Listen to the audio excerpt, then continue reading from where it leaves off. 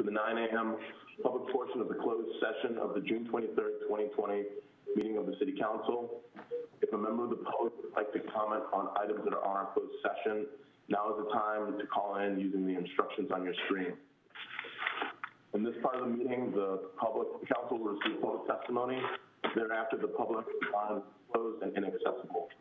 Please mute your television or streaming device once you call in and listen through the phone. Please note that there is a delay in streaming, so if you continue to listen on your television or streaming device, you may miss your opportunity to speak. All council members are participating in this meeting remotely. I want to thank the public for staying home to view today's city council meeting. When it is your time to speak, you will hear an announcement that you've been unmuted. Timer will be set to two minutes. You may hang up once you have uh, commented on your item of interest. I would like to ask the clerk to please call roll. You, Mayor. Council members Beiers? Councilmember Unmuted. Beiers? Here. Mathews? Here. Brown? Here. Glover? Here. Watkins? Present. Vice Mayor Meyers? Here. And Mayor Cummings? Here. If there are any members of the public who would like to comment on items on our closed session, again, now is your time to call in. And uh, once you are on the line, you'll be unmuted and you will have to move.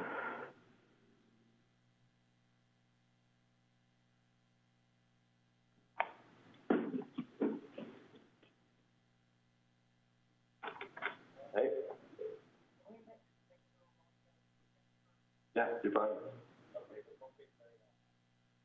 Okay, seeing no members of the public would like to speak on this item, I'll turn it over to, we're gonna, oh, we're gonna go into closed session.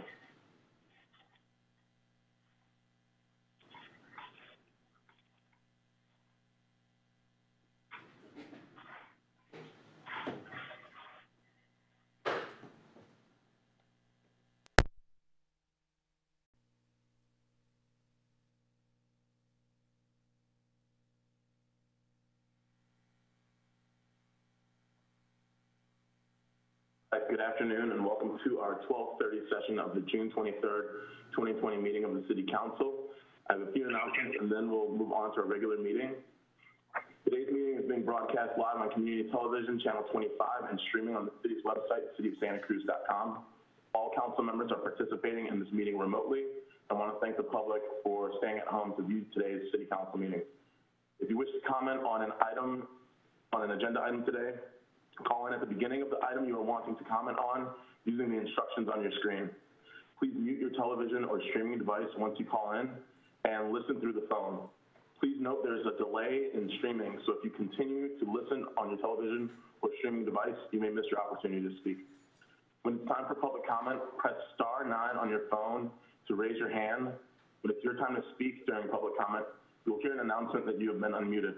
The timer will then be set to two minutes. You may hang up once you've commented on your item of interest. And with that, I would like to ask the clerk to please call the roll.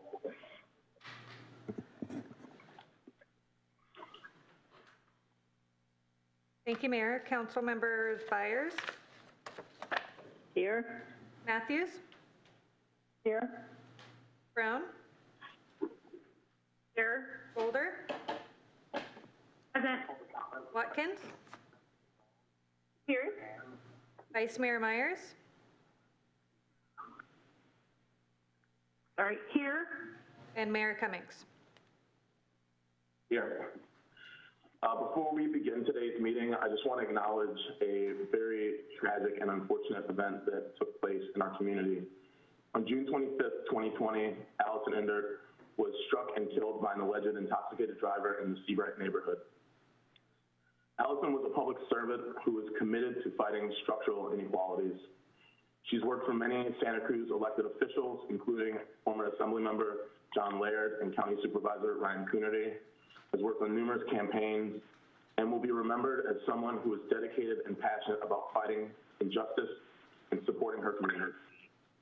My heart goes out to all of Allison's family and friends because I know she will be dearly missed.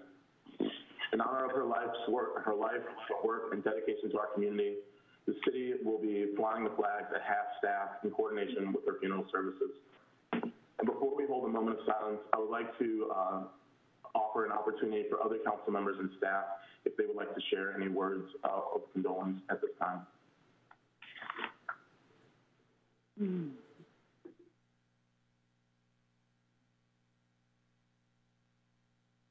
Councilmember Watkins.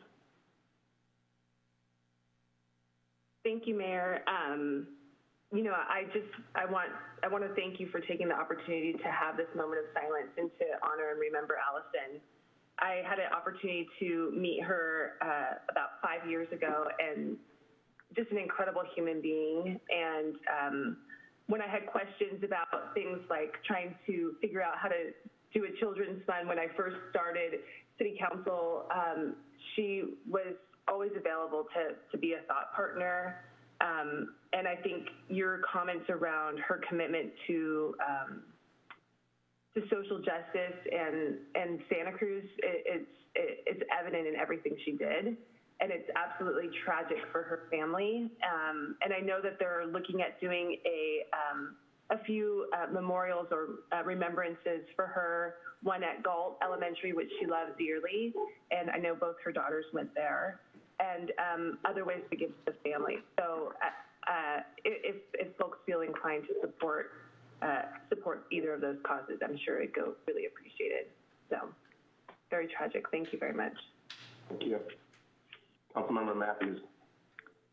Thank you. I think everyone who knew or worked with Allison is still just reeling from the loss of this, this beautiful spirit who was so dedicated to the public good and um, pursued her work with graciousness and seriousness and was just a joy to work with on everything, whether it was really complicated public policy issue or just getting, putting together the Galt Street Hallow- Halloween Parade. I mean, at every level, she was just um, such a gift to to all who knew her, and um, she will be truly missed. Um, thank you for acknowledging this, and um, I look forward to supporting um, um, efforts to to keep her spirit alive. Thank you. Yeah. Vice Mayor Meyers. Yeah, thank you, Mayor Cummings, for um, taking the time to recognize Allison today. Um, I just, yeah, a, I just want to express my condolences to her family and all of her colleagues, and um, just seeing a lot of the sentiments um, expressed about her by people from all over the county, and you know, even broader than that. Um, she just had such a large impact on so many different people, and. Uh, you know, she's leaving a legacy of as a public public servant that, um, though not an elected, she she guided so many successful outcomes for people in our community. So, um, my heart goes out to her husband and her daughters, and um, thanks for, for recognizing her today. Yeah. Councilmember Brown. Thank you. Yeah, I would just echo the comments made by my colleagues about um, what a special, what an amazing person Allison was, um, and her contribution to the community. I met her, it's been almost 30 years now. Um, uh, we were working together on, you know, various electoral campaigns, and I, you know, I just um, appreciated so much her enthusiasm and her engagement, and um, and then over the years, as she um, then moved into work uh, for elected representatives in this community, she just always maintained such uh, a commitment to being responsive to the community, uh, to constituents. Uh, her, um, she was, all, she just was such a positive person. You know, her equanimity and her positivity just uh, really, really um, will be missed.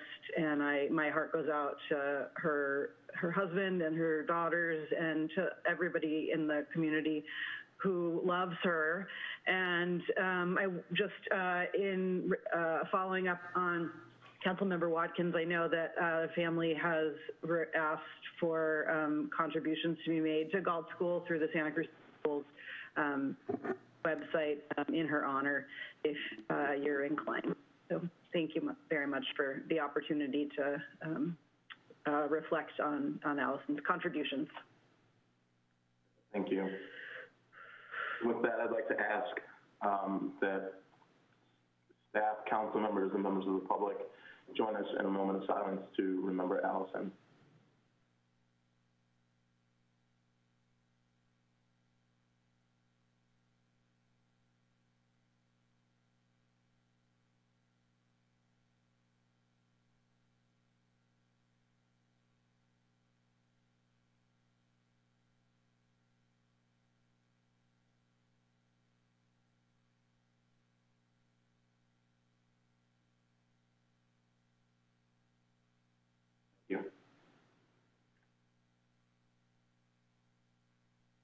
I'd like to acknowledge that the land on which we gather is the unceded territory of the Awaswas-speaking Uypi tribe. The Amah Mutsun tribal band, comprised of the descendants of indigenous people taken to Mission Santa Cruz and San Juan Bautista during Spanish colonization of the Central Coast, is today working hard to restore traditional land stewardship practices on these lands and heal from historical trauma. So the first item on our agenda um, is a proclamation declaring July 2020 as Black Lives Matter Month. There has been a lot, obviously, um, uh, social unrest around the continued treatment of African Americans in our country and people of color in general. Um, there's still discrimination against women people for their sexual orientation, and um, given the, the deaths we've been seeing black people at the hands of uh, police officers um, who are using excessive force. I just thought that it was an opportunity for us to acknowledge that there's still work to be done uh, to bring about meaningful change and um, injustice around the continued in our country. One, to, proclaim July as Black Lives Matter Month, to remind our community that we are still um, fighting for human rights and social justice for all members of our community, and that we should never forget that. And so with that, um, I also invited Joy Flynn. I'm not sure if she is on the line, uh, but I invited her. She is the member of the public who led the first action after the uh, death of, after the murder of George Floyd, which really brought our community together to begin speaking out about this here in Santa Cruz. It was an opportunity for us to come together, socially distanced, and um, truly reflected our community's desire to come together. And so I invited her today to receive this proclamation. And so I'll read uh, some of the whereases. Whereas Black Lives Matter is an international human rights movement originating from within the African American community, which campaigns against violence and systemic racism towards black people. And whereas on July 13, 2013, hashtag Black Lives Matter was founded by Alicia Garcia Garza, Patrisse Cullors, and Opal Tometi in response to the acquittal of George Zimmerman, a white private citizen who's responsible for the murder of 17-year-old Trayvon Martin. And whereas Black Lives Matter Foundation Incorporated is a global organization in the United States, United Kingdom, and Canada whose mission is to eradicate white supremacy and build local power to intervene in violence inflicted on black communities by the state and vigilantes. And whereas the statement Black Lives Matter is not meant to, oh, I'm sorry, whereas the statement Black Lives Matter is meant to highlight the fact that black Americans are two and a half times more likely than white Americans to be killed by police and is a call to the end of systemic racism, violence, and the oppression of black people. And whereas on May 25th, 2020, George Floyd was murdered in broad daylight by Minneapolis police officer Derek Chauvin, an act of violence that sparked outrage across the nation and a demand for justice, acknowledgement that black people are not treated the same under the law, and demand for police reform. And whereas Santa Cruz Police Chief Andy Mills has openly spoke out to condemn the actions taken by the Minneapolis police officers that ultimately resulted in the death of George Floyd, and it's called on police departments throughout the country to put an end to systemic racism, discrimination, and excessive force used in police culture. And whereas on the morning of May 30th, 2020, Santa Cruz community member Joy Flynn Wall led a peaceful action that brought our community together to honor the life of George Floyd and bring attention to the continued fight of black Americans for equal treatment under the law and ignited numerous actions to bring about change in the Santa Cruz community. And whereas during the weeks after George Floyd's death, members of the Santa Cruz community have come together through peaceful action to acknowledge the unjust treatment of Black Americans and people of color by law enforcement and our criminal justice system, and to demand an end to systemic racism in policing and police violence. And whereas Santa Cruz Mayor, Police Chief, and, and City Council are committed to working with the community to improve the relationship and secure trust between the Santa Cruz Police Department, the Black community, and other underrepresented communities, and end systemic racism, excessive force, and discrimination in police culture. Now therefore, I, Justin Cummings, Mayor of the City of Santa Cruz, do hereby proclaim the month of July 2020 as Black Lives Matter Month in the City of Santa Cruz, and ask all residents to listen to and acknowledge the voices of the Black community members and support their continued fight for equal rights and treatment under the law to ensure peaceful, diverse, inclusive, safe, and stable community. And so at this moment, I'd like to invite Joy, if you would like to say a few words.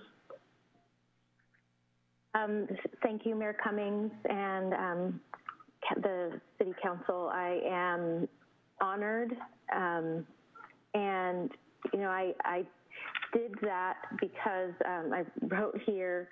Um, my intention was to break the silence um, of the Black community and allow us to um, come together and start a conversation and have that conversation move towards action and have the people of color in Santa Cruz be seen um, not only by one another but by our white community members as well, um, so that there is an awareness of our presence here and of our collection. And um, I'm so proud and so honored to be a longtime community member, Santa Cruz County community member, and um, that that action was not in vain, and that we've been heard, and that um, you know there's been movement and movement still. Um, so thank you very, very much. Again, I'm very honored. Thank you. All right. With that, uh, we'll continue through our meeting. We have a very long meeting today, and so um, we'll continue moving on. But thank you, Joy, for joining us. I have a few announcements, and then we'll move on to our regular meeting. Today's meeting is being broadcast on, live on community television, Channel 25, and streaming on the city's website, cityofsantacruz.com. If you wish to comment on an agenda item today, instructions are provided on your screen. We will provide these instructions throughout the meeting. Whenever we move into an agenda item, they'll be opened up for public comment. Please note that public comment is heard only on items the city council is taking action on and not on regular updates and reports. Items will be open for public comment during today's meeting and are numbered items 3 through 38 on our agenda with the exception of item 35. So I'd like to start by asking the council members if there are any statements of disqualification today. Councilmember Mathews. Um, I will be disqualified on this single business issue in the evening meeting, the decision, discussion, and decision on the library. So I will be watching as a member of the general public, but I will not be participating in any way in the council discussion or vote. Great. Thank you very much. Are there any other disqualifications? Seeing none, I'd like to ask the clerk uh, if there are any additions or deletions. There are not, no. Okay. Um, Next item is oral communications announcement, which is that oral communications is an opportunity for members of the public to speak on items that are not on the agenda. We will do our best to respond to any questions once oral communications concludes. We are not able to engage in dialogue with each caller. Oral communications will occur on or around 6 p.m. and will be held for 30 minutes. Next item on our agenda is um, a report out on closed session from our city attorney. Yes, thank you, and good afternoon, Mayor Cummings and members of the City Council. Uh, This morning's council meeting commenced uh, in a closed session at 9 a.m. uh, with the following items uh, to be discussed, which are also identified on the posted agenda. Item A was a conference with legal counsel involving liability claims, uh, the claims of Linda Bottarini and Nina K. Deal. Uh, Those are also listed on your consent agenda this afternoon as agenda item number 13. Council received a uh, report from its labor negotiator on the following uh, bargaining groups: Police Officers Association, uh, Fire IAFF Local 1716, Fire Management, Police Management, OE3 mid- Mid-Manager and Supervisor Employees, uh, Local 521, and unrepresented uh, employees. Uh, For the police management, SEIU 521, the mid-management, OE3, um, mid-managers and supervisors, Fire Local 1716, and Fire Management, uh, those are also agendized this afternoon on your consent calendar as item 14. Council also received a report from uh, its labor negotiator on an economic hardship program um, that is being uh, discussed and developed. There are two items of pending litigation. First item is a matter entitled Jane Doe versus the City of Santa Cruz, uh, Superior Court Case Number 19CV03688. The second item was uh, Ocean Street Extension Neighborhood Association versus the City of Santa Cruz, case number 18CV03212. On the latter item, the Ocean Street Extension Neighbor, Neighborhood Association item, um, council received a report that last week the petitioners in that matter filed a notice of appeal of the trial court judgment to the Sixth Appellate District Court of Appeal. Uh, and the council voted to join in a cross appeal being prepared by the real parties in interest in that matter. Uh, the action was taken on a 4-3 vote with Vice Mayor Meyers and council members Watkins, Glover, and Mathews in favor, and uh, Mayor Cummings and council members Brown and Beiers voting in opposition. And then there were also two items of anticipated litigation involving significant exposure to litigation in which the council received a report from legal counsel, uh, but there was no reportable action. Great, thank you. Uh, Next up, city manager report. I'd like to call on the city manager report, provide any updates, uh, city council on events and business. Uh, I don't have a report today, uh, but there'll be one at the next meeting on July 2nd. Okay. Next item is our council meeting calendar. I'd like to ask the clerk if there's any updates to the calendar. Um, nothing from what was added to your packet, but just a reminder, we have a special meeting on July 2nd. Great, thanks. I also wanted to um, circle back to item number 34 on our agenda. I know that that item got continued, so would that be considered a deletion? That is continued, no, because it was agendized as continued, so yeah.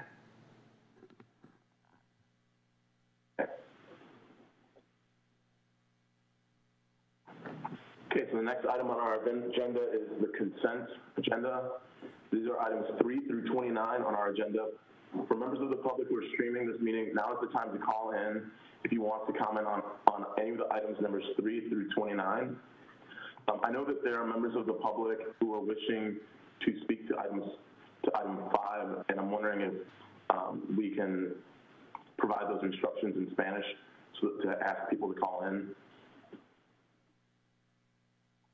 We- We do have um, Peter on standby for um, translation. So uh, if you'd like to call in, please uh, dial the numbers that are on your screen. Um, Please remember to mute your stream, your device, and then press star nine to raise your hand and listen for the cue saying that you have been unmuted.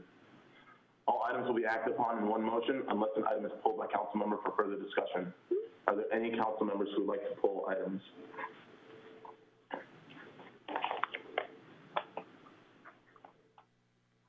Councilmember Brown, and I see Councilmember Glover's hand as well. Yeah, I just have a question on item 20, gas tax. Thanks. Thank you. Vice Mayor Meyers? Oh, you're muted. Uh, I won't pull these items. I just have a comment on item eight and item 24. Okay.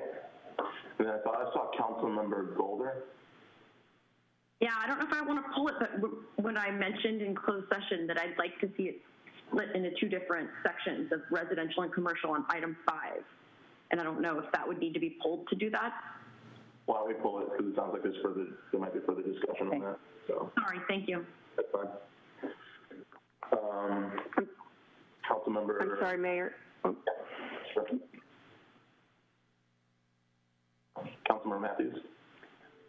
My, my question was having, um, also related to number five, uh, I'll just raise the issue now and we can deal with it uh, later when we have the um, discussion, but it's, uh, it seems to me that it, as consent, it said consider additional potential options, which is very open-ended, and that seems very similar to what we're talking about later on in the afternoon agenda. There's a lot of overlap there. So I don't know whether we want to focus on it for this item or I think it's 26. Not sure the number, but uh, it seemed like practically the same item in two places, or at least a lot of overlap. And I think that, um, maybe that language wasn't removed and should have been part of the conversation later this e- evening, so, Just if we could not have the same conversation twice. yeah. Okay, sounds good. Uh, Vice Mayor Meyers? Um, I just want to make sure I'm not muted. Um, I also just have a comment on item number 14, just a comment. Thank you. Okay. Are there any members of the public who would like to speak to items? Well, actually, I guess we could start with the comments, questions, and then we can um, move those items along and then circle back to item number five after we move the other consent items. So why don't we start with Councilmember Brown? You had a question on item number 20. Yeah, thank you, Mayor Cummings.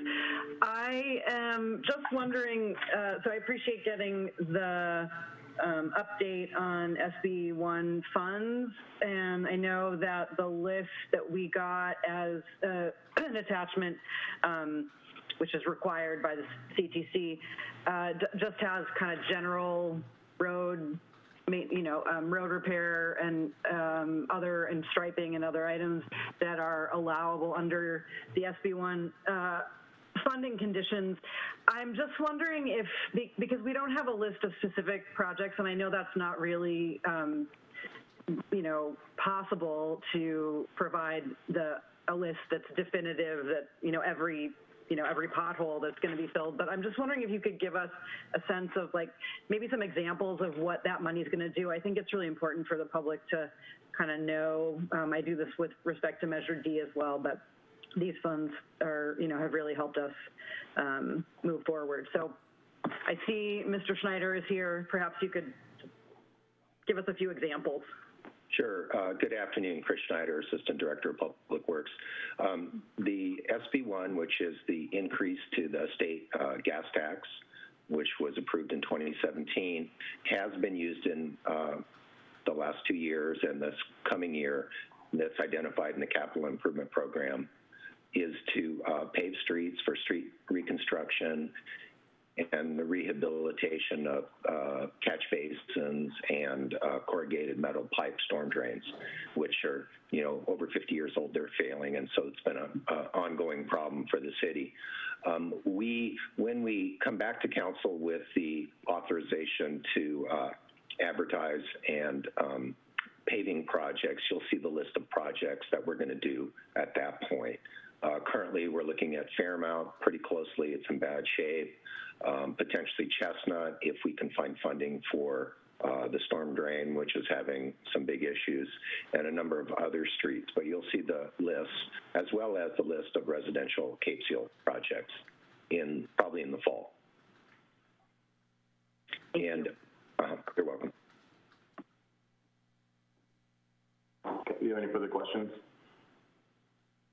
Okay, doesn't seem like it, so we'll move on to um, Vice Mayor Meyers. Uh, If you would like to share your comments on items number 8, 24, 8, 14, and 24.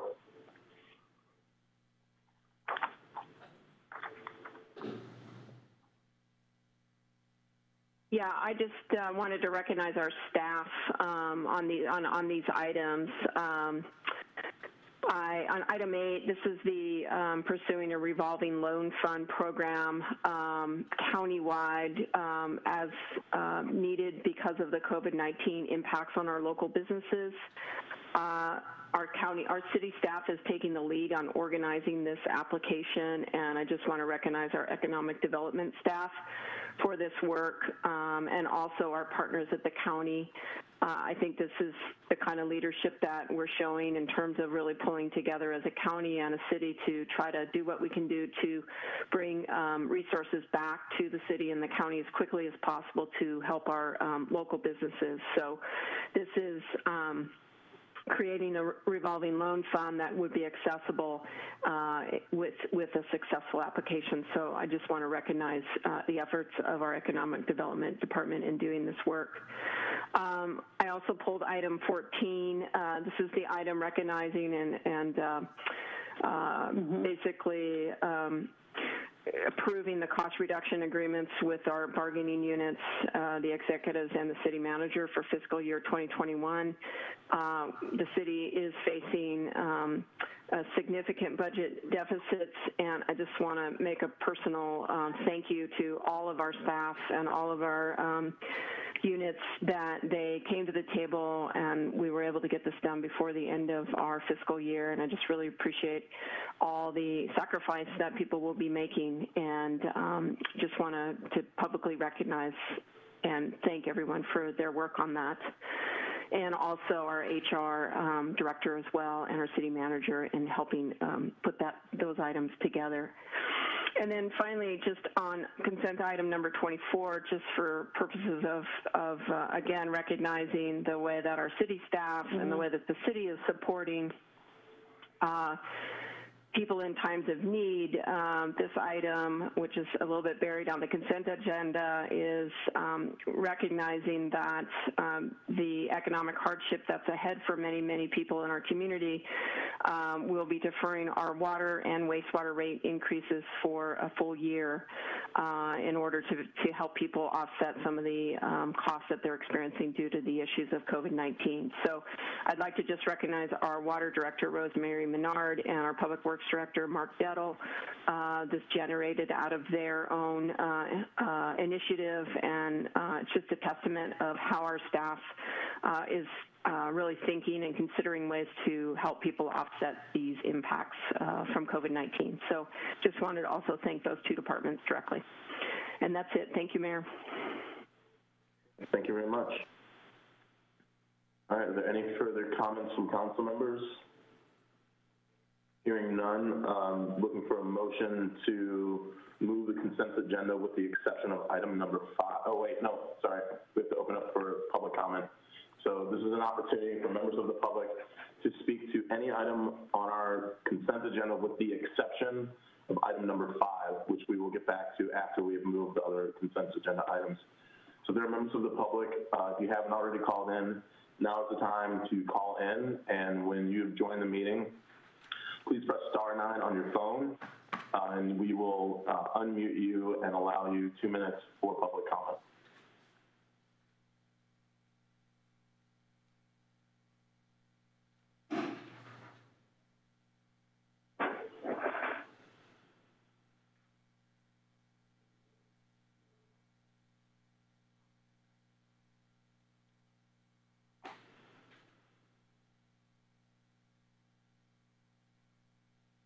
Okay, seeing no members of the public interested in commenting on this item, I'll bring it back to council um, to move consent agenda. And so I see Councilmember Brown, you have your hand up. Yeah, I'll move the consent agenda. Thanks. Okay, motion by Councilmember Brown. Councilmember Glover, I saw your hand go up. Please I'll second. Okay.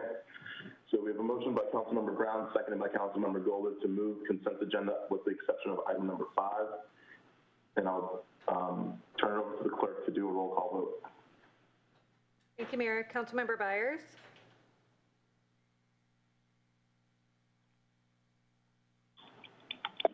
Aye. Mathews? Aye. Brown? Aye. Glover? Aye. Watkins, Aye. Vice Mayor Meyers,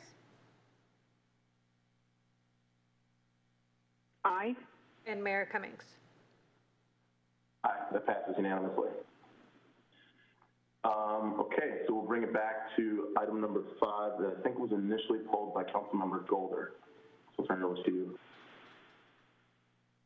So I just want to acknowledge that, um, that residential and commercial leases are two different animals. And so I just think moving forward, we should, um, maybe address them separately. And so I don't know if it needs to be split up or I I don't know where to really go from here, but just that I know with, you know, if you have a business and like I was saying this morning in closed session is just, I'm so sad to see some of our local businesses closing up shop. I was talking with Jocelyn Dubin, who has a, she's a black woman business owner downtown and they're closing shop for good. And it's just so heartbreaking to hear that um, they weren't given any opportunity for, you know,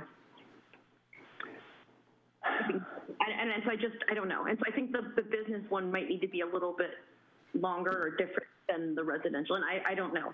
So that's the point. I just wanted to acknowledge that. Oh. Member Mathews. Uh, I, I think um, two things. Uh, what maybe uh, Councilmember um, Glover is referring to is something like um, economic support or um, uh, redu- negotiating a reduction or something. This has to do with simply adopting the uh, ordinance um, um, preventing uh, evictions due to non-payment of rent, which is different than a business's decision to close. So um, they're both important, but I think your issue probably has to do with the item we'll be dealing with later. What are some of the measures that the city could take? So um, just a clarification on that. And then regarding the um, item two here, considering additional potential options, I do want to raise again the question whether it would make sense to just eliminate that second part from this motion and deal with that issue in the afternoon with the larger question. So uh, if, if that were the case, I would be prepared to make that motion. Um, um, move the adoption of number one and uh, delete number two. And I think that that might have been, as I mentioned before, an error when we were. Yeah, yeah, it's a technicality, yeah. Yeah. Um, and I, I do want to ask the city attorney, given our item that's in the evening, should the council want to take further action, would it be possible at that time, given the topic of conversation and the fact that that was a report and there wasn't the direction for further action in item number 36? Um, uh, just bear with me a second here. Uh, I think that should be, I don't see that being a part of the evening session agenda, but I think there is an item later in your agenda where um, some direction could be given, and I would assume that it would be in the nature of direction to return to the Yeah, council yeah. at a future meeting with some specific measures um, to, to, to uh, or for the council to consider. So, so I do think that there's an opportunity to give that direction um, at some point uh, later in the meeting. Okay. Yeah, yeah, go ahead. Just, just to continue on that, uh, for item 36, the recommendation, just for the benefit of the uh, council and public, receive a report on actions to date to assist local residents and businesses and provide direction and potential action on considerations. So it seems to me it's entirely consistent and duplicative. Agreed, and I just, I, I, I suspect that the agenda report uh, for item five was prepared contemplating that it would not be on the consent calendar, and Yeah. it was just an oversight when it was, uh, when the decision was made to put it on consent. Councilmember Brown. Uh, yeah, I wanted to ask the question again, just for the uh, benefit of the public, uh, regard that I asked in closed session regarding uh, changing the uh, expiration date on this emergency ordinance to August 13th. Um, this is a request I've made I think I'm, uh, this is the third time now that I have requested that we um, just move it to that date because that is the next time the council will meet after our July 2nd meeting. And our um, emergency uh, emergency health, local health emergency is set to um, be extended for 60 days, and that goes well beyond the, you know, August 13th. So I'm just kind of hoping that we can uh, use that date rather than July 30th um, in order to just make that uh, clean uh, and and know that you know nothing really nothing could really happen to change the, the trajectory while we're on break.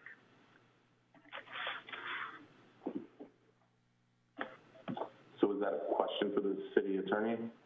Yeah. Um, so the question is, wh- what's our, you know, the legal exposure uh, related? Sorry, I didn't ask the question. I already got the answer. But um, th- so, do you think that this would put us in a vulnerable position to just change the date? Oh, yes, the, uh, the current draft that's in your packet was uh, written to coincide with the uh, governor's executive order relating to uh, local measures to um, protect residential and commercial tenants against evictions in the COVID-19 uh, emergency declaration. And um, were the council to uh, to extend the date beyond, um, and just for what, uh, just for more information, uh, the expiration date is in the current draft is July 30th, or if it, the order is extended by Governor Newsom, then it would correspond with the date of the extension. Um, I don't see a high degree of risk uh, should the governor allow his executive order to expire um, and then in the 11 days uh, subsequent to that, before the council consider can consider further measures, I, I don't see a great deal of risk associated with that. Thank you. Are any other comments from council members? Okay, seeing none, we'll turn it over to the public for public comment on this item. So if you're a member of the public, now is an opportunity to call in to comment on item number five, which is an extension of our eviction protections for um, residential and commercial tenants. So you'll call the number on your screen. Once you've called in, please press star nine on your phone. And when you are unmuted, you'll, you'll be able to comment on this item. Okay, so there's one member of the public who's called in, who has a hand raised, I should say. Okay, you are on the line. Hi, good afternoon, Mayor Cummings and council members. My name is Jorge Zavala. I'm a COPA leader with Holy Cross Church and Parish here. We wanted to express our um, support for this to extend it. You will hear from other members from COPA later on today and leaders in our community that have been connecting with hundreds, about 100 families so far. They've connected with 81 families out of the 281 that we're calling that have visited the food pantry in the last month. I've uh, managed the food pantry in the last three months, the volunteer coordinating other volunteers. There's a lot of need. We've been able to feed people, but they cannot pay their bills, and they're slowly returning to work at this time. So we do support this extension and also looking forward to speaking more on item number 36 of the agenda. Thank you and have a great time. Great day. I yield my time. Thank you. Are there any other members of the public who would like to speak on item number five? If so, now is the time to call in, and you'll need to press star nine on your phone to raise your hand. And when you, uh, and then we will unmute your line and allow you up to two minutes.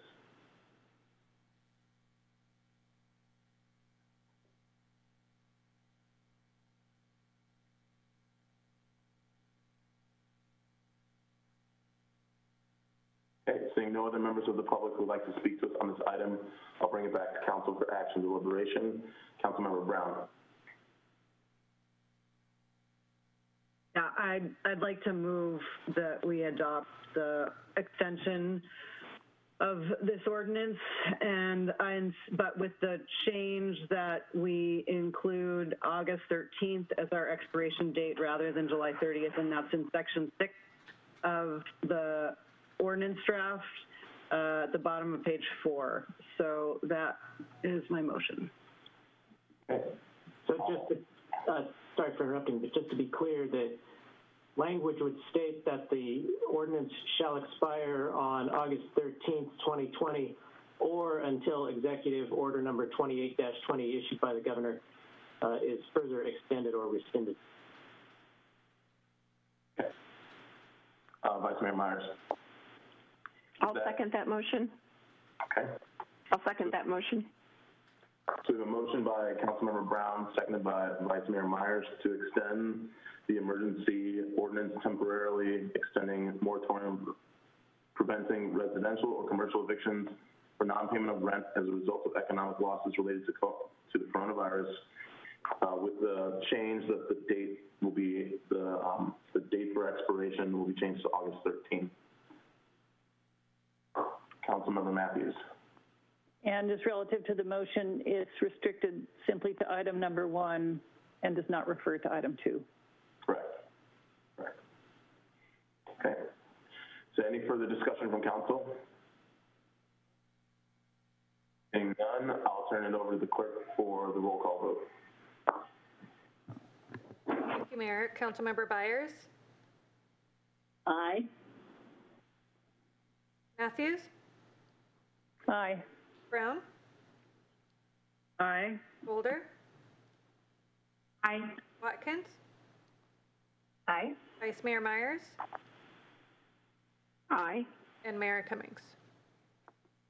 Aye. Passes unanimously. Next item on our agenda, consent public hearings. These are items 30 through 33. And for members of the public who are streaming this meeting, if any of these items are ones that you would like to comment on, now is the time to call in using the instructions on your screen. Are there any council members who wish to pull items 30 through 33? Uh, Councilmember Glover. Oh, sorry. I didn't mean, sorry. Okay. Um, I'd actually like to pull item number 30.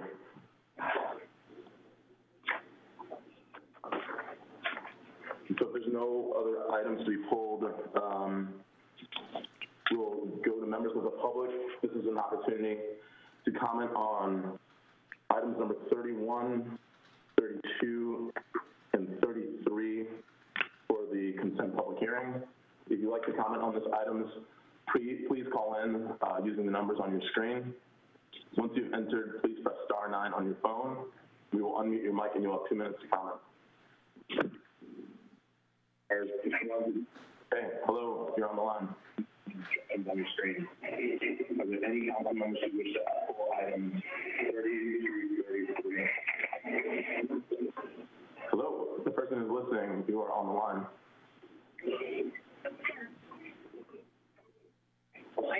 Sorry. Mayor? The last four digits I think there's a delay. I think he's, whoever it is, is listening to maybe the stream, and so there's a delay, because I can hear you in the background. Okay. This is an opportunity to comment on items 31, 32, and 33 for the consent public hearing. If you'd like to comment on these items, please call in using the numbers on your screen.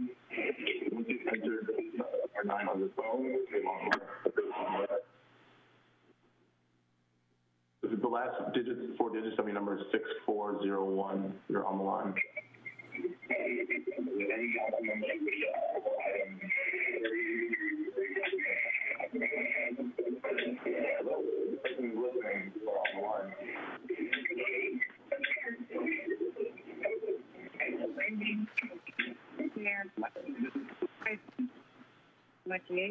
I think whoever it is.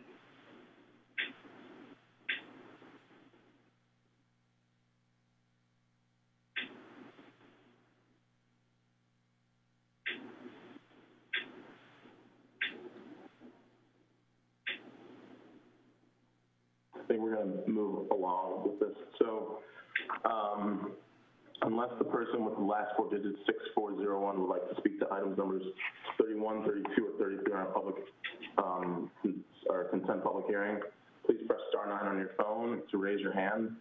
Otherwise, we're going to move back on to our regular meeting.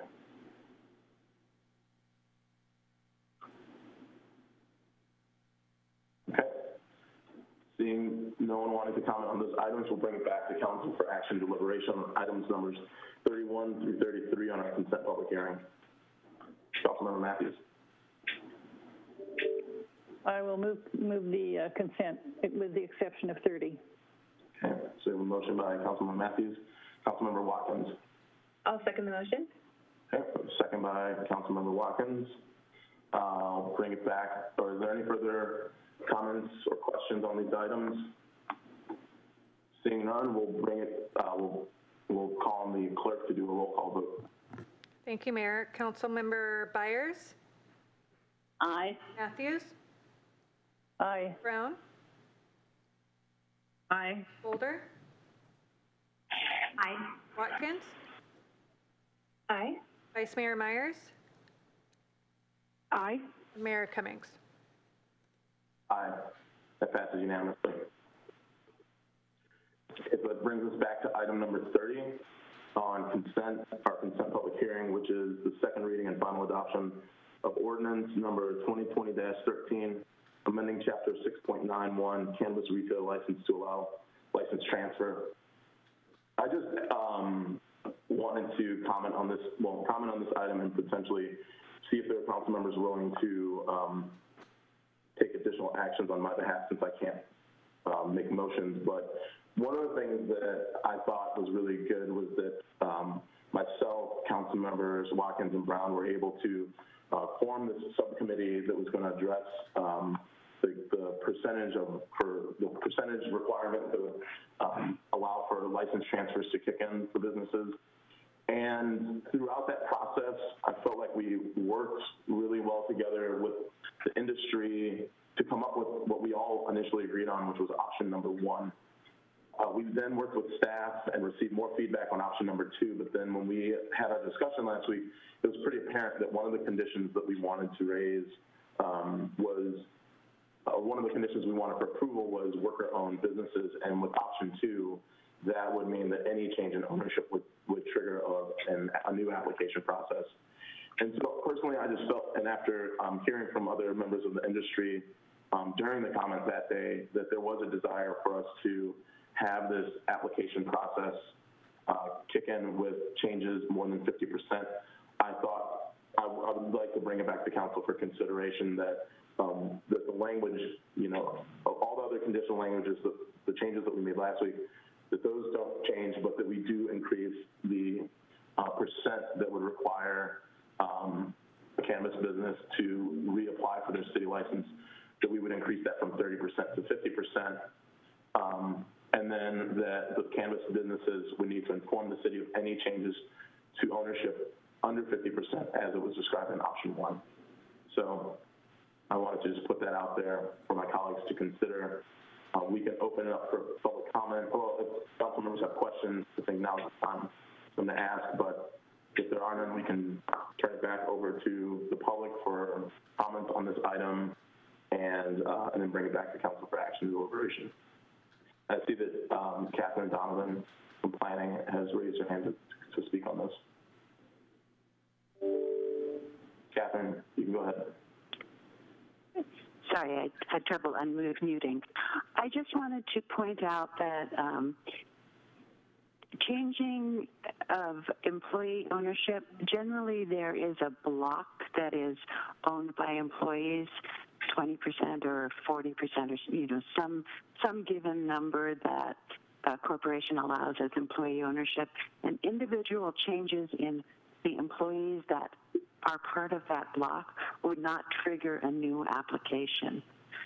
Um, and one other item is that we tend to think that if that 50% means um, if there's a less than 50% change, then it is not a change in the um, overall um, influence of who is making the decisions. But if you have a business that's owned by two people and those two people sell 50% of their share to one other person, then the person who owns 50% is now the, the majority shareholder and has uh, uh, the ultimate say in whatever happens with the business. So while 50% appears to be a number that um, keeps keeps the business in the same ownership, it is not necessarily the case that, that that's how it really works in real life.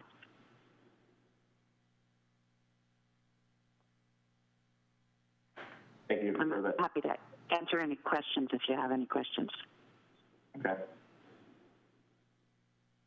there any further questions from council members? Okay, seeing none, I'll go to members of the public. If there are members of the public who would like to comment on item number 30, which is the second reading and final adoption of ordinance number 2020-13, amending chapter 6.91 cannabis retail licenses to allow license transfer, now is the time uh, to call in the numbers that you, that are on your screen. Once you've called in, please press star nine on your phone, and you will have up to two minutes to comment, two minutes to comment on this item. All right, if your, the last four digits are 1810, you are on the line. Yes, yes, this is Garrett. Philip, uh, I'm going to go through again. Uh, is there no amount of explaining how absolutely awful and misguided your requirements are for new cannabis licenses? Again, see, one of the possible required elements of obtaining a license is the other factors, 6.91.090, license requirements, review factors. C, a majority of the business is minority or woman-owned, even though you don't really describe what a minority is. But it, this means if you are a white male, you cannot qualify for this requirement. It is 100% in the hands of the council or not to discriminate on the basis of gender or race, and it appears you have taken that route.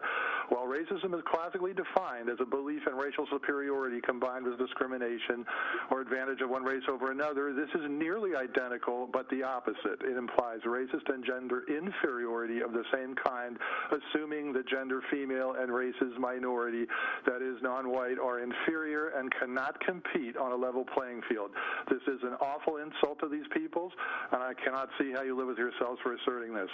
Since everything is in your hands, this is not regulation of others' behavior, eh, i.e. is not justified affirmative action, but outright reverse racism and sexism. All of you who voted this forward to today need to explain your vote on this matter. This is permanent law, and how you figure punishing people whose only wrong is being the wrong color or gender, according to you, is beyond comprehension. I would like to quote Jordan Peterson, quote, the idea of collectively held guilt at the level of the individual as a legal or philosophical principle is dangerous and precisely the kind of danger the people looking for trouble would push. A cursory glance at 20th century history should teach anyone who wants to know how unacceptable that is. Uh, that's it. Bye. Thank you. All right, are there any other members of the public who would like to speak to us on this item? If so, please press star nine on your phone to raise your hand, and once you've been acknowledged, you'll have two minutes to speak.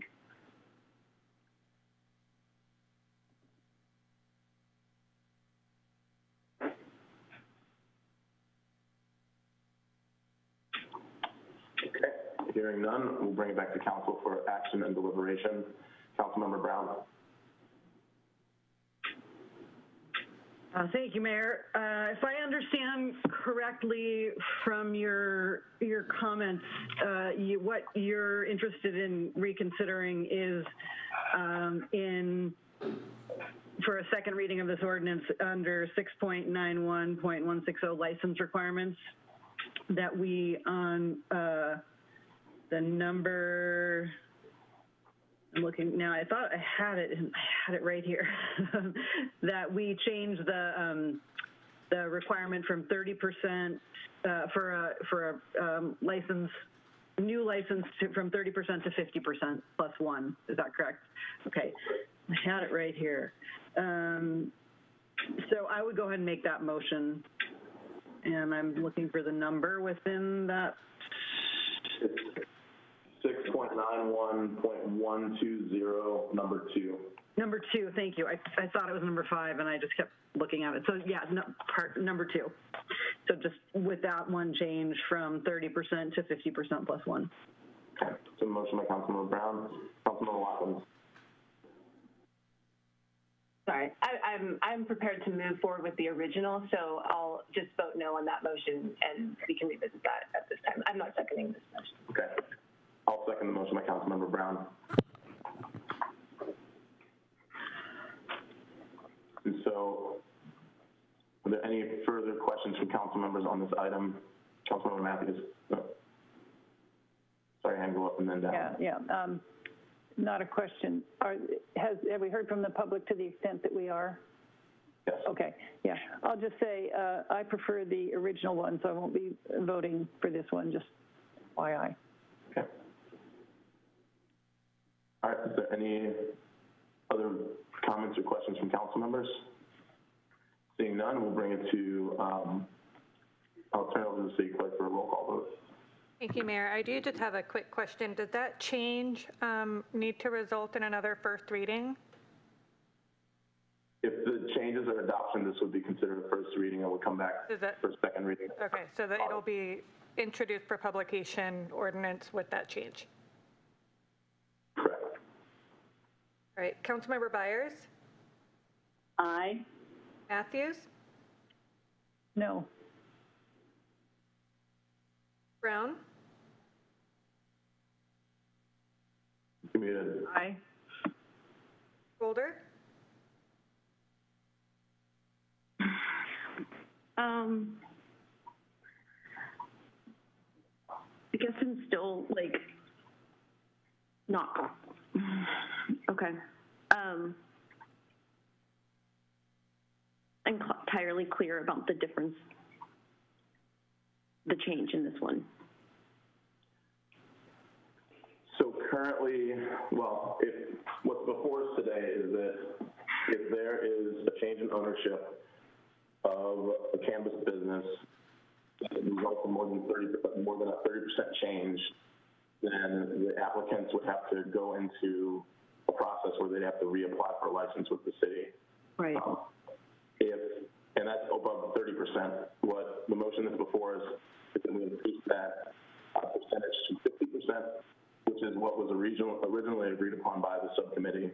Um, and so anything below 50% would need to be reported. Any change below 50% would need to be reported to the city. Any change above 50% would require that the, um, the business owners and the interested parties would have to go into this process of reapplying for a license. Aye.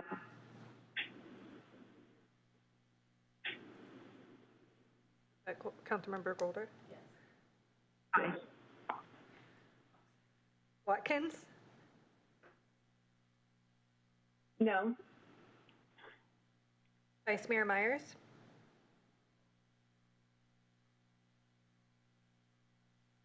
Vice Mayor Meyers? Unmute. Sorry, I'm no. And Mayor Cummings? Aye. So that motion fails with council members um, Glover, Brown, and and Mayor Cummings voting in favor, and Vice Mayor Meyers, oh, and, oh, I'm sorry, that passes. No, I think it passes. Uh, With council members Glover, Beiers, Brown, and Cummings, Mayor Cummings voting in favor, council members Mathews, Watkins, and Vice Mayor Meyers voting opposed. So that will, um, this will be a first reading, consider first reading, we'll come back uh, at the next meeting uh, for a second reading. Uh, pardon me, Mayor Cummings, it will have to come back at the first meeting in August for the second reading because the charter requires uh, ordinances to be finally adopted at a regular meeting. Good. All right, the next item on our agenda, um, this is a question I had earlier. So item number, oh, my mistake, item number 34, which is 914 and 916 Seabright. This item has been continued to the August 11th city council meeting. Additionally, uh, item number 35, the fiscal year 2021 proposed budget adoption. Just so members of the public are clear, this item has also been continued to July 20, July 2nd, 2020 special city council meeting. So with that, we'll move on to our uh, next item on our agenda, item number 36, COVID-19 pandemic response options for consideration to assist local residents and businesses. So members of the public who are streaming this meeting, if this is an item you want to comment on, now is the time to call in using the instructions on your screen. The order will be a presentation of the item by staff for the council members who brought forward the item, followed by questions from council. We will then take public comment and return to the council for action deliberation. So I'll turn it over to uh, Bonnie Lipscomb, Director of Economic Development, to start this item off. Thank you, Mayor, and uh, good afternoon, uh, Mayor and members of the City Council. Um, I'm here today with Rebecca Unitt, who's our business liaison um, at the City and Economic Development, and we're going to co-present this item. But I did want to acknowledge actually the hard work of multiple departments and uh, portions of the data that's going to be presented today, and of course in some of the concessions and the work that they've done to lessen the burden on our businesses and, res and residents um, from the impacts of COVID-19. So a lot of this information today really spans the, all of the departments across the city. And um, as was discussed earlier today, if we're also going to be talking about additional um, commercial or residential tenant protection specifically on this item, obviously that will involve and engage the city attorney as well as planning um, director Lee Butler as well. So I just wanted to acknowledge a broader discussion. We're focusing um, initially in this presentation um, on specifically on what we've done to date around um, support we've done um, around businesses and residents, and then we'll open it up for a, a broader discussion.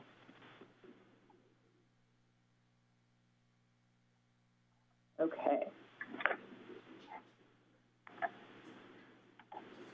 So some of you will remember you've seen this before. Um, I just wanted to briefly touch about uh, touch on the three stages of resiliency support and where we are right now. I mean, we're still, now that businesses are largely, not exclusively, but largely reopened or allowed to reopen, some of them haven't been able to reopen. Um, but we are in the survival rescue March through May and just starting to go into stabilization. And of course, you know, there's a lot that goes into that. I think some businesses are starting to feel the recovery and some are just not there yet. So these are not, um, you know, exact timeframes, but they're, they're general enough for our discussion today. It just helps to frame our discussion. So um, a lot of what we've done to date will be in this sort of dark teal category, survival, rescue, immediate needs, deferments, other business assistance, um, CDBG, CARES Act, and then we're starting to move more into the stabilization, outdoor expansion program, some other grant, long-term, larger grant programs, and some loan assistance. And then longer term, late to 2020 and beyond, we'll move into some of those larger capital needs, permanent working capital, fixed assets, and some of the work that the Recovery Council, Council Subcommittee will be working on as well. Um, so what have we done so far? Um, we have done residential and commercial eviction moratorium. You discussed that earlier today on your agenda as well. Emergency rental assistance for income qualified residents, and I'll give a recap of that uh, in a little bit. Rent deferment for almost all of our city of tenants, so that includes um, businesses on the wharf, and the parking garages downtown, some of our former redevelopment agency tenants, um, cafe extension areas, et cetera. Um, city utility and parking fee payment flexibility, um, alternative city tax payment schedules. This is our um, moving from monthly to quarterly collections to allow some relief for our hotels. Um, the city executive order limiting delivery fees on food, deli um, food deliveries from some of the um, independent companies it really, really um, helped a lot. Heard back from a lot of residents um, and restaurants on that impact. Um, resolution supporting business interruption insurance to the state commissioner, and then community support platforms like Ride Out the Wave that have really made such an impact in our community to support local businesses while they were closed by being able to purchase gift, gift certificates and others. Um, um, I'm going to turn it over for a few minutes to our business liaison to talk about some of the resources on our website. Hello, Rebecca Business Liaison. Um, so beginning on March 13th, uh, we first launched our information for businesses in response to COVID-19 page on choosesantacruz.com. our economic development website. Um, this has become a really valuable source of information to the public, um, and it's been utilized countywide. We've actually received uh, inquiries from businesses throughout the county based on the information that we've been able to provide. Um, since the launch of this page,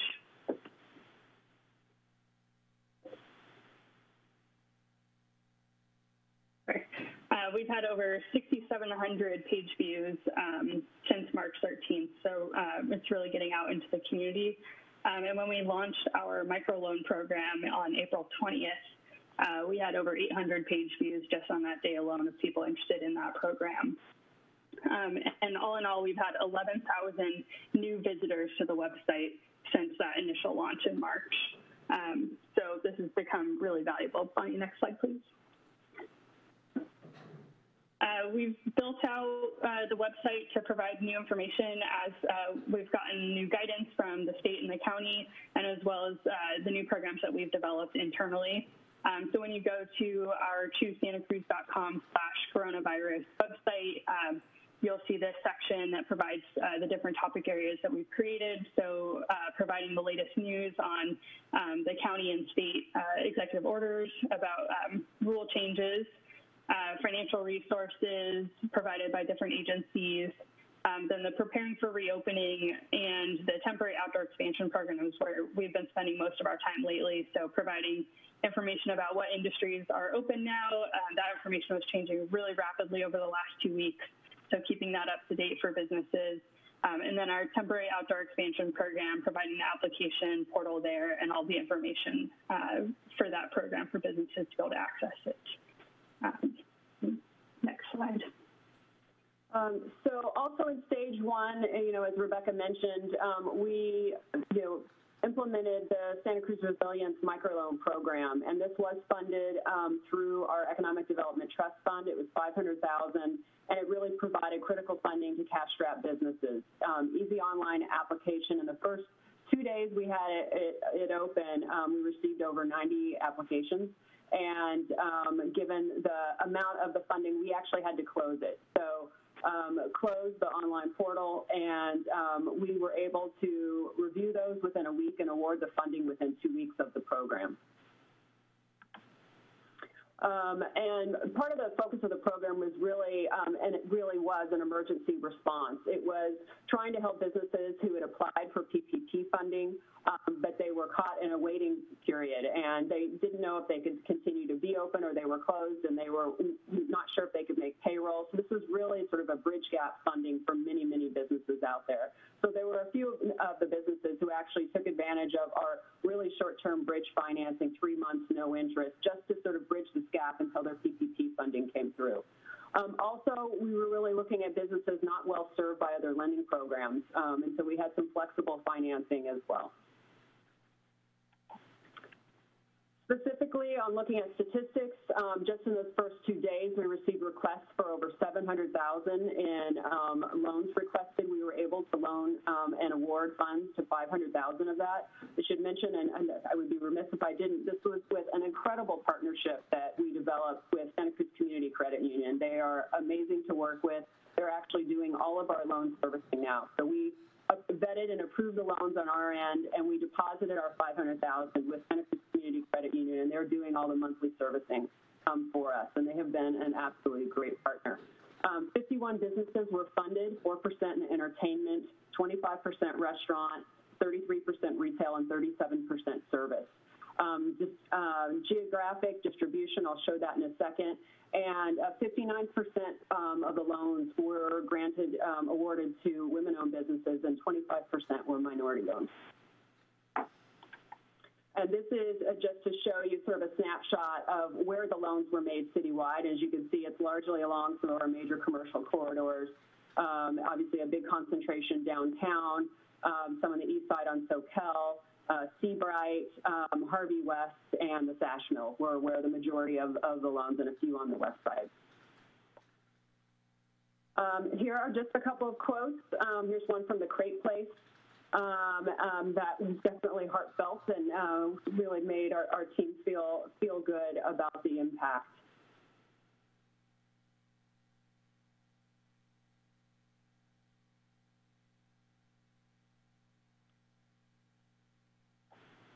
And then here's a few more from Homework, um, Childish Toy Shop, and John's Electric Motor Service. And we can do a more a, a fuller debrief. Those of you who are interested, um, we've been definitely in response mode ourselves, but we do have a lot of information and details about the program to share if any of you are, are interested. And I'm going to turn it back over to Rebecca to talk about our Jumpstart Your Restart kits. Thank you. So uh, our Jumpstart Your Restart kits, uh, we were able to acquire uh, hand sanitizer from Smith and Van, De- Van Beater in Watsonville, um, and floor signage from community printers, uh, as well as printing some posters for businesses about social distancing um, that we also were, had printed by community printers, um, and uh, masks through our 10,000 masks program. Um, we had supplies. We anticipated being able to give out uh, possibly 200 kits based on the supplies that we had, and we've actually been able to give out uh, close to 300 now. Um, we still have some supplies that we're uh, recirculating out into the community. Um, so this has been a really, really successful program and something that's had a tangible impact as businesses have been reopening. Um, and we have some pictures here from our uh, initial give out day um, where we did a drive out, uh, drive by pickup uh, for the kits, which was really great to be able to connect with the business owners. And we have a really brief video um, of that activity as well. So I want to show that.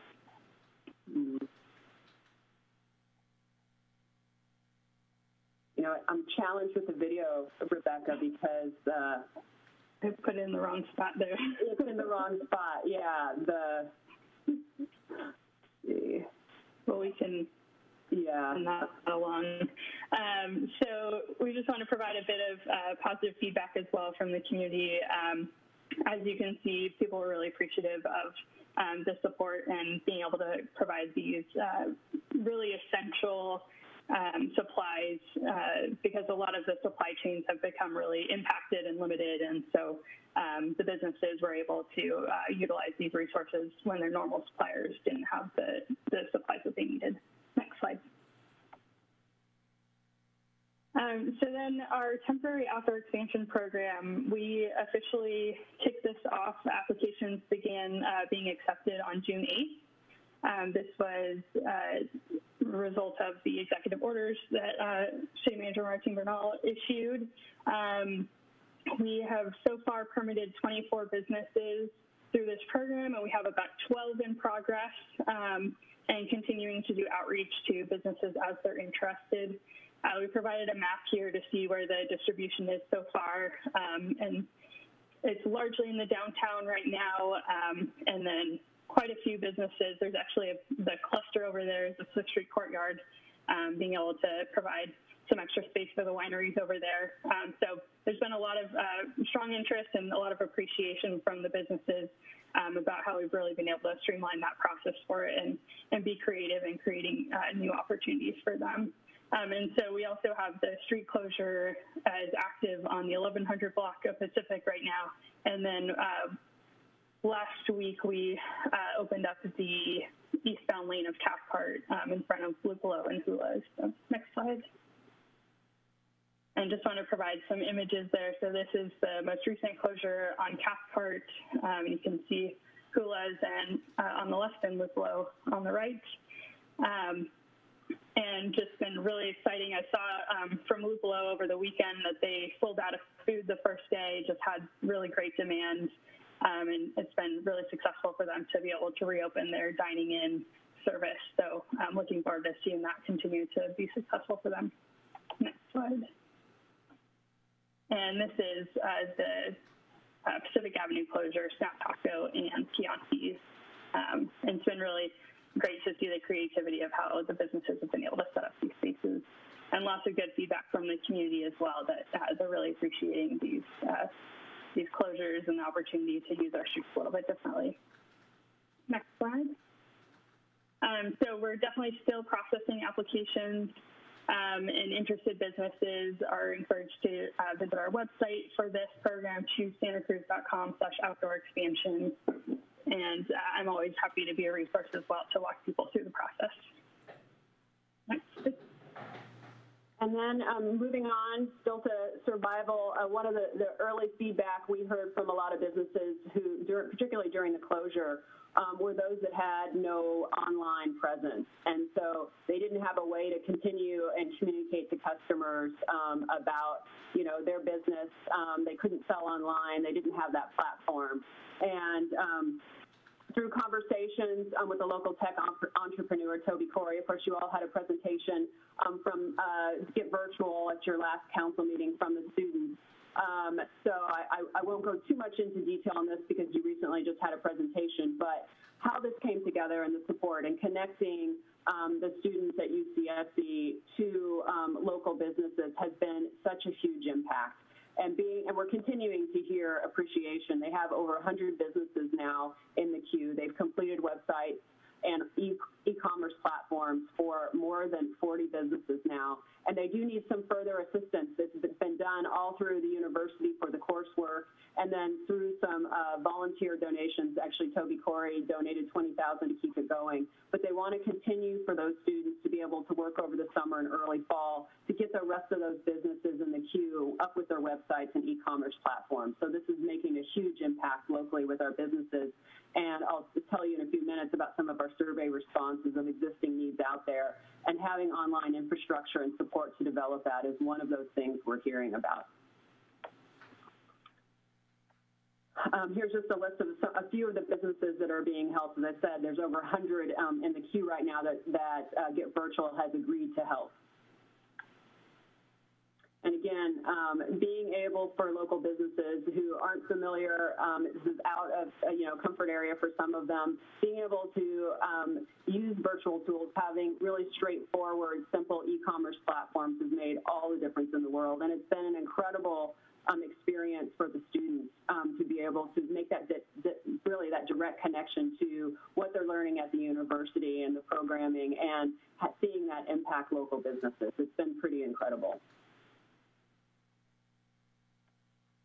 Um, so moving on from that, I'm going to switch a little gears a little bit to some of our CARES Act funding, CDBG funding, additional assistance um, on top of our normal CDBG allocations that you approved a few months ago. So there are seven. Um, we received 283,000 um, through the CARES Act CDBG allocations. Um, they're through Community Bridges, Community Action Board, Second Harvest, um, Santa Cruz Community Health Center, Dientes, Farmers Market, and Hope Services. I'm briefly just going to describe a little bit about each of those programs because we didn't have a whole lot of time um, when the pandemic, we were first experiencing the beginning when we came to council, it was emergency, we approved it. And so I've, I've received a lot of questions on what this funding went towards, so I wanted to just explain a little bit. Community of Bridges was awarded two grants. Um, one was um, for the Elder Day program, and this is really to develop daily enrichment activities for senior services to really reduce the isolation, particularly since they're our most vulnerable population right now. So Community Bridges created the Elder Day program and expanded services to help them, as well as expanded their at-home uh, delivered meals for older adults 60 years and older for on the Meals on Wheels program, impacting 500 participants. Community Action Board, um, additional 30,000. This actually allowed them to leverage some additional home funding that we were able to um, grant to them. And this um, allows for the tenant-based assistance program for extremely low, very low, and low-income residents who cannot pay their rent due to unexpected job income loss. On this is the ad administrative side. On the home side, um, we were able to give them uh, 200,000 um, to implement this program for rental assistance. Santa Cruz Community Health Center, 30,000. This is to provide medical visits for COVID-19 and also urgent care for non-COVID-19 um, services, testing, tracking results, um, as well as a food pantry and expanded food distribution services, 30,000 for uh, Santa Cruz Community Health Center. Dientes um, providing low-cost dental care. This allowed for uh, continued emergency care and the implementation for safety protocols and measures for continuation of services to 2,800 patients during the pandemic, and so 46,000 um, to Dientes for that.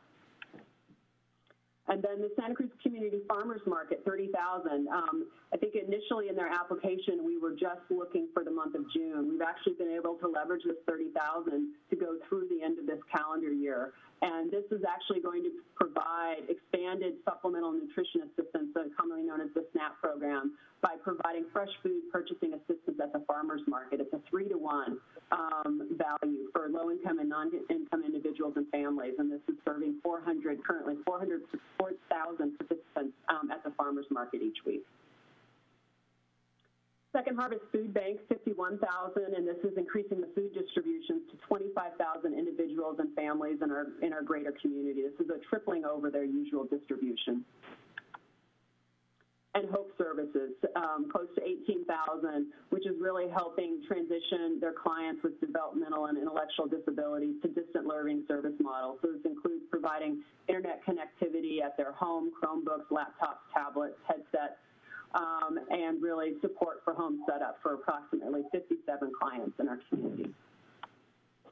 And then um, also on the CARES Act side and some of the leverage funding and with our home and Red Cross funding, we were able to provide um, to the Housing Authority of the County of Santa Cruz 125,000 um, from our home funding and another 11,000 for Red Cross through our security deposit program and um, this is paid directly to the landlord, and at least 90% of the households must be at or below 60% of area median income. More than half of those served are actually below, generally at the 30% of area median income. Uh, and at least 50 um, families or households are expected to be assisted with this funding. And then the Community Action Board, this is the program I was referencing earlier with the leverage from the CARES Act 30,000. This is 200,000 in home funds, 30,000 in community development block grant, and another 11,000 in Red Cross. And this extends existing eviction prevention program to uh, our existing program with CAB to provide up to two months of direct rental assistance to income eligible households. That's those earning 30, 50, and 80% of area median income. Additionally, we have um, 20,000 um, to California Rural Legal Assistance to provide tenant um, legal assistance, and another 20,000 through our core program, um, so 40,000 for legal assistance. And then through this year's CDBG allocation, we also have 457,000 for homeless prevention infrastructure in our current year budget, um, and an additional 35,000 in CDBG for homeless program services. Okay, I'm going to shift gears again um, to talk a little bit about some of the community outreach that we've done um, around issues um, related to the pandemic. And this first one is just a really brief snapshot. I know we're coming back to council later with a, a, a fuller debrief. There is a, a survey that's been out a little over a week and a half for tenants and landlords. And um, right now, to date, we have 119 responses. So um, at the request of the mayor and some members of the public, we are continuing to keep this um, survey open. So um, we'll, we'll provide a more robust um, response of, you know, some of the survey responses um, in the near future. But I thought it was really interesting to just share this right now. Of those that have responded so far, 81 are renters, 29 are landlords, and 11 are either neither of those or are outside our community or homeowners that are not landlords that responded to the survey.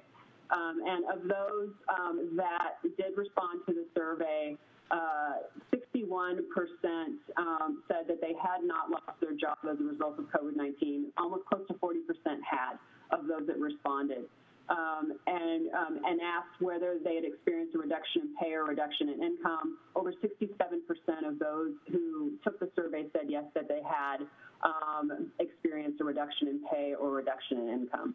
As I said, we are getting some really interesting um, responses. We, um, there's actually about 11 questions. And so we will um, come back to you when we have you know, when more members of the public are able to respond. And this is just a snapshot at this time of some of the data that we're, we're getting in. Um, additionally, we've been doing since May uh, another actually pretty detailed survey um, on businesses and industry outreach. And so we have some detailed information. I'm going to, again, just highlight some of it today. It's pretty dense, and we are continuing to keep this open. We are doing targeted outreach um, and um, to different sectors um, in our community, business sectors, industry sectors, and um, gathering information and feedback. And so we have some interesting sort of data to share with you today. Um, so far, we have 90 responses to date. Approximately two-thirds of the respondents had five employees or less. And I think that's interesting when you just look at the snapshot of small businesses in our community. About a third of those were sole proprietorship um, owners, so in our community. 59% or 57% of respondents had, had had to lay off or furlough workers due to the pandemic. Three businesses out of the 94 that have responded to date actually have had to close permanently. And obviously, I know we each have heard of many other businesses in the community. So again, this is just a snapshot of those 94 that have responded at, at this at this time. We are actively reaching out by industry sector on getting additional data, so we will have more to share in the future. This is just showing you um, representative of, of, who's responding and what businesses are being covered as far as our industry outreach. So you see anything from cannabis to construction, retail, medical, hospitality and, and tourism, personal services, sports and recreation, and creative services represents who's responding and, and really is representative of the industries that we have locally in our community. Um, this is just, uh, there's a section of the survey um, where they could provide qualitative responses of what their top needs are and how we as a city could help them.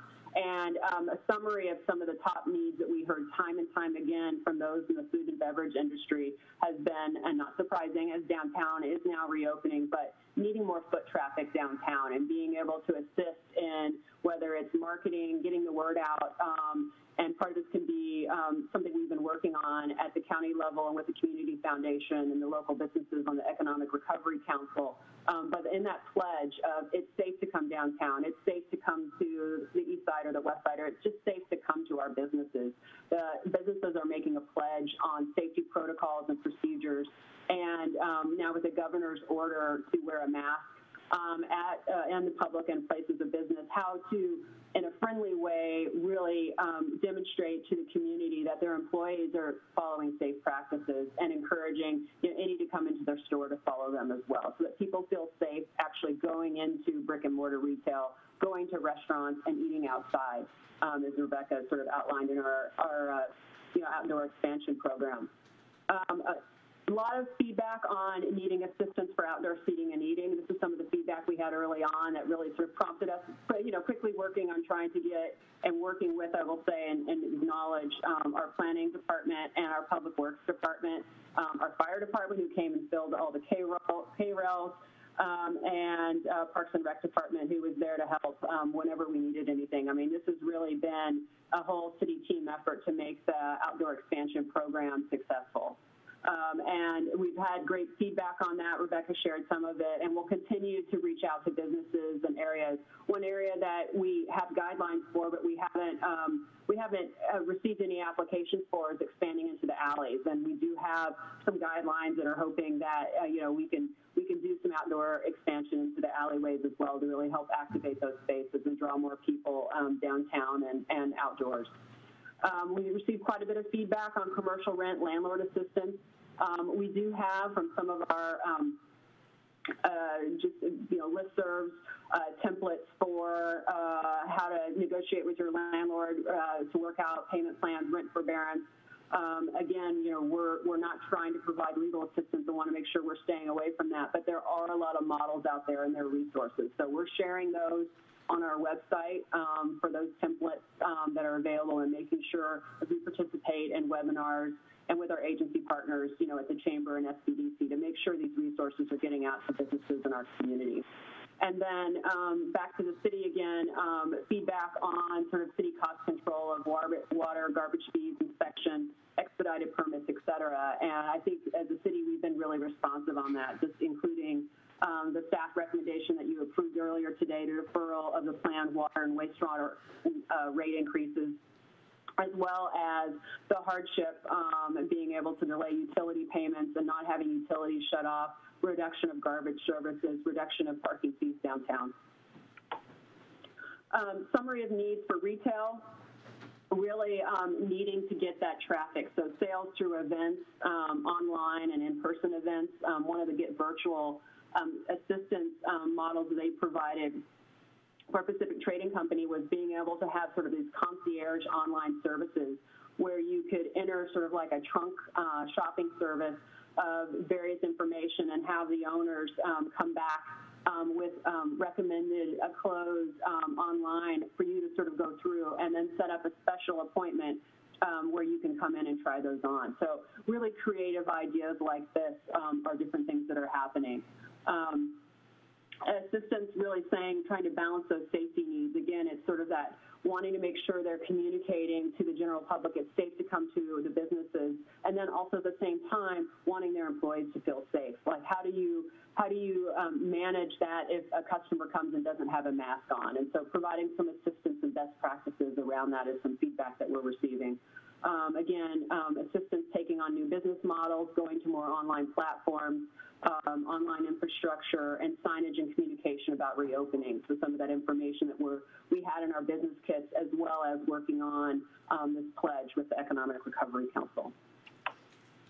Um, for services and other industries, including hospitality, um, again, you know, across all of these sectors, including um, we're hearing employee and customer safety is really a top priority with uh, proper protocols, additional supplies, um, particularly early on needing bulk sanitizers and masks. We're still, as I said, um, you know, handing out those um, where we had extra and could, and could provide those. We're providing those back out to the community um, requests for rent abatement for small businesses, anything we could do to assist. Um, uh, looking again, we've had some feedback on the microloan program, um, assisting with new modes of operation such as website content writing, and again, enhance, enhanced marketing and advertising to reach a new client base and refine offerings. This is something that we definitely is an area that we can help with as far as collaborating with different organizations, um, DTA, you know, uh, Eastside Business Groups to really help them with their mar marketing. So something that we see coming out of this that we'll want to do.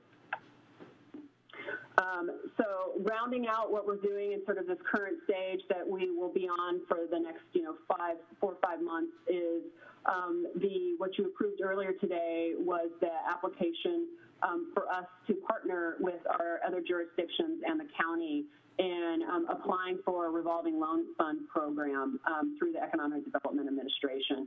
Um, we've had um, a really good working group um, as we're working through what some of the program details will be, who will be our administrator and our underwriter, and um, working through match requirements with the, our EDA rep has really been a good process so far. And then at the last council meeting, you approved moving forward on some infrastructure that we needed on the wharf um, and so we've uh, actually already submitted that grant now following the last council meeting. So um, we're just responding to questions from EDA at this point. We're really hopeful we'll be able to move forward with that infrastructure.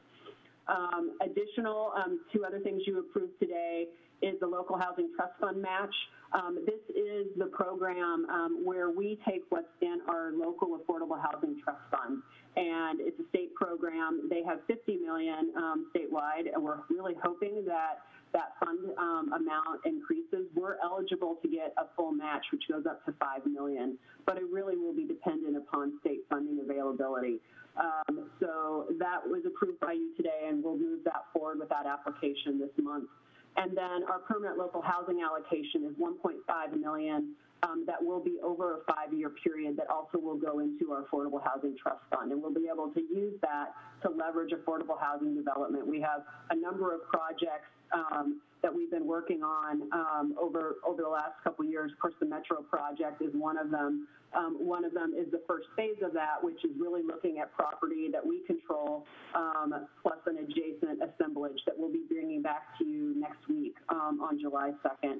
And then, um, depending on what happens tonight on the library mixed use project, um, the recommendation is to include 50 units of affordable housing. Um, if that's approved, this could be another project um, that we could use for some of this affordable housing funding. And then um, continuation expansion of existing programs. Definitely see uh, the outdoor uh, expansion for restaurant and retail um, expanding, um, potentially additional street closures. I'd love to see some piloting of an alleyway, just working through case by case some of the special needs that are out there. And then there's quite a bit of legislation and bills um, that we're following. In addition to Um, the, the, you know, there's a number of them outlined in the staff report, but they're both um, for residential tenant support as well as some overall relief um, for economic recovery, um, housing development, and um, homelessness prevention. So there's a number of bills that we're tracking very closely. And um, while I don't have it in the recommendation today, it would be great to have direction or have council um, direct staff um, and and to really put, put out support letters for some of these bills that are currently um, in the, at the state level in the Senate and the Assembly. They're really worthwhile bills that could provide a lot of relief to our local residents and businesses. Um, stage three, we're not there yet, um, but I did want to highlight a few things that I think really could uh, make a big impact on our recovery and rebuilding efforts um, starting sort of end of this year into the next couple of years. And obviously, uh, the work of the Council Subcommittee Recovery Committee will really guide a lot of a lot of this effort. Um, but capital improvements, including mixed-use affordable housing development, downtown revitalization. Um, downtown's changed, and it's across the country. It's not just in Santa Cruz. Um, the pandemic has really changed the amount of people that feel comfortable coming into brick and mortar stores. So downtown, east side, people are seeing people and loyal supporters, but we need to do everything we can to make people feel safe when they're coming to our commercial areas. So support of existing projects in the pipeline, getting more people living downtown and living in some of our commercial corridors will really help provide some of those essential services that really keep businesses um, thriving in times like this. Uh, really looking um, to our partners. You know, we're all in this together. So creative partnerships with UCSC, like Get Virtual, foundations, Monterey Bay Economic Partnership, some local tech companies and other companies, and nonprofits, uh, Community Foundation. All of these partners um, are working hard um, to address issues related to the pandemic, and working together, I think we'll be able to do some pretty impactful things. Um, we currently have our Grow Santa Cruz um, program. We may consider an expansion of that and some additional community um, reinvestment funding, working with local banks. Um, obviously, the revolving loan program, if we're successful in that, could have quite a bit of impact. And I think additionally, we've had um, in our CIP budget for some time uh, some uh, funding from our former redevelopment bond funds that have been set aside for reinvestment for key, key, commercial areas. So we have some for Ocean Street, some for downtown revitalization. We've been trying to time some of that, some for the farmers market. Um, so being able to invest and revitalize will really encourage reinvestment and support our local businesses. So um, finally, just to the recommendation, um, again, we're back to uh, stage, stage two where we are right now and beginning of stabilization. Um, you approved earlier today the EDA revolving loan grant application. Um, consideration is one recommendation of around two of our microloan funding. You know, we definitely heard back um, from some businesses. Um, we had one of their criteria uh, criteria uh, that, you know, we gave more points for a business who had been in business for longer than a couple of years. And the rationale behind that is uh, obviously it's the first few years of whether or not a business, um, you know, can be successful or not. And we, just from a risk perspective, we chose um, to emphasize more points for those that had been um, in business longer. And I think as we're looking for uh, a potential round two microloan funding, that could be a criteria where we, we, we make sure we focus on businesses across the spectrum, um, even if they're new businesses. Um, it's 500,000. It did go quickly. Um, there's definitely need for more. So that's that's one consideration and recommendation. Following looking at the work that Management Partners is doing for the city with the um, SWAT team and with the um, council committee, budget committee, looking at that forecasting model and seeing if it makes sense to recommend an additional commitment from our Economic Development Trust Fund for microloan funding. And then um, a consideration of 30000 in, again, in the economic development budget um, from the ED Trust Fund uh, to allocate to getvirtual.org to enable that program um, for those businesses that are already in the queue um, with Get Virtual to be able to complete those online uh, web presence and e-commerce platforms um, through the fall um, is a recommendation. And then um, finally, to direct staff to return to City Council in August with an update and preliminary overview of longer-term recovery recommendations, along with the um, with the work that is um, that is commencing with the Recovery Committee, Council Subcommittee. And with that, um, that concludes um, our presentation, and um, we are available to open it up for the larger discussion. I know you also want to talk about tenant protections as well, so open it up for the larger staff staff team here at the city to respond to your questions. Thank you. Great, thank you for that presentation. There's a lot of information in there and a lot of useful information for our community. So thank you for kind of pulling all that together and compiling it in such a clear way. I'll turn it over to council members for any questions they have. Vice Mayor Meyers. Yeah, thank you, um, Bonnie and Rebecca, for the presentation. Really great to have all of it in one place, and um, really thankful that you're doing so much work on gathering so much information and, and really um, helping our businesses express sort of the different um, things that are affecting them. So it's really helpful to get th- both the industry industry breakdown in terms of the needs and um, also the kinds of problems that we're starting to see um, surface with uh, either businesses or re- or residents in in stabilizing themselves here in Santa Cruz. So thank you for all that work. Um, not quite sure where you're finding all the time to do all of this, but just want to appreciate the work that you guys are doing. Um, Quick question on uh, some of the recommendations, and I think you might have just answered one of them. Um, on the microloans on number three under your recommendations, um, so you're suggesting that, that we do that through the forecasting model by management partners, and that would come back, for example, in a later date since we sort of have this um, we sort of have a working budget approach right now. Is that is that sort of what's captured in your number three? Yeah, I, I wanted to be sensitive to the fact that you haven't had the opportunity yet, uh, both as a council to weigh in on our budget, since that's being considered next week, and then the, uh, the budget council committee also uh, really wanted you to have that information of um, what the forecasting model is, what our revenues and expenditures prior to us making those decisions about our overall budget. Just felt like you needed that information I, I think you need that information um, before you committed additional funding. Um, with that said, this is a recommendation from our Economic Development Trust Fund, so it's not general fund money. Um, but I wanted to be sensitive to, to the process and your evaluation of the budget. And then uh, my other question, Bonnie, is, and I'm sure you're doing this either through the countywide economic um, committee or just internally there at, at EDD, but I know the um, the, uh, the governor just finished um, the budget. Are we also um, are we also obviously trying to mirror or assess any opportunities um, through through state through the state now now that the budget has been settled? Um, and maybe if you just can explain a little bit how your staff processes that information so that you know we can look at how that might hit here here locally. Because it's unfortunate obviously that our the you know the, the the fifth round of the federal support is not is not being acted upon. So um, just curious about how you're evaluating and looking at that state those state kinds of um, opportunities. And those are my questions. Thank you.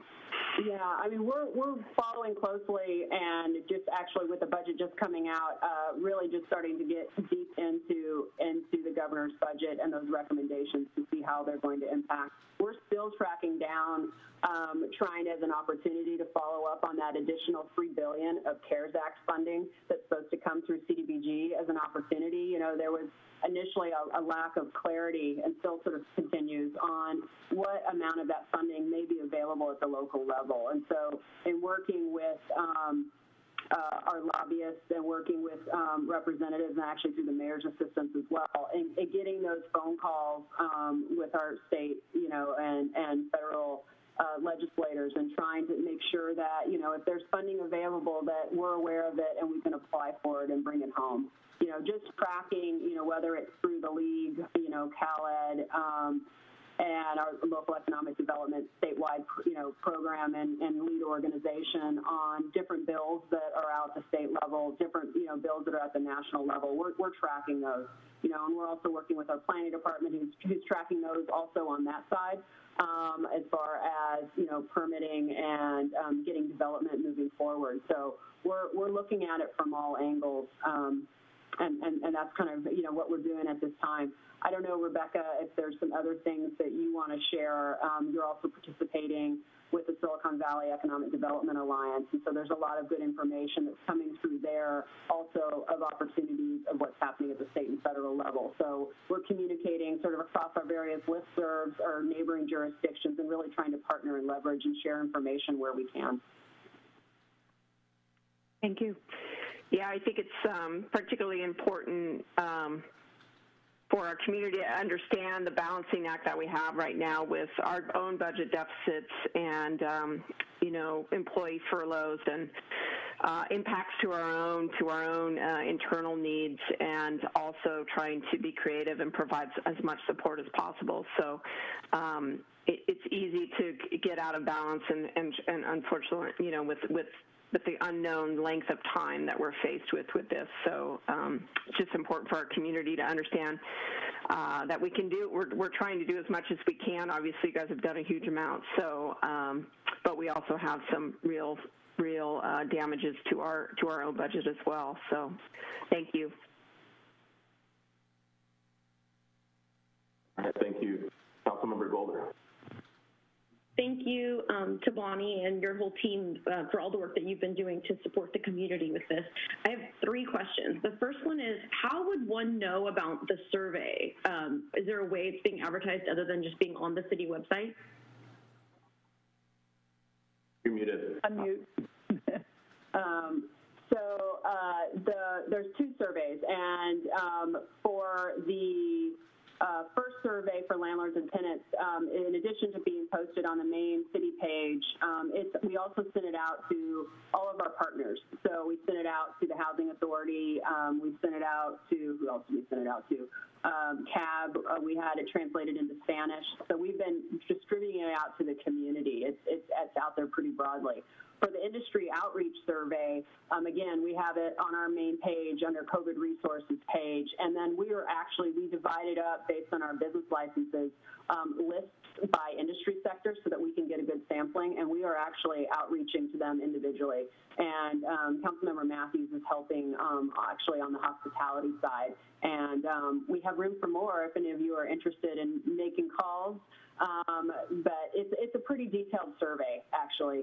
Um, if you've had a chance to look at it, it goes it goes deep into each industry sector and really tries to pull out um, you know questions on their impacts and what would help um, them move forward. So. Um, that's that's what we're doing. We're also sharing it with our partners, you know, whether it be the chamber, um, you know, SBDC, some of our other other partners to get the word out that both both the surveys are available. And then, okay, thank you. Oh, sorry. I'd also add, sorry, um, we're also sharing it on social media. Um, we're doing some targeted ads as well for that. Okay. Um, okay. And uh, it's been on the city uh, Facebook page and the Economic Development Facebook page as well. So just trying to get as much of a reach as we can. Thanks. So my other two questions, one of them is coming to me from people asking what they can do if they feel like a business isn't following the social distancing guidelines or can't follow the social distancing guidelines, like what can they do as a citizen or an employee? Yeah, we've, we've had questions about that too. I mean, we'll do a courtesy call. We've, we've done a few of those. Um, if it's an actual code violation, we would work um, with planning and the code enforcement division um, on that. But we first start with just doing outreach and making sure the business has you know, some of our information on the six foot distancing for queuing and the new, you know, requirement to wear masks. Before was a recommendation is now a requirement. Um, the posting of the safety protocols, you know, those posters, you know, we, if, if, if they don't have them, we'll make them available. They're also available to downloadable on our website under the resources available for reopening. So, um, you know, we're, we're really are there to make sure that the businesses feel comfortable and members of the community feel comfortable as well.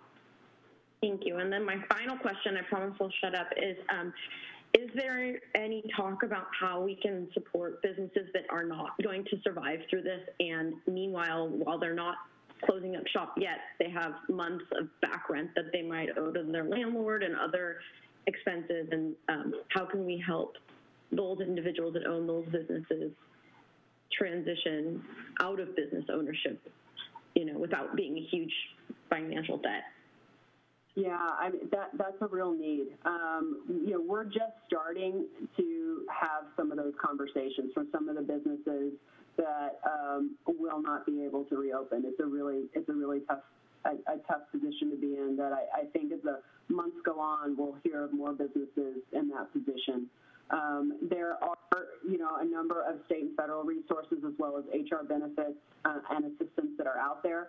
So we're guiding those um, that are in need, that are reaching out um, to those, um, so, you know, basically resources and services that are available. There's also some legal assistance um, for how to go through that. SBDC has some webinars um, for some businesses that are available if, if they're in that position now. So I, you know, we're at this point, we're going to have to handle that, you know, as, as information as we get requests on a case by case basis.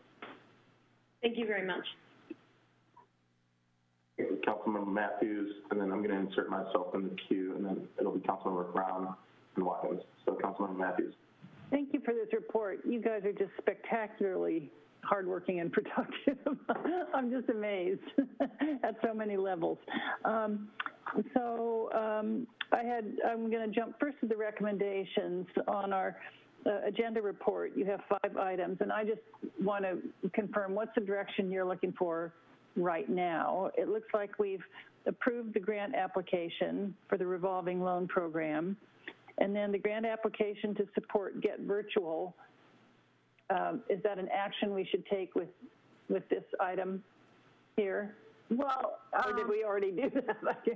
Well, I think for that, for the Get Virtual, that one was one, I mean, you could approve it today if you, if, I, I do think the impact is huge, and it would be a relief for them to be able to continue.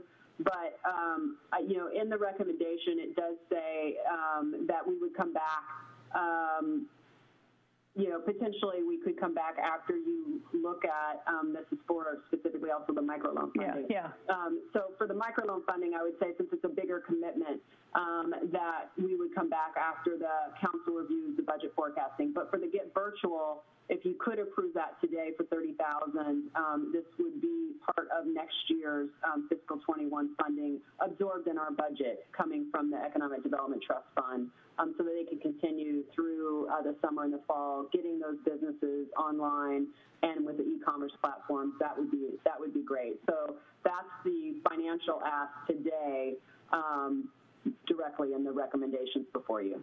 Okay, I would like personally to do that because um, it's on the scale of things a relatively small amount, and it seems that that is that piece that so many businesses that kind of cooked along pre-COVID. it's that leap to virtual that it's not in their wheelhouse to do on their own, and that's so critical.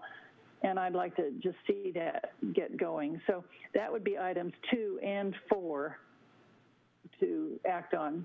And then um, considering the micro loan program from the trust fund would defer to budget discussions, if I understand correctly. Um, we would, and then directing you to return in August. That's obvious. yes, let's do more. Um, and then a comment that I had, um, just in addition to the fact that even those businesses that are continuing, it seems like so many either have or or must um, evolve their business models. And what kind of help is available? Are you turning to SBDC for that? Other outside consultants, et cetera? Yeah, I mean, that's something that we're starting to get information on as well from uh, our survey industry outreach. So SBDC is our main partner that we, we work with regularly on business planning, business models, and changing. And through um, the funding we provide them, they're actually investing in um, more consultants to help with that programming, um, particularly as the need has increased um, due to the pandemic. So that's one of our, our, our main um, partners.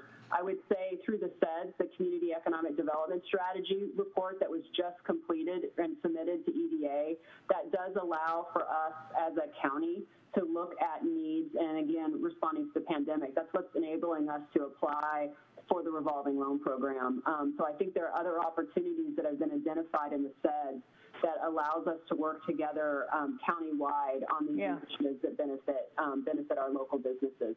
So I, I see, and one thing that's changed with the pandemic is um, you know, we, we and all of our partners, um, uh, probably across the country, but uh, locally are doing a lot of webinars, um, Mhm. and pe- people do seem receptive to them. So being able to find the experts in the field and put those panels together to really walk through the businesses of, you know, this is what you do in this situation. Here's best practices. Here's different models for your business that you may want to consider now. Um, so there's a lot of information out there, and I think one of the one of the, the things that we're working on together is how to kind of go through the massive amount of information that's out there right now to really get to what our businesses need locally and how to navigate that because they don't have time to, uh, you know, they're just trying to keep their business alive and survive. They don't have time to cull through all of the information that's out there. Um, I did want to comment on the um, CARES grants to the safety net providers. Um, obviously, in, in some instances, when we do grants like that, we restrict them to city residents. In this case, it was to the providers. But when you think that really, I think 50% of our workforce doesn't live in the city. I mean, the, the city's workforce generally. I mean, we're really, that's an investment in broader community wellness, like to the health center and the food bank and, and that sort of thing. So um, those, those are just, I happen to know, just incredibly essential grants to those safety net providers. It just made a huge difference. Finally, um, in terms of getting people back downtown, um, just my observation, and so many people comment, well, I'm wearing my mask, but I go downtown. I mean, let's not even talk about the beach, but I go downtown, you know, people aren't wearing their masks. I mean, what, now the governor's directing that, people aren't doing it. Should we be passing out paper masks on the street and saying, folks, or maybe having the screaming hand? I mean, really say, we'd love to have you, but use your brains, you know? And I think that's part of the comfort because I know people say, I'm not going downtown yet. There's too many people walking around without a mask. It's busy now in a way, but it doesn't feel safe. Yeah, and that's that's the feedback we're getting through our industry outreach as well. Is that they want assistance in being able to, in a friendly way, but communicate how important safety is um, to you know their businesses and communicating that their restaurants are safe, they're following safe practices, and they want. That's what this whole pledge idea at the county, the Economic Recovery Council. So there will be um, a marketing campaign around that to try to get the word out locally, both to our residents, but also um, information out there for our visitors as well. That we take this safety very seriously in Santa Cruz. It Rebecca, almost you want to seems, say yeah, something? It seems tell. more necessary for the visitors in a way. Yeah. I, I also wanted to add that um, I don't know if you have been downtown lately, you uh, might have noticed the new banners that have been put up. Um, The DTA actually has some banners specifically around masks, trying to make a friendly, Yeah. welcoming message about that. And so we're trying to attack it at all the different angles to to get that message across for sure. But even have them give a bunch to the stores, let them, or, you know, whatever. I'm done. Yeah, we've also talked with DTA. We've also talked with DTA about um, using the visitor kiosk as well. Yeah, and yeah, exactly. Talking about Yeah. some potential collaboration there. I had a couple questions and then a couple comments. Um, do we know if any of the, the businesses that have received loans, have any of those closed their doors, or are all the businesses that received those loans, are they still doing okay? Uh, you know we'll have to go back and look at, as I said, we gave 51 loans out, so um, we'll go back and look at those and check. Um, I don't, I don't have that right now. Rebecca, I don't know if, if you have any information on that. Yeah, I don't either. Um, I'd, I'd have to confirm, but nothing that I've heard. Yeah. But I, I, I will add to that, though, that um, the majority of the businesses that received loans from us did use it for payroll um, to really bridge that gap until their PPP loans came in. So, uh, you know, we'll, we'll, we'll get information on them because there's also, you know, we'll get our monthly reports coming up now, um, one month in from uh, the community credit union. So we'll find out about loan servicing and, and sort of what the status is of those loans. Great.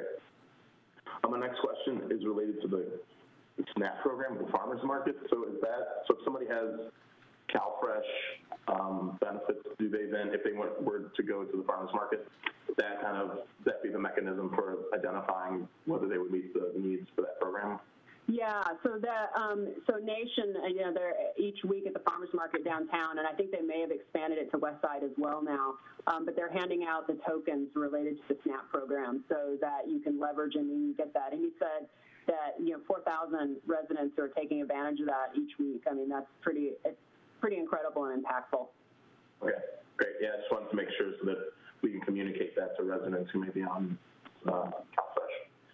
Um, next question, I was wondering if you could just speak a little bit more about what program is helping with bill payment or if, um, if someone has trouble paying their bills, kind of what, where they should go and kind of what can be covered.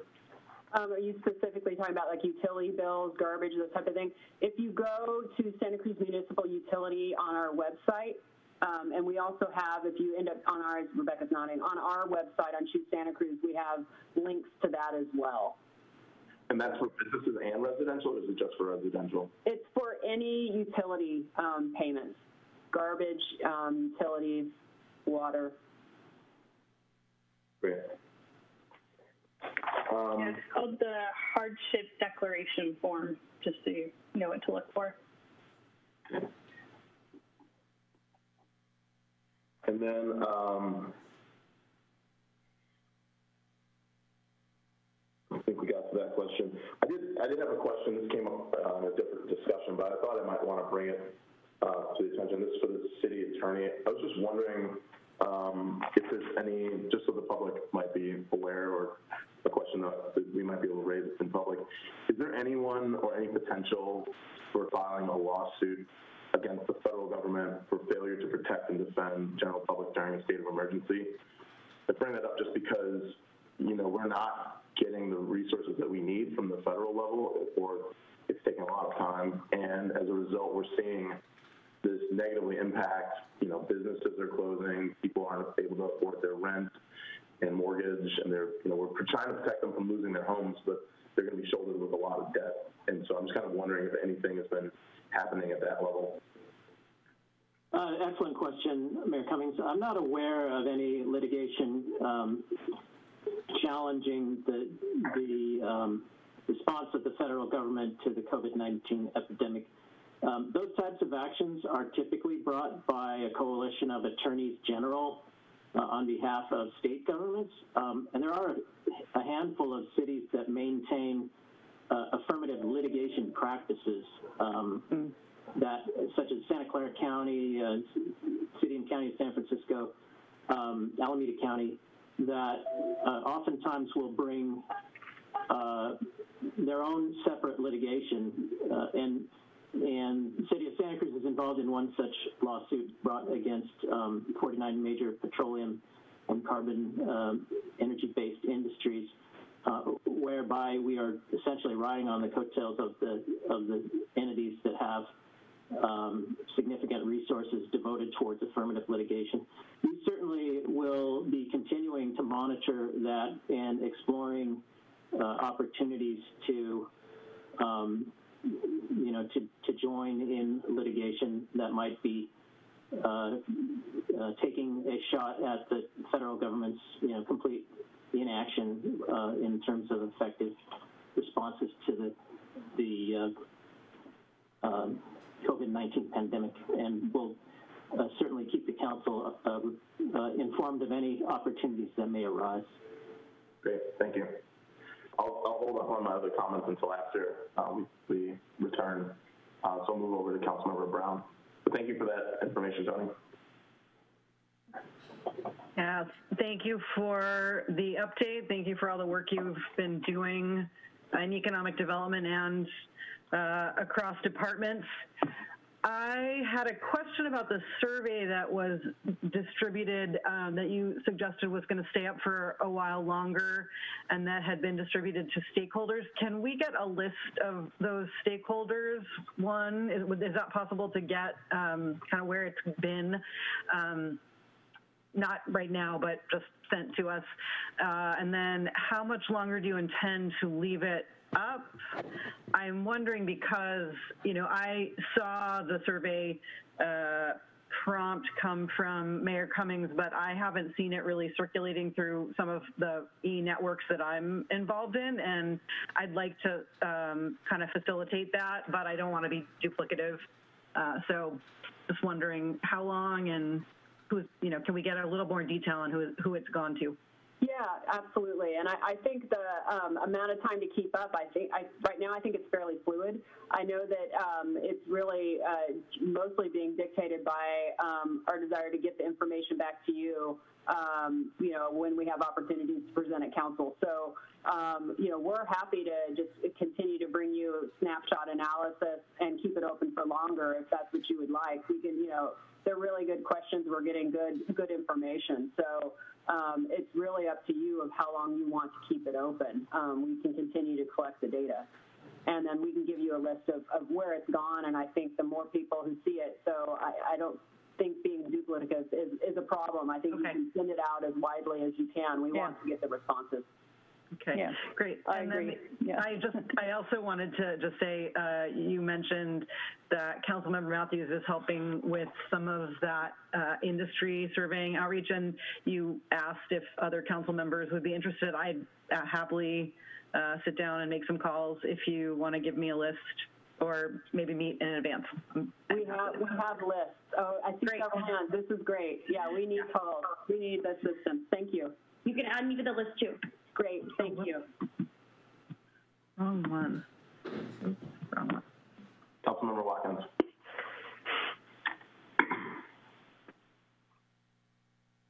Uh, Thank you. I won't, I won't repeat some of the questions that had already been asked, but I just want to thank you for your work. I appreciate the comments around um, the resources to our um, most vulnerable and then just the ongoing need to support our businesses. One of the things that um, came to my attention recently when thinking about reopening schools is just the need for childcare for, for staff. And I'm wondering how that has played into the conversation around opening up businesses or needs for business owners. and Yeah, workers. you know, I'm not sure I mentioned that in the survey results, but that is actually one of the responses that we got um, from some of the businesses is that needing um, reliable, dependable um, childcare. Um, so obviously, businesses are reopening, some of those are reopening as well, but that is an area of need. Um, so we need to do, we need to figure out how we can help in that in that area. But that is part of the industry-specific feedback we received was how critical that was for businesses and their employees to be able to come back to work safely. Definitely. So however I, we can support that work and, and making sure that we're connecting um, that industry, because it's all interconnected in terms of our needs as a functioning um, society, I think it's really critical that we do so. And I know that there's also just constraints in terms of uh, capacity and cohorts and so on. So really wanting to make sure that's covered so that we can get everybody up, up and going safely and successfully. Thank you.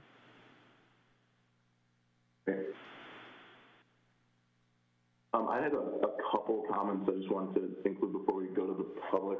One thing I think would be really great to understand is how uh, these street closures impact businesses over time, because I know for some, I know there's been some hesitation around which blocks because some say that it could impact retail um, because you don't have as many people able to pull up to businesses. But it seems like if you create a space for dining and people are, you're attracting people in that way, the retail might still be okay. So just kind of understanding how it impacts these businesses where we just shut down streets. Um, the other item I had, and I'm sure we might hear about it in our comments, is that I've been meeting, I've been, I had multiple meetings with members of the Latino community, and one of the things that they mentioned, just so you all know, is that a lot of folks, um, a lot of folks in that community, uh, it varies obviously, but um, there was a sentiment that a lot of people don't have computers and they don't have internet, and so the use of computers and internet skills aren't that high for some members in that community, and so it might be worth even um, whether it's with the different food pantries or identifying who's going to have connection with that community, whether or not um, there might be a way to partner those organizations with the city so they can distribute um, surveys or they can make calls to those individuals to, to um, take surveys. And I think that some of those um, some members in those communities, people who are doing work, are already already have some service that they're distributing as well. So it might be worth some communication with COPA, and, and um, so we can kind of align efforts around getting information from that community as well. Um, I think I think those are all the comments I had. Uh, Just, um, thank you, Mayor. I, I just, one follow-up on your first comment um, on the street closures. That has been something that um, we've had a lot of discussion internally as well as far as how to, you know, making sure we're balancing and um, trying to be responsive, particularly to the restaurants that really need to expand into the street um, or you know into the public right away in order to even make it financially um, possible for them to open. Um, and balancing that with you know retail stores that traditionally you know really rely on parking in close proximity to their businesses. So we're trying to, to balance that as best we can. The, the two pilot closures that we did, we did choose the 1100 block um, primarily because there were a lot of probably the, the the densest block in downtown with a number of restaurants on that block. So we're, we're trying that and, you know, working with businesses and receptive to feedback on how that's impacting them. And then on Cathcart, um, you know, as you notice, it's, it's just a partial closure. So you can still get that traffic through, working again with the businesses between um, and Hula just to make sure that that's working for them. And then, you know, as that goes forward, looking at it on a case-by-case basis and making sure we're balancing those needs and have that feedback from the businesses and the, and, and the property owners as well. So it is a, it is a balance. Um, and we're, you know, in regularly in discussions also in, on safety, you know, with Public Works and with fire to make sure that, you know, as we co contemplate closing a street, that we've thought through all of these issues so that we're safely closing them. So for those that are in cars and for our pedestrians that are on the streets as well. Great. Oh, and then I remembered I did have one other question, which is, I wonder if, I don't know at what point it would be good to see this information, but I think it would be good at some point to understand how many businesses have closed uh, permanently due to COVID-19, because I've been walking around downtown and I feel like every week I see more and more storefronts that are empty. Um, and so it would just be good to, to get a sense of how many, um, how badly we've been impacted. And I think that will also help as we're, you know, really trying to um, to, to have these discussions with our state and federal representatives that we're demonstrating to them that this is having a, a, a really big impact and we need resources. So that would be great as well. Uh, Councilmember Mathews. Yeah, a couple of quick questions or comments. Uh, relative to your um, observation about people that don't, or families that don't have access to computers, uh, it seems to me that um, many individuals have cell phones, even if they don't have computers in the home. And are our surveys and so forth, are those um, cell phone friendly? Or is, is that another way to reach out? That's a really good question. We'll we'll see if they have a if they're mo, if they have a mobile platform. I mean, well, Rebecca I, I think you could, you could you could just get to a whole Yeah, lot they more people. Yeah. Okay. Great. Thank you. If you have a smartphone, yeah. Yeah. Yeah. Um, on the um, closures, it would be very valuable. I mean, I agree with your observations, Mayor, um, and be really useful to know how we're comparing with broader trends. I know that that's one thing Visit Santa Cruz does in its statistics is how is Santa Cruz County comparing with state figures, with our comparable jurisdictions and so forth, because truly this is hitting all communities. But how is it hitting us, and what can we do to make a critical difference for survival and recovery? Yeah, that's a that's a really good point, and I think our um, partnership um, that we have with the Silicon Valley Economic Yeah. Development Alliance, as well as it- with CalEd um, on the California level, you know, we're communicating, you know, more, you know, almost daily um, with you know what's happening in their community versus ours, and we share weekly information on that. So that's something that we can we can touch base with other jurisdictions um, in the Bay Area and bring some real information back to you. And, and comparable communities could include our visitor comparables as well, because so much of our retail and restaurant is visitor related. So, different, a different lens.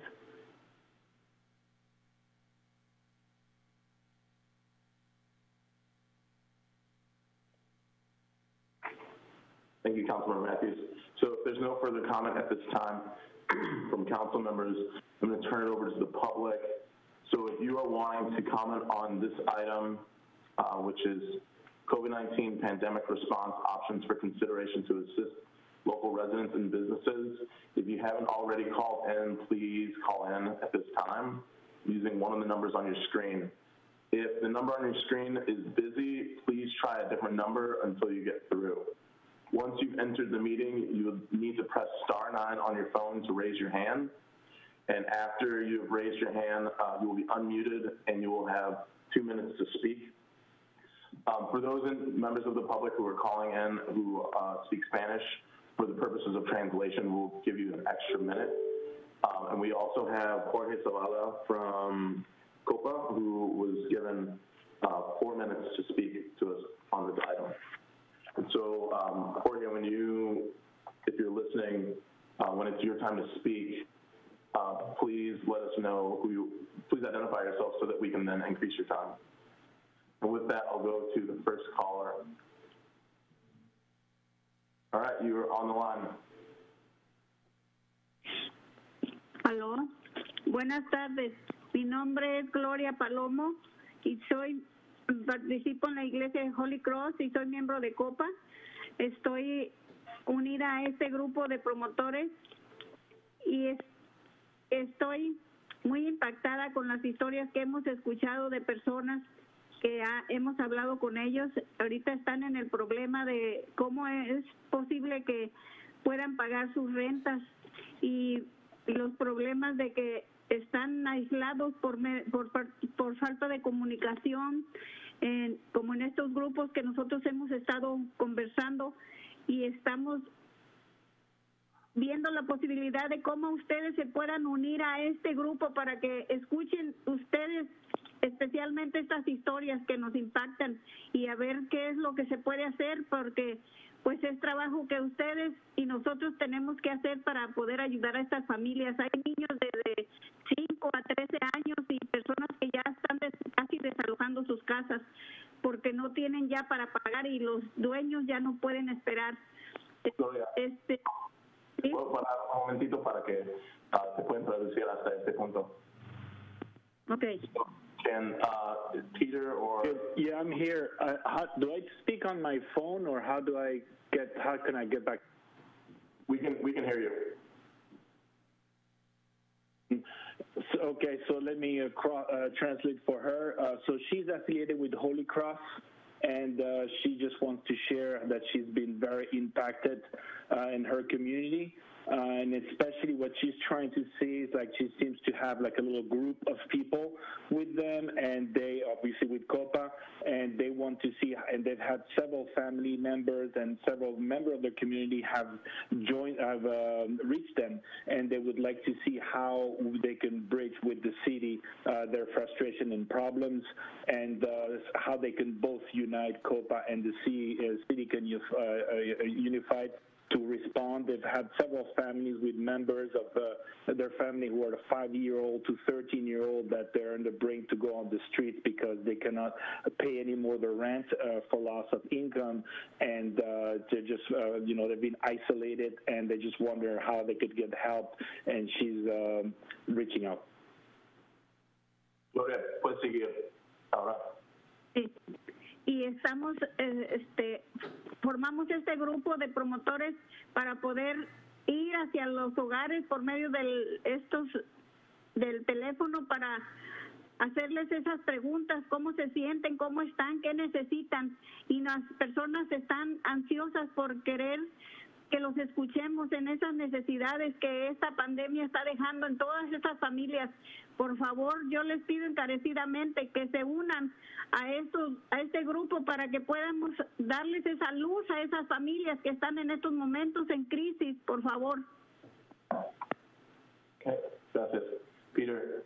So uh, she'd like to, she's begging, uh, and so she, that's one of the things that she's been doing is uh, through the, she's been knocking on doors and kind of doing their own survey of ho- how people are doing, and she's uh, asking for as much help as possible uh, to unite and to help them uh, attend the needs.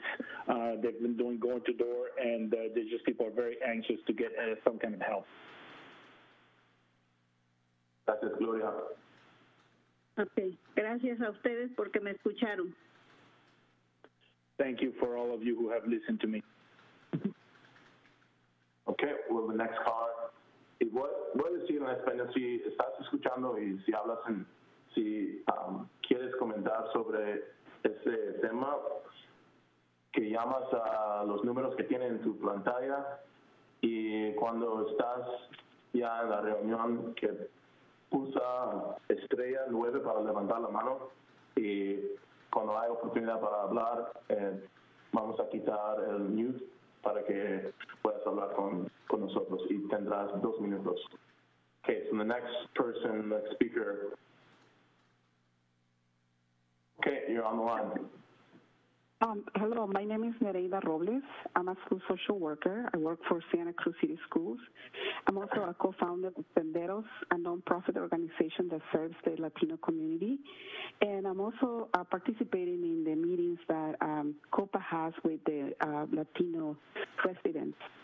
Um, as um, I've been living in Santa Cruz for more than 10, 10 30 years, this pandemic has affected all of us in general. In our community, the low-income families and the new families, the immigrant families, are heavily impacted. People have no work for more than three months. Santa Cruz is a place, it's a tourist place, you know, so the jobs are mostly in restaurants or hotels, and our our low-income uh, community has lost their jobs. They uh, they owe two or more months of rent. They're getting in debt to losing their jobs, you know, lose their income. Um, with my job as a social worker, I heard many, many stories from the school district families and from the Senderos family. Um, I would um, I'm asking uh, to, uh, for the City Council to support the extending to the, the moratorium because this will bring a huge relief in the community. As I said before, this pandemic is affecting everyone, but it will affect a lot our children and youth in many ways. The stress and anxiety can affect their mental health and their education as well. You know, um, it will also send a message. Um, the, the, moratorium, it will also send a message of support and empathy to the low-income families. I work directly with people. I call them, I text them, and um, and I just would like to remind all of you that are listening right now that low-income families or immigrant families do not visit website. When please, City Council make the services, these agencies are out there listening, make services accessible for people. You know, just for example, for me, um, I struggle with making a phone call to you. Thank you very much. Thank you. So I know that Jorge Zavala had contacted us for four minutes. Um, on behalf of COPA or a representative was going to be here. Um, so if that person is watching or listening to you, please call in. And if there's anyone else who'd like to speak to us on this item, um, please call the number on your, screen and press star nine on your phone when you enter the meeting, and you will be given two minutes. Okay, next person you're on the line. Hi, good good afternoon. This is actually Jorge Zavala with um, one of my leaders here. Um, Tweet, go ahead and start now. Mayor Cummings and Council. Yes, um, I would like to introduce uh, Stephanie, which will be speaking for the group. So, Stephanie, if y'all can go ahead and start the timer for four minutes, please. And Jorge, This is Stephanie Vasquez. Um, I was going to say, if you if um, if there's going to be translation, Bonnie, why don't we give them at least six minutes so we can have time for translating back and forth? Or, or actually, better yet, when we have the translation, we can just pause the time so that we can allow for um, for translation to occur and not have that eat into their comment time. Go ahead. ok. Y Stephanie, por favor, ah, darles un poco de espacio para poder traducir. Sí, go ahead, Stephanie. Okay. Mi nombre es Stephanie Vázquez, soy líder de Holy Cross y la organización Senderos. También soy una de las promotoras conectando familias con recursos y esperanza durante estos tiempos difíciles. Aquí, juntos con la organización COPA, quisiera darle la oportunidad a que todos con COPA, por favor, preséntense y opriman el número 9 en el teléfono. Yo, como muchos, somos líderes de Holy Cross, involucrados en el ministerio de Holy Cross Food Pantry. Aquí estoy con líderes de Copa y estamos aliados en este esfuerzo para apoyar nuestras familias y apoyamos Agenda número 5 para la protección del desalojo de inquilinos en nuestra comunidad. Alcalde Cummings y miembros del concilio, han escuchado las historias de la comunidad, familias endeudadas o han gastado sus ahorros porque no sabían que tienen derechos. Ellos tienen miedo por el clima político. Familias atrasadas en pagar su alquiler o con muchas que ya se fueron de la área con miedo. Familias trabajando muy poco porque apenas están abriendo algunos negocios. La ciudad lanzó una encuesta para Disculpa, te voy a parar para, para que puedan uh, traducir lo que has dicho hasta ahora. So Peter, Peter, or I don't know, Jorge, but I think Peter, could, since you're listening, can you translate um, what she sure. You're still listening okay in this medium? Okay, uh, so uh, this is uh, Vasquez, Stephanie Vasquez, and uh, she's also affiliated with Sendero and the group Copa, and uh, she's asking the member of the other Latino community who are also listening to us in the general public to press number nine and add more comments. Uh, and then she's also said she's affiliated with the Holy Cross, with leaders of the Holy Cross and she's asking uh, that uh, to also uh, please support the issue number five that is brought to the city council. And she's also desperate need because she's heard already of many community members from our community who have left because they just can't support themselves anymore.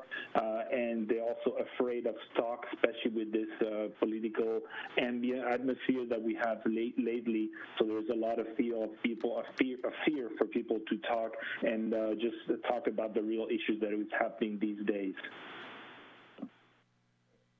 Adelante. La ciudad lanzó una encuesta para involucrar a los residentes hispanohablantes y pusieron la encuesta en el sitio web de la ciudad.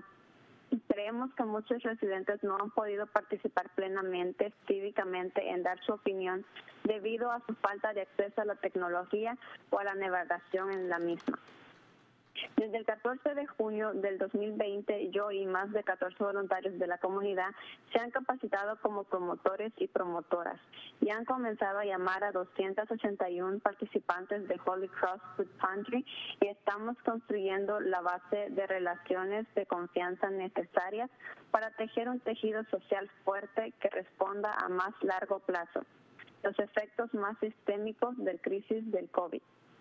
Durante las llamadas realizadas, una evaluación de las necesidades de la familia, mientras sostienen una conversación culturalmente competente que brinda al receptor de la llamada un espacio para compartir las luchas de su familia. La evaluación de la familia se centra en varias áreas, incluyendo el acceso a los alimentos, el acceso tecnológico, la estabilidad de la vivienda, el empleo y otras necesidades que su familia pueda tener otro tipo de líderes por... Stephanie, necesito traducir lo que estás diciendo. Disculpa, te voy a parar y voy a preguntar si Peter puede traducir. So Peter, could you translate what she said? Yes.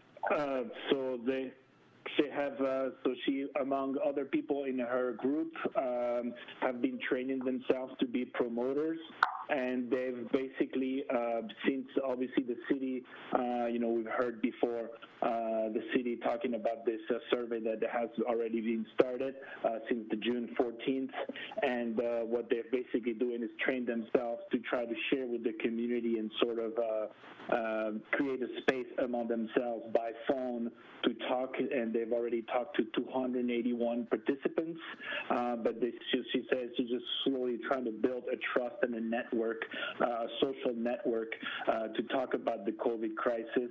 And basically, we just, uh, this is a, a, very important conversation by telephone. They need to evaluate how much people are in desperate needs of work and of uh, uh, access to food.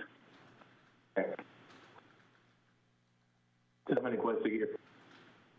So um, just this is Jorge, just uh, para clarification, just for clarification, where the group is calling 281 families, but have made contact with 81 thus far. Okay. Más para clar. Gracias. Continúa, Stephanie. Otro equipo de líderes o organizaciones de la comunidad hará un seguimiento con esas familias para proporcionar servicios integrales para la unidad familiar. Hasta la fecha hemos referido a 20 familias de caridades a caridades católicas para recibir apoyo adicional en torno a PEBT y CallFresh. Nuestras peticiones para ustedes son las siguientes. Nos gustaría que la ciudad creara una ordenanza para permitir a los residentes de la ciudad 12 meses después de que se levante la emergencia local para pagar el alquiler que deben. Nos gustaría que la ciudad extienda su moratorio de prevención de desalojo de acuerdo con el Estado y trabajar con líderes. disculpa, voy a para que puedan uh, traducir lo que has dicho. So Peter, could you uh, translate what she So uh, basically, she's uh, uh, with this uh, leader uh, equipment uh, group of leaders. Uh, they're doing a follow up, and basically, they're so far have been able to help 20 families to receive some uh, support uh, from the CDBG funds, and they're asking the city council if they could extend for 12 months uh, the ordinance uh, of avoid not to have to pay rent, and then also the extend the moratorium of uh, being evacuated from your house for rent.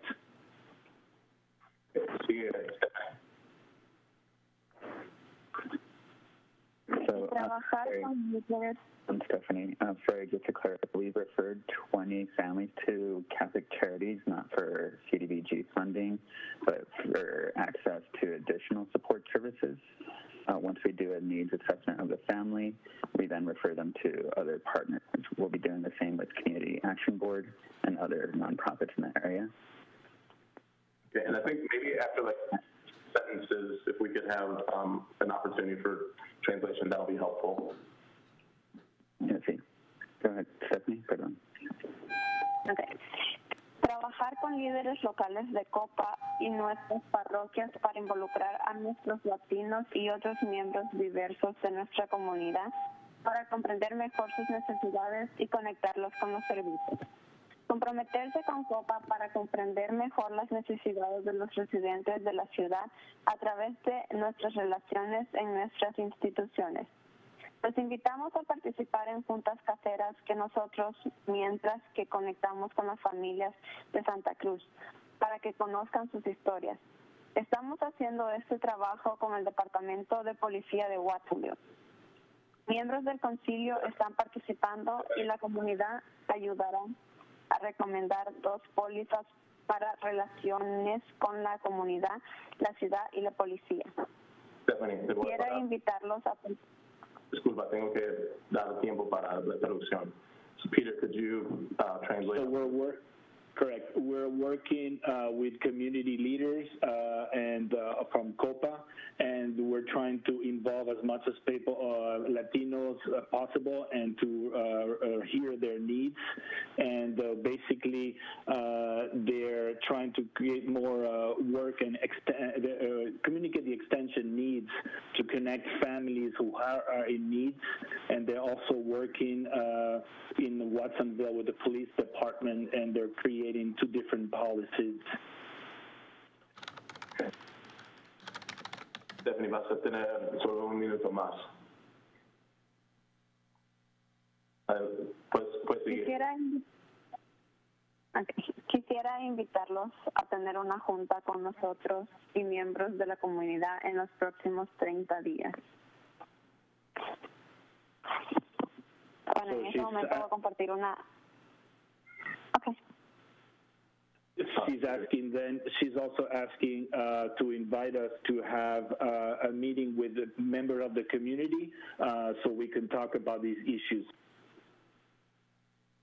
Okay. Stephanie, puedes seguir. Ok. No, me gustaría compartir una historia personal y es que a por todo esto que está pasando, las personas no sabían ah, de sus derechos que tenían o por miedo no se informaron suficiente. Y muchos familiares míos perdieron sus hogares. A una prima mía, ah, mi mamá le, le dijo, oh, te puedes quedar un tiempo acá en la casa mientras encuentras un lugar donde a estar viviendo porque ella andaba durmiendo en su carro con sus dos niños pequeños, uno de ocho años y otra de y el otro niño de un año y medio. Okay, déjame traducir, déjame traducir. Okay, uh, so what she's saying that she, like I said, she would like to invite us to have a meeting with her. Uh, then she wants to share a personal uh, anecdote from them uh, that that people, you know, didn't know exactly how to get help, and it's just hard to just uh, be listened to again with this uh, uncertainties. And for example, she knows of a, a member of her the community that just uh, what didn't, you know, lost her house and was not able to get home or home anymore, and so she was living with her eight-year-old and a year and, and a eight, one year and a half old in her car until a family member had pity on her and just decided to have her in her couch. Okay. Stephanie, gracias por llamar. Es que se ha acabado tu tiempo para hacer comentarios, pero por favor uh, escribe a nosotros para que podamos um, seguir estar en contacto contigo. Gracias. Sí, Stephanie, si me estás escuchando también, yo soy Pedro eh, eh Peter Michel, que estuvo traduciendo. Eh, Jorge Zavala tiene mi número, que me contacten.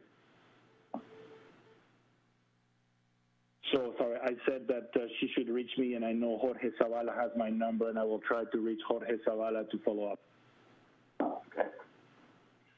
All right. Uh, next speaker, you're on the line.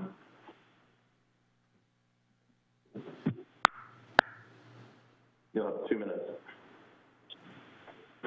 Oh, sí, buenas tardes. Hola, buenas tardes.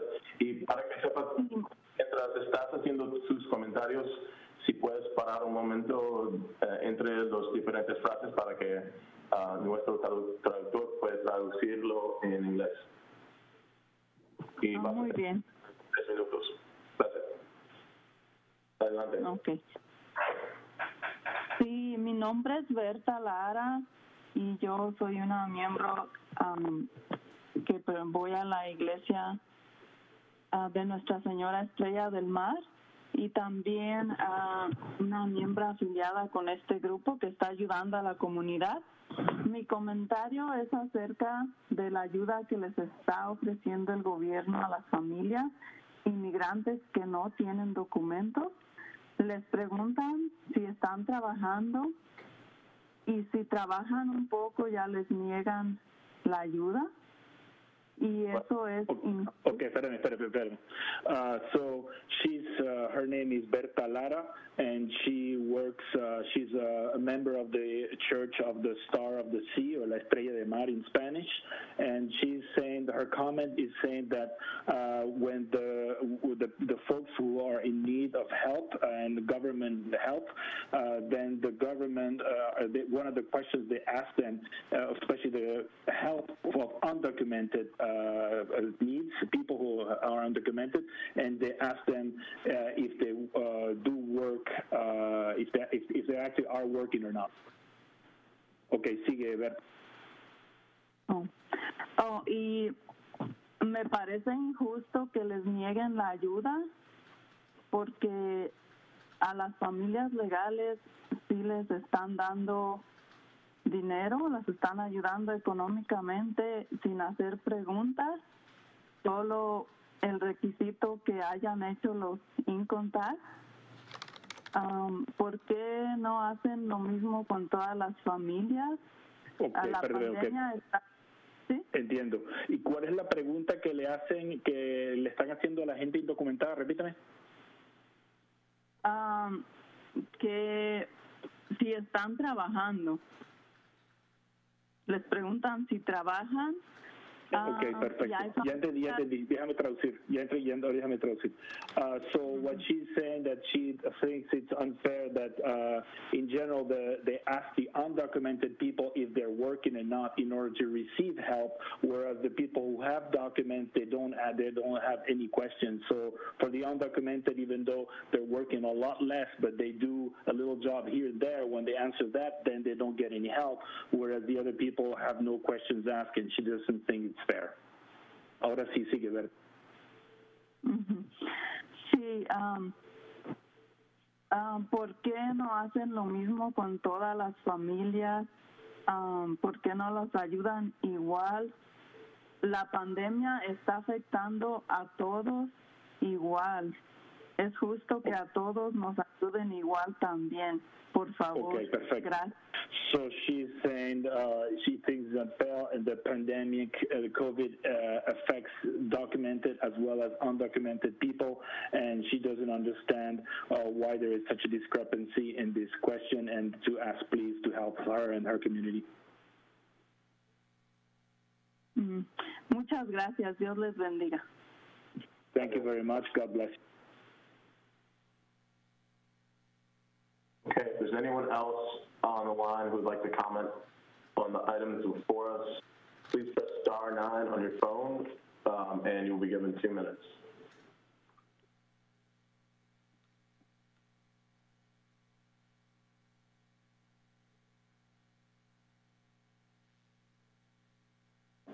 All right, seeing no one, I'll bring it back to council for action and deliberation.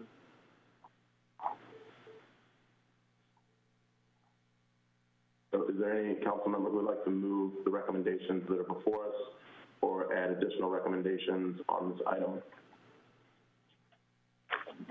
Councilmember Mathews. Yes, um, I'm looking back to the agenda item. Um, uh, would like to appreciate the report given to us, uh, specifically move the recommendations from economic development um, regarding um, number one is done. So two, three, four, and five, um, moving forward uh, in the immediate term with two and four regarding the um, getvirtual.org support for local businesses, and um, as as soon as possible, um, when we have the budget discussions, um, getting it sent on the microloan program. So it would be uh, moving items. Um, well, I, uh, two, two through two through five from economic development, and um, continuing um, the request to track um, state and federal uh, legislation related to support. I'm thinking particularly for residents, for businesses, um, to come back as well, and to come back to us um, uh, regularly with um, uh, uh, programs that we can take advantage of and promote, and also to continue their work with our community partners, particularly regarding the um, needs of our very low income and immigrant communities.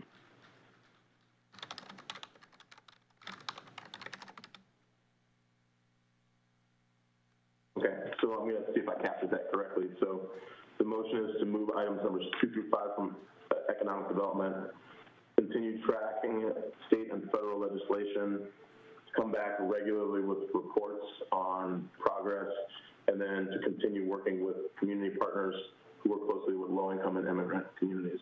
Yeah, that's close enough. And that uh, items two and four would would move quickly um, bec- um, on the uh, Get Virtual. Okay. Okay, Bonnie, do you have that pretty well captured? I think I got it on my end. If I need to read, read it. No, I got it. Thank you.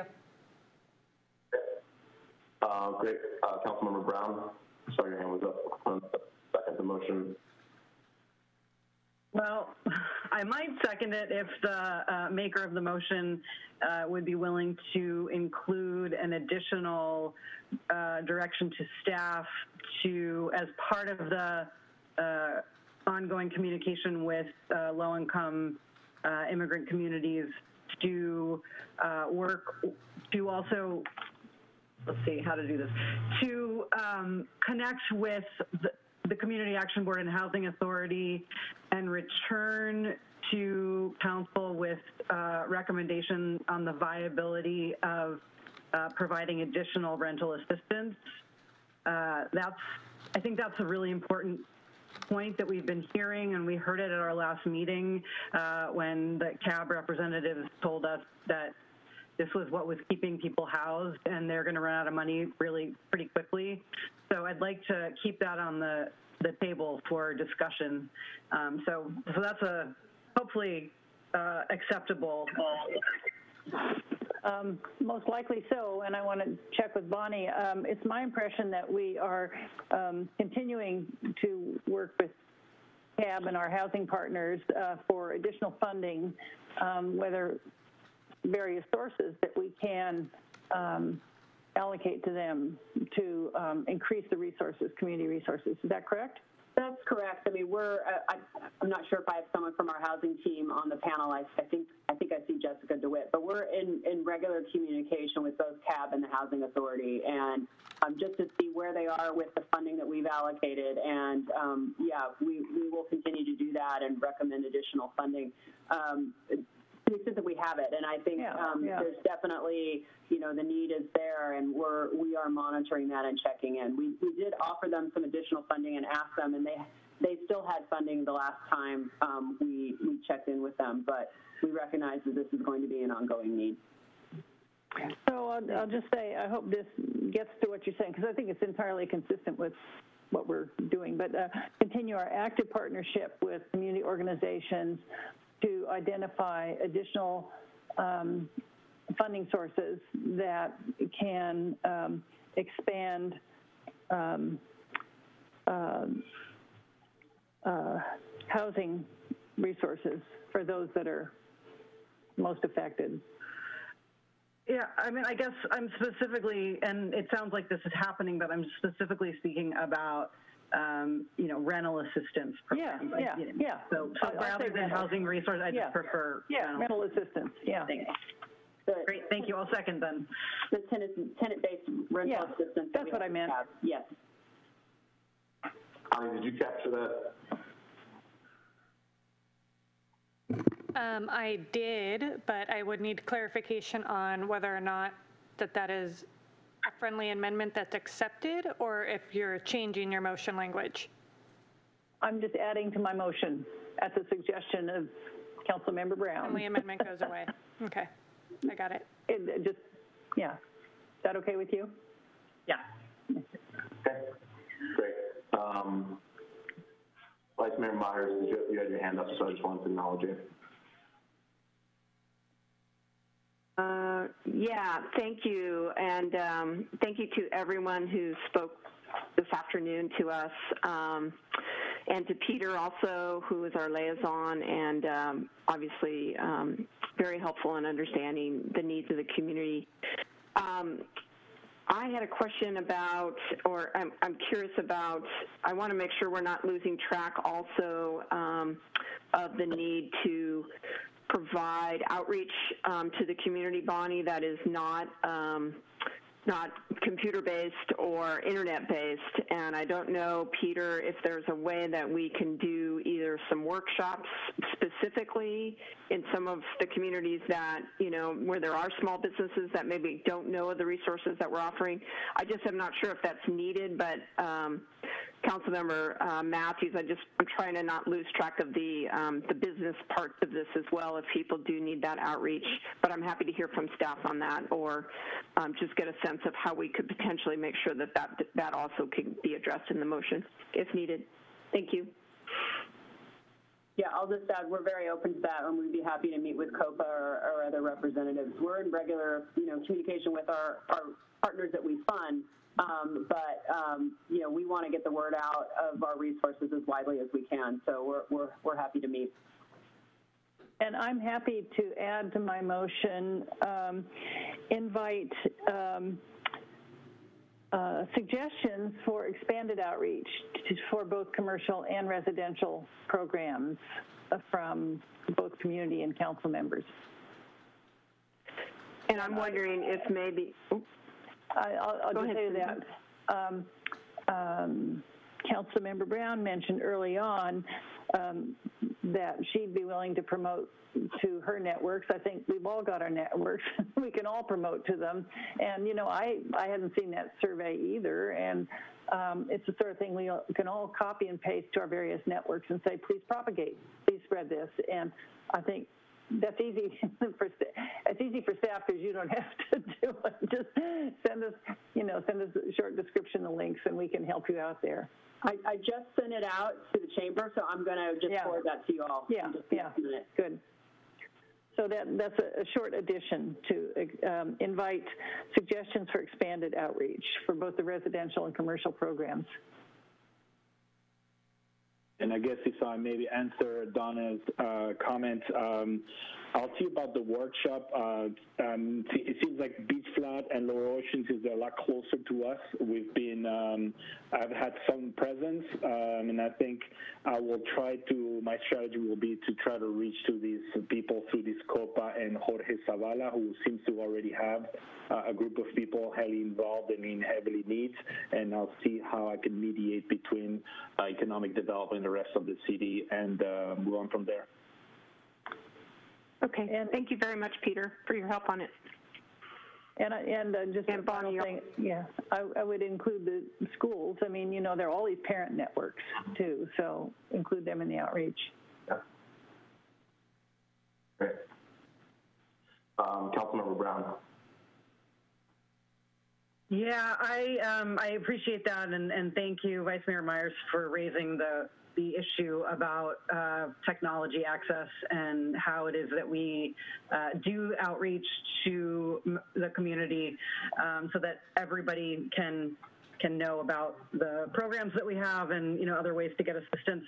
I um, would say and thank you, Peter, for uh, stepping up to kind of follow up on that. I would um, be willing, you know, I'm happy to help or with that, or if if the folks who came and spoke today want to have some kind of meeting with uh, members of the city council, you are welcome to connect with me, and maybe I'll just also connect with you after the meeting. But I wanted to say that this is a really big priority for me, and um, so I, I do want to be, uh, you know, be involved in it as much as I can even things like, you know, Maria just said from Senderos and from Copa said, you know, she had difficulty, you know, calling in. And so people who are kind of connected to these networks even can be challenged. And, you know, we don't, how do you even know the number to call if you don't have cable or, you know, a computer? So you, we talk about see the number on your screen and not everybody can do that.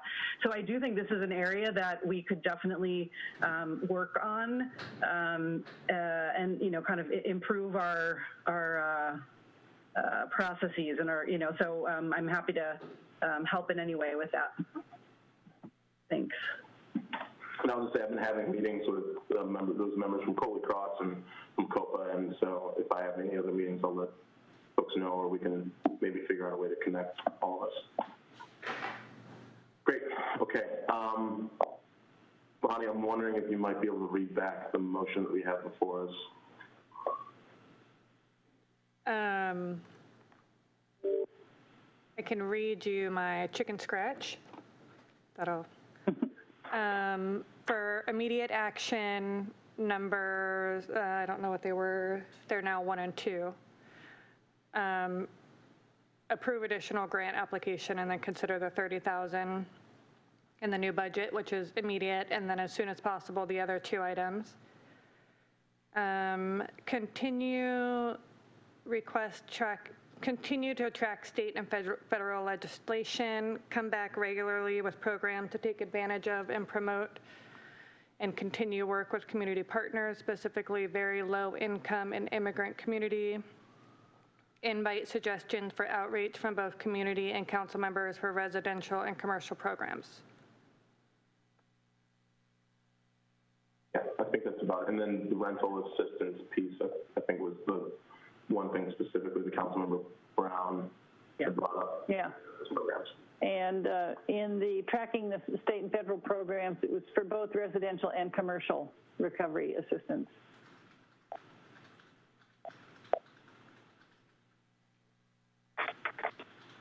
All right, so with that, um, I think we're probably ready to take a vote. And so Bonnie, I'll turn it back over to you um, so that we can do the roll call vote. Councilmember Beiers? Yes. Mathews? Aye. Brown? Aye. Glover? Aye. Watkins? Aye. Vice Mayor Meyers? Aye. And Mayor Cummings? That passes unanimously. And I also want the members of the public to know that we did uh, unanimously approve the uh, extension of the eviction moratorium. So if you weren't on the line during that portion of our call, I just wanted to like, make sure people knew that that was approved for within the city limits. Thank you, Bonnie and Rebecca, for the great presentation, and look forward to getting an update on all the progress made soon. Thank you. Thank you very much. Right. With that, I think let's take a like a, a short break and come back at 3:30 to continue with our next item. Three minutes? 3:30? You mean three? Can we have five or?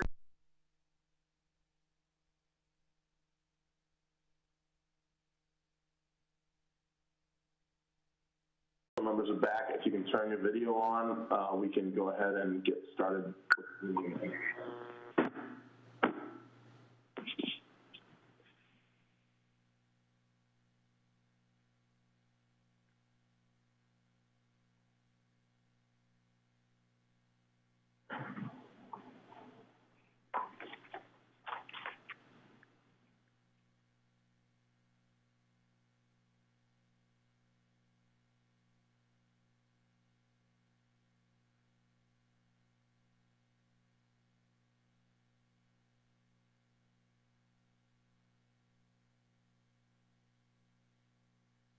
So again, uh, council members, if you turn your video on once you get back to your seats, if you're sitting in front of your computer, uh, once we have everybody back, we'll go ahead and get started.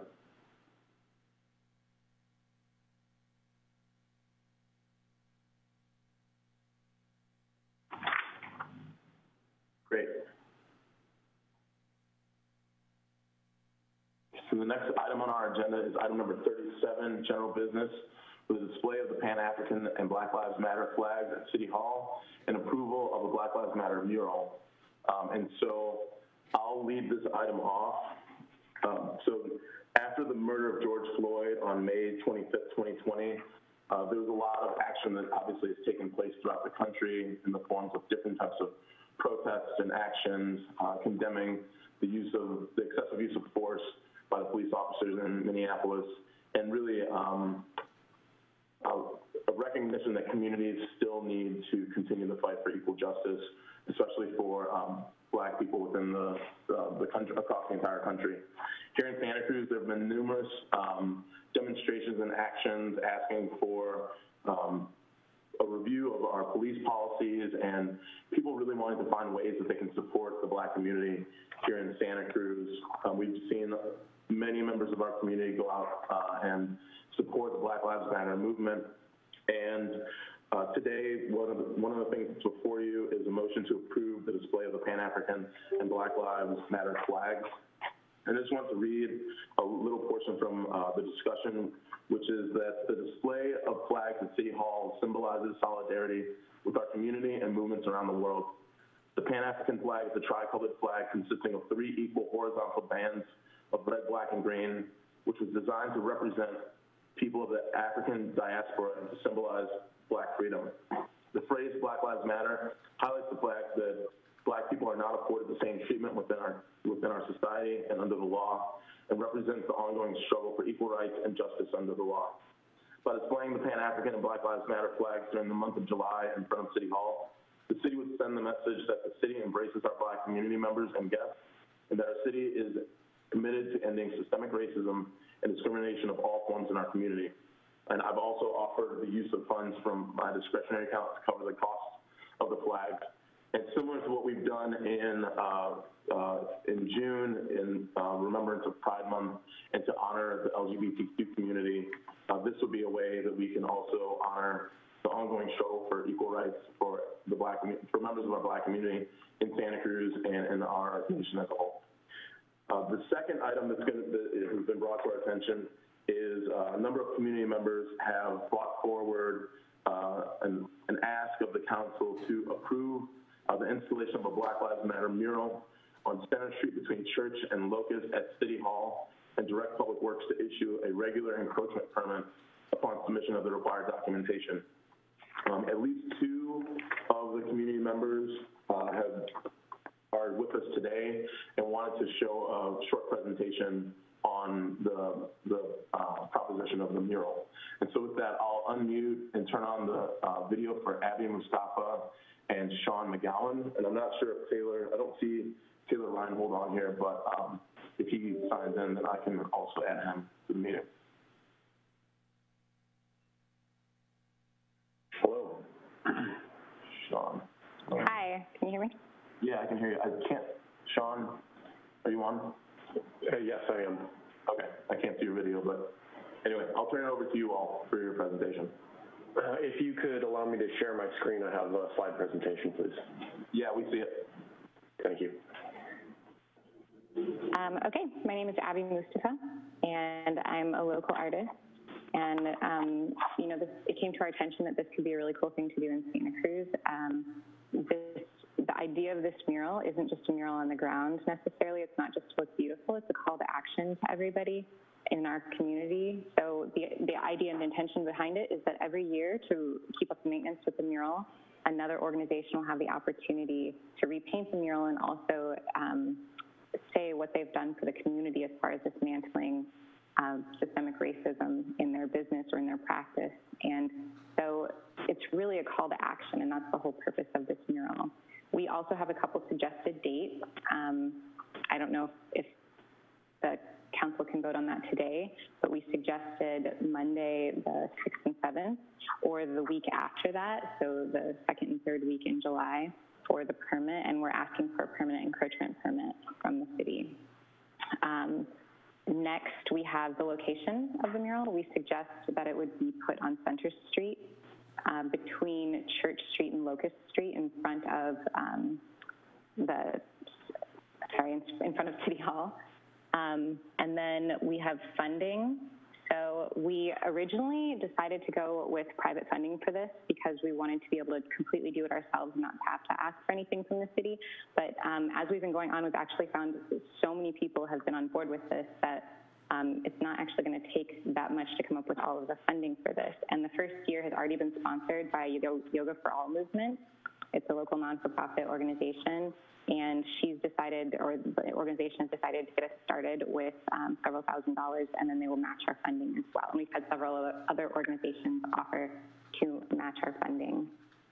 Um, the, I guess the other points on this that Sean will be able to talk about with safety and liability, and Taylor is actually, he is on a project right now in Florida, so he, he wasn't able to join us right away, but Taylor Reinhold is part of this as well, and he's had a lot of experience in these areas. So, go ahead.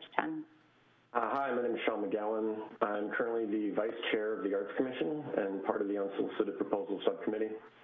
Uh, just want to talk about safety and liability.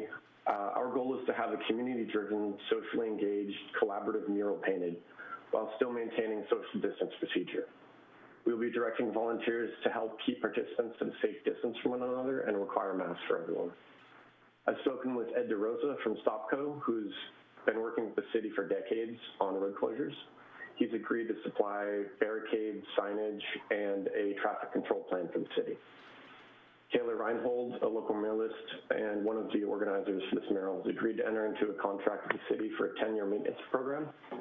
Uh, he has several, uh, several similar agreements with the city, including the Oceanscape on Mural and Mission, uh, on Mission Bay, excuse me. I, Sean McGowan, have submitted a certificate of insurance noting Santa Cruz City as an additional certificate holder. I've also spoken with Public Works uh, Department to clarify these requirements. I've also spoken with Rich Smith, the city street supervisor, and obtained CalSpec item numbers for paints uh, required to comply with street safety. Uh, next, I'd like to talk about community responsibility and follow-up initiatives. Uh, as Abby said, this mural and its maintenance are a statement of intent and accountability to our community. We intend to submit future proposals to the Arts Commission asking the Equity, Inclusivity, and Environmental Justice Subcommittee to be involved in ongoing maintenance of this project. We'll be asking them to be responsible for organization, partial funding, and an identification of partner organizations for a yearly community-driven action to repaint the mural. It will also be recommended that this committee examine the City Arts Commission's commitment to its own equity and inclusivity guidelines and draft an annual report of their findings. Further, we will suggest that City Council create an annual report to coincide with this event regarding their commitment to the Health in All policy, which is the city's policy for equity, inclusivity, and sustainability. This is a list of the supporters and community representation that we found. Um, most notably, we've gotten endorsements from the Museum of Art and History, the Santa Cruz chapter of the NAACP, the Pajaro Valley Community Trust, and special thanks to Shutter Gill and the Yoga for All movement for financially supporting our first year. And we have so many contributors that it had to go on two slides. um, Abby, would you like to say something before we finish? Yeah, no, I would just like to thank you for even hearing our proposal. This is, it, it really means a lot to me because it, it is, like I said, I don't want it to just be a type of um, performative allyship. The entire project and it continuing on for several years um, means actual community engagement and really taking action on what's going on with civil rights right now. So I appreciate you hearing us. And um, special thanks again to Shandara Gill for being our first year fiscal sponsor in all of this. Any questions? Great. Thank you for that presentation, Abby and Sean. Um, I will bring it back to council to see if there's any questions for me regarding the flags or for uh, the, the muralists and artists who want to bring forward the mural. Councilmember Mathews. And you're, you're muted, by the way.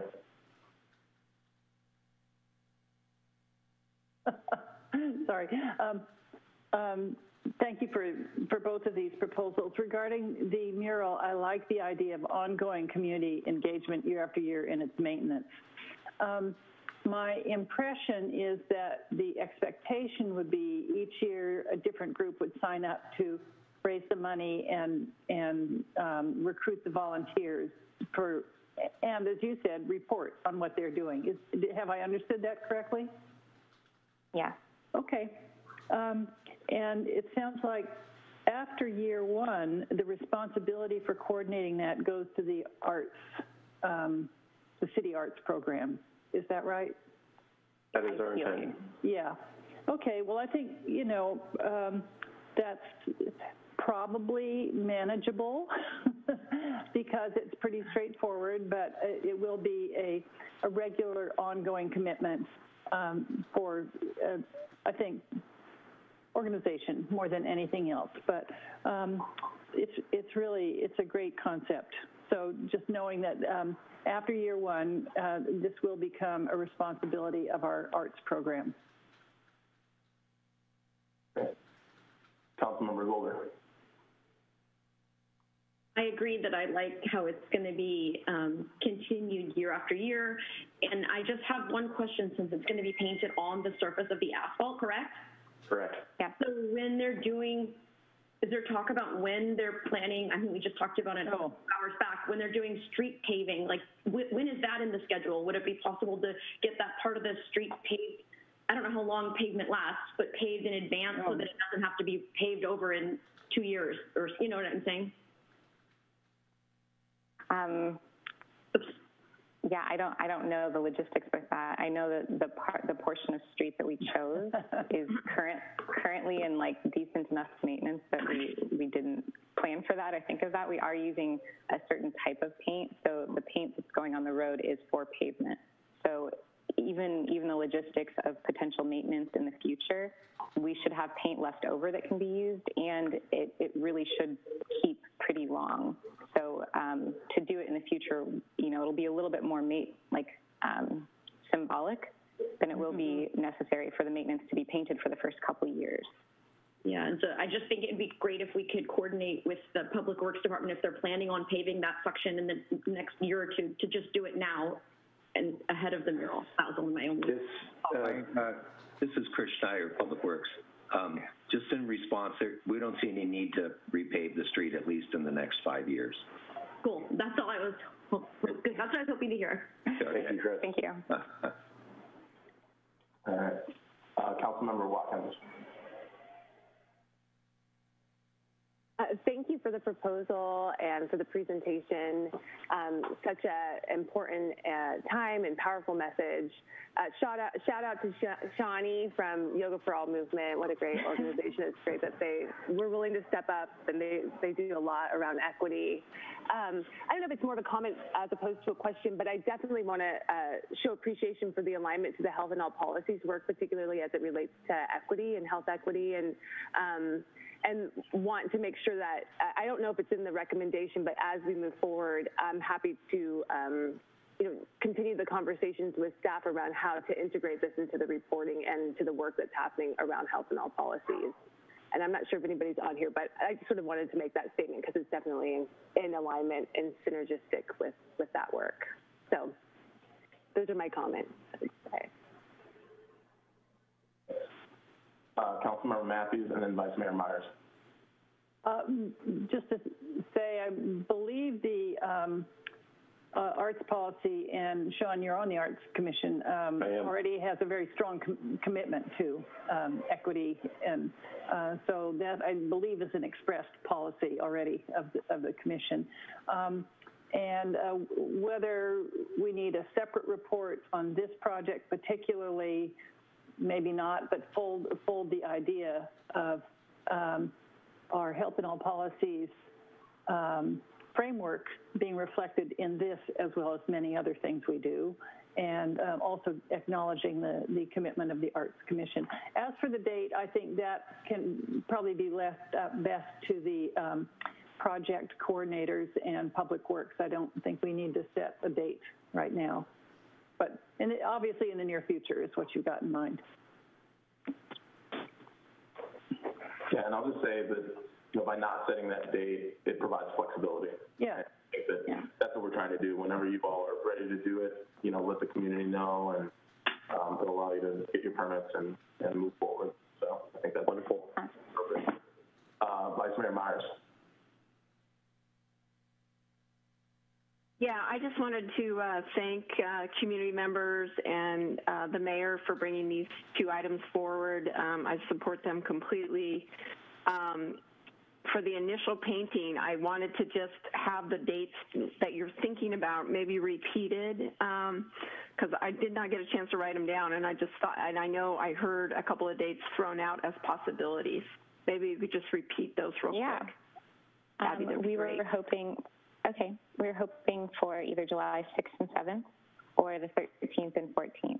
So it would give us a week to two weeks to prepare. Okay, great. Thank you for that. And um, yeah, I think uh, I'm very supportive of the, of the effort and uh, uh, really pleased to see this, especially going out in front of City Hall um, and in you know the part of the city where we, we just get a lot of, of movement between the library and various facilities that are in that area, the Civic Auditorium, City Hall, all of it. So um, thank you for bringing it forward and thank you for, um, yeah, just thanks for doing this for our community. Councilmember Mathews. Um, just a quick question to Public Works. Do you have any comments on dates or?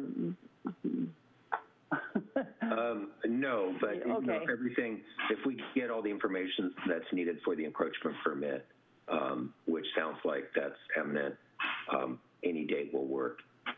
Okay, well, we just leave, I think we just leave that to you guys to work Sure. out. We'll Yeah. coordinate. Yeah. With that, um, are you going to have comment from the public now? Okay, great. Yep. And, and um, I would just ask that, you know, when this happens, because it sounds like there's a lot of support for it, that you uh, can send an invitation to council members so we can. What do you think? Absolutely. Absolutely. Absolutely. Absolutely. Um, and with that, I'll turn it over to members of the public. If you would like to comment on the item before us, please press star nine on your phone to raise your hand. And um, I will click on, I'll unmute you, and once you're unmuted, you'll have two minutes to speak to this item. Okay, um, Okay, this is Garrett Phillip. Uh, the proposal letter suggesting the idea of a BLM street mural in front of City Hall quoted the black Marxist Malcolm X. I also have Malcolm X quotes for you. Quote, respect everyone, but if someone puts his hand on you, send him to the cemetery. Or show me a capitalist, I'll show you a bloodsucker. Malcolm X was a Marxist black power activist of the 60s and was no Martin Luther King.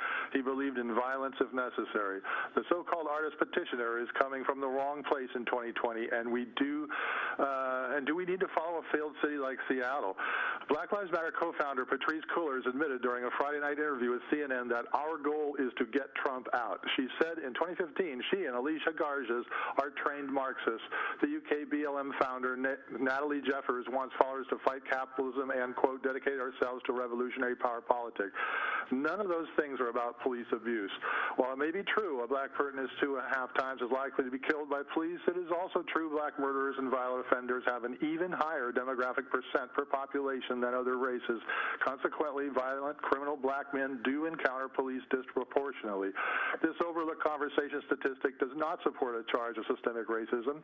It sadly makes sense, although I'm with you on a discussion of police review to ensure the civil rights of all Americans are protected. The BLM movement didn't come out early and condemn the looting, vandalism, rioting in response to George Floyd's death, and there sure are a ton of people still doing extreme violence in the name of the BLM. This should not be rewarded, and I want to hear your condemnation of protest violence. Don't insult us to say this Black Power BLM billboard is art, and that brand name now has tainted politics. The Ferguson killing, the riots, the looting in 2014, and the foundation of the BLM movement was based on a lie. After a, a local grand jury and federal investigation, it was found no evidence existed, all testimony as such recanted, that Michael Brown ever had his hands up and said, don't shoot. And Officer Wilson was acquitted because Brown tried to assault, then steal the officer's gun, then later continuously charged the officer full speed. Yet the BLM chants this still. Does no justice, no peace sound nonviolent to you? Your time's. Thank you. Uh, next speaker, you're on the line. Yes, um, I thought I noticed on one of the earlier slides a two or three thousand dollar expenditure for film crew. Can you explain what that is all about? Thank you. Yes. Um, So what, well, what we, what we normally do is go through comments, and so, uh, if any other member of the public would like to speak to us on the item before us, um, now is your time. Please press star nine on your phone to raise your hand, and you will be able to comment on this item.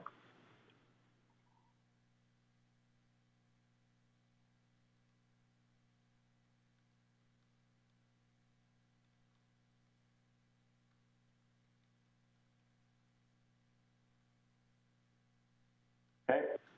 Seeing no other members of the public would like to speak to us on this item, I'll just state that, and please um, chime in, Abby or Sean, but my understanding is that the, is that this is going to be privately funded, as you mentioned before, and the costs are being covered. So there's no cost to the city. And but if you want, if you'd like to speak to it a little bit more to the the comment that was raised, please go ahead. Um, that that so that's not a necessary expenditure either way. We have people who are willing to do the filming of it, and we thought that it would be nice to document. Um, they are willing to do it for for less or for free. That that would be the minimum of what they would charge outside of doing it for us as a favor. And so we included that, and we will include that in our extra fundraising. But like we said, none of this is going to be funded by the city. This is all privately funded. So that's coming from us, and that's something that we would like to have and to do to offer for other people to be able to see how it happened, just to document the whole thing. Great. Thank you. Okay, are there any other comments from council members on this item? If there's not, then um, I would like to, I think we can move the item. Uh, Councilmember Mathews. Yeah, I'm prepared to go ahead and do that. Um, I would like to um, uh, thank those involved in bringing this to our attention. and move approval of the recommendation uh, to display the uh, flags in front of City Hall uh, in the month of July, and also to approve the proposal for the installation of a Black Lives Matter mural uh, with private funds um, uh, on Center Street as described with the expectation that this would involve community, uh, the community for ongoing maintenance under the supervision of the Arts Commission. Okay, we have a motion by Councilmember Mathews. Councilmember Brown, I see your hands raised. Hi, yeah, I wanted to make a comment, um, but I think I see uh, Councilmember Watkins had her hand up, and that might have been just a second. I'll give it to you if that's what you want to do, and then I'll just make a comment after that. I was going to second the motion. Great, so we have a motion by Councilmember Mathews, seconded by Councilmember Watkins. Councilmember Brown. Yeah, I just really quickly wanted to say thank you for bringing this to us. You know, since we saw the the one in DC emerge and and then kind of across the country this happening, you know, I've talked with people about how great would it be, let's make it happen here and I'm just really thrilled to see such a capable team bringing it to fruition. So thank you um, for this and um, I'll leave it there and I totally support. Okay, oh, I just had a question, but I forgot it. Um, so I guess I'm gonna move on. Um, I just wanted to check too with, with the, the motion as it was stated, that, um, I was wondering if, if in that motion or if the intention also is in the, in the recommendation that every year through the month of July, and I just wanted to. Yeah, yeah, this as stated, yeah, yeah. All right. Well, since no further comments, I guess I'll turn it over to, um, the city clerk to call the roll call vote. Oh, I actually remembered my question. Uh, I wanted to ask the, well, I guess I'll ask my question afterwards, but yeah, Bonnie, I'll turn it over to you for the vote. Councilmember Byers? Aye. Mathews? Aye. Brown? Aye. Glover? Aye. Watkins? Aye. Vice Mayor Meyers? Aye. And Mayor Cummings? Aye, that passes unanimously. Thank you all. Look forward to receiving our invitation uh, to this event and part- helping participate. I would like to say that um, in my uh, research for all of this, I believe that we are the second city in the U.S. to vote on this. Great, thanks. Thank you. I'd just like to ask to um, uh, city manager if we're intending to send a press release out. I'm just gonna, just want to ask. If we could send a press release out. Yes, we, we could do that. That's, that's no problem. Great, thanks. All right, thanks Abby and Sean. Thank you. Thank you so much. Can't wait to work on it with everybody. Thank you. Councilmember Mathews. Um, This will probably be picked up quickly anyway, but I think the press release, it sounds like the date is imminent, and that might, I mean, if, if it's a matter of waiting a day or two and get the date in there, yeah. Yeah. Okay. So yeah, let us know when you guys have a date figured out. Okay. Definitely. Thank you. Thank you so much. All right, so next item on our agenda, item number 38, which is the surveillance ordinance and recognition technology and predictive policing. And so I'll turn that over to Chief Mills to start, and I'll also be weighing in on that item as well.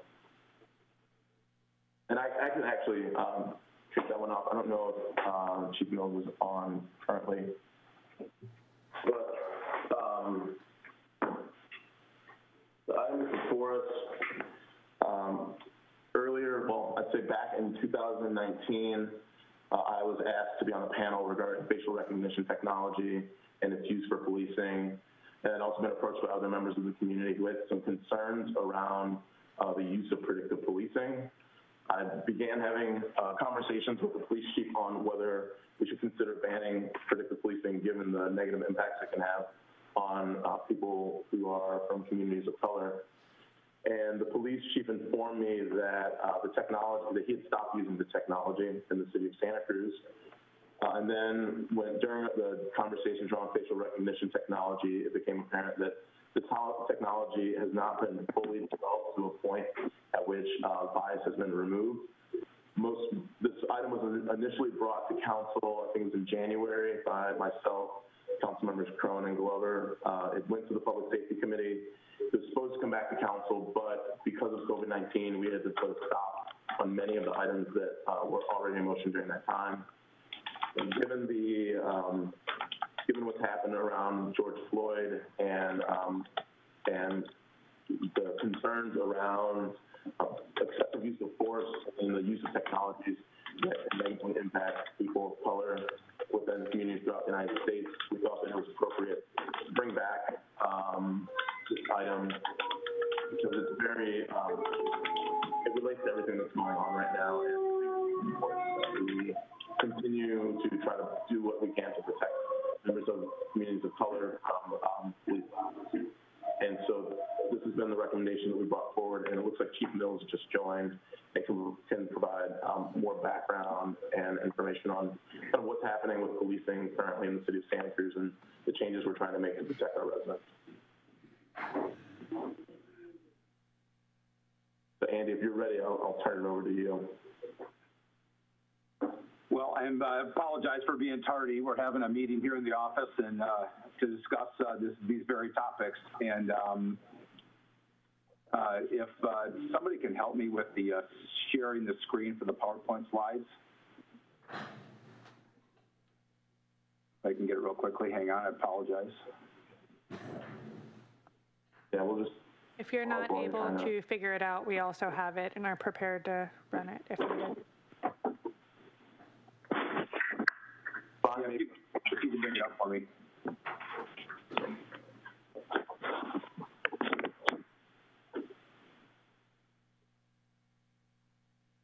And I just also like to say, maybe while we're waiting for the slides to go up, that uh, the second part of this um, motion today is is actually asking uh, for the establishment of a committee.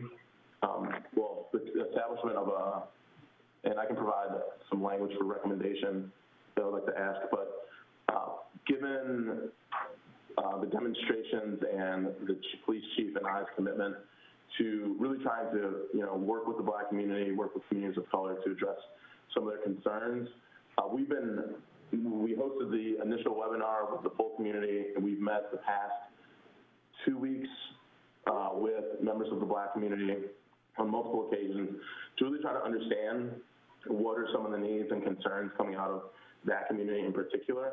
And what I will say is, and I will also add that Councilmember Watkins has been joining those conversations. And it, one of the things that we kind of settled on and realized is that we really need to try to have some kind of a formal um, or more um, structured way of moving forward with these different conversations so we can pull together um, information from all of our community members and bring forward uh, items that we can take action on, and then also recommendations for the longer term. And so uh, when we come back, I'll I have an ask from the council regarding that, but at this point in time, I'll turn it over to the chief. Uh, he's prepared a, a, presentation with what Santa Cruz Police Department's been doing and and um, and some of the conversations that we've had. So, Chief, I'll just turn it over to you. Well, thank you, Mr. Mayor, for uh, stalling for me. I appreciate it. And uh, if uh, you can go to the next slide, please, Bonnie. So this uh, presentation has a couple of objectives. First is to introduce the ordinance that would prohibit the acquisition and or use of face recognition technology and predictive policing technology until these technologies have been proven to safeguard the civil rights and liberties of all people and not perpetuate bias the National Institute of Science did some research and found out that uh, Asian women and black men were up to 100 times more likely to be misidentified through face recognition technology. And predictive policing uh, has been shown over time to put um, uh, officers in conflict with the communities rather than working with the communities. So uh, we feel and we support the mayor who brought this forward to me some time ago uh, to uh, to ban these technologies until such time that it can be peer reviewed uh, and and scientifically proven that it wouldn't uh, hurt that. In addition, um, you've already discussed developing an ad hoc committee by council to make recommendations for institutional reform so they can be institutionalized here in Santa Cruz. And Councilmember uh, Watkins was very instrumental in helping us with this language, not only the African American community, but also the Latinx and LGBTQ plus communities. And then also I want to give you an update on police reforms uh, regarding social justice. So you can go to the next slide, please. Update on police reform. Uh, before the state mandated uh, certain changes, we've already had been working on them for several months. We've had mandatory de-escalation training and then a reward for officers who take the risk, personal risk to de-escalate. To the right, you can see a picture of a pin that we issue to our officers once they've successfully de-escalated a, a, potentially violent confrontation. And we've given out many of these uh, awards up to this point. Uh, we also uh, purchased and upgraded equipment so we make sure they have less lethal technologies in all of the vehicles uh, to prevent the uh, use of lethal force and uh, to um, in order to help de-escalate that. We've also changed our use of force policy to include the terminology reasonable and necessary, as well as rather than imminent use uh, a threat, that it must be an immediate threat before an officer is able to use uh, lethal force. This may not seem like a significant change, but it actually is in terms of it's not that what we anticipate, it's what's taking place currently in front of us. We also, after talking about it for six or seven months, completely banned the chokehold, or what is also known as the carotid restraint. Um, and then a few days later, the uh, governor's office uh, put a hold on it for the rest of the state. Not because of what we did, but because uh, uh, he felt it was the correct time to do this. And then uh, we've also formed a community group with the mayor of members of the black community, certainly not all, or, uh, but they're uh, able to help guide us, have these discussions, and so that we can help uh, be allies and advocate together for uh, lasting change, not just temporary change. And I think that is the key element, is that we begin to build this relationship of trust that we uh, collaborate together and find a way forward that uh, celebrates uh, all of our communities, but more importantly, institutionalizes change uh, here in our in our city. And we're also examining additional changes. You can go ahead and move forward, please. So, uh, ban the carotid restraint. This is just a, a reflection of that. Uh, we did that on June 5th, and the policy, all these policies are online, and people are welcome to go and view these policies for themselves and uh, we're happy that that has taken place and we're moving forward. Go ahead. We require de-escalation uh, rather than using force whenever possible. We use a, what we call time, talk, and tactics. We do training uh, annually as well as regular scenario-based training uh, here at the station, as well as monthly videos and analysis of incidents that are taking place elsewhere to be able to dissect them, to be able to break them down and, and determine what we might learn from those in order to do better. And uh, these are really interesting conversations. You know, initially, uh, officers really didn't want to criticize cops in other locations, and uh, now uh, they're able to actually dissect these things and talk about how they might be able to de-escalate better. And I think that's a very positive step uh, to be able to look at these events. Uh, please forward we have a duty to intervene. We have a little mantra here. If you see it, you own it. You can no longer just stand idly by and say, well, that, that wasn't me. Uh, so uh, we have a duty to intervene in our policy, and it says that they shall intervene in the use of force that, is reasonably believed to be excessive. Um, officers shall immediately also report that uh, excessive force uh, to supervisor, and failure to do so may result in punishment up to and including termination and uh, depending on the situation uh, that was that was viewed. Advance, please.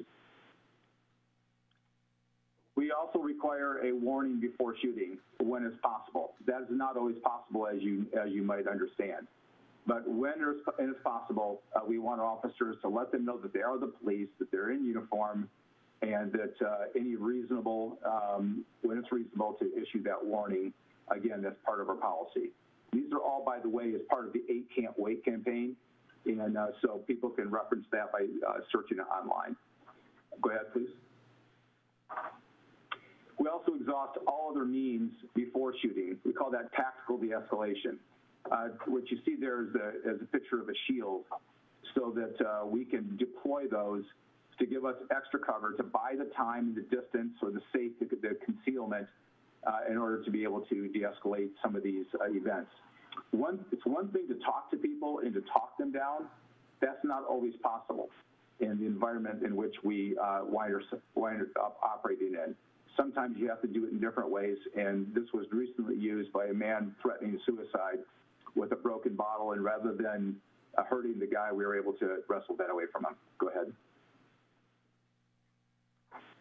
Uh, we also ban uh, shooting at moving vehicles, to and from moving vehicles. Officers are prohibited from shooting at or from a moving vehicle. It's part of our policy. And we direct officers that they shall move out of the path of a vehicle uh, whenever that's possible. The only exception is if the driver is using the vehicle is reasonably believed that it's a weapon of mass casualty. In other words, they're trying to drive into a crowd. And one of the things we saw, for instance, in the recent uh, protests and, uh, and civil unrest in the nation is that there were 18, according to media, different incidents of people driving into the crowds. Uh, and unintentionally. And so we want to make sure that our officers have the ability to protect people uh, in a in a crowd situation. Go ahead, please. We have uh, we, re we require very comprehensive reporting. What you see on the right is our use of force worksheet.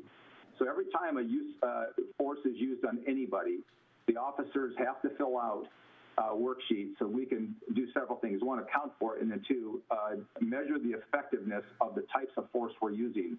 That's one of the reasons we felt very comfortable in banning the carotid restraint. Uh, the effectiveness and the frequency is not there. So why not get rid of a very risky maneuver such as that? We also capture this in our internal affairs.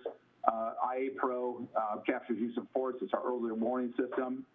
Immediate supervisor does always does an investigation anytime there's a use of force.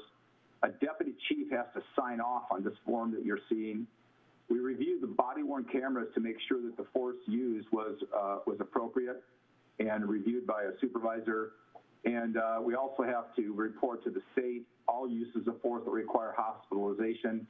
And then we also report this out to the Public Safety uh, uh Subcommittee um, on a regular basis as well. So there's a comprehensive reporting system on two different levels. Obviously, they always also write police reports to detail very, very clearly why they needed to use force, and that's measured by the uh, supervisor uh, to make sure that it's appropriate. Please advance. Require use of force systems. Um, the level of force used shall be escalate only when it's reasonable and necessary to effectuate arrest or overcome resistance. This is the matrix or the the continuum that many have talked about. And if you go to the next slide, um, please. Uh, this is what it looks like. Uh, in order to um, in order to use force, it must be appropriate to the level of resistance involved. So in the left column, you'll see the threat level, the level of resistance. In the right column, you'll see the level of force that is, is officers can use. Now, please don't think of this as vertical. This is more of a um, uh, circular um, uh, type of, of policy. Because if you get out of your car and somebody's shooting at you, you don't have time, the opportunity to go through all of those, those stages. What you need to do is be able to respond appropriately. But what the officers realize and what the officers are instructed to do is take a look at the level of, of the threat and respond proportionately on the right side. So if somebody's just being passively resistant or non-compliant, we don't want them spraying them with pepper spray. We want them to use control holds and the other things they can do to get them into custody and to use handcuffs. This is very important because it, it makes it the uh, use of force proportional. And go to the next slide, please.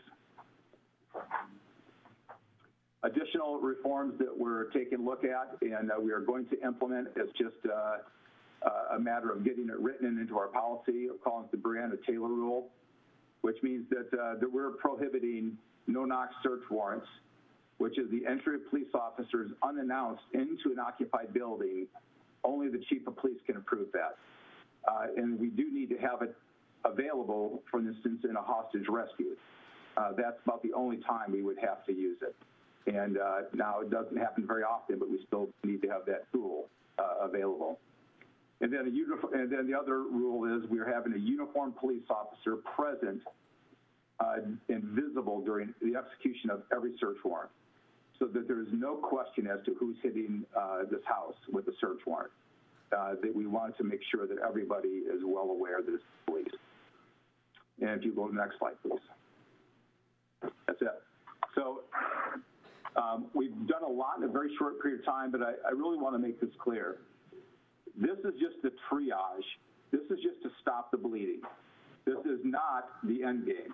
The end game is to find systemic changes uh, to institutionalize racism, not only in policing, but in other sectors of society as well. And so this is just the beginning part of the conversation. Uh, there's been 400 years we're going to have to overcome. Trust is going to have to be rebuilt with our communities, and that can only come through time and uh, working shoulder to shoulder with them. But I want our community to know that we are 100% committed to work with the community, all segments of the community, but particularly right now, the black community, uh, because that's where the greatest need is. And certainly, if you have any questions, I'd be happy to answer them. Thanks, Chief, for that update and presentation. And I'd want to let folks know, I, I'm not sure if I've received it yet today, but we're also going to be holding, um, of the meetings that we've been holding with the community, we're going to have an update Thursday evening at 6 p.m., similar to the first webinar we had. Um, it'll probably be about an hour long, and uh, we'll be able to report out on the conversations that we've been having in the Black community, and we can we'll have um, an update, a similar update from the chief on these different policies, so that more people in the community can be aware of the, the actions that we're taking, and that we're we're really taking this situation seriously, and that we are trying to be proactive and are continuing this momentum towards actual systemic change. Councilmember Watkins. And thank you, Chief. I, I just wanted to thank you um, for involving me in the effort as well and being connected to this to this group and trying to make some of these major changes. I want to acknowledge you, Chief, for um, really having the uh, willingness to be bold in terms of some of these immediate changes you seek now. I was actually just reading something earlier today about how if you want to see um, um, less violence, then hire more women too. So I think there's, you know, uh, there's a lot more to explore as well. But, um, you know, I think you said it really right that there's a, a sort of an unresolved history that we haven't addressed as a nation that is. Uh, it's percolating at this moment and has throughout the years. And until some of those bigger shifts occur, um, we have some of the things that we can do here locally right now. I do also just want to say that um, it's been really wonderful to have a unique opportunity to hear the Black voices and to hear their thoughts uh, specifically as it relates to policing and really wanting to um, embrace that moving forward. But also knowing that the city has a really strong foundation, particularly as it relates to the health and all policies framework in place, as well as the recent acknowledgement of racism being a, a, public health issue. I feel that for some of those big institutional shifts that we seek, um, that the voices of the Black community seeks, and I think that the community at large seeks as well um, could really fit into some of those bigger shifts. So as this moves forward, I really look forward to having um, really intentional policy come out of this um, and the council being apprised and supportive moving forward as well. So thank you for, uh, for making this happen today. Thank you.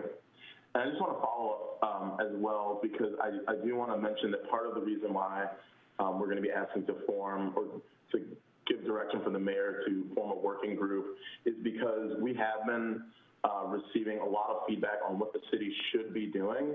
But oftentimes in a lot of the recommendations we've been receiving, the what, what folks are saying that we should do, the, the, um, the defunding the police and where that funding goes, oftentimes it doesn't mention how it's going to support the black community and it usually isn't coming from the black community. So I think what the, the chief and I are really intending is to really hear from black community members and community members who are impacted to understand what their needs are and what kinds of needs they they would like to see the city council suggest moving forward. And so while I know that there's a lot of conversation around, you know, this, this idea of defunding the police, I think what we're really intentionally trying to do is hear from the communities that are the most impacted and understand how we can uh, support those communities moving forward. And so that's been a big focus of our conversation, just so that uh, the public and so my colleagues are aware that we're really trying to see what can we do that's going to have the greatest impact on um, on providing safety to the black community and other communities that are generally um, affected by police violence. Councilmember Brown. Yeah, um, thank you, uh, Chief Mills, for the overview, and thank you, Mayor Cummings, for bringing this forward and you know taking some leadership here in uh, engagement with the community around this issue. I think um, clearly. Uh, this is this goes beyond um, you know the defund the police uh, um, demands that are being made um, into kind of thinking about how we do, you know, how it is that we fight institutional racism in our community at large. And so I, I just wanted to ask um, Chief Mills, and maybe Mayor Cummings, if you've thought about this. Um, so, so the I guess I'm trying to figure out how to say this because I, my experience, I have heard, I have heard from people of color in this community who um, are really kind of, who are engaged in the defund debate, and so I, I don't think that it's it's simply uh, you know a small subset of um, white people who are doing this, and I think that this call is going to continue.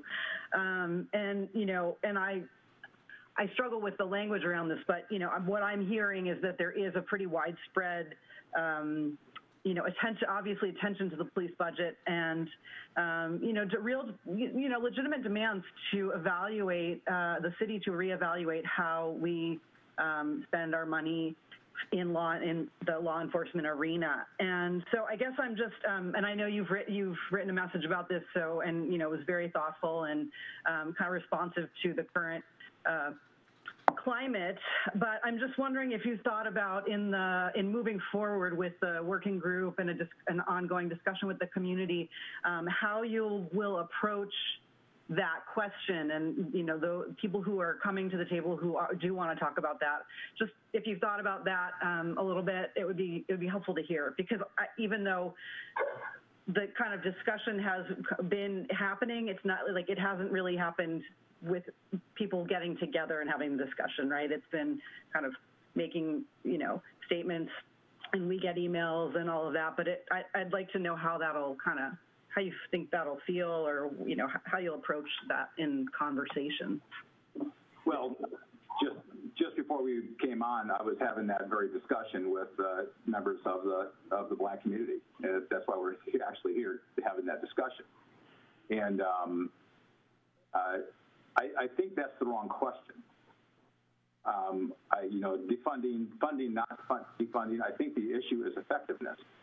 What are we going to do effectively to manage um, how we uh, deinstitutionalize racism in our society, and, and all that that means? And listen, policing has a has a hundreds of year history with being on the wrong side of racism. So it's not like we're, we're not without fault. But the, to me, the issue is how do we, how do we effectively engage with the communities of color, the black community in specific, and, and create the environment for, uh, for them to thrive and prosper and, and be free of, of violence. And so to me, that, that is the bigger issue. And, um, you know, and then the, the, the, issue comes up of, well, what about mental health and, and uh, homelessness and drug addiction? Uh, uh, there's not a cop in this building that doesn't agree that we are not the resource for that, and we shouldn't be the resource for that. But we're the only ones have been saddled with it. Uh, and so, uh, and this is, this is a very difficult discussion. Um, and so when the county, and we need to get the county engaged. So when the county engages with us, and we're able to maybe back off on those types of things, then we can certainly assess, um, you know, the the uh, the budget and the staffing levels and all those things. But um, I've been doing this 42 years, and I've yet to see um, adequate services to handle that. Uh, not saying it can't take place, but that's a big discussion. And, and a complete systemic change in thinking, not only by us, but by the county, by the state, by the federal government. And uh, if we can get everybody on the same page, and right now is the time, as one of the ladies here today, today said, we've got the momentum. It's the big mo, so now is the time to make that happen. If I can follow up on that too, um, just to kind of give you a sense of what we've been hearing. So we've had, well, uh, at least, I've been involved in at least four meetings now at a minimum. Um, one was with the UC NAACP.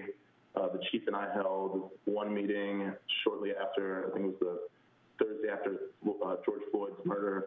And then the following week we had a, a meeting. We've had three meetings now.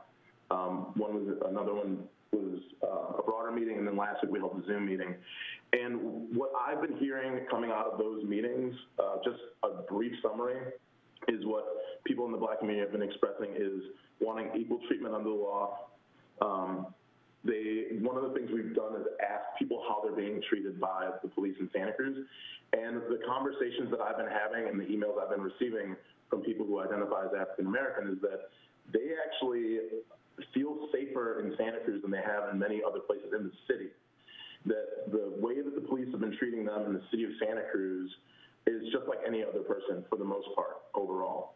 Um, I have heard instances of when people have had you know bad encounters, but overwhelmingly, um, people, especially people like myself, who I grew up in Chicago, which has a history of violence against communities of color. Um, um, I've spoken with other people who have grown up in LA and moved to Santa Cruz, and we all felt that we don't feel threatened by the police here in Santa Cruz. So that's some of what we've been hearing from members of the black community. Um, many people are concerned with how people are treated, and they want to, you know, see police officers treat people of color the same as they would treat anybody else when they approach them. Uh, there's a lot of conversation around accountability and transparency, and I think that's something that you know we can further explore in terms of how we can make policing more transparent and, and more accountability. And um, and the other thing that's come up is that the police shouldn't be a catch-all, and I think the the chief just pointed to that. I mean, everybody is saying that. uh, Well, a great example is, I mean, with homelessness, I think we could all agree it would be great if there's an agency um, that is maybe based out of the public health department who would be able to, answer these calls for mental health, uh, but it doesn't exist. And I think that you know, one of the things I'm encouraging people to do as they look at the police budget is to also look at the budget of the county and see how are they spending their funds, are the programs that they're implementing effective? If not, what should they maybe consider doing? Um, and as I was mentioning with police shouldn't be a catch-all, I mean, we've seen with COVID-19 now that the county health orders and the state health orders are coming down and that, you know, we're giving these orders over, you know, the enforcement of these orders over to the police department, right? So the governor has said not wearing a mask is a misdemeanor. So do we expect all of our police to be running around trying to ticket anyone who doesn't have a mask or, you know, trying to ticket every single person who's on the beach? I think that it's proven to be overwhelming, and Andy, please correct me if I'm wrong, but I think that, you know, we're just constantly loading more and more on our police department. And to the extent, the extent to which we can work with the community to clearly identify and, you know, really hone in on do we need to change the role of the police department and have them have specific roles, and those other roles can be taken by other agencies? I think that's a big part of this conversation. But really, um, I think at the core of it, many people in the black community don't want to see this opportunity to change um, systemic racism to be hijacked to address all these other issues that are going on in our community as it relates to homelessness and drug addiction and mental health. So uh, I think that's why it's really important that we're focusing on uh, our police department in the city of Santa Cruz, and we're really working towards these changes uh, to end structural racism in policing. I'll turn over to, to Councilmember Beiers. And you're muted, by the way, Catherine. Hate that. Um, just thinking, I've only got about four months left on the city council. It's really a short term. And I can't think of any issue that this agenda item is today. Uh, it, it's sad, it's a difficult time, but for me, I'm here with this agenda item is extremely exciting. It is real change between the leadership, um, Chief Mills, you've given, and our mayor. Uh, it, it, it's just overwhelming. Uh, in this very, very short time. And in fact, to me, I, I know it's just the beginning because you're setting up a working group. Uh, by no means are we just having one meeting and take a vote and it's over with. So I, I'm just uh, pleased and thrilled. And I sort of smile when you're talking about um, uh, the meeting you just had and how you are having to deal with the mental health and the uh, homeless. We just had a board meeting on the housing matters, and all we just talk about, we need other agencies to take over the mental health problems that we're dealing with and not the police. They're always having to call the police, and we, would give anything not to have the police appear for whatever reason, unless it's really something violent. So everyone agrees there, and I don't even know where to begin. Uh, it's got to be a lot of discussions with the county, um, definitely. Having a social worker on the, uh, which the county, I think, I think the county and city split the cost. That is a tiny little help, but it's a help. But programs like that have got to institute. But anyway, thank you very much, and keep up the good work. It's very wonderful. Thank you. Are there any other council members who would like to speak to us on or have questions or comments on this item? I do also want to make council members aware, and Tony uh, might ask you, I know that there were some changes that came in. We've received um, some feedback from the ACLU to include additional information, which the chief and I were able to review. I don't know if that was sent out to council members or if we should show it on the screen.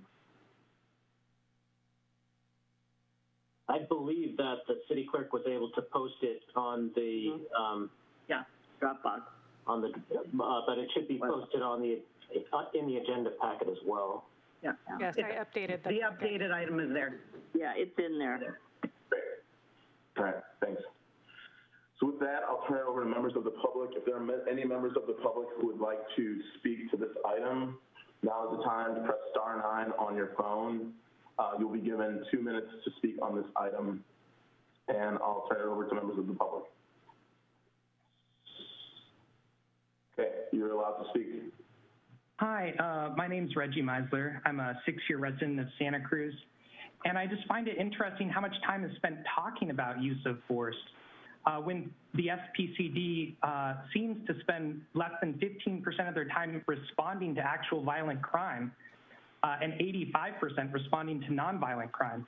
A 2018 department analysis found that only 15% of calls for service were categorized as crime, while 43% were just checks and suspicious activity. That same analysis self-reported that 80% of all calls for service were regarding the homeless that they could do nothing with. And a disproportionate percentage of the homeless is black and brown. Um, it seems like that police spend more time looking for trouble than responding to it. The fact that police spend so little time responding to violent crime but still manage to enact a lot of violence on people is a signal that this is a systemic problem with how our society works and how it uses police. I believe that we don't need better trained police, we need less police. And I do agree that we do need to replace a large majority of the work police do with social workers and first responders, but also services. The police budget is very large, $30 million a year. Uh, we spend almost nothing on safe parking, transitional encampments, and communities of color. Beach Flats seemed incapable of receiving a pittance of funding. They had to ask for an impact fund, and that barely raised anything. Uh, if we could use 50% of the police budget, 15 million a year, to fund real services for the homeless in these divested communities of color, we could really uh, do something that's transformational for them. Uh, and that's what I wanted to say. Thank you. Thank you.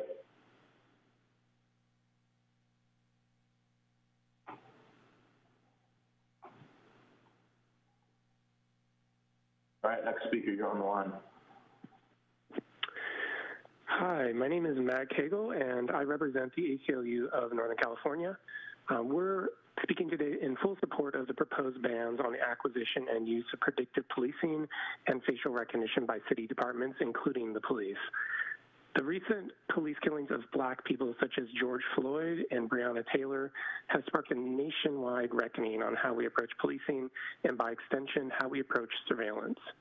Santa Cruz needs to listen to the calls of this mo movement. As a first step, Santa Cruz has an opportunity to pass a law introduced by Mayor Cummings to ban predictive policing and facial recognition tech use and acquisition by city departments. These technologies are both known to be racially biased. Today's legislation is, though, just one step towards wider police and surveillance reform. Face recognition is a racially biased technology that poses a threat to our safety and constitutional rights. It ushers in a world where we can be tracked for attending a protest, a house of worship, or the doctor's office.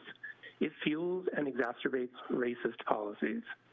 Predictive policing software reproduces racism and historical bias in our criminal justice system. Decisions about public safety should be made by this city council working with the public and the community, not by algorithms of profit-seeking companies.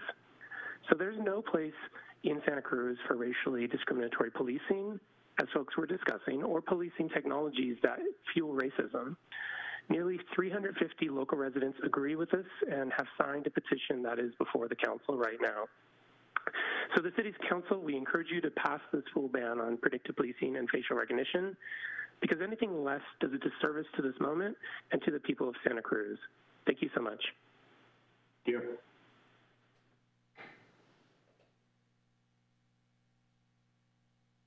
All right, next speaker, you're on the line. Thank you. Uh, I'd like to thank you, Mayor Cummings and um, Chief Mills, for your extraordinary leadership on this issue during the process. Um, also, I think both of you were way more articulate than I could be, but I do want to say that um, details matter, facts matter, and uh, the heinous crime in Minneapolis, that's what it was. Minneapolis is not Santa Cruz. Santa Cruz PD is not Minneapolis PD. And, you know, because a terrible crime happened there and, you know, because there are systemic things happening there, that doesn't mean it's the same in Santa Cruz. And that's not to deny, you know, issues here, but defunding the police in Santa Cruz at the present time without all these other systems in place that both um, Mayor Cummings and Chief Mills um, spoke about would just be insane. I mean, we don't have the systems in place, and I do believe that people are just taking these slogans and running with them without any thought. So, um, once again, I want to thank you for your efforts. That's all. Thank you. All right, next speaker. Yes, hi, good afternoon. This is Tracy Rosenberg from Oakland Privacy, and I'm speaking on behalf of a coalition of 45 human and civil rights groups that have sent you a letter um, in favor of today's ban on facial recognition and predictive policing. I want to emphasize what Police Chief Mills said to you that we are looking for permanent transformational change, not temporary shifts. We're at a point in, in history where we really need to take stock and look for systematic, real change. These technologies, in addition to being racially biased, which they certainly are, are really authoritarian tools to crush dissent and to racially profile and, and, and track people who, for whatever reason, are on the wrong side of society's um, divides.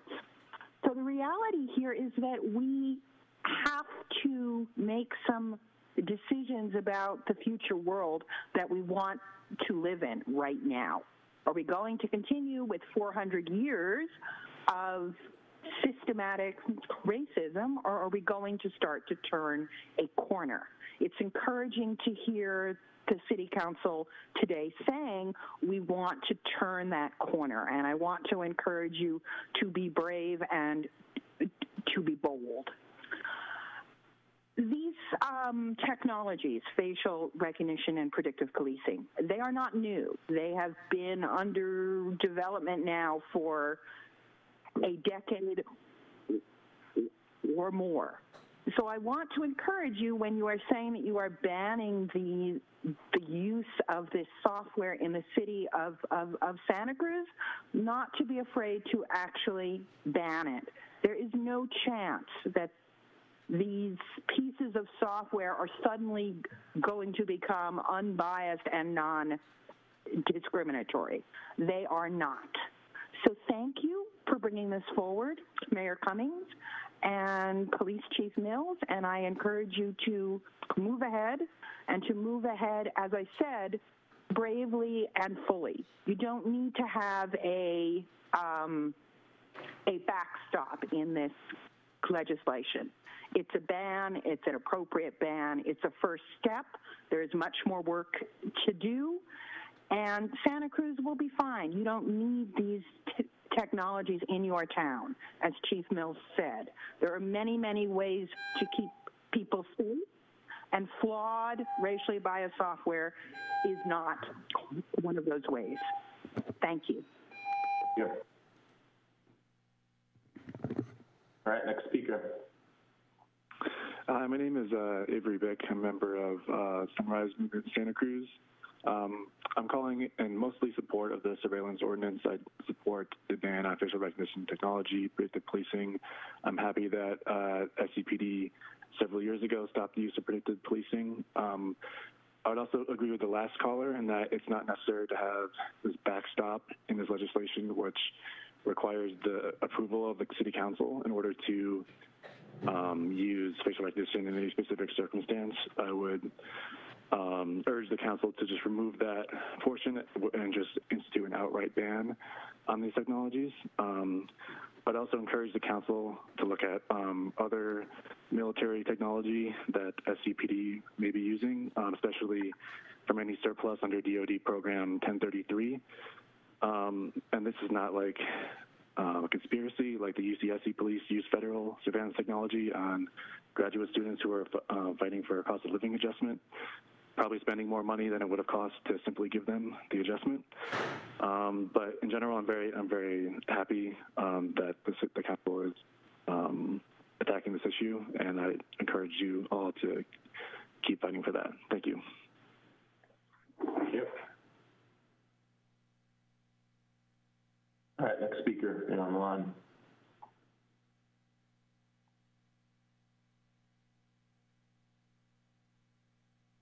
Next. Hi, it's Peter. Can you hear me? Yep. Oh, great. It's Peter Gelblum.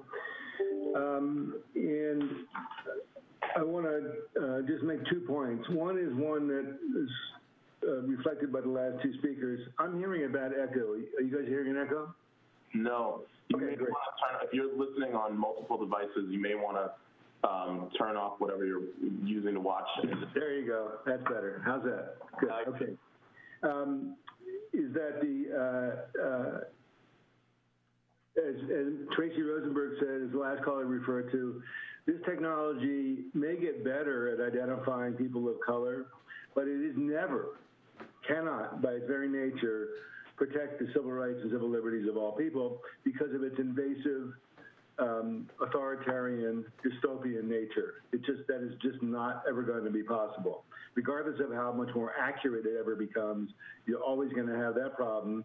So you're going to have it being invasive and authoritarian for everybody instead of just for some group.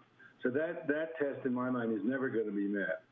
And the second point um, I wanted to make is that as, as Mayor Cummings referred to, there, this was a, a, broader ordinance originally when it was brought to the council in January and when I went to the Public Safety Committee and they approved it. And I really urge you, uh, after your summer break, to get back to the broader ordinance, which doesn't, doesn't ban anything at all. All it does, and it really is hard for me to imagine any legitimate opposition to it, um, to require a public process and transparency when any city agency wants to adopt, acquire, or use any kind of surveillance technology. If they come up and they say, this is what we're going to use it for, this is how we're going to use it, that's, that, and the city council approves it, then it can be used. All it requires is the process. And we know that that is required because we just found out that the SCPD, without public notice, recently installed uh, ALPRs, license plate readers, in Beach Flats, a very heavily Latino community. And we know that the, uh, without, without the city council's approval. Thank you. Thank you, Peter. All right, next speaker, you're on the line. Hi, my name is Madison. I'm a long-term resident of Santa Cruz, and I'm calling to express my concern about the predictive policing ordinance as it is currently defined. Uh, there's a very big loophole in the ordinance which stipulates that the police could continue to use predictive policing technology if this technology meets scientifically validated and peer-reviewed research, protects and safeguards the civil liberties and rights of all people, and will not perpetuate bias, as determined by the City Council. Or in other words, if the City Council thinks it's fine. But as Andy Mills just affirmed in his presentation, the point of banning predictive policing is that it is an inherently racist technology that encourages biased policing practices and infringes on our civil liberties. Yet this loophole still allows for its purchase and use. So I encourage City Council to strike this loophole from the language of the ordinance and to adopt a true ban on the use and purchase of predictive policing technology. Thank you. Okay, next speaker, you're on the line. Hi there, my name is Stacy Falls. I am on the local ACLU board, and I wanted to um, echo some of the comments made by the previous two speakers. Uh, I am opposed to both predictive policing and facial recognition technology, and I'm opposed to them for a couple reasons. First of all, they're obviously uh, racially biased, and you know I think uh, Chief Mills gave us some pretty uh, compelling statistics that the the faces of um, people of color are disproportionately misidentified 10 to 100 times more often than white faces. But I'm also concerned just generally about the you know the the encroachment on our privacy so that even if all of the you know problems with racial bias were were worked out and it was a 100% accurate technology i don't i don't i live in a democracy. I don't want the government or the police department to have you know be able to scrape my facebook pro- profiles and you know run run photos of protests through databases and figure out who was there. E- again even if it ended up being perfect technology that's just you know scary big brother stuff. Um, so i'd like to see a full on ban. I don't think that you know, I agree that this this idea that like, oh, if city council decides, you know, eventually it's fine technology, then we can use it. It should just be banned. We live in a democracy, and I appreciate that Chief Mills is willing to, you know, stand in front of city council and say he supports this. But but the whole point of living in a democracy is that we don't have to ask the police to not invade our privacy. And, uh, you know, I just want to make sure that even if Chief Mills retires or we get a new chief police, that we're, we'll have the same kind of protections afforded to us by our Constitution. Thank you. All right, next speaker, you're on the line. Is that me? Can you hear me? Yes. Hi, my name is Rachel Kippen. I'm a City of Santa Cruz resident, and I first wanted to say thank you so much for considering um, this uh, ordinance, and I agree with a lot of the comments that have already been stated. But this is a really important first step, um, but an actual full ban seems like the direction that we need to be moving towards, especially as we had a council and police chief in the past that believed that PredPol was an appropriate technology to bring to town. Um, and secondly, in relationship to the ad hoc committee that's being created and um, further use of technology through social media, I'd like to voice my concern over the Santa Cruz Police Department and Chief Andy Mills' personal um, individual social media accounts and the posting of photos of individuals who are apprehended. This to me seems like a very unethical practice. I'm not entirely sure why it's needed. Um, and it also seems to be contributing to racial bias um, in our community. So I'd love it if, if you folks could look into that as well. Um, thank you so much again. Great, Thank you. All right, next speaker. Hello. Hello, can everybody hear me? Yes, good evening. Hi, hello, my name is Oscar and I am a resident of uh, Beach Flats neighborhood. I want to thank you all for meeting today and giving um, the speakers of, of Santa Cruz a voice. Uh, thank you, Chief Mills, for uh, opposing and standing in front of the City Council today and fighting for our democracy. Um, I, agree with the previous comments shared before. As a person of color here in Santa Cruz, I still fear uh, the police department here. um, since arriving here, um, I, by no fault at all, I've had um, the, the just talking about the situation right now is making my heart beat, um, and that says enough in terms of um, why I'm against the surveillance ordinance and facial recognition technology and and then predictive police, policing. Um, the fact that you're being watched for no problem, for no for no fault of your own, is just a scary thought. Um, and the fact that you're just being watched is it's even more um, alarming to me. Uh, it brings tears to my eyes knowing that this is the generation that we are going to be raising kids in. Um, as I see in public media today, there are kids hiding from the police when they see them pass by. Um, growing up, uh, we always fear the police. Uh, there was never a, a, moment where I felt safe around a police person. Um, and I just don't want to grow in that anymore. And I want to abolish that. And I want you to be in the right side of history today with your decision. I want you to look at the budget and really think about whether this is an investment and where is that really going. Uh, why can't we invest in, in better things in housing and affordable housing and, and growing the food that we need to feed the people who are, are suffering with not getting enough, uh, not giving children enough computers to just go to school right now? Um, why are we not paying our teachers enough? Why do why aren't those why are we discussing those things here right now? Um, but at the same time, um, I thank you all, and I hope again you are in the right side of history, and and please continue to do the right work. Thank you so much.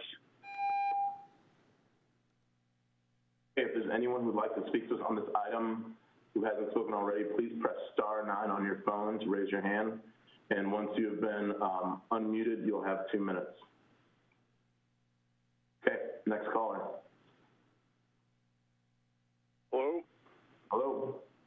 Uh, yes, this is Scott Graham. Anyway, I would like to see these things banned permanently and not just the uh, technology in question, but all technology like license plate readers that the uh, police have used in Beach Flats and um, this thing called a Stingray, which is a fake cell tower that in- intercepts people's cell cell calls. Um, or you know, there's other things coming down the pike that we don't even know about yet. That are you know probably the CIA and the FBI are using already, and that they will uh, offer them to police stations around the country.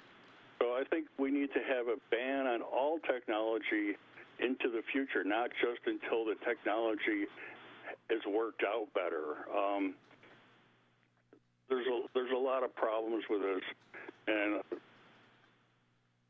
in accordance with our Constitution, we need to um, ensure that people have the right to privacy, and that that goes beyond just the privacy when they're inside their house, but I realize, you know, if somebody's outside walking on a public street, that their right to privacy is limited, but it, it doesn't mean that they get to have some technology, you know, bring up a file on them because all of a sudden it recognizes who they are. I mean, that, that's, uh, you know, something that doesn't need to be happening right now. And whatever happened to good old fashioned police work? You know, the, the uh, where, the, where the, the rubber meets the road and stuff. And as far as uh, you know, policing goes in this town, we we really need to uh, address how how the city police force is used. Um, harassing homeless people endlessly is not a good use of police time. Thank you. Thank you. Okay, so um, with that, I'll bring it back to council for action and deliberation on this item. Uh, with regards to the second item, I'm just going to share my screen so that council members can see regarding the second item. Um, since I can't make a motion, I'm just hoping that I can at least provide some direction. And so what I would like to ask is that the council, for item number two, that the council authorize the mayor to establish a Santa Cruz Police Review Working Group, which can contain up to two other council members, and establish a Mayor's Community Advisory Committee to review Santa Cruz police policy and in conjunction with the community, bring back recommendation that strengthens our police department's commitment to eliminate racism, discrimination, and excessive use of force in policing in the city of Santa Cruz, and improve the relationship between city of Santa Cruz police officers and the broader community. And I can't see anyone, so I'm going to stop sharing briefly. Uh, Councilmember Golder. If you're looking for someone to make the motion, I'm prepared to make a motion. Okay, on the, on the second item, or in general? Pardon?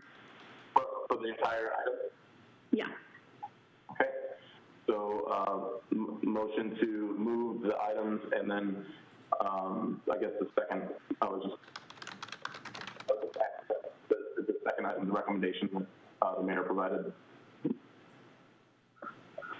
Can I just ask for clarification? I understood the motion was for the introduction of the ordinance and for the authorization of the mayor to uh, establish uh, a committee a- as, as described in the uh, the wording that is posted.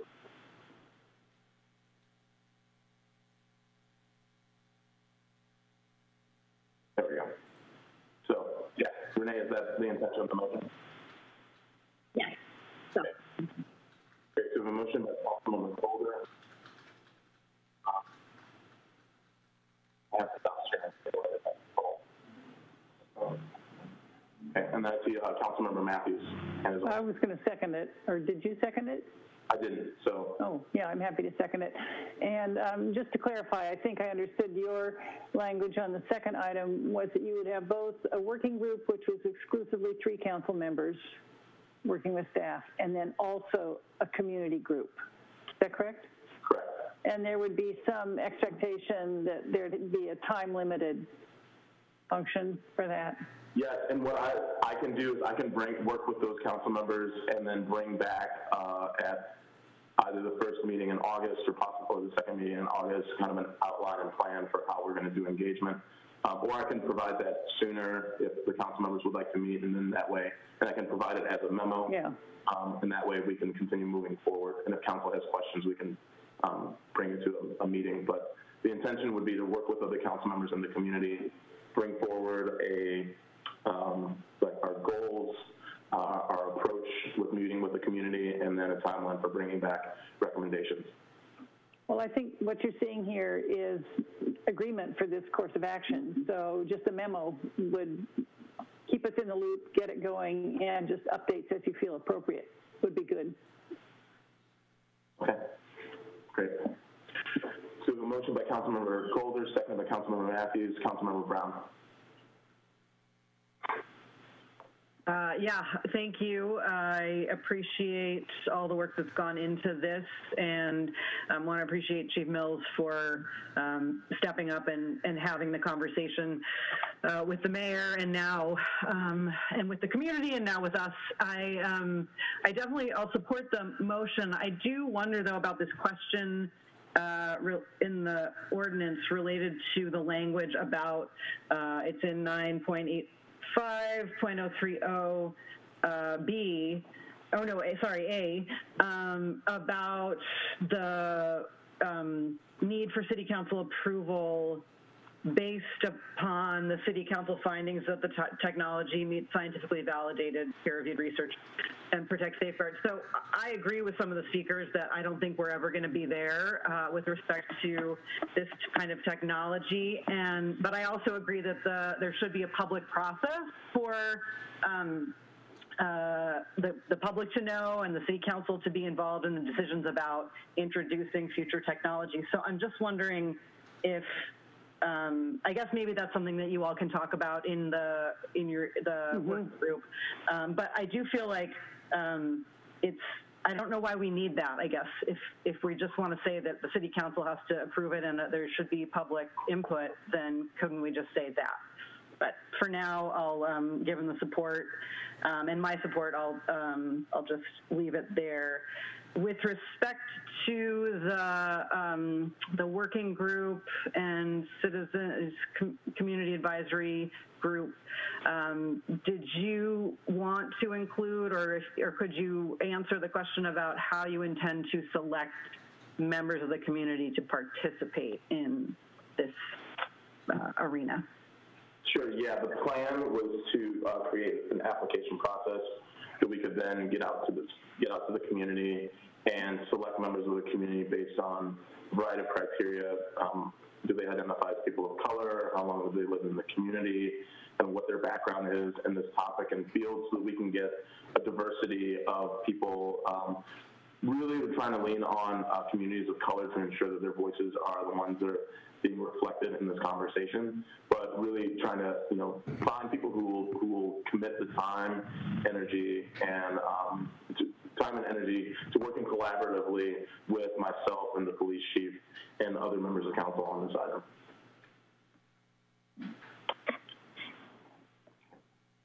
Uh, Councilmember Beiers. Uh, would you put the motion um, up on the board? There, there's a wordsmithing thing I'd like to address.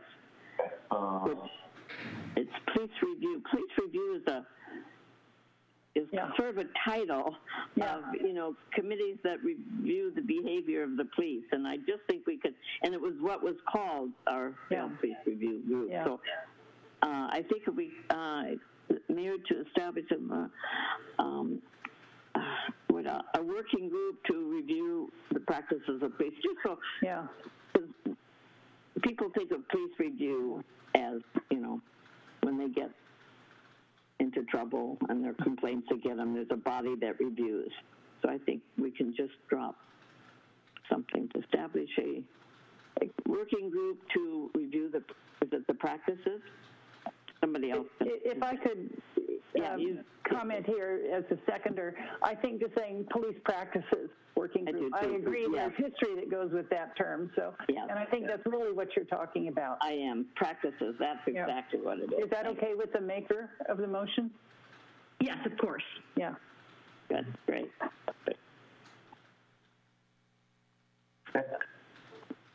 Uh, give me one second. Stop sharing, and then uh, Vice Mayor Meyers.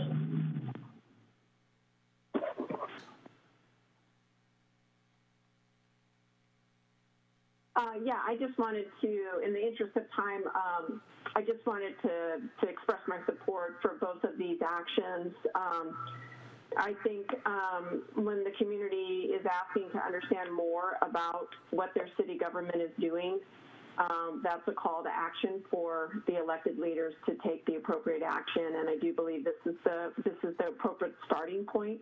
There could be additional actions that come from gaining more information and doing a much more intense, intensive um, uh, set of conversations with our community. But I do believe this is a, a very good first step, and I do think that um, what has been proposed today is is appropriate for where we are right now. And um, so I thank you for putting the materials together and um, proposing the process. And um, certainly we'll be supporting both of both of the uh, activities today, or both of the proposals in the motion today. So thank you. Yep. Uh, Councilmember Watkins. Um, I share similar thoughts um, as expressed by the vice mayor. I just had one question for clarity in regards to the mayor's community advisory and the ad hoc. Were you, um, and uh, how do you envision the interplay of the two? Would that be uh, an advisory established by uh, you that you would uh, oversee and then inform the ad hoc, or do you see them uh, working together? Just for clarity in terms of the ask. Yeah, and you know, it could be that um, rather than it be a mayor's community advisory committee, it could be the working group community advisory committee. So that that group is the selection of that group is informed by the committee and myself, and then we uh, and that committee would work with us so that as we're receiving information from the broader community, that we can kind of distill things down into what our prior, priorities for the city. I mean, as, I think, however the council sees, sees fit, I just, for clarity in terms of the, um, just the relationship for the information in terms of how, um, you know, that information goes to the working group and so on. So if, if, if you, Mayor, prefer to have it as a mayor advisory, or if the ad hoc um, wants to be that, uh, that partner with you, um, it's, it's totally up, up to you and to the discretion of the motion maker. I'm supported by the I would just uh, recommend, for the sake of simplicity, that you consider um, authorizing the mayor to establish an ad hoc working group with input from the advisory committee. I think that's probably the cleanest way to do it. And I don't think that would require modification of the motion language that was placed uh, on the screen as well. Uh, Councilmember Mathews. That issue is kind of what I was um, thinking of also. Um, my thought was that, that we would be expecting that you would appoint this, this would be your committee. You've taken a lot of initiative on this, and I'm, given the um, intent that you've expressed, I think that's great. Um, and you've said you want uh, a committee that will be diverse in its viewpoints, but united around the goal. I think it's it's good to have a job description of what you expect of these people. You know what the what the goal is. You expect collaboration and solution oriented. Blah blah blah. Um, and uh, to the extent you have a an application form or something, that's great. I, I do not see this as something where we will vote and select the members for this. It's your deal. So um, just to clarify that, um, I think being, um, yes, having an application form, seeking a diverse and productive committee, um, and being clear about your expectations. It'll, it'll take work and commitment for the time they're, they're doing it. Right. Absolutely. And that's, and that's the intention of this. Yeah. So. Great. And I'll just, and I just want to make sure that the public understands that um, we are continuing those conversations around our surveillance policy. Uh, in previous council meetings, we voted to move those, um, and we voted on a number of different items to bring, to have them, that work start commencing, recommencing on those again. Uh, but just so the community is aware, we're, given that we're still in a pandemic, we're trying to um, make sure that we are addressing that, those issues that are, are most critical at this point in time as well. Um, Councilmember Mathews. I, I do want to make one more uh, comment because most of my comments have been kind of technical, but I do want to say I, I met with community members. Um, they were uh, very um, informed and effective in their presentation. We had a huge amount of public input on this. Uh, it, uh, all of it, um, I, I, think, focused on the same objective. So I just want to acknowledge that. I, I really appreciated the quality of input that we got, and I absolutely appreciate the, um, I would say, the courage and leadership of our police chief and department to to confront this. Um, I know there has been uh, effort over the years at um, being more sensitive and improving our practices, and um, this is just a major step. So uh, thank you, Mayor and Police Chief and all involved for that leadership. Thank you.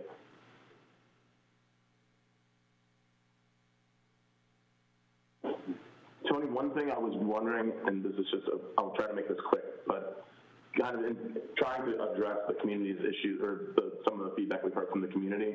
I'm wondering if in item A, if um, it says, uh, let's see, I'm trying to cut this short, but a resident, notwithstanding any other provision of this chapter, it shall be unlawful for any city department to obtain, retain, access, or use predictive policing technology and or face recognition technology prior to obtaining council approval by resolution based on the council's finding that the technology meets scientifically validated and peer-reviewed research, protects and safeguards the civil rights and liberties of all people and will not perpetuate bias.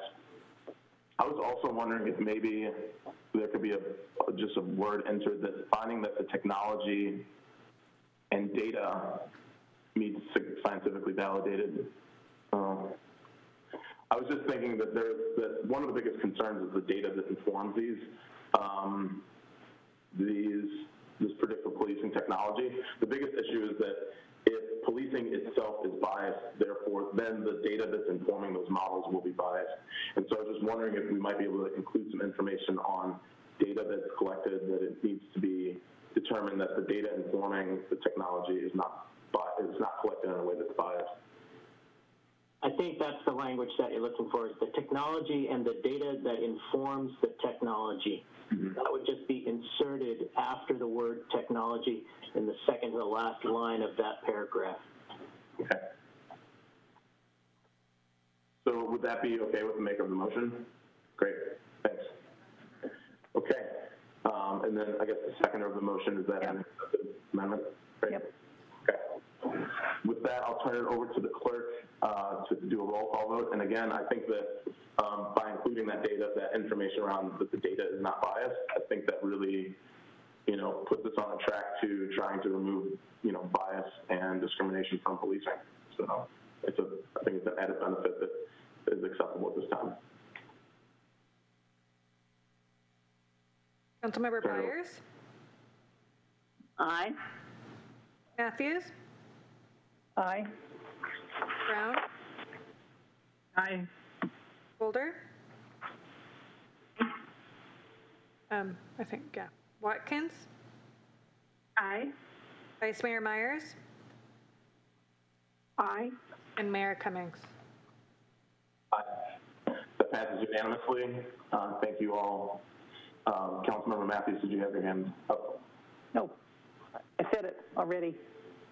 And thank you, Chief, and for the public uh, for joining us on this item. We're going to adjourn until uh, 6 o'clock, so 45-minute break, and we'll come back, when we come back, we'll start with oral communication. Thanks.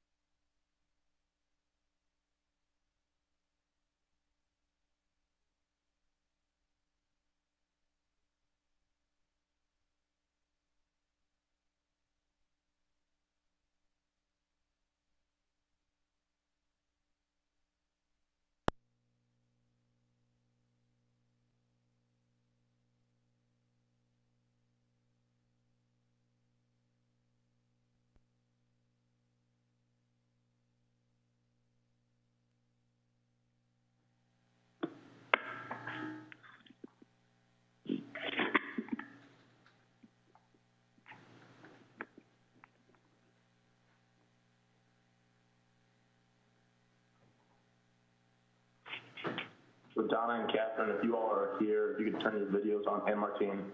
you I'm try, I'm trying to. It says you cannot start your video because the host has disabled it. Okay, I know. Same with mine. Same with mine. All right, both of you. Okay. Turn the videos. Yeah. Guess we're now just waiting for Martine. Okay, I'm on. Should be on.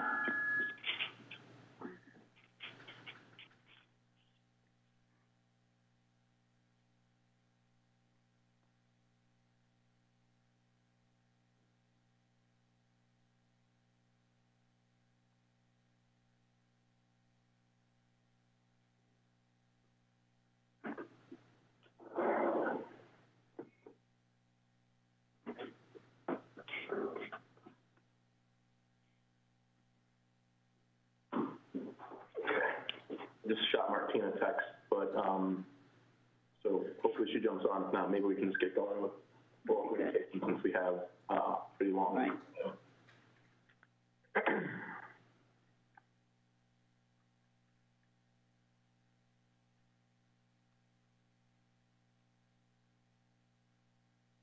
All right, looks like we're all here. So, good evening and welcome to the 6 p.m. session of the June 23rd, 2020 meeting of the Santa Cruz City Council. I'd like to ask the clerk to please call the roll.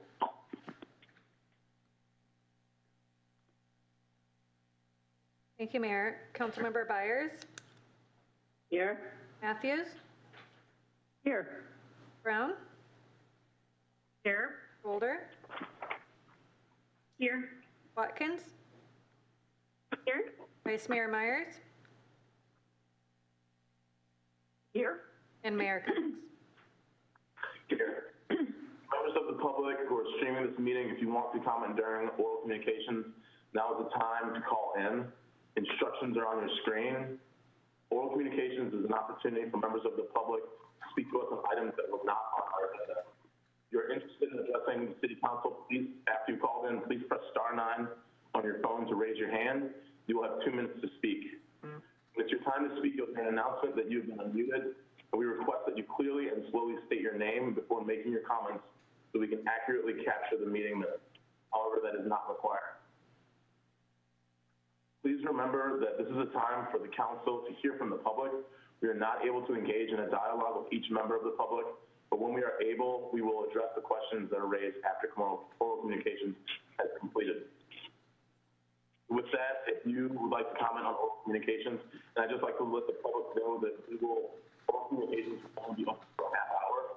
And um, if you're not able to uh, get your communication in, in that time, uh, email the city council to share uh, your comments. And with that, I'll open it up to the first caller. Okay, you're on the line. You two minutes. Yes, hello, can you hear me okay? Yes, good evening. Yes, good evening. My name is Alex Miller, and I live at 224 Villa Mar Vista in Santa Cruz. I've lived there for 20 years. I love Santa Cruz. And one of the things I love about Santa Cruz is that we encourage recycling. And I have a recycling bin and I have a trash bin. And for some reason, the city of Santa Cruz keeps on taking my recycling bin. And they don't return it. They take it and I don't get it back. and I'd like my recycling bin back. I've asked the city manager who ignores me.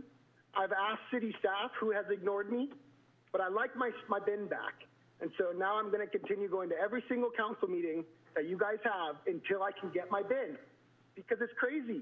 I don't have enough room. So I'd like you to please follow up on this. My phone number is 408 893 6119. I'd like to hear from the city manager about why you're taking my bin. Thank you. Thank you. All right, next caller, you're on the line.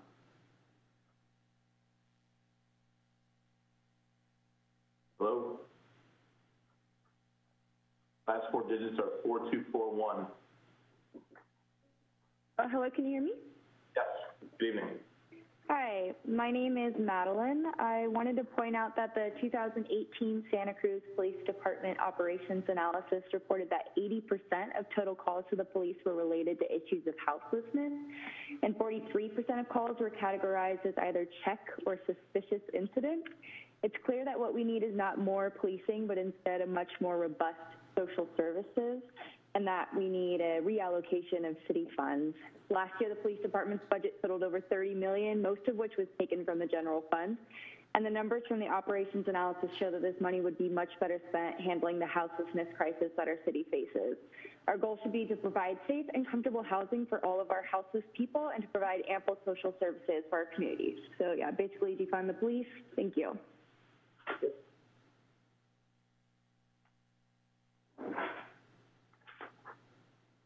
All right, next caller. Hello, can you hear me? Hi, thank you. Um, my name is Miles Stanford, and I live in uh, SoCal. And um, I have I actually sent you an email, Mr. Cummings, uh, recently concerning the, this issue. I believe that uh, we really need to reallocate a lot of our funding towards preventative measures for uh, concerns about crime, and and um, I think that uh, yeah, it, it, starts at, at, a, at a different place than um, just trying to put a band-aid on it at the after something bad has happened. So um, I, I was doing some research. I think uh, the people in Eugene, Oregon, are, are uh, have a good platform going right now with their Cahoots program, and I know that uh, city council members in San Francisco are aiming to follow that and are starting to. And I think we should follow in, in their footsteps and uh, maybe adapt um, their uh, their program to fit our uh, specific needs uh, as as suited. And I think that's all I got to say. So thank you. thank you. All right, next speaker. Hello, my name is James Ewing Whitman. Can you hear me? Yes, good evening. Hey, good evening. So unfortunately, I spent about four hours of my time working on uh, agenda item number 38, but I had appointments and I missed my opportunity to comment. I do want to say that I really thank city clerk for getting back to me within an hour, and that was a little bit after seven this morning. I didn't like the answer, but I did appreciate that she gave me an answer. So what to talk about? Um, let's see. I've been a contractor in this county for 26 years and been working with the county of Santa Cruz for more than 20 years, and I've had at least 500 inspections where I was the responsible party. Yesterday, I had an inspection with the county, and I don't think I've ever laughed so hard with an inspector in my life. And then that inspector asked me something that was also very funny, and I just said yes, and I'm going to hold confidentiality about that. Um, I have been engaging with a lot of law enforcement the last year, and I am just amazed at the patience of all these men and women. Um, people are talking about defunding the police, and they're saying there should be more social services. There should have been better social services 300 years ago in the United States. So I want to thank the police, and uh, particularly the sheriffs and the rangers, who I've mostly been dealing with, for doing an outstanding job. And when you come back and talk to them, when you've just observed them and you compliment them and they come, you know, we all need to work together. Together, we are all in this together. So I would love to go on about a bunch of different subjects, but I'm just looking at expecting more of myself, and I'm glad that I have the community involvement. And I would like to know actually how many people listen to these city council and county supervisor stuff. I'd like to hear those statistics. So thank you very much. I know you guys are doing the best job you can. I'm done. Thank you. Okay, next speaker. Hello, can you hear me? Yes, good evening. Hi, uh, good evening. Um, my name is Amy Liebachuk. Um, I've been a resident in Santa Cruz for nine years, and I work as a social worker with the county. Um, I wanted to speak about Chief Mills' op-ed in the Santa Cruz Sentinel recently on June 17th. He stated he recently spoke with a sergeant about defunding the police, and they said if someone could take the homeless issues entirely away from us and stop us from responding to mental health calls, please take the money. Chief Mills went on to say the sad reality is that no one else has stepped up as the first responder to these issues, and he put the responsibility on the county. While I certainly encourage city and county collaboration, given that the 2019 homeless point in time count found that 55% of people experiencing homelessness in the county reside in the city of Santa Cruz, I would argue it's very much our problem to solve. As a community, we rely on police to respond to all non-medical and fire-related crises. We expect police officers to be part conflict resolution specialist, part social worker, part mental health professional, and part public safety officer. These are unfair and unrealistic expectations. What if we had a 24-7 mobile crisis intervention team as an alternative to police intervention? This team could respond and assist to an individual having a domestic disturbance, oh, sorry, a family having a domestic disturbance, an individual having a mental health crisis, someone struggling with substance use disorder, or a person who needs a safe place to sleep. Um, as another community member mentioned earlier, Eugene Springfield metro area in Oregon implemented the Cahoots program, um, also known as the Crisis Assistance Helping Out in the Streets program. Um, and in the city of Eugene, um, they found that they were able to divert approximately 20% of all 911 calls to the Cahoots program and saved an estimated $15 million per year. Please defund the Santa Cruz Police Department and reallocate these funds to expand mental health, substance abuse, and harm reduction services, including establishing a 24-7 mobile crisis team. Thank you.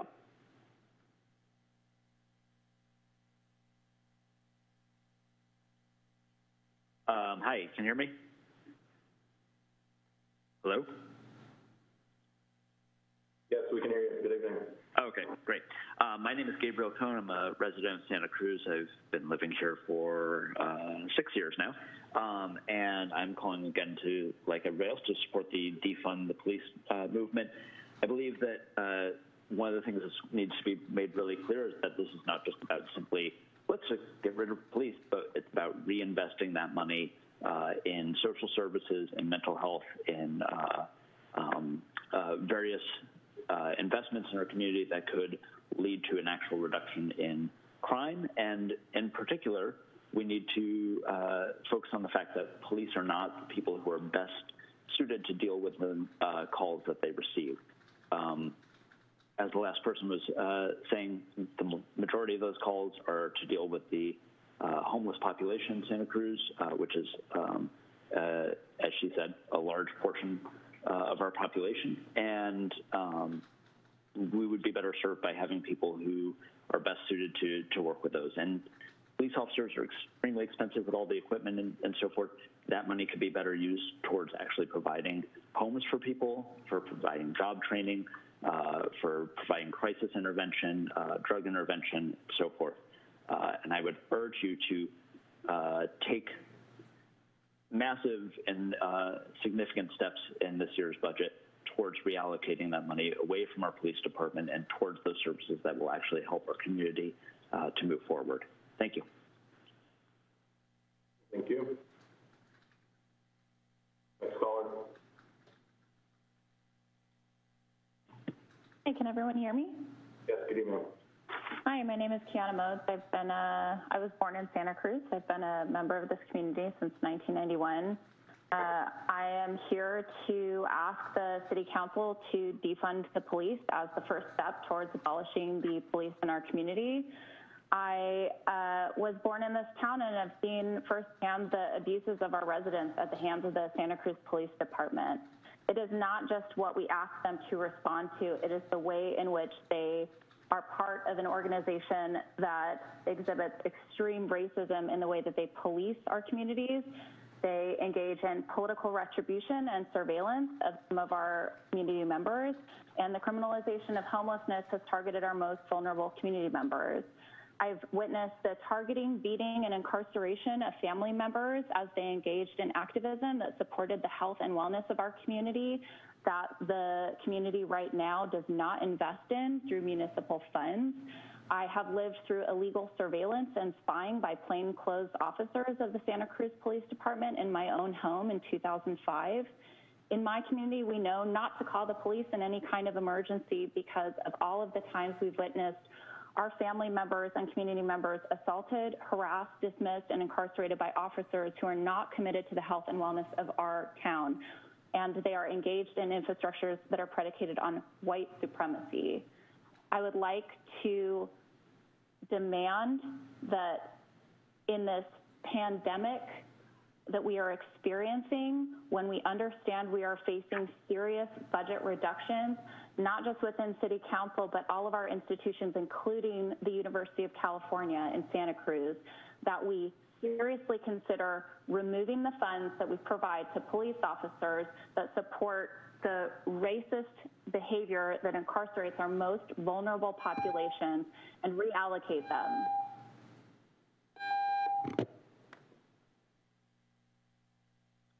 Next speaker. Oh, I don't know if this is fair. Do I get to speak twice? I'd love to, but, okay, I apologize. I'm off. Okay, uh, next speaker, you're on the line. It's 1999.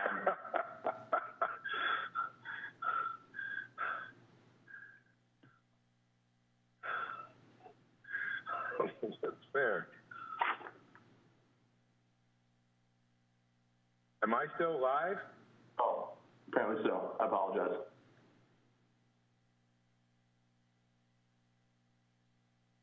Okay, next speaker.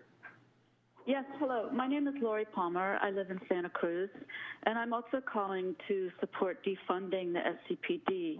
And I want to emphasize that this means acknowledging that the police as an institution comes out of slave patrols and night watches. It's a deeply structured white supremacist and racist history that we have to unravel before we can move forward together.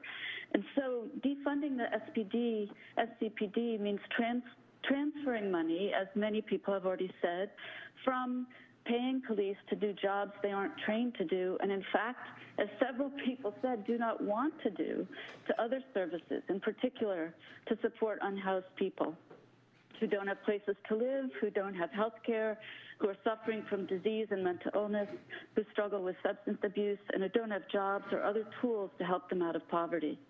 Defunding the SCPD also means uh, collaborating in creative ways with community members on participatory budgeting measures, which means opening up the process to other people in the community who will have really good ideas for how to use that transferred funds. So I would support not only switching the money, but also inviting people to help come up with creative ways to um, reallocate that fund. Thank you. Yeah.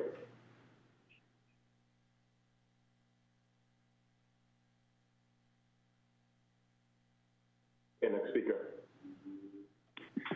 My name is Jasmine Mia, and I am a six-year resident of Santa Cruz, a woman of color, and a local mental health worker. Quoting one of his sergeants, Chief Mills recently wrote, if someone could take the homeless issues entirely from us and stop us from responding to mental health calls, please take the money. From the massive demand I've seen to defund the police, I would say, we hear you. Also, during a meeting with the city manager, Martín Bernal, and Mayor Justin Cummings, hosted by UCSC's NAACP, Bernal repeatedly stated that police officers did not sign up to answer calls for homeless issues or mental health issues. Again, we hear you. Please give the money that goes toward those calls to the Health Services Agency and the Human Services Department. I know these are county level departments. I demand you work together to meet our city's needs, which could mean giving the money to county or creating a new department in the city. You've stated a problem. People are giving a solution. Please listen.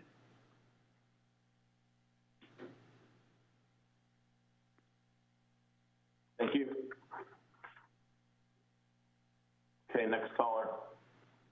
Uh, hi, I had re um, requested additional time for uh, to speak as an organization, the Democratic Socialists of America. I did not receive your communication in time, so I'm sorry, but um, hopefully next time we'll get we'll get that. But for now, you can have two minutes. Okay. Um, so the Democratic Socialists of America enthusiastically joins the call to defund the police that is resonating with such force around the country in the wake of the killings of George Floyd, Breonna Taylor, and countless others. Led by people of color, many of whom have been organizing around this issue for decades, the call for defunding is, at its heart, about reimagining our entire society and beginning the hard work of undoing centuries of white supremacy. It is about following the lead of radical black uh, thinkers like Angela Davis and Ruth Wilson Gilmore and recognizing that throughout these centuries, police, uh, police forces have been the central institution propping up a system that values white property over black lives. While Santa Cruz is patting itself on the back for having quote unquote good police officers and contemplating extremely mild reforms, other cities across the country are taking this movement much more seriously, realizing that addressing deep structural racism will in fact require deep structural changes, not just modified policies on when police officers are perm permitted to escalate to deadly force. Defunding is the first crucial step towards those structural changes. Defunding is about divesting from an approach based on violence and reinvesting in communities of color and in social equality. While abolition is our goal, defunding is a concrete action that can be taken now. Defunding is the first step towards the democratic reappraisal of all of our city's priorities, and it is a step that, our, uh, that other cities are already taking. Defunding involves redistributing funds to more effective and less violent forms of public safety. Santa Cruz spends $30 million a year on policing, nearly a third of our general fund and the largest single expenditure. For this money, we get an armed force that is overwhelmingly asked to address nonviolent property crime, a force that spends over 80% of its time dealing with the houseless population, meaning that we deliberately aim our cops squarely at the most racially diverse segments of our city. Thank you you off there, but um, I'm trying to be trying to give everybody equal amounts of time. All right, next speaker. Thank you. Crisis Intervention Team. Hello, everyone. My name is Brian Macaron, and I would like to speak as a city resident and longstanding manager of a downtown local business on Pacific Avenue. I often see individuals experience mental health emergencies in the downtown area. I've seen on a number of occasions SCPD officers showing up in groups, standing around and over individuals who are experiencing a crisis. My question is, do these officers have education and expertise to administer proper care? If so, what are these education requirements for our city law enforcement officers? Lastly, are guns necessary to carry out proper care for individuals having mental health emergency? Let's institute a 24-7 crisis intervention team as an alternative to police intervention. Thank you. Thank you. All right, next speaker. Hello? Hello? Good evening. Hello, my name is Kapi Israel. I've lived here 25 years. I've worked in a mental health facility, and uh, a, psychic, a psychotic break was a, a periodic uh, event that would happen to somebody, and not ever was anybody killed as a result of it. They had um, very particular ways of handling that situation. Um, I feel that there are people around right in Santa Cruz who have developed very practical ways of dealing with the unhoused people, uh, dealing with storage, with cleaning, um, etc. Taking a tent and a blanket away from someone who owns nothing but a tent and a blanket seems like a useless proposition uh, and heartless and unethical. Um, so I'm with the other people that uh, the police don't want to deal with the homeless, and why should they? They don't have the training, they don't have the education. They don't have a humanistic education that would let them know about the history of people. So um, I think that it would be better to put this very difficult problem in the hands of people who know a little bit more about it. And I'm acknowledging it's a very difficult problem. It it begins at the national level, but we have to pick it up at the local level. So it it is difficult in that way. We didn't cause the problem, but we have to solve it. I have one other request of the City Council, and that would be uh, in Berkeley and in other places there is garbage pickup, and I feel that that would be um, very useful. Thank you.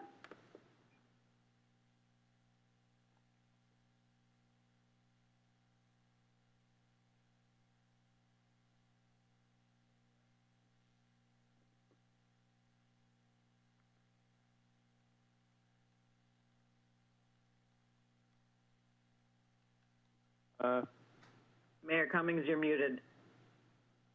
Oh, next speaker, you're on the line. hello. Uh, my name's Adam. Um, I'm calling in today uh, because uh, last time, uh, two weeks ago, I called in and I asked you to agendize uh, reviewing or reducing police funding, uh, and I noticed that you did not do that, so I'm calling to ask you again.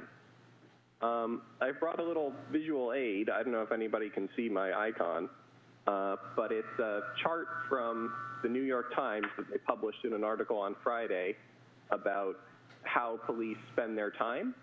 Uh, they surveyed three different jurisdictions and they found broadly similar results for each. Uh, the police only spend about 4% of their time doing anything to do with violent crime, and nowhere did they find the police spending more than 35% of their time dealing with any crime related activity whatsoever. Uh, so I suspect that things are very similar here in Santa Cruz. I don't have actual numbers for Santa Cruz. I don't know if the city tracks that. Uh, but the vast majority of what the police do really could be done by other parts of the city bureaucracy that are not really trained in violence and empowered to fight and kill citizens. Uh, so I would ask that you consider doing that, and I'd ask you to agendize uh, forming a subcommittee or doing something, act- some kind of action on changing around our police and reducing their funding, and hopefully eventually eliminating as much as possible of them and giving their responsibilities and personnel to other city departments. Thank you. Okay, next speaker, on the line. Um, hi, my name is Rachel Mendelson. Um, I'm calling because I would also like to add my voice to all the people asking that we defund the police. Um, and I especially would like to see that as the first step to abolishing and replacing the police system entirely. Um, I especially want to address the idea that we can reform the police.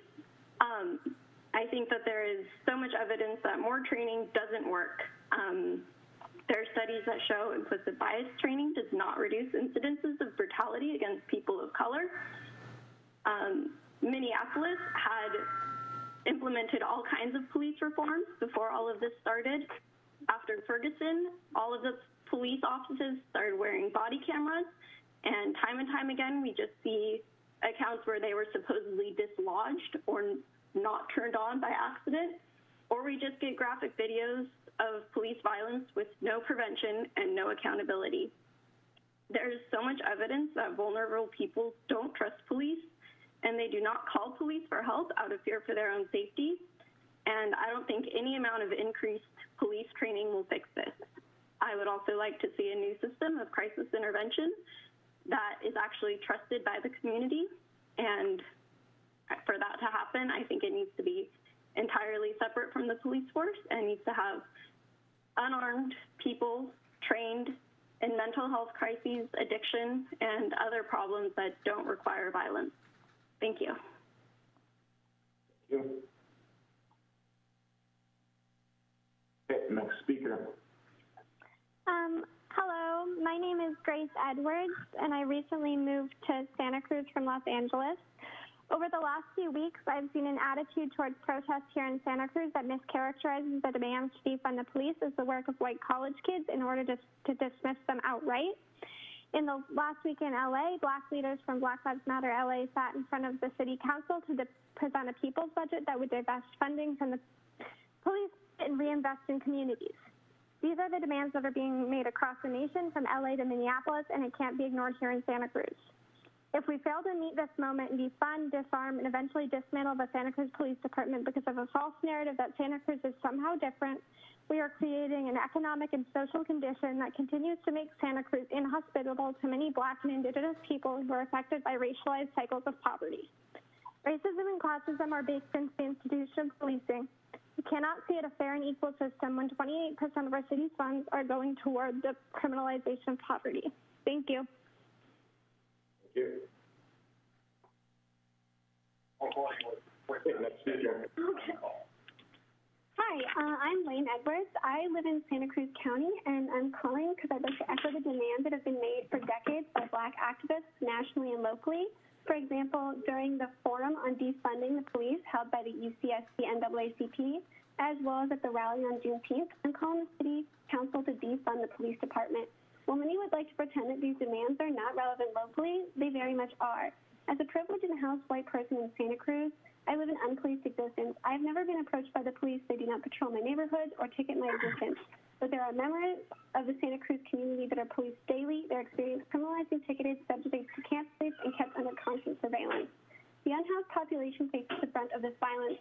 The city of Santa Cruz is only 2% black and 0.4% Native American, while according to the homeless census, Santa Cruz's homeless population is 8% black and 10% Native. Black and indigenous people living in poverty are criminalized daily in this city. According to policescorecard.org, 6% of the people arrested by the SCPD are black. There are many, here's some more facts about the SCPD from its police scorecard by Vision Zero. Uh, they have a higher misdemeanor arrest rate than 98% of the PDs in California and have solved fewer percentage of homicides than 78% of departments. Additionally, far more homicides with Latinx victims were unsolved compared to those with white victims. Only 4% of arrests were for violent crimes. Why does the city of Santa Cruz devote a greater proportion of its budget to policing than, than 63% of departments in the state. These numbers are damning. Who does the Santa Cruz Police Department protect? I agree with all the calls of my community members to divest from the police and reinvest in the community. But I want to specifically state that while it may seem like an appealing solution to fund, funding other systems of care without defunding the police would not be enough. Our bloated, our bloated police department is an active agent of harm in the community, and defunding, disarming, and eventually disbanding the department is the only solution. I'm calling on the City Council to defund the SCPD by 50%, stop all new hires, promote early retirement, and develop an ongoing strategy to shift funding away from policing into community care programs such as affordable housing, economic development, service front housing, food security, and harm reduction, mental health. Thank you. Okay, um, next speaker, and I will just let you know that you're going to be our last speaker of the evening. So for those of you who weren't able to get to for oral communication this evening, uh, please send in your comments um, and send in your uh, requests to the city council and so that we can address this at another point in time. And so uh, the person who's on the line, you'll be our last speaker. Hey, thanks. Can you hear me? Yes. Good evening. Thanks for taking my call today. Um, so my name's Devin. I'm a resident of Santa Cruz. Mayor Cummings, I need to disagree with something you suggested earlier, which is that the subject of defunding the police is somehow separate from the nationwide uprising against police violence towards people of color. It feels like you think that the residents of Santa Cruz asking for change are just opportunists trying to capitalize off of the national conversation. The national conversation is about police brutality. If you want to end racism, you need to address systemic racism. Police across the country have institutionalized racism. This is an anti-racist movement. I like this quote from Angela Davis, which is that there's an unbroken line of police violence in the U.S. that takes us all the way back to the days of slavery. I'll say that I am a person of color, and there are so many other people of color like me who have been protesting and calling into these city council meetings and sending you emails and asking, why don't we have better services for the homeless in our community? Why do we continue to criminalize social problems? What am I supposed to make out when I find that nearly 80% of calls to SCPD are homeless related, who are disproportionately people of color, and nearly 90% of crime in Santa Cruz is nonviolent property crime, yet police patrol alone takes up a sixth of the city's whole budget. We're spending nearly a third of our budget on SCPD. Their own internal focus groups say that they don't have the tools and resources to deal with our issues. You can look this all up in their operations analysis on the SCPD website. Here are some direct quotes. Officers have no tools or resources to deal with homeless population. No services in county to service the homeless. Officers are doing useless work that doesn't go anywhere. Heavy workload results in mistakes in reports and evidence booking. There are no guidelines for responses to incidents. And there's more of them. We are wasting money. We need to stop criminalizing social issues and start solving them. We have an opportunity to invest in food, housing, healthcare, education, and so much more. If we want real, sustainable, transformational change, we have an actual opportunity right now. Please defund the police. Thank you.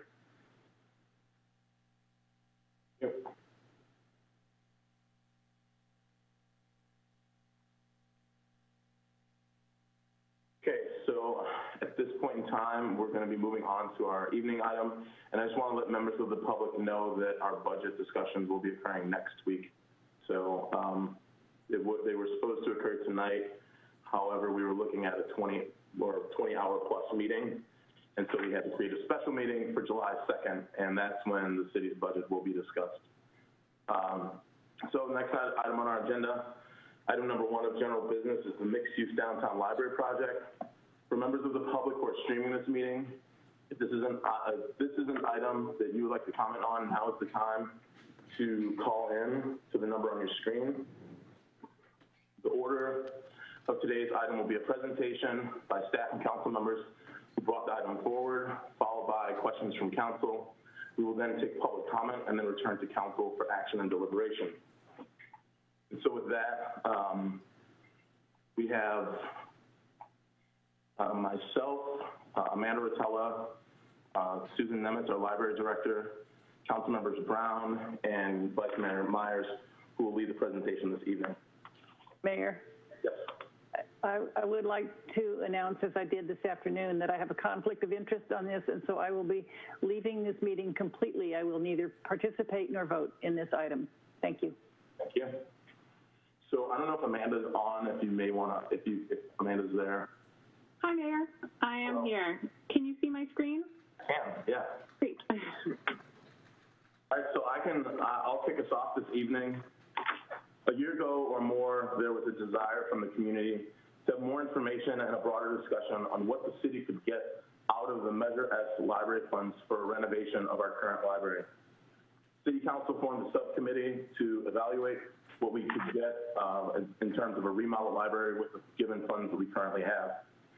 After receiving reports from Jason Architect, there was a desire to see what we could also get with the same funds uh, in a mixed-use project. Uh, those, um, both of those evaluations of, of projects were conducted, the first by Jason Architect, the second by Group 4 Architect Group. And the options before us were a renovation of the current existing library or a mixed-use project consisting of a library with low-income housing, parking, one commercial space for total, and one commercial space for total fitness. After a year of input from architects, the community, uh, the subcommittee has unanimously recommended for option D for council approval. And tonight's presentation will provide the public with information on how we landed to this decision. And with that, I'll turn it over to our city staff. Great, thank you so much, Mayor. Um, this is Amanda Rotella, Principal Management Analyst with the Economic Development Department. And um, my portion of the presentation is to walk us through, um, there we go, the, the process that our subcommittee members went through. So in May 2019, May of last year, the council voted to put a hold on the project and further explore and investigate the options for the downtown library project. Um, and so over the course of the year, the subcommittee has been incredibly busy, um, and I have had the honor of staffing this process and, and working closely with the, the subcommittee members to um, really develop this process. And the goals for our our subcommittee process has been to create opportunities for all voices on all sides of the issue to participate, um, to be as responsive as we can, and to be transparent, and additionally to get as much information out to the community um, about the project and the options and do some additional sort of studies and assessments. And this process really built off of really years and years of um, prep that has gone in, starting with the 2013 Library Facilities Master Plan project, um, all the efforts that went into passing Measure S during uh, the 2016 election, um, moving into 2017 when the council created the Downtown Library Advisory Committee, um, which is a group of volunteer community members who went in to look at um, both the programmatic needs um, from that we need from the library as well as the, the various options given our budget. Um, then the 2018 campaign where we engaged with a lot of the downtown stakeholders and then now moving into this process.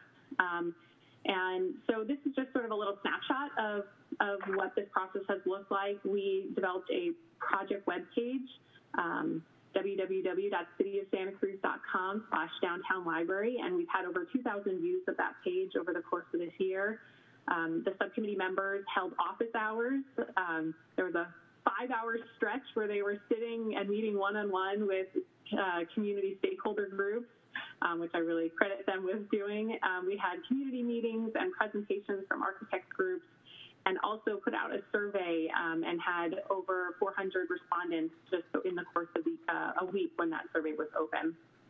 So moving on, um, just a quick snapshot of the the, uh, the subcommittee website. This website sort of details all of the meetings. There are video and audio recaps, um, and all of the reports and past council meetings has all been cataloged here. So really with the goal of making sure that information was easily accessible and easy to find. Um, and so uh, created this web page. And a big piece of this has been about stakeholder and community engagement. And um, as you can see, we uh, this list here, the subcommittee um, kind of met with over 30 uh, stakeholder groups over the course of this process, either in those one-on-one office hour time slots, people who attended meetings and were invited as participants on various uh, topic areas, as well as input at some of our presentation uh, meetings that we've had from the architect team. And really, the, I feel like the uh, quote that keeps coming up during this process was, we come to better solutions when people participate. And I think um, we were all very excited uh, by the amount of diversity in the groups. Um, you can see from this list, there's really just a, a, huge number of people that are represented by these uh, by these groups, and just across a wide variety of interests. Um, and so that was a really exciting part of the process. And then the final piece here is the cost assessments. So um, the subcommittee members uh, did two partner cost assessments. Um, the first one was done by Jason Architecture. Um, they did an assessment of the renovation project and that and that happened in the fall. And then the mixed use cost assessment, sort of the partner comparison piece, was completed by Group 4 Architecture early this year. And both of these um, architecture firms were hired on to answer the question: What can we do with the library with the budget, um, with the money that we have, the $27 million? And so both of them um, were, were, that was their scope was to solve was the answers for that question. Now the renovation cost assessment also they also looked at um, the current library facilities and did some assessments of of the existing building and provided sort of their their take on um, the current conditions and, and what would need to be renovated or replaced um, or built out. Um, so that was an additional part of their scope. And then for the mixed use cost assessment, um, Group 4 Architecture also looked at the two other components, the housing and parking components. And while they didn't design for those, they were looking at how all of the pieces could fit together. And both of these reports are available, um, again, at the the subcommittee's webpage, uh, citysantacruz.com slash downtown library. So you can dive into those and see sort of the full breakdown of what the floor plans look like, some renderings, which are, again, just sort of preliminary sort of conversation starters. Um, and all of that information is on the website. And with that, I will hand it over to our library director, Susan Nemitz.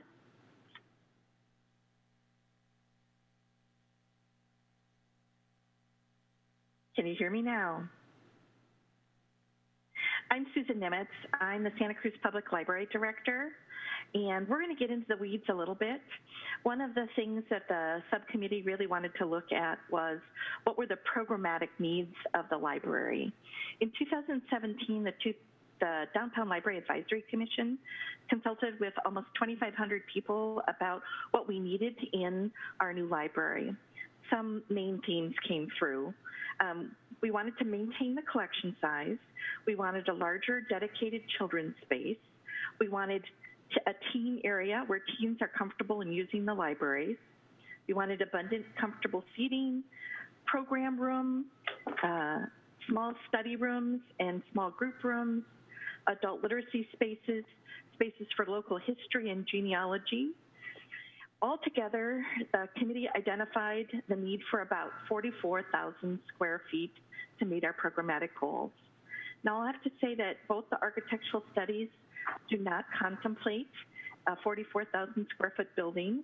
Um, we have a limit of $27 million through Measure S, and um, each of the options provide different space levels. If you'll go to the next slide, Amanda. In the end, um, the, I, as library director, am recommending um, the multi-use project, and I just wanted to talk a little bit about why. The, the big reason is that the multi-use option gives us 5,000 square feet more than the remodel. And um, the remodel is contemplating about 30,000 square feet, down from the 42,000 square feet we currently have. The multi-use contemplates about 35,000 square feet. And with that space, we are able to achieve a lot of our our programmatic goals. Um, first and foremost, it would protect the size of our collection. Um, the remodel actually would require us to reduce our collection size pretty dramatically. Would it be able to do a full uh, line of adult services, including genealogy, local history, and adult literacy? Um, we would be able to provide a space for teens in the libraries what's interesting about uh, option D is it really allows um, for space zoning where we can have different audiences in different parts of the libraries and potentially have separate entrances, for example, to something like the children's room. It could reduce our maintenance costs. We would have no costs for parking, parking maintenance. It would reduce our utility costs. It would reduce our security costs, and it would reduce our landscaping costs. Um, it uh, provides infrastructure we desperately need, like appropriate bathrooms, because um, we provide bathroom services to a lot of people in our community. Um, it gives us the capacity to be greener, um, for example, allowing us to do solar panels. But I think um, one of the greatest opportunities through the multi-use facility is it allows the, the library to be open for the two years that um, it will take to construct the library building itself. If you could go to the next slide. I just want to say in the multi-use options, we looked at both option C and D, and uh, I actually really liked option D. Um, it provides incredible street frontage along Cedar Street. It also allows the ramp to be the par- I'm sorry, it's a Minnesota thing. The parking garage would be actually a separate entity next to the library and the housing, and it would not be within um, on top of the, the library and housing that you see in option C. Um, with that, I would like to go to the next slide. And I think it's Donna that's going to talk about community benefits, or is it Sandy? I think it's Justin, Mayor Cummings. Oh, I'm sorry, Justin. So in addition to, uh, so in order to get to this decision, we also went through an evaluation process, evaluating the various options that we had in front of us. And uh, the committee landed not only on option D because of the services that it would provide and the goals that it would meet in terms of the library and services, but also uh, option D uh, provided much more community benefits. So it increased affordable housing, increases affordable housing in the downtown, and affordable housing is one of the goals. Increasing affordable housing in the city of Santa Cruz is one of our goals, and what many people have been saying uh, to us today as it relates to defunding. I think one of the things that people are saying is we need more affordable housing. So this project would provide, um, at a minimum, 50 units of low-income housing increases shared parking in the parking district. So there are a number of lots that came to our attention that will be coming offline, and um, some of that parking can be consolidated in this one spot. Uh, it supports visitors to the downtown. Uh, it, has increased durability and lifespan uh, as opposed to the renovation. Uh, it does. We did uh, note that it does have impacts to the farmers market and the antique fair. However, um, the there is a plan to move the uh, farmers market to a permanent location in the city, and so that was also taken in, into consideration. Um, it supports public art in the building itself, so there's an opportunity for us to display local artists within the building.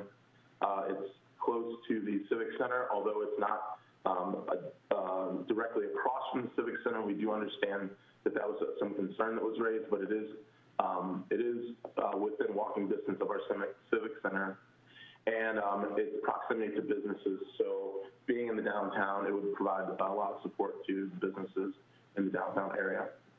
And I'm not sure who's up from the next slide.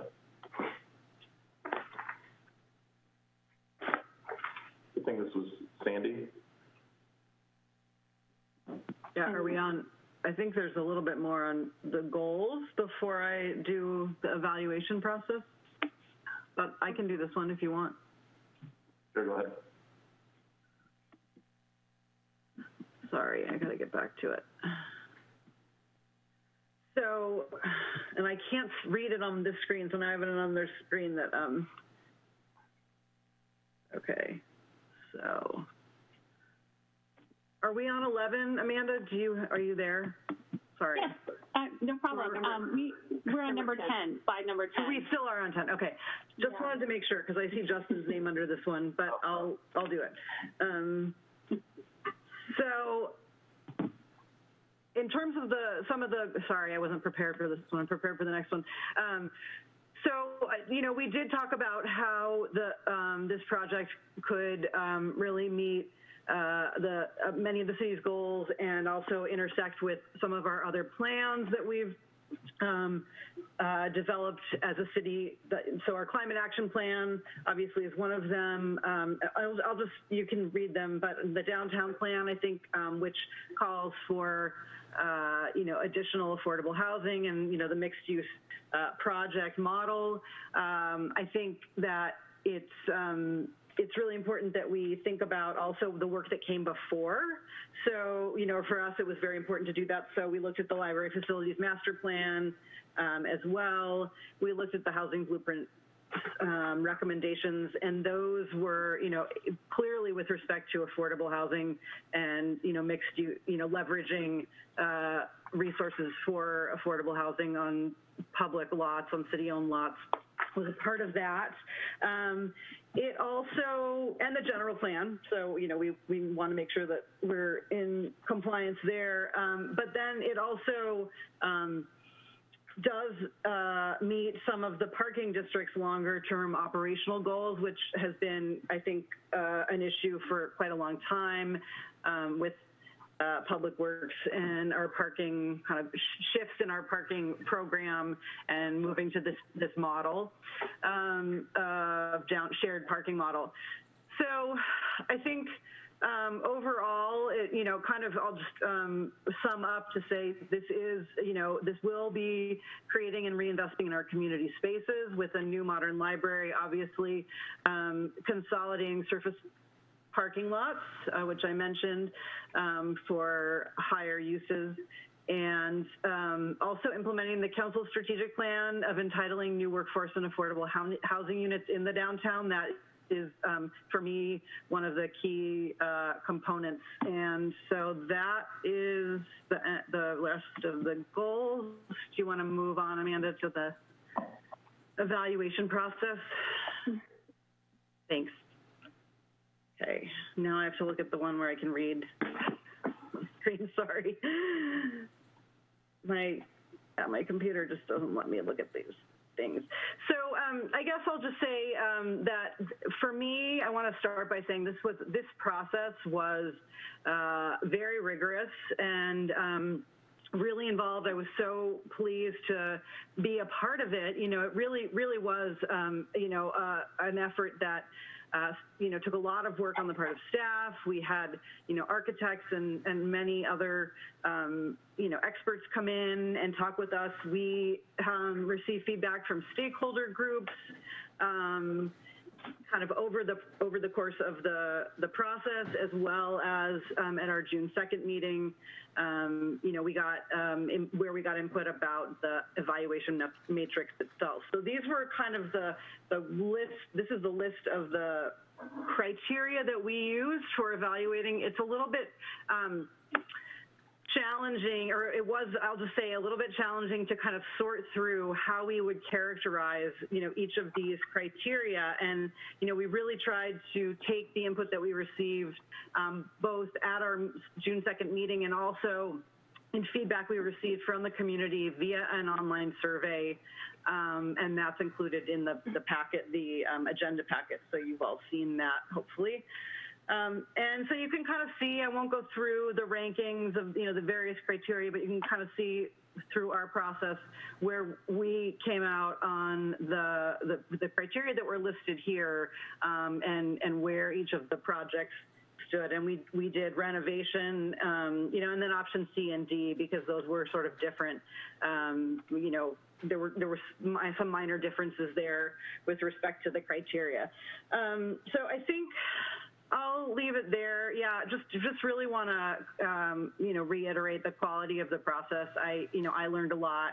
Um, I, you know I think everybody was really dedicated to you know getting us to a decision about you know getting the best library we can get. I think everybody's committed to that. Um, and so I'll leave it there, and I'm happy to answer questions about or any of us, I suppose, about the evaluation evaluation matrix later. And I think uh, Justin and I are supposed to tag team uh, possibly the next two um, two slides. So Justin, you can uh, add in here as you see fit. Um, so our process, as as everyone can see, was was very rigorous, as Councilmember Brown um, said. Um, I think also of note was that we did bring in a number of um, experts uh, as well to help us uh, understand the different options and the some of the questions we had. Uh, we had a municipal finance expert come in, uh, affordable housing expertise we brought in to understand uh, opportunities as well as how to put these projects together.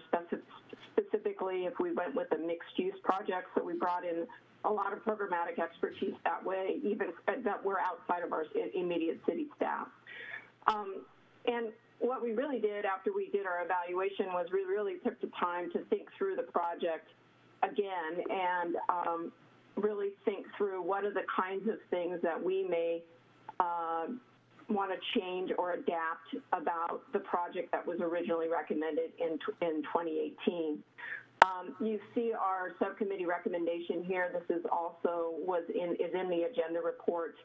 And just a couple of things of note that we did um, we did specifically want to call out in the in the recommendation, um, which uh, wasn't in the uh, in some of the work that was done previously.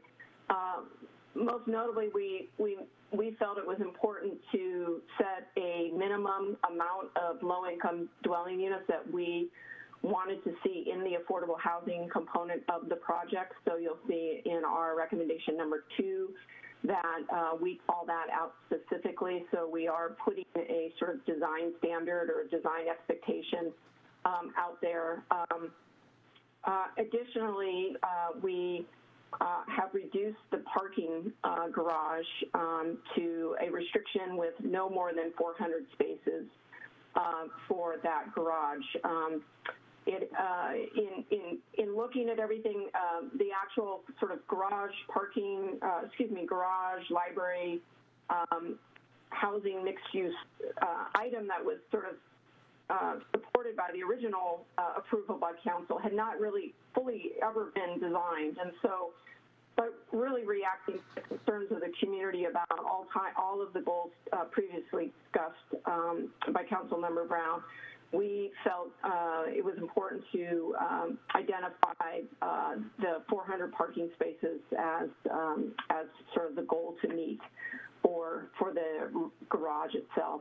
And then finally, um, we felt through a lot of the community comments and a lot of the um, office hours and all the other um, uh, communications we had with folks that we wanted to uh, be consistent with the existing heights in that immediate area.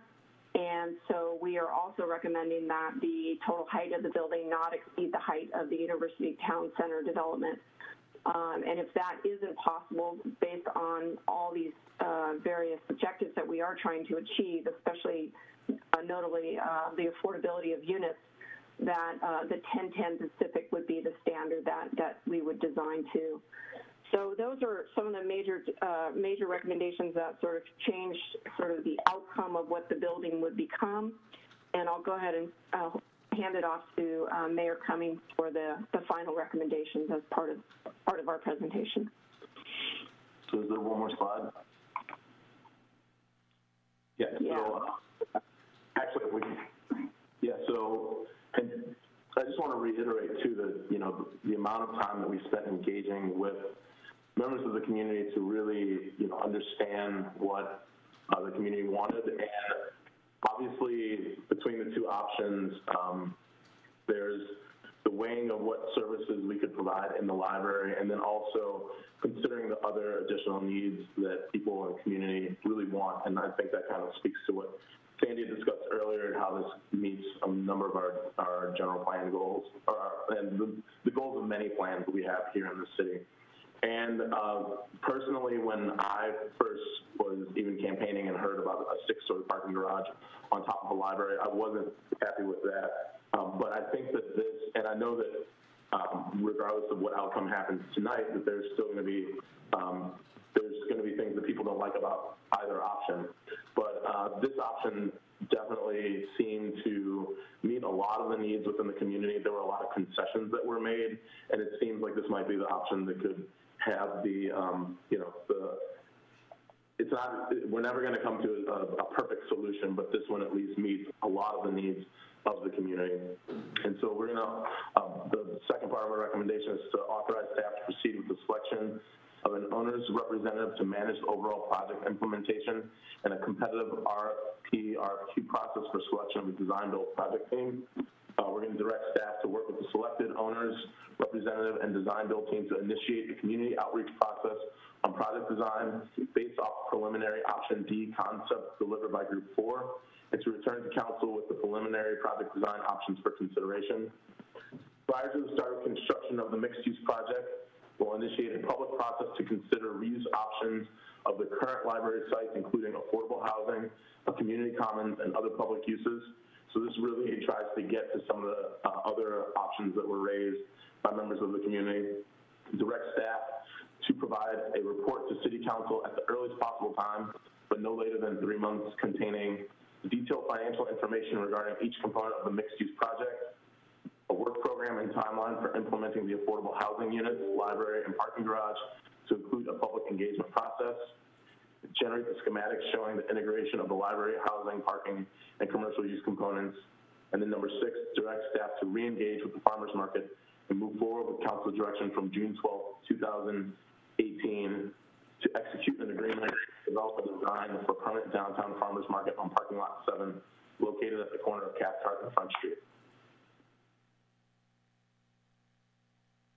And uh, if I could have the next slide, um, we will go ahead and close out the um, presentation so that we can um, answer questions from our colleagues and uh, hear from hear from the community.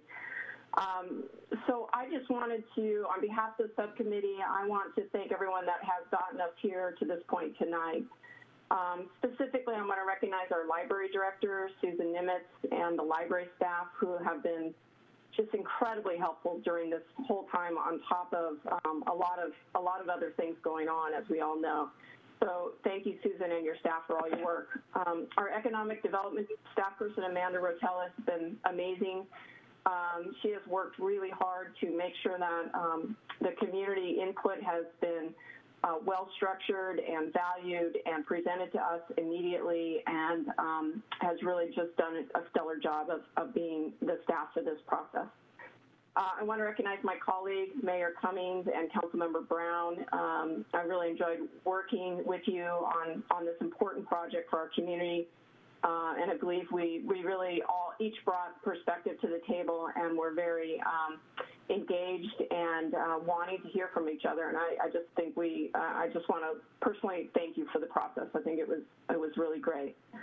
Um, our public works staff was instrumental in helping us understand some of the um, opportunities around uh, looking at um, both size as well as location of the parking garage.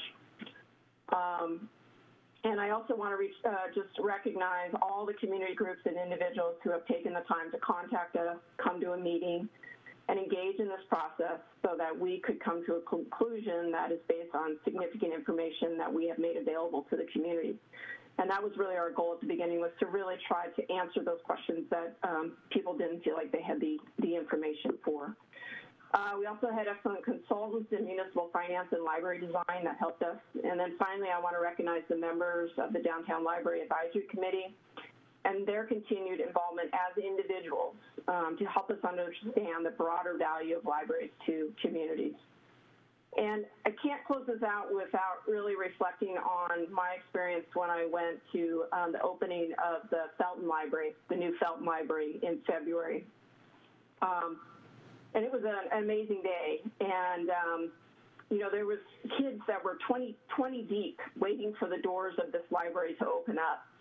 And, um, you know, it, it, was something that I think we hadn't seen in a long time in terms of the, the celebration of a civic building. Um, and Scotts Valley had done done their work year, a few years earlier, but really exciting to see the community really wanting to use this this new brand new library facility. And if you haven't been up there, it's a place that you really want to go see when we when, when the libraries do reopen. It's got um, amazing, beautiful art uh, art in the building. There's chairs that resemble birds' nests for kids to climb into. There's a really neat little cozy fireplace for reading, and then a wonderful outdoor patio with giant rocking chairs that people can sit in and read. And um, and that's on top of all the thousands of books and resources that the community gets to enjoy there. Um, to, to, top it all off, there's also hand-blown glass butterflies hanging from the roof, and that just makes the whole space feel really magical. And I think that Felton is one of many of these libraries that we're all engaged in right now as a community, and we're we've chosen to renovate and rejuvenate and rebuild and construct new, brand new libraries in our community.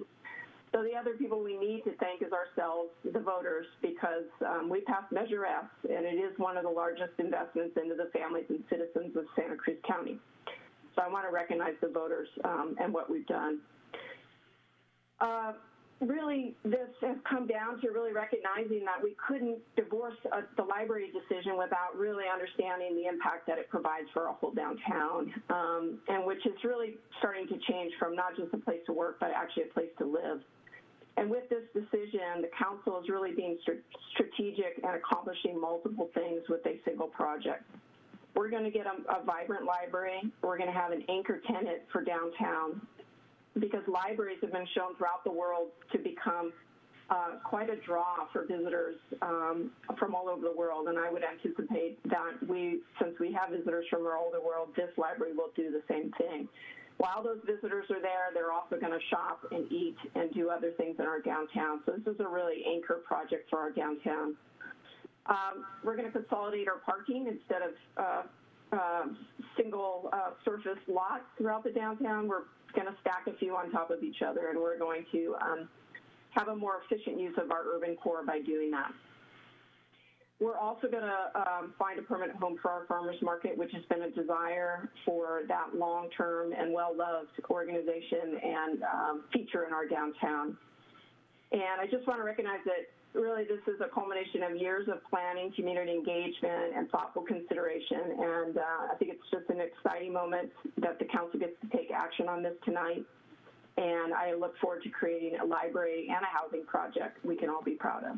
So thank you for everyone that um, participated in this, and uh, we'll turn it over to back to Mayor Cummings and the rest of the process. Thank you. Thank you all. And uh, at this time, I would like to see if there's any questions from the other council members. Councilmember Beiers. You know, um, it's referred to as a mixed-use project, but what is before us, I think, is just the library. And we haven't approved the garage yet, and we haven't approved the housing yet, yet the conditions speak to those. So does that, in fact, approve the garage? And does it, in fact, approve the, so I'm just, I, I thought maybe I've missed something, but usually you have a mixed-use project and you have all three of the components and you look at them together. Uh, first thing I looked at when I went to look at the drawings, a beautiful book on the library, and it never showed the parking garage on top of it. Now I hear it's not on top, of, it's beside it. But I don't. I, I just I, this just hit me tonight uh, when I was look, looking back at that beautiful, that wonderful uh, display of you know the options and looking at it. So I, it just confuses me that we're approving all this, but none of the other two components have even come for the city council's approval. And it's a big deal. Uh, most, so many of the letters re refer to the garage. I mean, building a garage is a very controversial and a huge, big deal. And I'm just one of the conditions, and in fact, to me, just says, well, we've approved it, something, I don't know. So maybe, I don't know who can answer that, uh, this question about planning, city planning and downtown planning without really anything in front of us to approve it. Councilmember Meyers, it sounds like you want to respond. I mean, I'm, I'm happy to hear from my colleagues. I, I can take a stab at, at that. Um, Councilmember Beiers, um, as you can see, the recommendation um, is what what we have brought forward is really the the recommendation for a design build process that would um, basically identify those three components. So it would be a mixed-use building that would include the library, the uh, 50 low-income, minimum of 50 low-income dwelling, uh, affordable housing units, uh, and then a parking garage that would be limited to 400 spaces. And then all of that under the um, the direction to achieve compatible building heights um, with the preferred building heights at the town center. So we. I we are- understand that. Yeah. Right. But we So, haven't I mean, our recommendation is to, I think, is to basically move forward with a mixed-use project, which would then be designed um, following the uh, solicitation of, of, uh, of a qualified, of a qualified set of consultants. And, I- and I'm happy to have um, our economic development staff jump in if, if needed, or Tony if, I know, or who, how to answer. Maybe the city manager. Yeah, I can, I can, I can help here. So what, what you're doing this evening is approving it conceptually, the, a mixed-use project. And then that be- initiates the process of, there'll be design, there'll be environmental review, there'll be the land use process, and there'll be a number of decisions that come back to you, uh, as well as uh, contracts for services, for architectural services. Uh, So there's a whole series of this decisions and actions that the council will have to take um, in the future. This is just moving forward with the initial phases of it so that we can begin that process of hiring the architects uh, and the various co- uh, consultants that we need in order to get, take it from a concept to design that the council can consider. Then you'll have also uh, a set of uh, uh, plans that then we- can put out to bid. Uh, We also have to look at the financing side of it and how to do that. There's the housing component. So all those things will be put together and brought forward to you. I don't know if Bonnie wants to sort of add to that. But today, it's, it's conceptually of, of designing and moving forward with a project that includes these elements to it, a library, parking structure, and a uh, housing uh, element to it. Oh, that's a huge help. Thanks, Martín. And I think from what the words you use, the other two components will go through rigorous environmental review and design and public hearings and et cetera, et cetera. Yes, it'll, it'll all, all come back together. It's one, it will be one project with, with different elements, but yes, it'll all come back to. Good. That, that's very helpful. Thank you. I just- And I just think for clarification, maybe for the public, um, the images that are on the screen right now, um, these are just, these are schematics that were developed when we were, when we were doing the analysis. The actual building is yet to be designed, um, and it would, it would include, as, as suggested in our motion, um, or in our recommendation, that, um, a robust community engagement process would be key to that, um, with various aspects, um, discussed during that, during that period of time. And I would add that there's also associated decisions that'll come back to you around the farmer's market um, and the other uh, uh, portions of the recommendations here. So those also will require future actions to, to budget for that, to move forward with design, uh, for example, as well as the, uh, uh, the vacated building, uh, the future use of that building.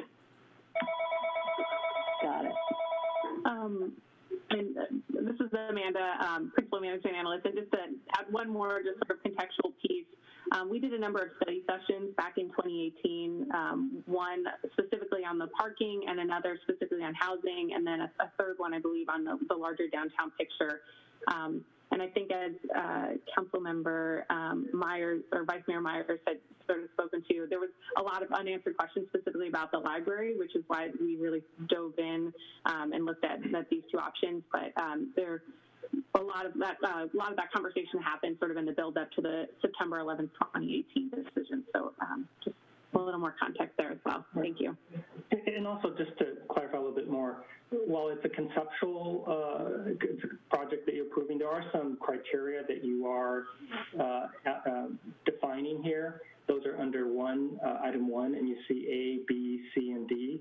Uh, so those are sort of parameters that, that you place around the concept with respect to the housing and the number of units, with respect to the parking and the, and the amount of parking, uh, with respect to height, um, and with respect to how the library is located. So those are, again, while it's conceptual, you, you also have created some parameters around the project. One other que- question, if I may, um, Mayor. Um, there's some reference that the money has to be spent from the bond measure, and these planning these other two components are certainly going to take a couple years, I would think, maybe a year. Are we okay on that? I can answer that. Uh, Yeah, yes. I um, asked you. Yes. yes, uh, yes, yes, yes, we are. Um, we have, um, uh, knowing uh, that the project, uh, that we have a conceptual approval, we can develop the financing plan uh, and then issue bonds accordingly. so we can begin to use them, you know, per the bond requirements and also to leverage them in the best possible way. So we should be uh, absolutely okay with the financing and, and the bond measure. Great, because I know that was a, has been brought up several times. Yeah, I think, I think delaying it for a long, long time would, would be problematic, but at this point, I think we're okay. I just want to add one thing to that, which I think is the, just so the public is aware, because there is some, there was a lot of concern over the library getting buried under a parking garage, um, whether there's going to be market rate.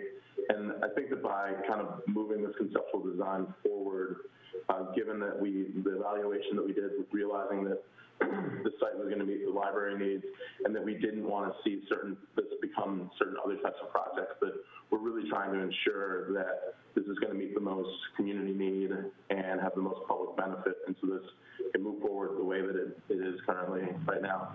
Another thing with regards to the um, the parking, there was a, a lot of concern over having that embedded within the building and that not being able to be converted. And by putting it adjacent to the building, um, if there's a need to uh, to um, demolish that parking garage in the future, it provides us with an opportunity to demolish the parking and reutilize that space should we not want parking there in the future. So um, we just, I think that throughout this process, we tried to do the best we could to incorporate uh, all the different needs of our community and um, really try to strike a balance.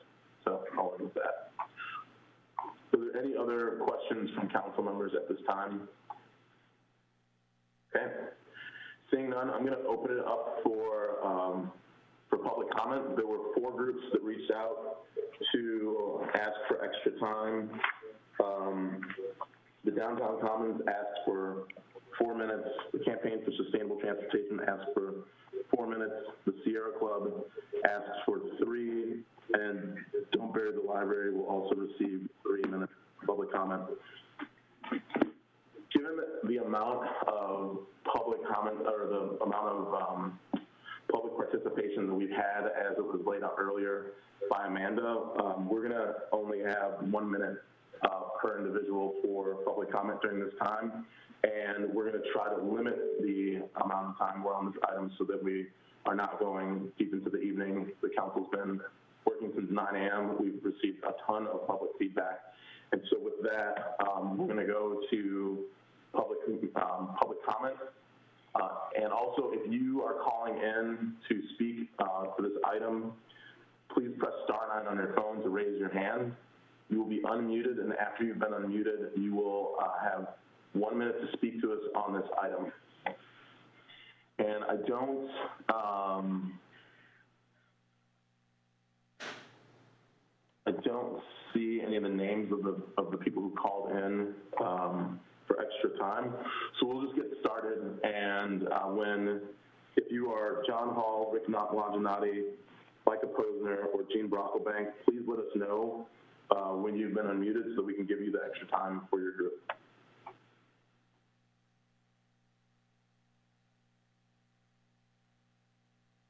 And first caller, you're on the line. Hello? Uh, building a combination library parking garage it is kind of sounded like a bit of a silly project, uh, but this presentation has assuaged my concerns, and it We can't, we can't really hear you. If you can speak louder into your phone. Uh, There. Now I can hear you. I, I was just saying that this presentation has really assuaged some of the concerns I had about a combination library parking garage. Uh, it doesn't really look like that's what it's going to be. It looks like it's going to be a library, also a parking garage, and also some housing. Um, but I guess my only critical comment is, how did we decide on this size of housing? Why not more housing units? Don't we need more housing units? Thank you. Thank you. Okay, next speaker, you're on the line. Hi, can you hear me? Yes. All right. I, so my name's Sean Cutler. I am running uh, for city council as libertarian, and I fully support this.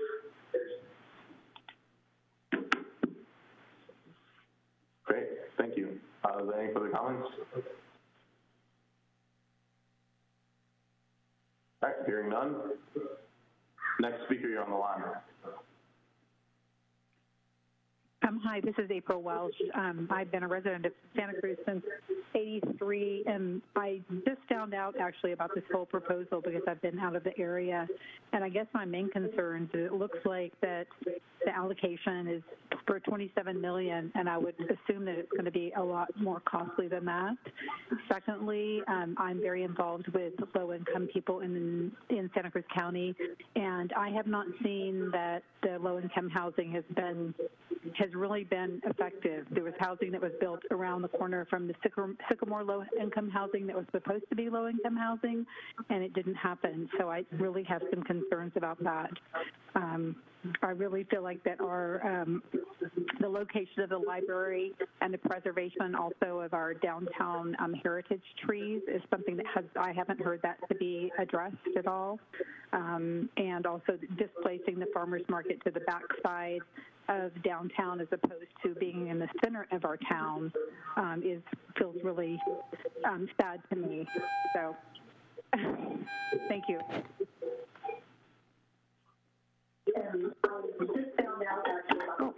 Hi, um, my name is Joy Schendeldecker. Uh, I've lived in Santa Cruz for uh, five years, and I just wanted to to comment that while I want an improved library and more affordable housing, I'm concerned that this isn't the right project at the right time in the right place. Um, I think that we do not need more parking garages in our town. The investment in them and the return on them is not worth it. Uh, I also don't want to see the size of the farmers market reduced. I think we need the footprint that we have now. And in this time of coronavirus, when we need to socially distance, we need more open spaces for outdoor community um, events and essential services rather than less. I also think that we need to create a green commons, um, not take it away. Thank you.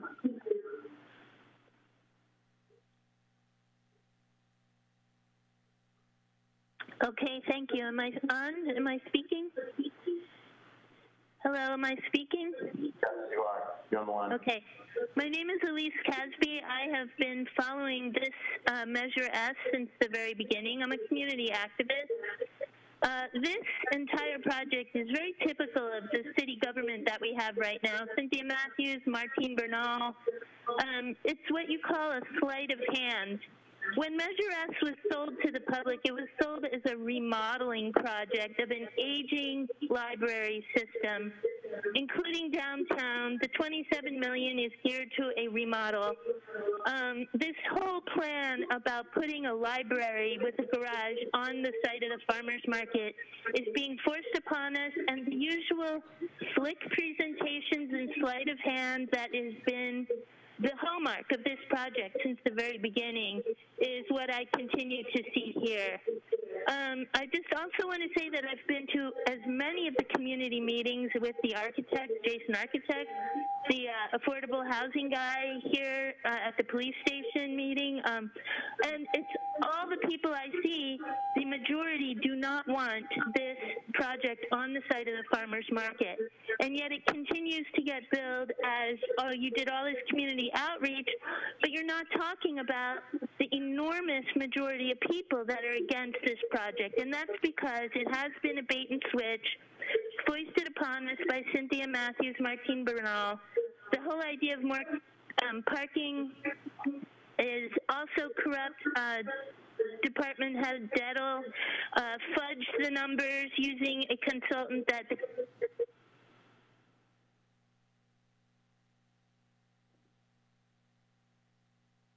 Oh, hello? Um, I guess she must have hung up. Okay, well, we'll move on to the next caller. Hello, can you hear me? Yes.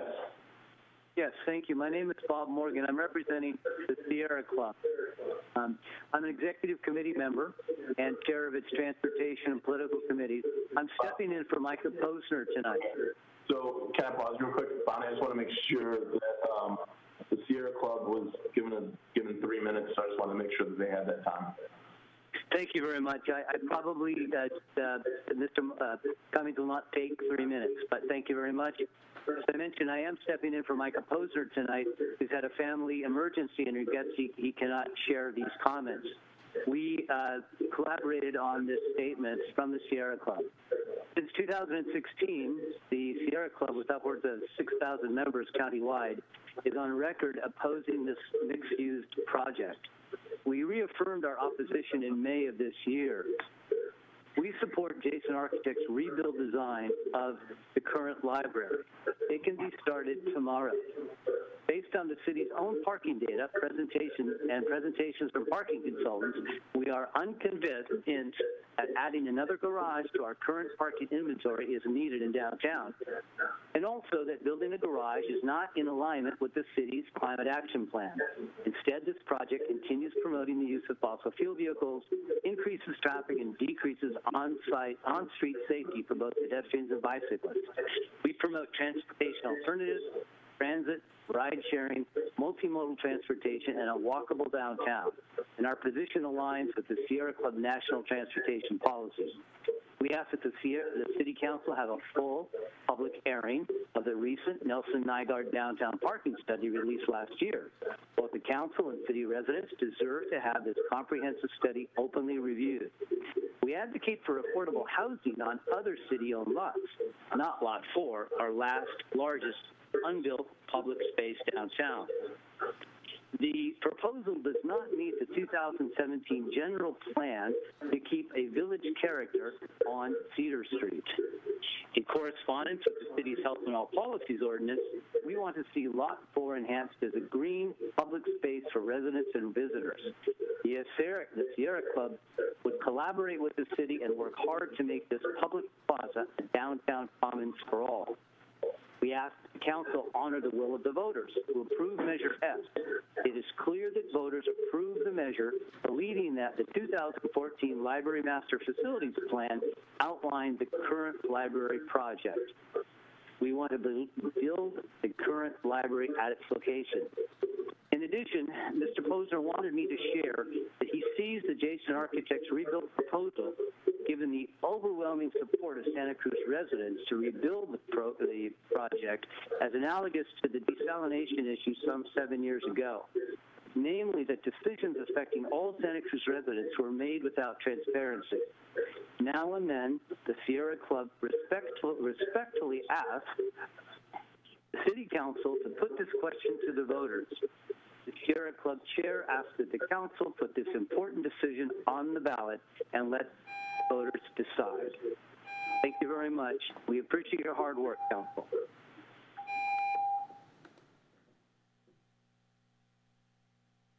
Okay, next speaker, you're on the line. Hello, this is Kristen Sandell. I'm the local engagements coordinator for Extinction Rebellion Santa Cruz, and I'm speaking to oppose this project. We all want affordable housing. We all want a library, but linking these things to a new parking garage that we don't need contradicts the city's own climate action plan. It's not a good use of space or resources, especially in light of the increasingly severe effects of climate change. We instead support the creation of green commons.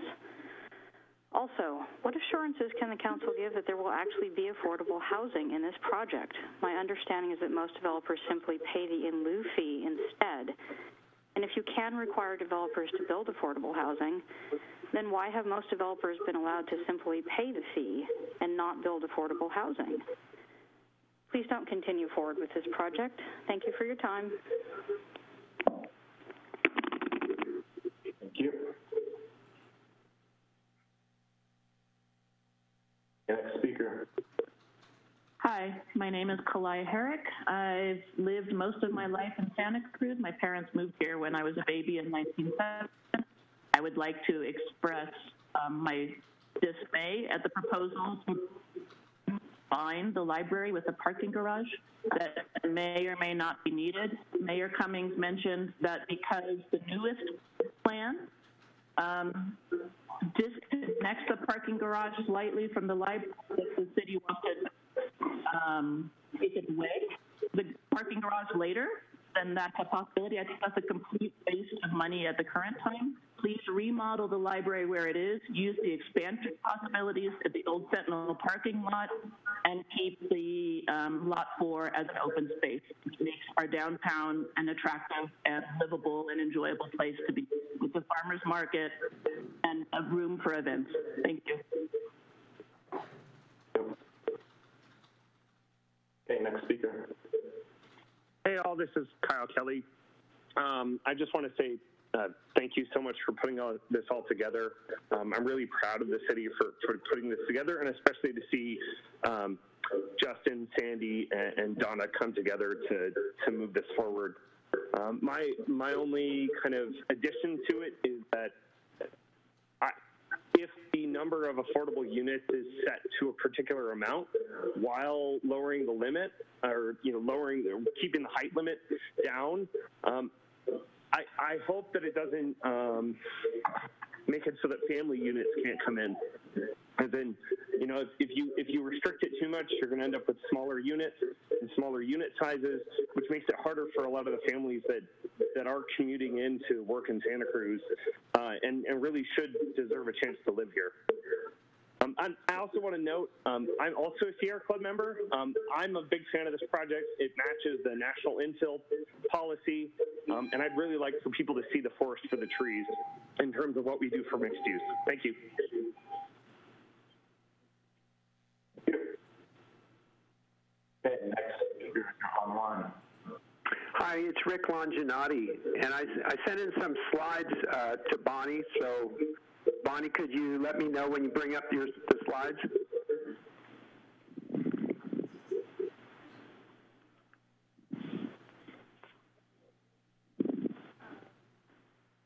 Amanda have to stop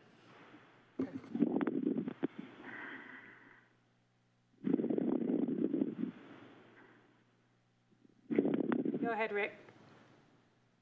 Okay, uh, Rick Longinotti. I, um, we've got great community goals that we agree on, and I'd like to persuade each of you uh, one thing tonight that we won't succeed in reaching these goals unless we stop expanding auto infrastructure. The next slide, please. Um, there's a financial cost of auto infrastructure. It's clear that every dollar spent on parking is a dollar that could be spent on affordable housing or other community benefits. So if you consider the savings from not building this garage, which staff say is $87 million, we could build a lot more affordable housing than we can with the money in our housing trust fund. So ironically, the good intentions behind the affordable housing on this project is going to wind up with a lot less affordable housing than if we didn't build all the parking that we're talking about. Next slide, please. Our downtown plan considers providing open space a priority, and that's a social equity issue. Apartment dwellers in the downtown need outdoor space like everybody else. Next slide, please. I really want to get across to you that building a garage goes against the consensus of expert opinion. These three consultants met with the Planning and Downtown Commission in 2015. At that meeting, Janice Rhodes told the commissioners, Reading from the middle paragraph, no agency will make enough on user fees to pay for all that new parking space. All three of us professionals and all my peers in the industry have become very conservative, maximizing existing inventories before we step out into that arena of financing new resources. And she says you put all those things in place before you consider doing a new garage. Next slide, please. Last year, the council heard the same advice. Patrick Siegman revealed a little known fact that according to the city's annual parking census, parking demand has declined 10% since 2008. And his demand model estimates that the significant parking surplus that the city currently enjoys at peak periods will only be slightly reduced by the loss of surface parking spaces and new development. So it's not accurate what I'm hearing a lot of people say, and it's not accurate to state that we need a garage to replace surface parking spaces. Next slide, please. When staff first brought the garage library idea to the council, we said, wait, wait until the downtown parking strategic plan comes out before you consider building a new parking structure. I had no idea at the time that staff would never bring the strategic plan to the council's attention.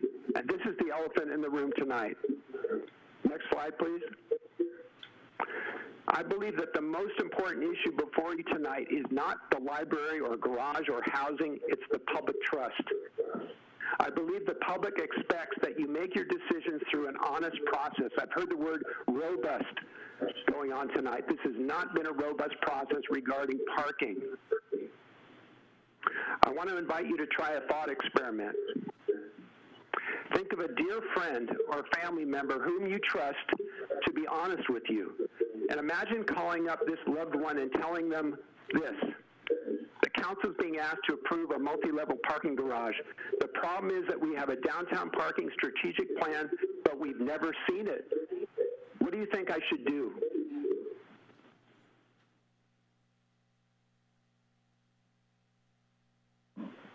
Thank you. Eh,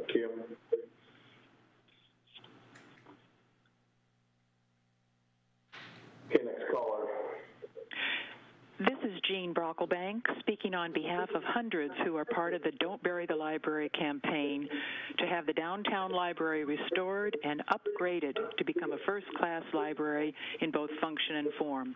We're looking at two projects tonight. One is funded, the other is not. Both projects would result in essentially the same smaller library of about 30,000 square feet with the same amount of collections because the mixed use project is not yet funded. Director Nemitz's option D actually starts at 29,660 square feet. The as yet not even designed mixed use project must be funded and built before the library can be added as a tenant in that structure. The roadblocks for the complicated misuse project are enormous. Meanwhile, the delays inherent in that project threaten to diminish the secured Measure S money due to the decreased payback period of bond debts. The city is facing a $10.4 million general fund deficit. City manager Martín Bernal recently stated, quote, we do not have enough data and knowledge about our immediate future to make reasonably adequate projections. The level of change and uncertainty is extraordinary, end quote. With a vote tonight to allow our standalone library to remain at the Civic Center, design and planning can start tomorrow while creative fundraising by the public could continue during the construction process to provide desired enhancements. The public record on this matter is clear. By 5 p.m. today, over 560 letters were received by council, with more than three to one, that's 434 to 135, favoring renovation of the library.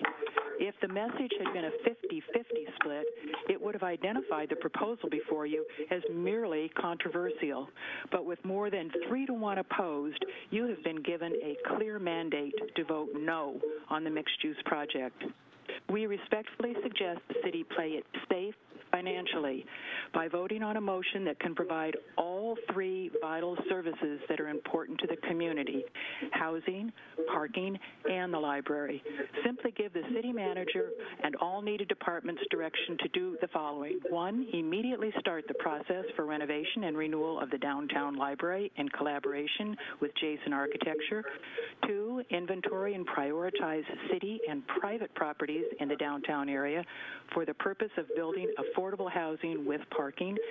Three, place Lot 4 in reserve for five years, allowing its continued use as a parking lot and weekly farmers market with a strong possibility it may become a beautiful downtown commons. Thank you.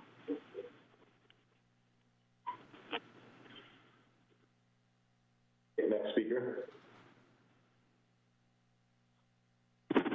Hi there. Can you hear me? All right. Hi. Um, I'm a car commuter. I use a secondhand minivan to get around. Let me just say something. That car is not small. I can't parallel park to save my life. We suffer truly. But here's the thing. I've never had any trouble parking whatsoever downtown. Between and this really kind of um, adds into what people were saying about this not really being. We don't need more parking. So between that and my satisfaction with the current Santa Cruz Library, I have something I want to say on this proposed development. So this project will create unneeded extra parking with so-called affordable housing that is most likely going to end up being market rate and therefore not really do anything to drive down the obscene cost of housing here. And we decided this was more important than addressing the multiple demands to defund SCPD. Y'all closed stack on one of the biggest movements of modern history to push forward 400 parking spaces. Do you realize that that is about the most tone-deaf thing that has happened in this meeting since someone suggested giving the police merit badges for not shooting people? There's so much that I could say about this. Um, the fact that we're moving the place not only used for the farmers market, but also where our pride parades are usually, our pride festivals held. But if really out of time, let me just say this. If this does pass, I'd like to recommend that that is, is Michelle Alexander, the new Jim Crow. Thank you.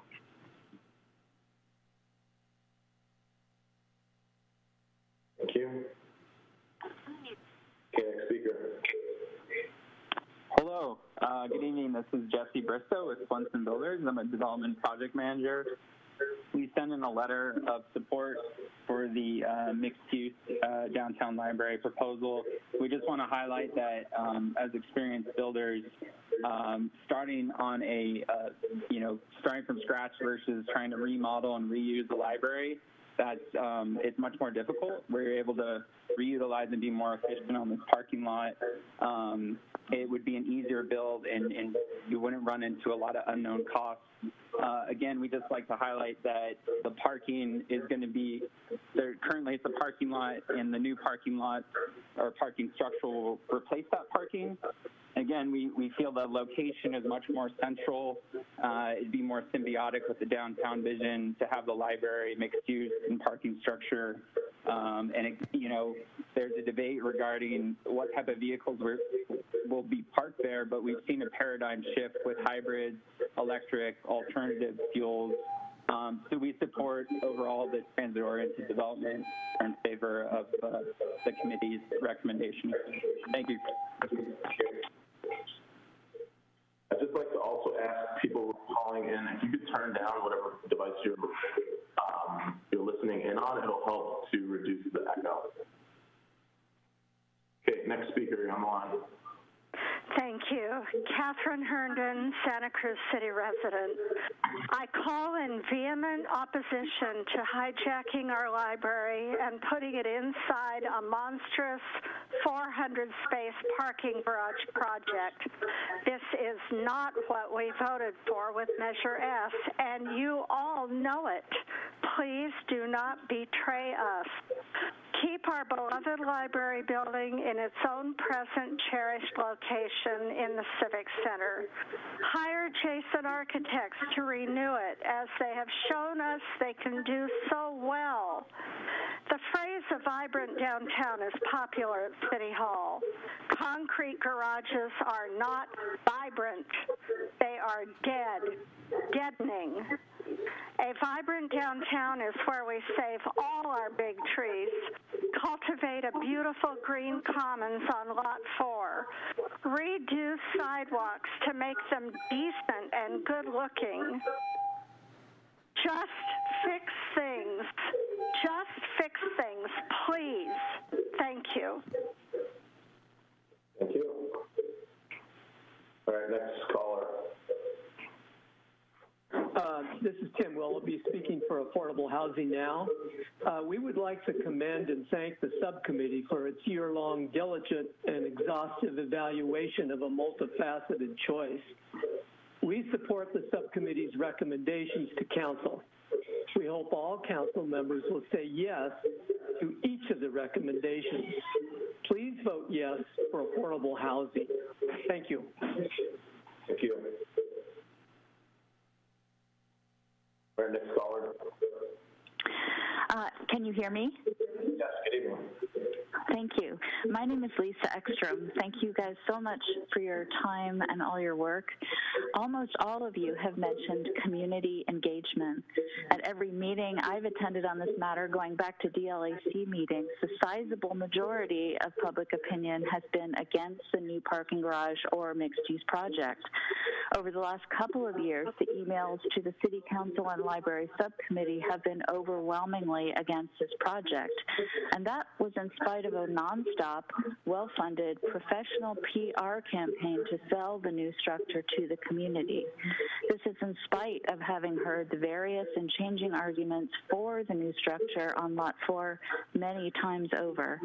During all this time, I've seen almost no recognition from the city and council members that your community is largely against building a new enormous building on Lot 4. In the light of all this, how are you representing us? How are you recognizing the voters? Measure S would never have succeeded with voters if the current plan had been presented. Thank you again. Thank you. All right, next speaker, you're on the line. Hello? Hello, good evening. Um, this is Richard Marley, and I just wanted to comment that I voted for the restoration of the library. I did not vote for a bigger project. And I fear that if this city council goes forward with this mixed-use project, when we really need some bond money to be passed, the voters are going to reject you because they won't trust you. Thank you. Thank you. Okay, next caller, on the line. Good evening. Good evening, good evening, Mayor Cummings and members of the council. My name is Martin Gomez, and I'm president of the Friends of the Santa Cruz Public Libraries. We have nearly 1,000 supporters and five chapters throughout the county. I want to thank the council for the thoughtful consideration about this downtown library project. I'm speaking in support of this project. The downtown library will serve as the hub for programs and services for the entire 10 branch library system. It'll also be a source of community pride for the city of Santa Cruz. As Vice Mayor Meyers mentioned, uh, Felton Library has already achieved that goal, and we would like to see this, this library in downtown Santa Cruz mirror some of that pride as well. This will be an anchor civic development project that addresses housing, retail, and parking issues for the city. On behalf of the Friends of the Library, we support the recommendations of the subcommittee and urge you to vote to approve their recommendation. Thank you very much.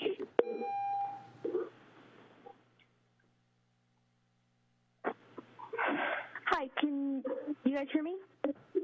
Yes, good evening. Cool, thanks. I'm Gloria Pantea. I'm part of Youth for Climate Justice, and I'd like to express concern about the Climate Act impact of the potential parking garage. Um, no matter what decision gets made about the library, it's crucial that we prioritize the environmental impact as much as we can. The biggest problem with the parking garage is that it is a parking garage. We need to work towards a future without gas-powered vehicles. Yes, currently driving is the only way that many people have to get around, and taking away parking won't actually fix that problem, but that doesn't mean we can just ignore the very real problems caused by driving and the potential for an unnecessary increase in driving from a parking garage. According to the IPCC, we have to get at least a 45% reduction in carbon emissions by 2030. We are nowhere near that mark. So the question becomes, is this really the way to get affordable housing and a renovated li library that brings us closer to a livable future? I sincerely hope that you will take into account the carbon impacts of its use, as well as the construction of the building for the sake of everyone's future. Thank you. Thank you. All right, next speaker, you're on the line. Uh, my name is Steve Schnarr. Uh, a lot of other speakers have already spoken well to the environmental problems of, of, increasing car infrastructure, even when studies show that we don't need more parking and that the world can handle more car driving. I want to speak, to the fact that I voted and uh, thousands of voters voted for Measure S for the library that would not have voted if it was for this project. And so, in addition, I voted for Mayor Cummings because one of his major platforms for this campaign was that he was going to oppose this project. And and so, uh, this feels like another example of the type of politics that makes people politicians and hate politics and say that uh, nothing matters and the staff just runs the city. Well, um, you're in charge. The staff isn't in charge. Most of Santa Cruz doesn't want this, um, please let's do something that is actually good for the community and not just development for development's sake.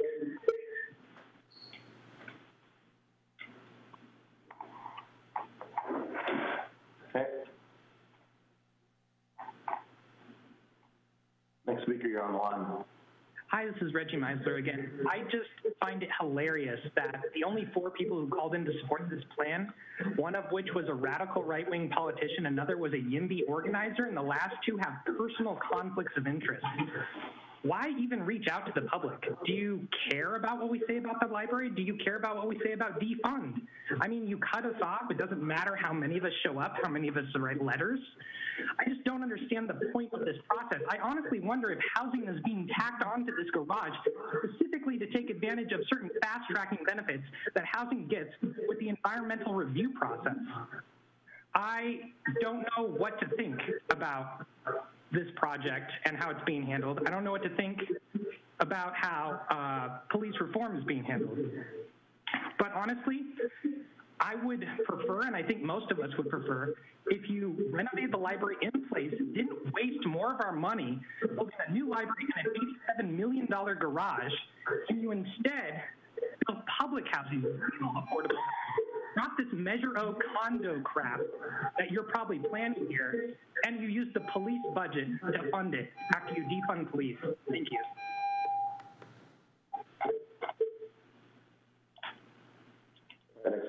Line. Good evening, Mayor Cummings and City Council members. My name is Alexia Garcia, and on behalf of the Monterey Bay Economic Partnership, I'd like to express our support for option D of the proposed downtown library mixed-use project. Option D addresses several goals outlined by the community, including addressing current infrastructure problems, allowing for potential greener infrastructure, and maximizing affordable housing.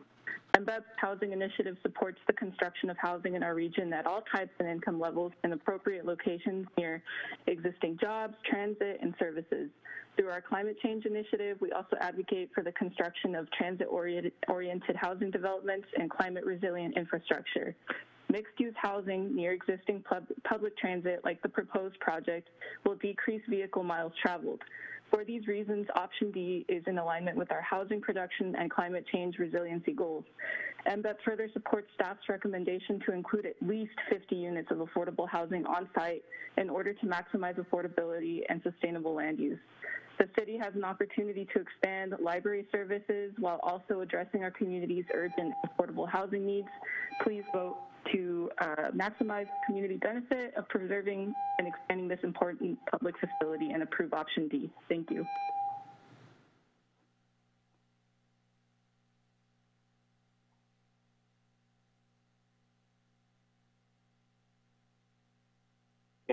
On the line. Hi, hello. My name is Oscar. Thank you again for being with us here. I know you mentioned you've been here since 9 a.m., but so have many other people have been here with you, although you may not see us. We are here to uh, speak out on behalf of uh, our uh, opinion against building this uh, mixed use of the of the library. I think in reality it should really be called misuse of money. Um, you talk about 50, up 50 units for affordable housing. How does that even look like? Who gets to pick who are those 50 people? And you sell it as having a solar panel and being environmentally friendly. Is that pretty much it? Um, and I also want to let you know that we are on unceded territory of the Awaswas speaking uh, Uypi tribe, the Amah Mutsun tribal band. This is stolen land. Uh, where was where were they in the engagement plan? Where was the Land X engagement group? Um, how are they being impacted? And the pictures that they show of the future building of the library, it doesn't really represent what the downtown library already looks like. Um, the last time I walked in there, and it's been like that for a while, there's a lot of uh, houseless people using all those resources. How come they're not really being represented on those images? It doesn't look like that. Business class people, professionals working in the library, I've never seen that type of crowd when I go in there. So I just want to keep in mind of their environmental impact. Thank you so much. Yep. Next speaker, you're on the line. Hi there, this is Stacy Falls, long-term resident of Santa Cruz. I voted for Measure S, and I voted yes on Measure S because I wanted a, a, renovation of the library. I did not vote for a parking garage, and if I knew that voting yes would have gotten me a parking garage, I would have voted no. We don't need a new parking garage. The city has plenty of parking. Every time I go downtown, I find parking, no problem. I have never not found a parking space close to where I'm going. We are staring the climate crisis in the face. It is the existential crisis of our time. It's worse than COVID 19. And you guys are prioritizing a parking garage so that we can have more single use car trips. I know you say, like, oh, we'll eventually have some housing downtown and then people will need the, the parking. But if you're so keen on mixed use projects, you can certainly build some parking with the housing if it's actually needed. In the meantime, you should do parking mitigation and make sure that people are prioritizing not driving so that we can reduce our, our carbon footprint. Uh, Mayor Cummings, I voted for you. I supported you. I was excited about you being on city council because I thought with your PhD in environmental science, you would stand up against this. It's going to be hard for me to support you in the future.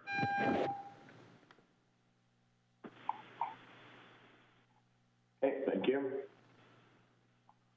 Next speaker, you're on the line. Hi, um, I thought a lot of people brought up some great points about the parking structure. It really is a cause for concern when we're talking about climate change. I also agree, I always find parking downtown. I've never had a problem with that. Um, on top of that, I really want to stress that if, if we're creating low income housing, I think it is the job of the city council to be on top of making sure that happens. As far as I know, the 1010 Pacific apartments, those are supposed to include some low income housing. None of those are affordable. None of those apartments are affordable. So when you create low income housing, it really is important that year after year there continues to be the same amount of units that you proposed in the beginning for low income residents. Um, that's about all I have, but thank you. Thank you. Yeah. Next caller. Hi, this is Scott Graham. Anyway, um, how dare you hold such a, a, an important meeting on Zoom? The Civic Auditorium could have been used for this, but instead you hide behind your computer screens. This is uh, terrible. This should have been a public meeting, not a Zoom meeting. This is a very important decision that's going to be made here. Where did this garage idea come from? Well, that whole scheme came from because the Taco Bell Arms condo units aren't required to have enough parking for the number of units. So what they, the city uh, staff said, well, we'll just build a parking structure, and that way you can send your overflow cars over there. Well, why are we paying for some developer's parking lot? You know, that's crazy. Um, and then when that parking structure met with resistance, they said, oh, well, we'll just cram the library in there, and then people will like it. Well, when that didn't work, then they sprinkled in affordable housing. Who wants to live in a parking structure? You, you guys get it? Build affordable housing in a nice place, not inside of a something that looks like a prison. Thank you. Thank you. We'll go to our next caller. Hello? You're on line. Sorry, just a minute. Hi, sorry about that. My name is Barbara Lawrence, and I'm a school librarian in Santa Cruz, and I know many of you on the City Council. Thank you for giving me this opportunity to speak. I support libraries, and I supported Measure F, and I asked my community to support it with me. I voted to improve the libraries, but I didn't vote to build parking. A parking structure downtown is an entirely different issue. Please do not conflate these two projects. In reading over the language of Measure F, I feel that including parking is a misuse of these bond funds. I support the Jason architecture remodel. I reviewed the design, and it fulfills what I want to see in a library. I think it's sad that an important civic project like a library would be diminished by putting it in a parking structure. I'd like to look forward and make Santa Cruz a livable city and move ahead from outdated projects like this parking structure. Please put this question to the voters so there's transparency and voters who voted for Measure S do not feel that they've been cheated or swindled. Thank you very much for the time. Yep.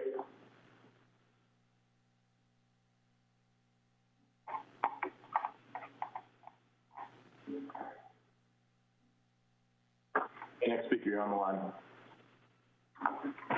Yes, thank you. Um, my name is Chelsea Claret. I am calling in to oppose this project. Um, the last thing that we need is additional parking. As someone that lives near the development that is being built on 350 Ocean, I can tell you that it is incredibly inconvenient. It is an eyesore, and the minimal housing that will be affordable that is going into that unit paled into, in comparison to what you're saying is going to be projected here. You will not be able to fulfill that. Keep our spaces open. Leave lot four open. Um, if we are really concerned about social and economic issue, issues, you should address the ineffective police response. We should not be spending one third of our general budget there. Redirect it. Thank you. Defund the police. You.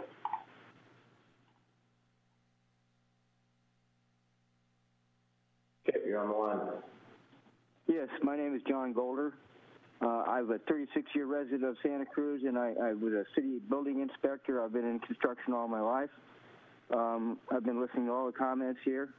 Uh, as a city building inspector and solar designer, I think uh, option C and D residential units will not serve the uh, climate uh, goals uh, very well. They'll be virtually impossible to even naturally cross ventilate and re- require air conditioning for entirely. I think it's un, un, unfair, if not illegal, for you guys to do a, a detour around um, Measure S funds, and um, I'm in full support of all the opposition uh, to spending that money uh, with the parking needs. Uh, I think the parking needs another closer look as the uh, effects of uh, uh, COVID-19, the vacancies as business uh, uh, closes, will be happening over the next several years. Um, no, no one has mentioned that the parking garage is security actually qualifies as attractive business because break-ins are virtually impossible to detect even with security cameras. Uh, All right. Thank you for commenting on this item. All right, next caller. Yes, my name is Enda Brennan, and I'm your downtown uh, commissioner, one of uh, seven of us. I have contacted each of you, but I did want to just reiterate, those of you that know me well know that one of the mantras in my life is reduce, redo, reuse, and recycle. And when I analyze this project, all of us in this community clearly want affordable housing. All of us clearly want a wonderful library. What there is extreme controversy over is parking. And I've just started my term on the Downtown Commission, and clearly one of the main issues for us is examining parking. And it's very clear to me, just in the several months of being on that commission, that we do not necessarily need 400 more parking spaces. In fact, the analysis that I've seen shows that it's highly unlikely that if we build it, we'll actually be able to pay for it from user fees unless we up high that it becomes even more of a problem. So I guess the real question, and I understand from a political perspective how it seems like it's not a bad idea to just move this down the road and see if we can get all three of these done properly and for a fair price. And I understand that that may seem like the palatable political approach. However, clearly, I'm sorry, I'm going to have to cut you off because um, everyone's been allotted a minute and we need to continue moving through. But thank you for your comments. Okay, next speaker. Hi. Um, thank you, Justin, for making the connection earlier between the need to defund the police in order to reallocate the funds towards city projects that would actually provide services to our community. The library is the most robust social service we have for a houseless community, so we should defund the police to instead renovate the library and pay for significant amounts of low-income housing units in the city rather than spend it on parking. Thank you.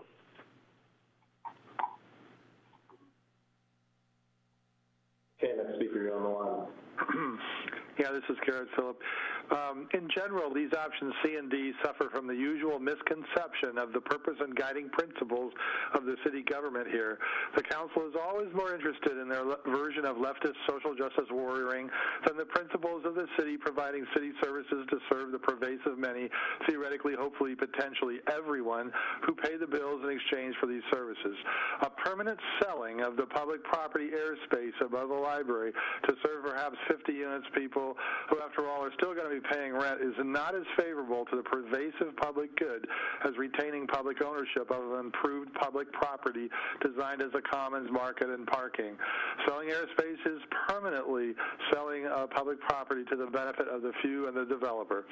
Also, three words. Ain't we broke? Um, how can you consider anything that isn't fully funded at this point in the coming depression, you know, the one the government caused? I have no problem with more parking in general or cars. I have no problem with affordable housing. I have no problem with a newly renovated library. As to whether all three of those actually go together in one space at some unknown price or any time, I doubt, but the city's staff proposal seems ill-timed and a SJW sellout of public property. Thanks. Thank you.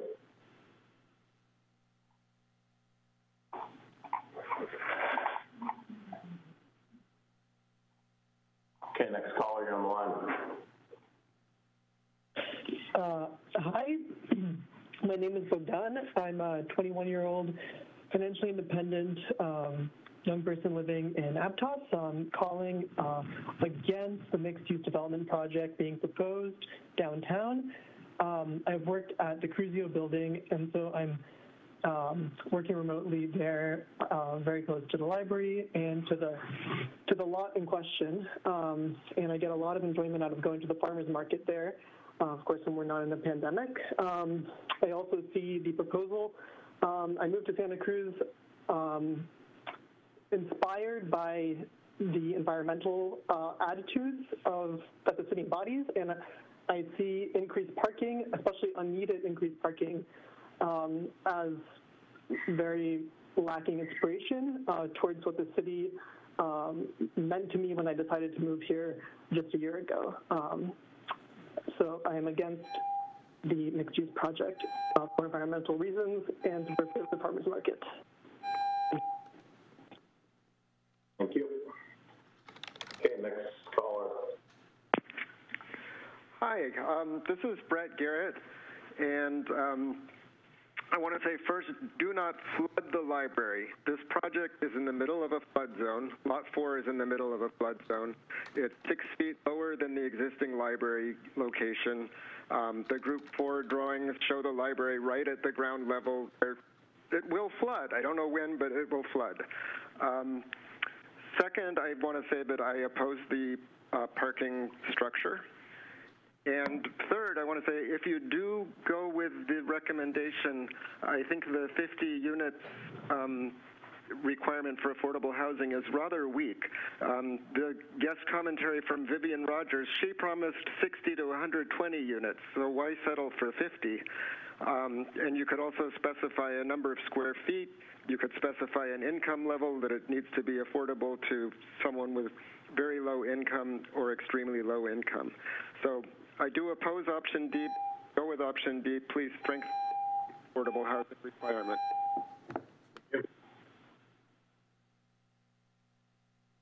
Okay, next caller, you're on the line. Okay, um, I am calling, first of all, on transparency. We had a public or communications and it was cut off. There is no, if we were in person, this would not have happened. You might have changed the time. How many people were in line to speak during public comment?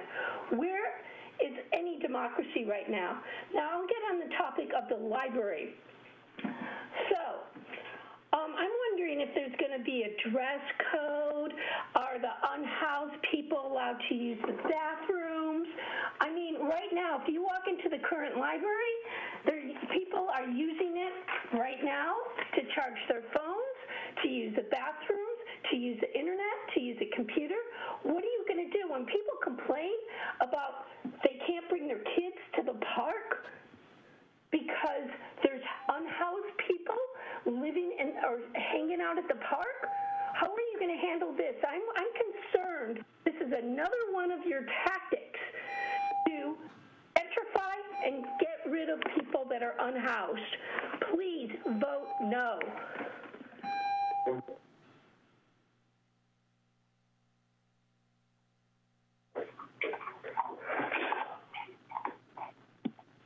Just for members of the public, if you'd like to speak on this item, you haven't spoken already, um, now is the time to call in, and after you've called in, if you press star nine on your phone, it will raise your hand and you'll be able to speak on this item. Uh, so next caller. I think I... Hello. Hi, I'm Mark Mesiti Miller and uh, resident of the city, and I just wanted to urge your support for the mixed use project. And uh, I noticed in the staff report that you were limiting the height of the building to match some adjacent buildings. And I would like to uh, suggest that uh, you may offer an exception to that height limit, the proposed height limit, and you make that exception only for the housing so that the rest of the development stays within the, the heights of the adjacent buildings, but the housing, because housing is such a need in our community, that we relax that, and we relax that height to just one story. Just make it allow one story higher than the adjacent buildings.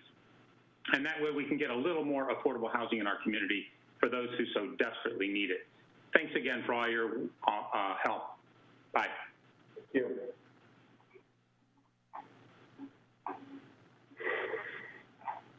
Okay, next speaker, you're on the line. Uh, hello, my name is Keith Smith. I've been a resident in Santa Cruz for seven years. Um, I voted for the renovation of the library, but I did not vote for a parking garage. Uh, if the vote was between the library renovation or affordable housing uh, for the homeless, I would uh, have voted for that instead because there are homeless families in our community um, that are in a constant threat of police violence, as you may know. Uh, Santa Cruz uh, Police Department um, arrests has 98% more or has more misdemeanor arrests than 98% of all uh, um, California police departments. They also use more force than 23% of all California police departments. We have a homeless population that is prevalent, and this issue will only get worse uh, unless we prioritize affordable housing. Um, there are homeless that have been uh, arrested for committing nonviolent property crimes because these are people, human beings without life necessities and uh, it's a dangerous situation for them, and this is what we need to prioritize. Thank you.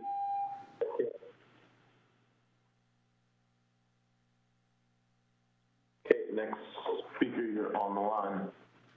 It is me. And Mr. Quinn. Can you hear me? Yes, good evening. Oh, good evening. Hi, my name is Nadia Peralta, and um, I'm a. Is it double that you hear me, or can you hear me well? We can hear you well. If you are getting an echo, turn down your whatever device you're watching the meeting on, and then just speak over the phone. Thanks. My my friend just helped me with that. Um, yeah, I'm a Santa Cruz resident, and I'm calling with uh, an opposition to the project.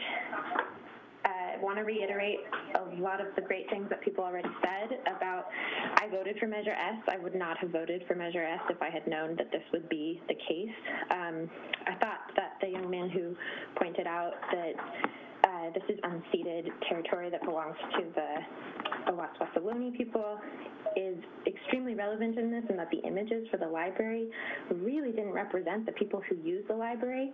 It would be so wonderful if these measure bonds somehow worked for public service works that really improved houseless and housing services and then it worked on the existing library as we have it and turned the space to a beautiful place.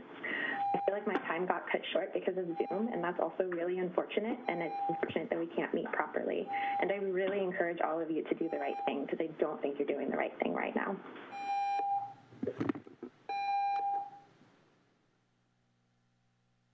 All right, next caller, you're on the line.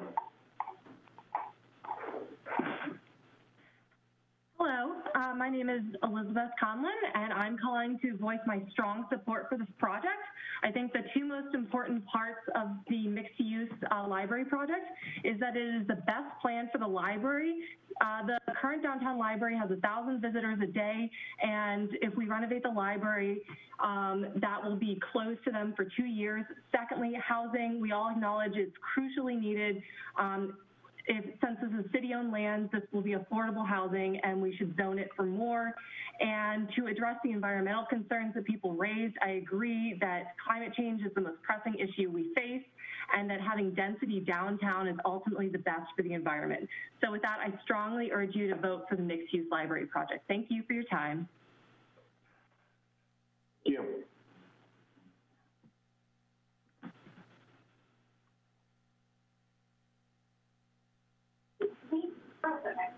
Okay, next caller, you're on the line. Uh, good evening, uh, Mayor Cummings and, and, and council members. Thank you for holding this meeting. Unfortunately, it's not in public, and I wish it would be, but I wanted to recommend uh, on behalf of the Santa Cruz County Chamber of Commerce and our 600 members and 23,000 employees countywide that we support a project in the downtown, the mixed-use project. It brings affordable housing that is necessary. It brings transit, bike, and pedestrian-first approaches next to a, a, a transportation hub, and it expands opportunity for local residents to live in the downtown and work in the downtown. It's the right thing to do for Santa Cruz. It's the right time to do this, and I hope that the City Council will move forward. Thank you. Thank you. Okay, next caller, on the line. Hi there, this is uh, Robert Singleton with the Santa Cruz County Business Council, and I just want to speak in favor of this project for a lot of different reasons. Um, if you just look at the potential for this project from an affordable housing perspective, um, we do expect to get between 60 and 120 units of affordable housing. That would be the single largest affordable housing project that our city has built since the Great Recession, so I want to keep that in mind. We also not going to be built in a vacuum. We expect around 500 new units of housing in other places downtown, whether it's Laurel and Pacific, Front Street and Pacific, uh, the Calvary Church lot is going to be developed. The new Metro Center is going to be developed. All of these are going to be community facing. All of them are going to have an affordability component. And sadly, um, they do require parking. I would be happy if we decided we wanted to reduce parking limitations for new development. I think most developers would want that. And I think increasing the height to allow for more units uh, only in the conditions they're affordable is also a worthwhile endeavor. Um, the library is an ultimate, uh, an ultimate form of public comments. It's accessible to everybody. It's information. It's community space. It's services that can be available for people. We've been through four years of process. I applaud your work so far, and I encourage you to support this project.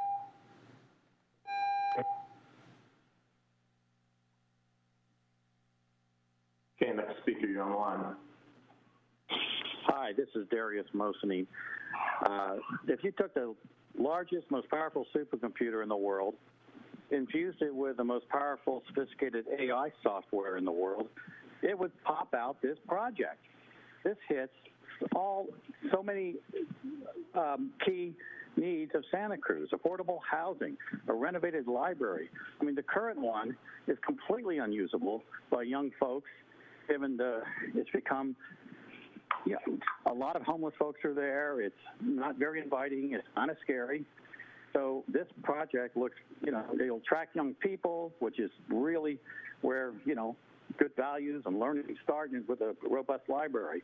And second, um, of course, I'm not going to say affordable housing. What else? Can, there's nothing more to say about it. We need it. But third, all these folks are being very short-sighted. In 20 years, half of the cars or more will be electric having a parking garage allows a, a, a, center for EV charging. So this concept of climate change and so forth is actually mitigated with a parking garage. Thank you. Yeah. Okay, next speaker, you're on the line.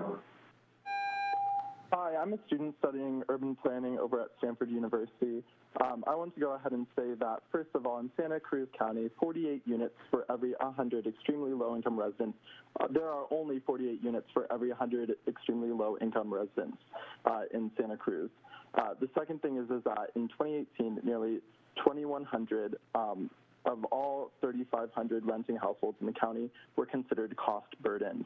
Of those households, nearly a third paid over half of their income on housing within the city of Santa Cruz. There is a desperate need for housing. And in the last RHNA cycle, the city of Santa Cruz only built 43 units for, for low and very low income households. That's out of a 298 unit lead, need.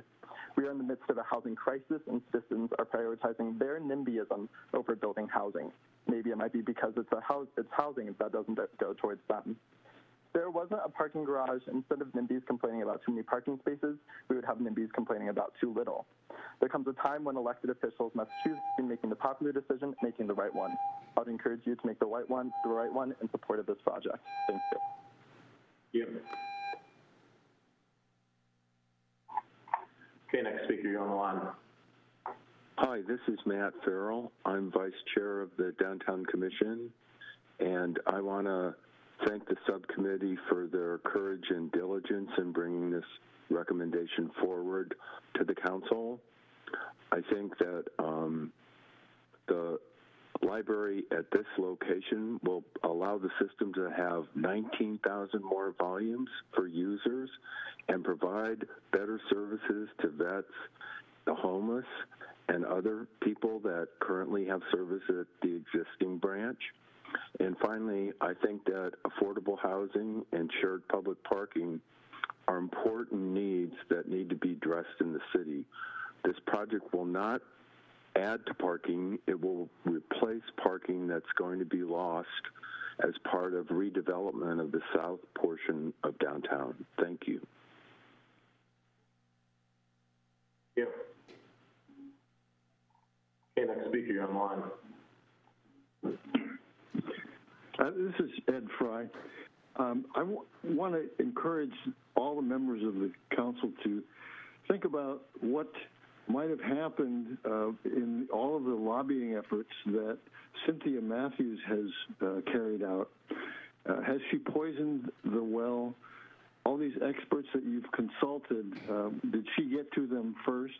She's not supposed to have any influence whatsoever over this project, and yet the word is that she has uh, been lobbying secretly for months for this. So I would suggest you inquire of her exactly what she's done uh, to uh, encourage this project because the, the, there's a real strong purpose behind the law that, that, disqualifies her from voting, and that is that she should not be able to take advantage uh, of her political strength and office to uh, build her own estate. Thank you. Thank you. Okay, next speaker, you're on the line. This is uh, John Hall speaking on behalf of Downtown Commons Advocates. Hey, John. And, uh, thank you, Mayor Cummings and uh, council members. Tonight, you really have two alternatives. John, I'm going to pause you for a sec. Uh, Bonnie, I just want to make sure that uh, John has the four minutes. Okay. John, is that you? Hello?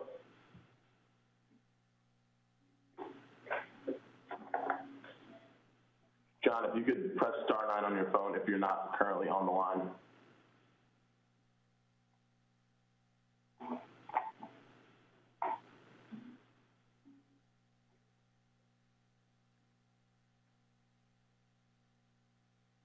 We're going to take a quick um, break so I can see if I can find John's number on here.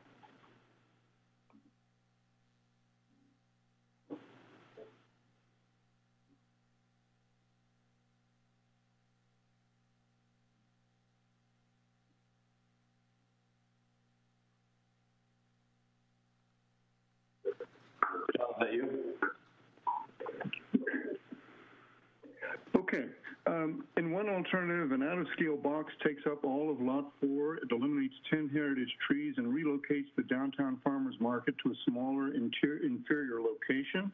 The library itself gains the aesthetic appeal of an airport terminal concourse and creates more dead streetscape at the heart of downtown. The last best chance to create a great public space would be eliminated.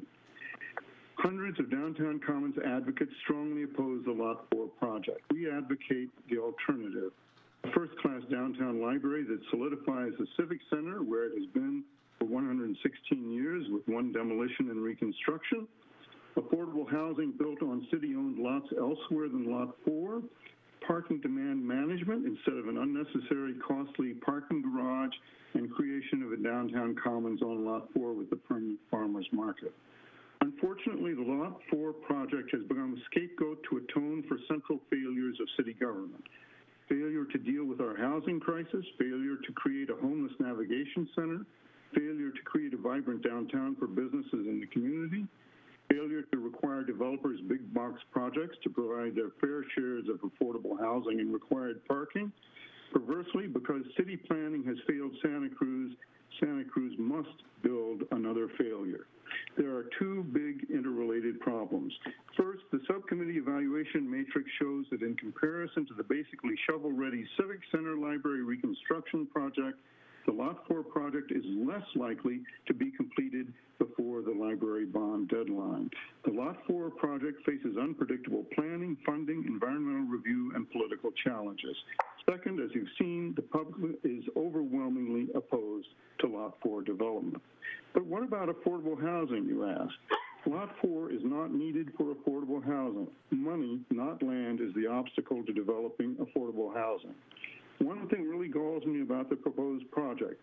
To make up for the library funding gap, quote unquote air rights of $50,000 are to be charged for each unit of affordable housing. As a proponent of affordable housing, I want to see every dime of income from affordable housing fees used to leverage the development of more affordable housing units. Affordable housing money is money for affordable housing, it's not money for the library. We can do it all. We can raise money to make up the funding gap for the downtown library where it belongs at the Civic Center, with its main entrance moved to face City Hall, with adjacent parking, with outdoor patios for the children's library and the community room.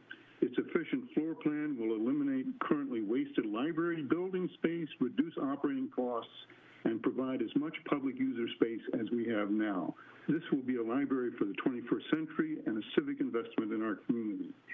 When the library is reconstructed at the Civic Center, when we build affordable housing elsewhere, we can transform Lot 4 into a much needed public space to anchor downtown businesses and community life.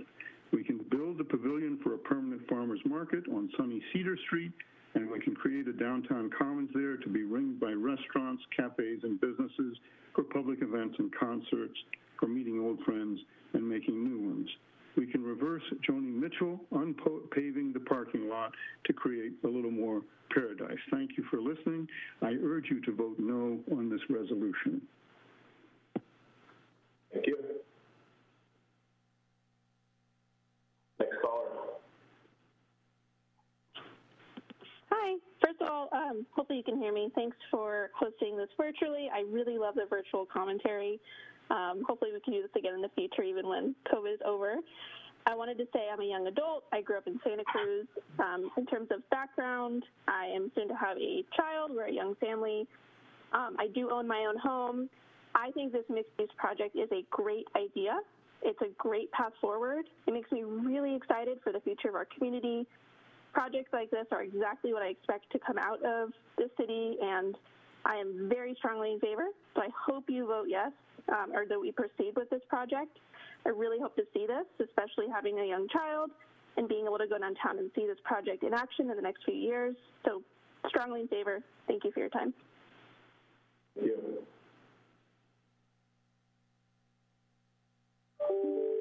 Okay, next speaker, you're on the line. Yes, uh, this is John Aird, and uh, I want to oppose this project, and I want to identify several key reasons. It, it, proposes a relocation to a multi-use construct that has parking we don't need and affordable housing that could go elsewhere. It's been packaged through a planning process that's been laced with representation and incompleteness. And the evaluation matrix of 53 supposedly comparative criteria totally lacked priority weighting or any analysis of risk or secondary effects and implications. As a person who was a 30-year CEO, if my planner or planning consultants had brought me this, I would have said, you know, you got to refine this and you got to sharpen it. This is not the basis upon which any experienced and competent governing body would normally accept as adequate foundation for sound, thoughtful decision making. Thank you.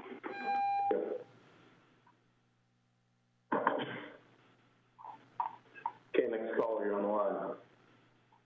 Hello, my name is Candace Brown. The public trust is at stake with this decision, and so it's imperative tonight that you vote no. At stake is good governance, best practices, and actually the issue of whether this project is even totally funded, which it is not. Those numbers have not been totally revealed to the public. It's not been completely transparent. And ultimately, the voters did not vote for a mixed-use project when they voted for Measure S. The public trust is at stake, and it will be violated with a vote yes tonight. We must vote no, and we must bring this before the voters to make final decision. It's that important. Thank you.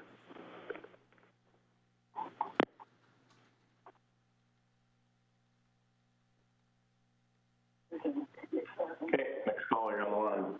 Wow. Really well said. Hello? Last four digits of your phone number are 7254. You are on the line.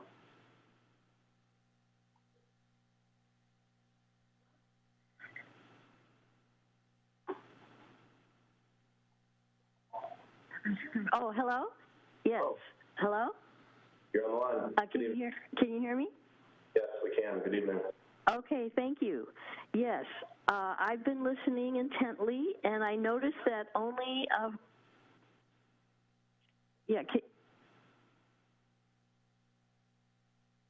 We can hear you. You are only saying benefits of the project and no loss, the loss of possibility of an equitable public space and the Civic Center. Please do not shatter the Civic Commons forever. This triangle will forever be weakened and damaged with the library pulled out. For 116 years, the library, city hall, and civic auditorium worked together to set energy for our city. This is priceless and cannot be replaced. A 92-year-old woman who came to the pop-up demonstration of over 60 people standing for the library to be renewed and rebuilt and redone at its current location said her mother was the head librarian when that building was constructed. She did not want her work to be forgotten. Let's create a place downtown people will love and protect. That is definitely not a library in a box or an Anywhere USA project. Thank you. Thank you.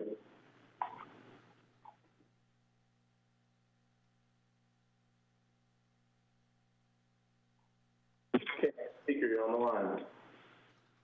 Hi. I'd just like to say that what our city needs is not another 400 car parking garage with a handful of barely affordable units, but rather a plan to dismantle our racist and wasteful police department and make significant reinvestments in public housing, expanded mental health care, and social services for our low income residents. Thank you. Thank you. Okay, the next call, you'll be our last caller of the evening. Wow. Hello, my name is uh, Cassandra Brown, and I've been a resident here for 20, since 1997, and I would um, strongly wish that the City Council vote no on this proposal. I agree with John Hall, all that he said. I do not want an unaesthetically be- or non-aesthetically beautiful library. The library where it is be more beautiful and renovated where it is. And I want us to keep the trees, the heritage trees, and the farmer's market and lot four of Plaza, and to consider other places for affordable housing. And um, it just doesn't make any sense to cut down beautiful trees in a time when we have climate change and to make for a parking garage and to have a library below a parking garage. I'm, a, I'm an avid reader, I'm a writer, and I'm a landscaper. And thank you, and thank you for voting no on this, on this um, project. Good. Time we're going to close public comment. We're going to bring it back to council for action and deliberation. Um, I was wondering if also, um, I see Council Vice Mayor Meyers, but I did want to see if we could uh, have some time to address some questions, but I'll acknowledge Vice Mayor Meyers first, and then I can save my questions for after. Vice Mayor Meyers. Um, I'm fine. Yeah, thank you, Mayor uh, Cummings. I, I'm fine if there's additional questions that need to be to be asked. I'm, I'm happy to wait. Okay. Um, I just, there's a lot of questions that came out of, um, the public comment, and I think it would be good for maybe staff to help provide some clarity. And so, um, first, I wanted to, uh, see if we could have our economic development director, uh, join us, because there's a lot of questions around how to make, or, or maybe the city manager could speak to this, but there was a lot of questions about how we can make the affordable housing work and what's the potential for increasing. And I just want to let the members of the public know that the 50 units is not, we're not restricting the housing, the affordable housing to that. So I think that our objective is to maximize the housing possible on this project. And, um, and so I'll, I'll turn it over to our economic development director to. Um, good evening, Mayor and members of the council. This is Bonnie Lipscomb, Director of Economic Development. Um, the affordable housing piece, we actually today, earlier at council, approved two grant applications to actually increase our funding for affordable housing. And if you do approve um, this mixed-use project tonight that includes affordable housing, I think the 50 units um, that's in the recommendation is our starting point. I think one of the reasons we didn't include more, the um, actual conceptual design said it could be up to a total, I think, of 100, 110 to 120 units, um, is that we wanted to bring back to you some options of um, affordable housing and potentially also combining that with market rates so we could offset some of the other costs of the part of the project. I know that one of the speakers was really concerned about air rights and that the affordable housing would be subsidizing, and, and that's not the case, and that's not our that's not our vision for this. Um, it's the market rate units that would be subsidizing the affordable housing and uh, potentially um, also subsidizing the library component. The affordable housing, we have funding set aside at the city, and we um, have a short list of affordable housing developers um, that are ready um, to move forward with the city on a project. So with the opportunity to develop the land for free for affordable housing and to be able to apply with the city as a partner on low-income housing tax credits, and then using and leveraging our affordable housing trust fund, we feel confident that we're we're going to be able to move forward on the affordable housing component of the project. Okay, thank you. And I'm happy to answer any additional questions. Thanks. Um, the next question I had was for maybe somebody from our, our Public Works and Transportation Department could answer, because a lot of questions came up around parking and, you know, this idea that we're going to create 400 more spaces when the meetings that we've had have suggested that the parking, that there's a number of lots that are coming offline. So I was wondering if somebody from Transportation and Public Works could speak to that.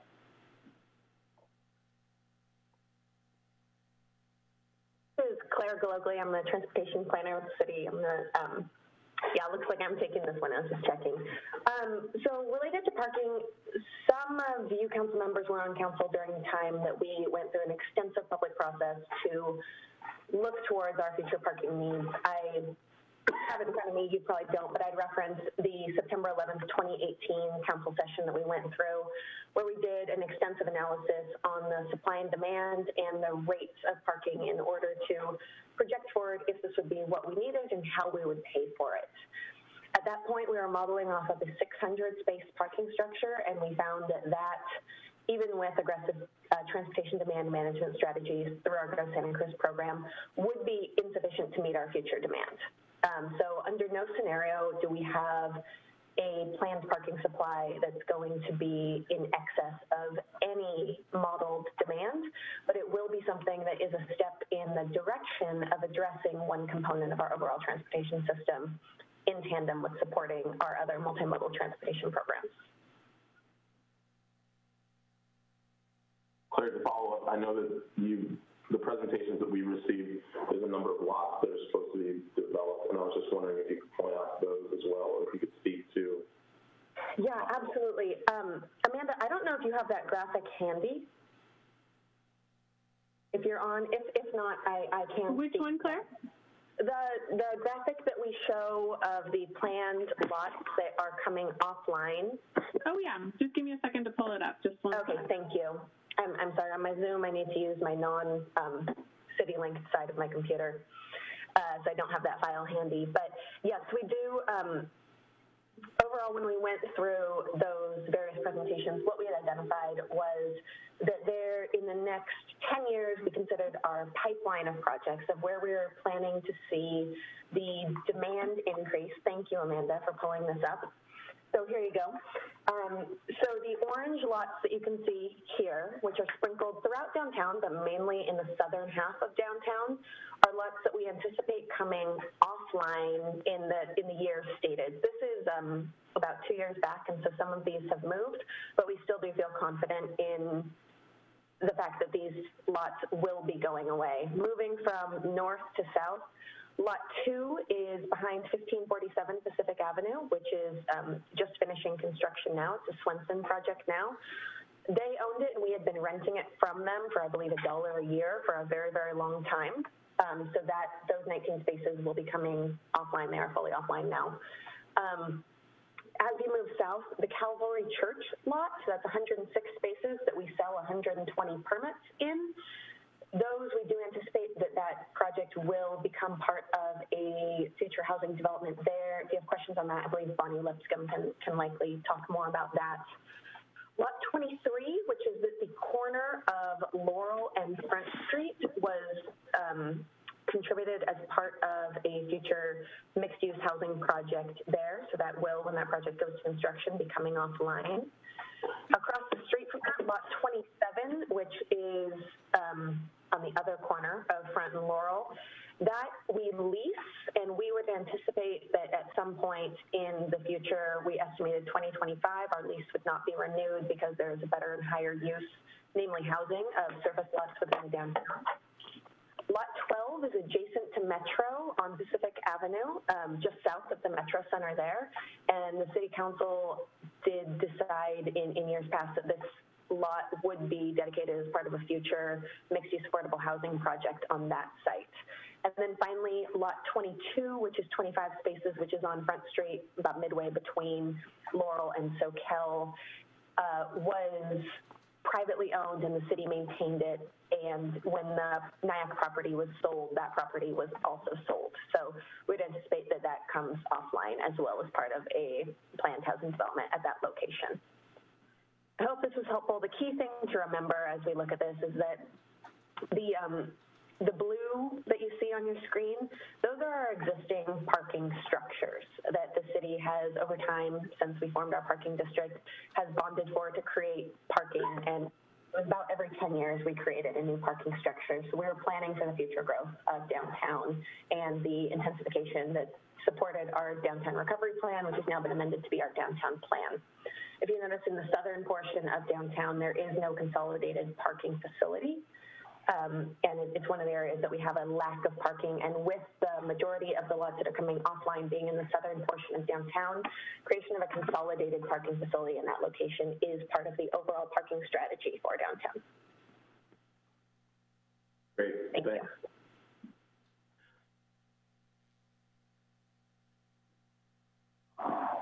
I guess, Bonnie, could you, or um, I'd like to ask the Economic Development Director, could you provide an update or just provide any information on Cavalry Church and some of the other housing that's supposed to be going into downtown? Sure. Um, the Calvary Church is a private um, lot. We do have um, an extension, a current extension on that lease. um, for another year. They have indicated, um, they have selected a developer and indicated that they will be moving forward with a housing project on that site. Um, the planning director and I, probably about a month ago, um, met with the developer and they're refining um, some of the aspects of that project. Um, sort of the level of affordability, um, how much affordable um, units, some of that is still being developed. They're looking at some of the new legislation that's passed um, that may um, hopefully actually end up with more affordability in the project. Um, so they're looking at that. They're looking at parking requirements. Um, and one of the things actually they did mention was the fact that if we were developing parking across the street, whether or not if they developed affordable, would they be required for parking? And, you know, one of the latest uh, pieces of legislation that passed actually um, allows developers not to build parking um, with their projects if they're doing all affordable. So I know that is one of the things they're considering. I don't know if, since we met, I think that was last month, if they have made a final decision on that. Um, but that is one project that will be moving forward. Um, there's a couple other projects downtown. You know, one of the projects that we're moving forward on will be coming back to you next week, and that's with a purchase sale agreement to um, purchase the last piece that we need to assemble with the uh, three parcels that were dedicated to the city for affordable housing development last year. And so we'll be bringing forward to you a project for an 80 unit affordable housing project um, just south of the Metro project um, next week um, in, in, both closed and open session. And then um, there are two other projects on Front Street um, that are each, um, I think, with the um, density bonus, potentially 175 units apiece um, on Front Street. And they're going forward with the mandatory minimum 20% affordable housing. However, if they do the density bonus, that number will change. and then there is the project with Anton Development, who purchased from DevCon um, the project on Lower Pacific. Um, and so that project timing um, is, is, still, I know that they resubmitted um, for some of the architecture. So uh, our planning director, Lee Butler, may be able to give a, a better sense of the timing of that particular project. Oh, Lee, you're muted. Sorry, thank you. Good evening, Mayor and council members. Lee Butler, the planning director, and uh, as Bonnie was mentioning, we've been in communication with Anton Development. They are doing some revisions to the project between Pacific Front and Laurel. It contains the parking lot, the public parking lot uh, behind the former Taco Bell site. And we're expecting that uh, they resubmit in the coming months, and they're hoping to break ground um, sometime early next year at the latest is, is what they're targeting. Okay. And then I had a question regarding um, how quickly we might be able to bring back, you know, recommendations from a nonprofit developer because I know there's been some conversation with uh, nonprofit developers and projects throughout town. So I guess how soon could we have somebody come back or how we could have a, an idea of getting like an RFP out and, and getting some feedback from affordable housing developers to whether or not they can make this happen? Yeah, Mayor, I'll, I'll answer that one. We did put out an RFQ um, last year for affordable housing developers and received responses from uh, nine different um, affordable housing developers. So we have a short list. Um, we've given them descriptions. It's the, the same um, group of developers that we were planning on using for the Metro Phase 1 and 2. Um, however, we um, told them of other projects that the city had um, downtown and did list the library as a potential project in the future. So um, we could put out an RFP pretty quickly and, and, get a response back on affordable housing developers that are interested. I think um, with the fact that the city is contributing the land and additionally potentially some gap financing, um, I, I think we'll have a pretty robust response.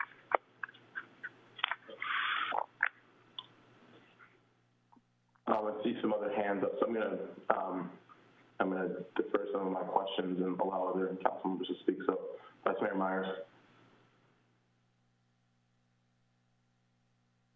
Uh, thank you. I have one, um, just one clarifying question um, for, I guess, uh, probably the uh, public works staff. Um, just so we're as clear as, as possible, um, we will not, it's my understanding, and, you know, again, I appreciate all the public comment that we've had, and I do want to follow up on this one, one question and one comment that we've heard a lot tonight.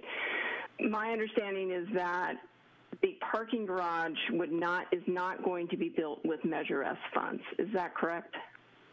Absolutely. Okay. Thank you. Um, yeah, I just um, wanted to, in the sort of interest in time, and to maybe get um, into, um, you know, a, a, discussion around action with the with the council. I was intending to um, put a motion on the table, but um, I don't know if there are additional questions of council. I want to be respectful of of our process. Um, so I don't know if there's other questions. I know uh, Councilmember Golder, I don't think we've heard from her, so I don't know if she has questions or uh, initial comments, but I'd be happy to put a motion on the table so that we can begin to deliberate.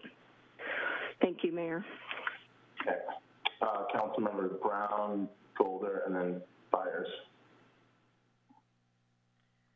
Yeah, thank you. Um, I do have a couple of questions that are kind of more in the weeds related to the recommendation that's before us. Um, and I think for Bonnie Lipscomb mostly, um, you get all the questions. um, so um, I'm wondering about the um, the timeline for. You said you think you can move through kind of getting an RFP out and potentially securing uh, an affordable housing developer. What kind of what's the timeline? Do you think on that? We you know it would be nice to be able to kind of get that back in the fall or as early as possible. So I'm wondering what your thinking is on the timeline there. Um, that's one. And then um, another question that I have for you is about um, the, or what, what would be the kind of procedure for um, applying for project-based uh, Section 8 vouchers for this project? Would that happen with the developer or like would, where, when would that decision get made and could we build that in? Those are the two I have for you. I think I, the other is for Tony. Yeah, on the timeline for the developer, we could definitely do that this summer. Um, we actually, and um, I don't believe Jessica Witt, our housing um, manager, is on um, this evening, but um, we have been um, fielding calls regularly from the affordable housing developers that are very um, interested in any opportunities that might be coming out from the city. I think they recognize um, just with our, our past experience in projects and with our you know, partnering with the city, they have a better chance of getting um, those low-income housing tax credits. So they're definitely very willing partners. So that's it's very feasible for us to come back to you um, after the summer with um, some recommendations and your, your selection of a developer. Um, and regarding um, Section 8, uh, we would um, definitely, um, we could actually look and apply now uh, for project-based vouchers with the Housing Authority. That's something that um, in general, we're in, in, contact with the Housing Authority fairly regularly on this. And so I, I think that will likely, particularly if we're um, committing to, and I, I, believe that there's a, a, a, desire and a commitment to do that to very low units, um, that will be a good fit for the Housing Authority. So that's something we can do as well and bring back to you. Great. And then my last question, may, it may be for you as well, Bonnie. Um, the um, question came up in some of the discussions I had over the weekend about the feasibility of pre giving preference to for a particular group. So, for example, downtown employees as part of the project. I mean, is that is it possible to give that kind of preference? I feel like I've heard different things, or I just maybe I've I, I haven't been able to quite interpret what we're allowed to do and what we're not. So. Yeah, if we're using um, any of our affordable housing trust fund funding with the source of that, you know, some of that funding coming um, from federal sources, we can't preference that for city employees. Um, however, they are, it is income eligible, so uh, city employees that meet the income requirements, of course, are encouraged to apply. Thanks. Um, On the market rate side, and some of that could potentially be workforce housing, um, that's something we could look into depending on how we structure, if we, if we end up even doing market rate units. I don't know if that's going to end up in the project at all. Um, But depending on how we structure that, if we do an air rights deal, that is something that potentially could be negotiated um, with the developer. Thanks. Councilmember Golder, then Councilmember Beiers, and then Councilmember Watkins. First of all, I want to thank um, my colleagues, council members um, Brown and Vice Mayor Meyers and Mayor Cummings for working so hard on this complicated issue. And so I appreciate all of your thoughtful analysis. Um, and I just have a couple of questions, and I'm not sure who can answer them. But one is I think everybody knows that I would love to see a more pedestrian bike friendly Pacific Avenue and greater downtown. And so I'm just wondering how many um, surface like parking spaces there are just along Pacific Avenue if those were to be potentially eliminated for all or part of the day or at some point in the future, how many spaces could be um, you know, replaced in a parking structure? If, if anyone knows, I don't know if anyone knows now or could tell me later. Yeah, we could, we could get back to you on that number. I think there's about 100 spaces on Pacific itself. There are 800 meters in the holdup. Oh, okay, okay.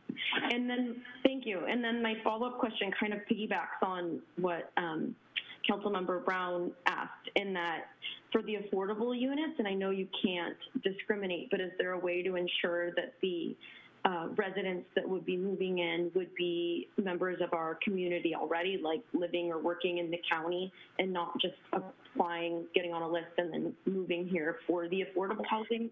Not that I don't want people to move here, but I just want to support the people that are already here, if that makes sense. Uh, Councilmember Golder, I, I would need to defer that question to our housing manager. We haven't specifically uh, restricted to residents um, before. I mean, primarily that's the population that we're serving. Um, but I would need to get back to you on that if we could have a preference um, potentially for local residents. Um, we have been successful and withstood legal challenge in the past. For example, the Tannery Art Center project is one where we had an artist preference you know, when we built that affordable housing, recognizing that we really had a need and we're losing a lot of our creative community. So we successfully had a preference for artists. So it may be possible to have a preference for residents, but I would need to get back to you to confirm that. Okay. Thank you. Thank you. Uh, Councilmember Beiers, I think you were next. I don't see your hand up anymore. Oh, and you're muted. You're muted. I guess I'm a little blown away uh, that we're not. No one's talking about the library. Um, all these people, well, quite a few people spoke about parking, but I, Martín, I have a question for you, city manager, and I'm looking at the recommendation. So right tonight, we are.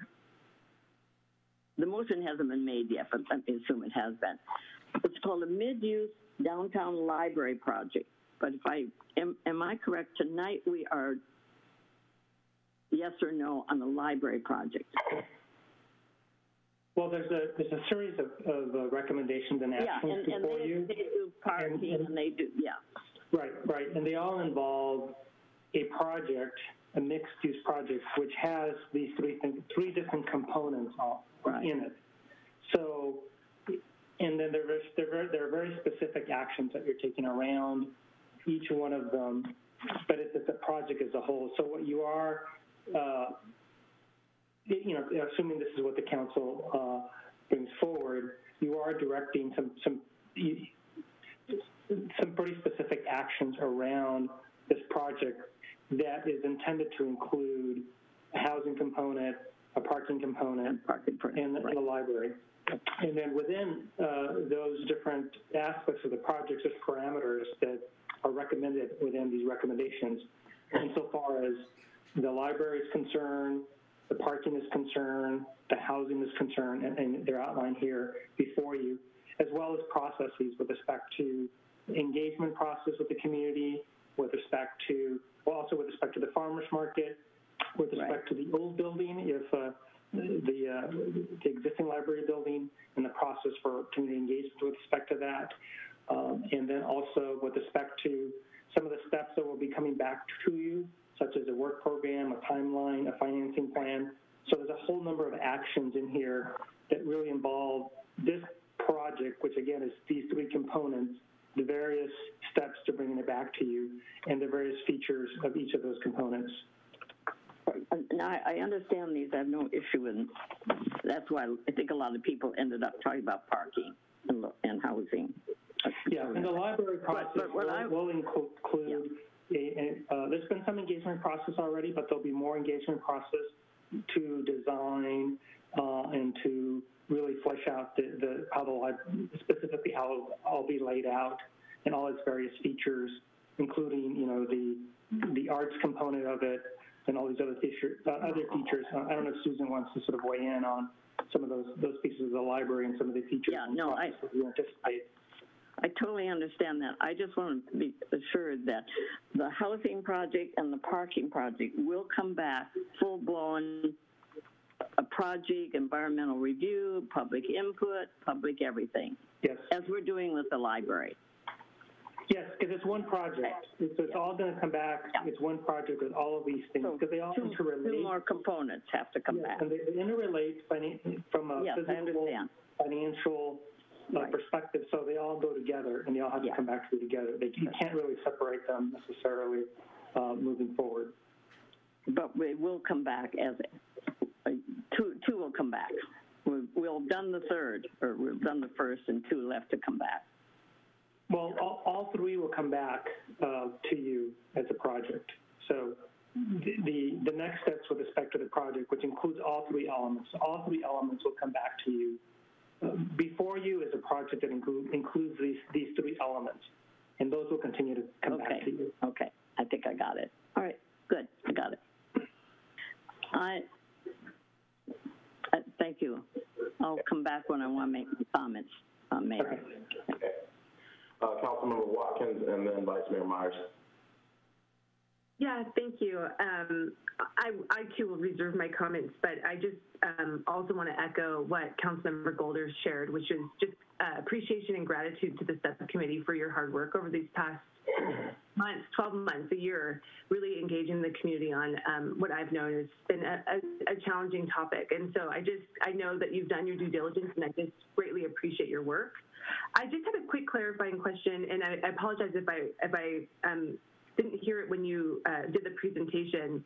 But in terms of the timeline, and I know Councilmember Brown brought this up, what was the timeline associated with sort of the farmers market being relocated and or as sort of a temporary location for them um, while uh, this could potentially be underway? And maybe that would be, I don't know who, could, maybe Bonnie or, I'm not sure. Yeah, I think Bonnie may have the latest, and I can fill in as, as needed. So. Sure. Um, we've been keeping in contact with Nesh and a few of the members of the Farmers Market Board, and I'm actually going to their next board meeting. And um, uh, Councilmember Watkins, I, I, I know that you you are uh, um, sit on that uh, board meeting as as well on that board um, from the council. So. Uh, maybe we could uh, set up a meeting and discuss kind of where we are um, in advance of that meeting as well. Um, over the last, I'd say, a couple of months, um, Nations has met with um, independently, I think at least one or two developers who are interested um, in development on Lot 7. Um, and so there are some interesting ideas out there for the farmers market. Of course, we had done that work in 2018 for the farmers market on that site and have some just sort of conceptual renderings. Um, the farmers market's very open to discussing a, a, you know a permanent home, and I think that's their uh, their primary goal is to um, locate a permanent location. And Nesh recently um, spoke at the last um, meeting, public meeting for the mixed use project, and shared that one of the most important elements for him and for the farmers market is to be able to have that permanence. And he recognized that Lot 4 has, of the city owned lots, has the greatest development potential from a mixed use perspective. So he is um, definitely uh, willing to work with us and um, does have some some concerns about the Lot 7 um, site. However, we've also had some discussions with the adjacent property owners and may be able to expand that site to include some additional land, which is pretty exciting. And there's some opportunities um, to also have uh, that nexus with the development um, on one of the projects that has that 60-foot public right-of-way that connects up to the Riverwalk. So there's some really interesting aspects of being able to expand the public space around the farmers market that connects to the Riverwalk that we're all pretty excited about, including the farmers market board. Um, so we have the meeting with the farmers market board in July and um, we have set aside funding. It's been in our capital improvement project budget for a couple years now um, to move forward on the farmers market piece. So um, with the direction um, that you give us, we'll be able to move forward on that with the board. Thank you, Bonnie. And um, just to clarify what I think I, I know, I know the conversations are forthcoming and a permanent location is obviously the, um, just a desire goal. And that the hope would be, and the commitment is that we won't also not have a location for them um, in the uh, process of, of acquiring a permit location, uh, site for them. So uh, I know those are, are, that's part of it, but that's sort of the intent space. Yeah, ab- absolutely.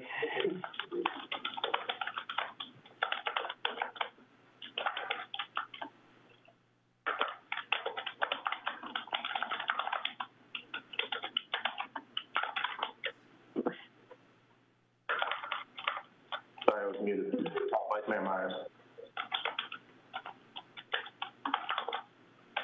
Um, Thank you, um, and I'm glad our, my colleagues had additional um, time to, to kind of talk through some of the specifics. Um, I'd like to make a I'd like to make a motion to um, conceptually approve, subject to appropriate environmental review and the required permit process, and give direction to staff. Sorry, I'm getting a lot of feedback. I don't have anything on in my in my um, and give direction. Okay. Give me one second. Okay, go ahead, Donna. Let's see if that's, that helps. Thanks. And give direction to staff to proceed with the design and development of a mixed-use project on parking lot four by adopting a resolution with the following provisions. To relocate the downtown library to the ground floor of a mixed-use project on lot four. Include an affordable housing project containing a minimum of low-income dwelling units, which should be targeted at the lowest levels of affordability, including Section 8 vouchers. And, hang on one second, I'm looking at my notes here, special programs vouchers, or other ways to achieve the deepest levels of affordability with the discretionary permit applications for the affordable housing component of the project to be submitted no later than the start of construction of the library. Include a parking garage with no more than 400 parking spaces, which will provide the required number of parking spaces for affordable housing units associated with the mixed-use project and replacement parking, public parking spaces in the downtown area. And D, restrict the total height of the building not to exceed the height of the University Town Center development, or if this isn't possible, the development at 1010 Pacific, Avenue. I would add to that specifically if uh, additional height may provide more additional affordable units. Uh, Number two in the motion is to authorize staff to proceed with selection of an owner's representative to manage the overall project implementation and a competitive RFP, RFQ process as soon as possible for selection of a design build project team. Uh, under, sorry, I'm just going to move this up.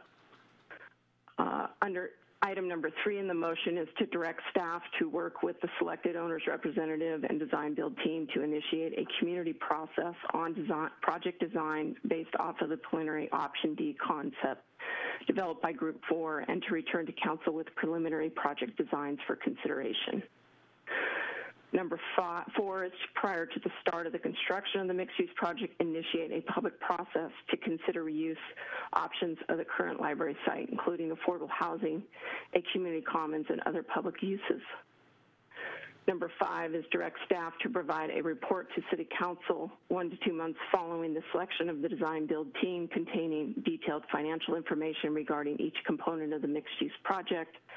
B, a work program and timeline for implementing the affordable housing units, library, and parking garage to include a public engagement process.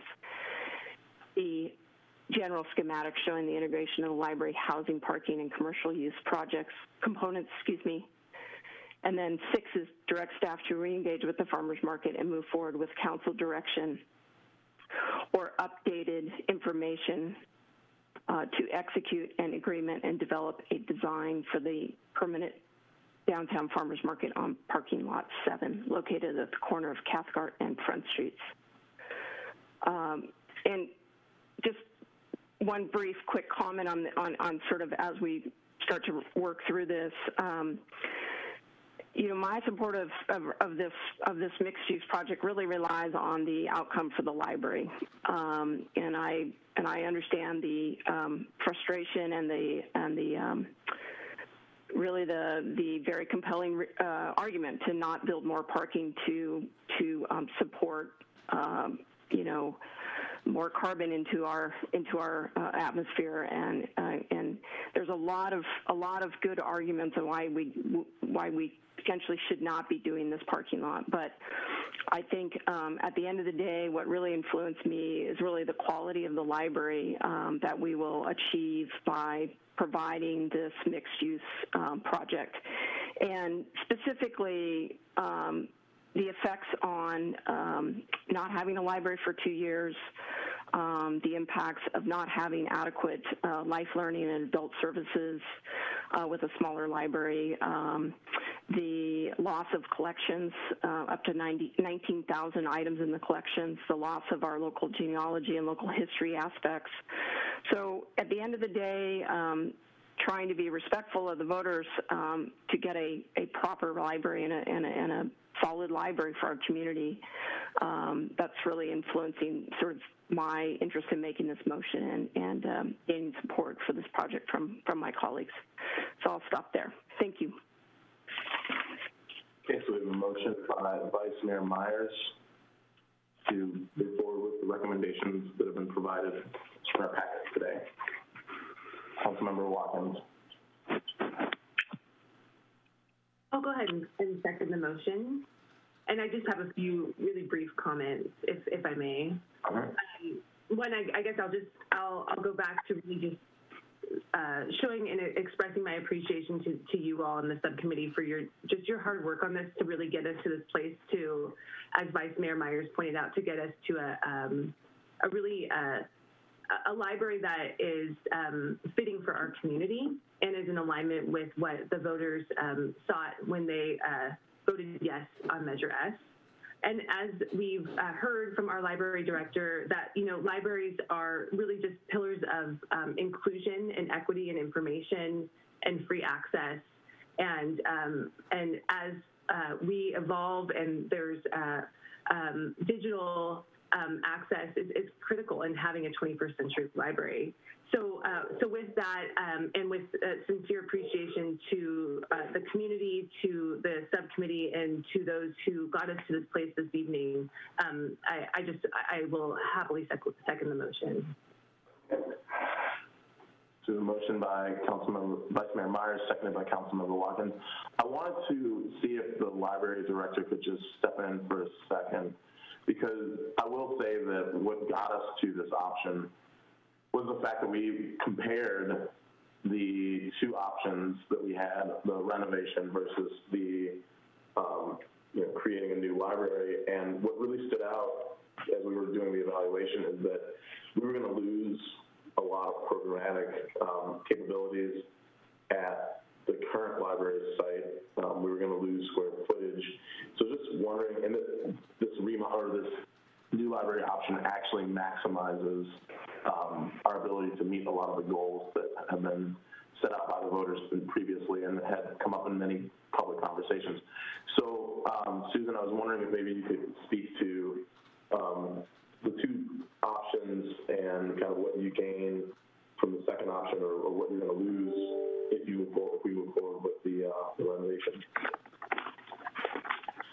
Um, I've, I've never been very fond of the renovation in that uh, I think um, Abe Jason architects are wonderful architects, but they clearly articulated that we really needed $7 million more to do the renovation.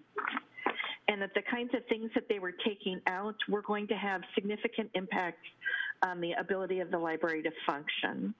Um, I think the biggest would be the loss of print collection. I know we're moving to digital collections, but I still believe that there is a strong role for print to play over the next 20 to 30 years, um, particularly with children. But we have found that print collections still maintain high usage. Um, I was really sad to see um, how much the adult services were reduced in the renovation. Um, we do all sorts of adult programs, you know, everything from ELL programs for new immigrants, uh, legal aid, tax assistance, um, and services for people experiencing homelessness, as well as a series of arts and cultural programs that I think are central to make um, a, a, vivacious aging community have uh, educational opportunities throughout their lifetimes. And those were greatly going to shrink in the remodel. Um, and then I just think that the, the multi-use building and its site created some new opportunities for us, like the zoning issues. When we did the community survey, hundreds of people really talked about safety issues in the downtown library. And um, our, our mission is to really serve everyone. We do believe we have a mission to serve the people experiencing homelessness, but we looked nationally at how libraries were managing this. I think our best example was Madison, Wisconsin, and they really created zones in the libraries and entrances and exits for different patrons. And the, the urban nature of the two um, two sort of frontages on the street really gave us um, some opportunity to do that. Um, the other thing was uh, the old facility wasn't going to allow us to do a lot of the green updates that we had hoped to do, um, like have uh, solar panels. Um, but last and not least is we would have been closed for the renovation for at least two years. Um, with no budget for a temporary space. And the truth is, there would be costs associated with um, the staff and uh, the collections, regardless of whether they were recognized or not. This way, we'll be able to keep the library open the entire time and simply move to a new site.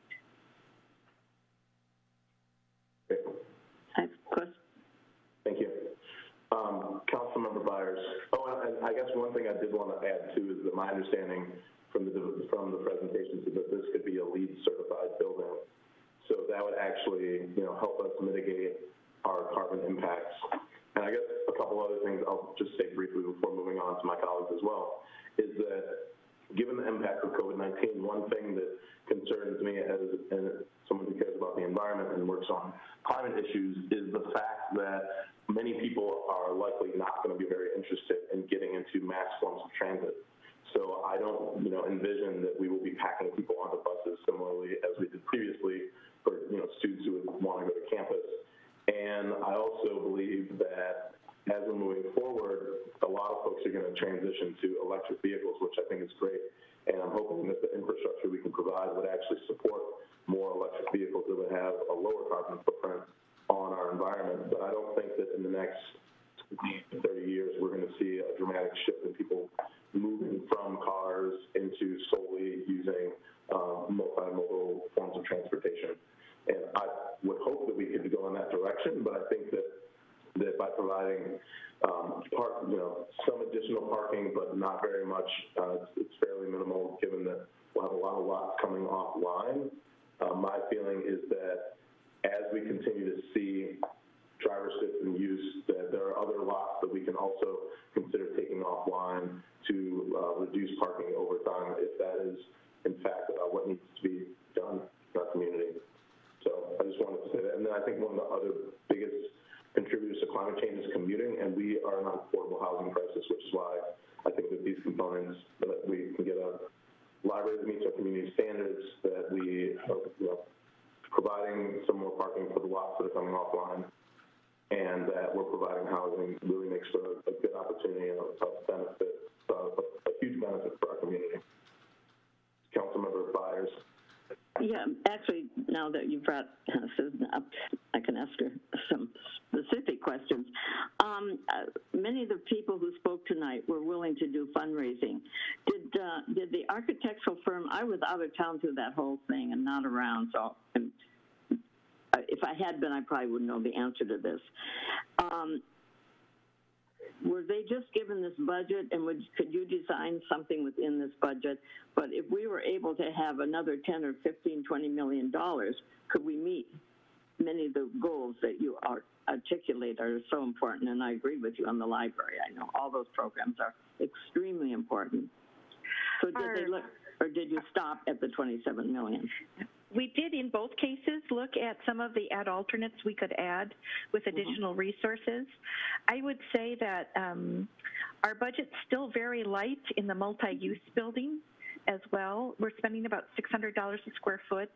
Our other libraries are coming in at almost twice that. Right. So I expect we will do an extensive fundraising um, that. campaign regardless of the project. Talk about I when I moved to town, I went down. It was the Carnegie Library, and of course it was demolished, and the the public library moved over on Grant Street to some empty building, and they ran the library there for over three years. It is possible to. Something would have to accommodate it. Absolutely, it's not impossible that you just find another. And then you've got Galt, which is less than a mile away. So people do have access to a library. So it's just a, uh, I think back the day I moved here and that was happening and I watched it all. It, believe it or not, it's been 50 years. So, but, um, yes, I, it, it I is, have it also, is hard. I've also run a temporary library. I just would say it would have a cost, and the cost would be Absolutely. probably a half a million. Right, right. And I hate to spend it on a temporary library. I'd rather spend it on the project. Well, uh, and Catherine, can't stop but can you shift either, I don't know if it's on your end, if it's to the left of the but your light is coming straight into, uh, You know, I, you know, I'll turn it off in a minute. Uh, we have a motion in a second, so I thought I could make my comments, and I need that light on to see. I'm just saying, if if you can shift your screen a little bit, because. Oh, oh, oh. The camera. Is that better? Yeah, I don't need the screen. You can. Is that better? Yeah, that's a little bit better. Yeah. Okay, thank you. Yeah, now we've got the motion, I'll go ahead and make my comments, okay? And I'm going to read it because I've got so many quotes from, uh, from the bond measure that I want to be very specific on it. Um, Four years ago, voters approved a $67 million bond measure whose stated purpose was to modernize, upgrade, and repair local libraries across Santa Cruz County. The argument in favor of that ballot measure outlined its purposes as follows. Upgrade outdated, inadequate electrical wiring, replace worn, tacky, leaky roofs, improve spaces for programs serving all ages, students, seniors, young adults, and community uh, groups, and ensure fully accessible libraries and programs. Most of the 18,080 people, city voters who approved that ballot measure might have reasonably expected that the city's portion of the bond money would be used to upgrade the main library across from City Hall. Very few of those voters, I think, could have could never predicted that the upgrade and repair money would be used to construct a brand new library and the multi multi-use parking garage elsewhere. Even though the language of the measure included the power to construct or expand library facilities where necessary, I believe that very few of those who voted to approve this bond measure think that removing the existing library to another location is necessary by any stretch of the imagination, and I certainly concur with that. Convenient, perhaps, for those who intend to construct a new downtown parking garage, but necessary, that's a stretch. Surely, with millions of dollars available to spend, it is beyond, it is not beyond our capacity to find ways to modernize and upgrade our main library in the current location, even if it's necessary to store the books and maybe even the people during the library rehabilitation. This would be in complete accord with the intent of the original bond measure. I've been a professional librarian my entire career. To me, a library is more than a building with books. It is one of the oldest and most prized institutions that can grace a community. Our town, our main library has occupied that, um, that area for over 100 years and will not, and I will not be able to vote to move it because I don't find that it is necessary. So therefore, I will be voting against the motion. Thank you. Councilmember Golder. So, um, this has been a super, you know, complicated issue, and we can't even get consensus here at the Golder House uh, around the dinner table. But, you know, as I think about it, and every day I work at Santa Cruz City Schools, and we strive to ensure it's like our mission statement that demographics don't determine outcomes. And I heard a lot of people speak about the unhoused population that uses the library. But um, I also want to speak about the children that use the library and like the causes of poor literacy among low-income children are complex, but access to books is one of the biggest obstacles and perhaps the biggest opportunities. So I think making books available to children, especially from low-income um, backgrounds, can have significant and it can have like a profound effect and can help us dismantle this, you know, systemic racism that we've been talking about all evening and can really um, contribute to a student's academic um, literacy skills and academic potential. And in Santa Cruz City schools, we have got about 7,000 students in, from K-12, and none of them were able to vote on this measure. And as a reading teacher, like I have to argue that a modern library would be a resource not only to the children of the community, but for children of the community for generations to come. And it would show that we have, we're leaving a legacy of um, people that value reading and learning and research and equity. And so it's not just like a gift to us, but to our children and our great grandchildren as well. And so I also love the idea of the outdoor dining and pedestrian access um, on the mall, and that started in response to the COVID 19 crisis. But um, the more I think about it, like a flat parking lot seems to be the most inefficient way to park cars. And then I think about the farmers market, and I think that I hope that that can move and find a permanent home. And I and I know we're kind of like expanding the footprint of downtown, and so I don't think we're moving the library from the center of downtown. We're kind of relocating where the center of downtown is, and hopefully like expanding along the river levee and making downtown bigger and more beautiful and robust.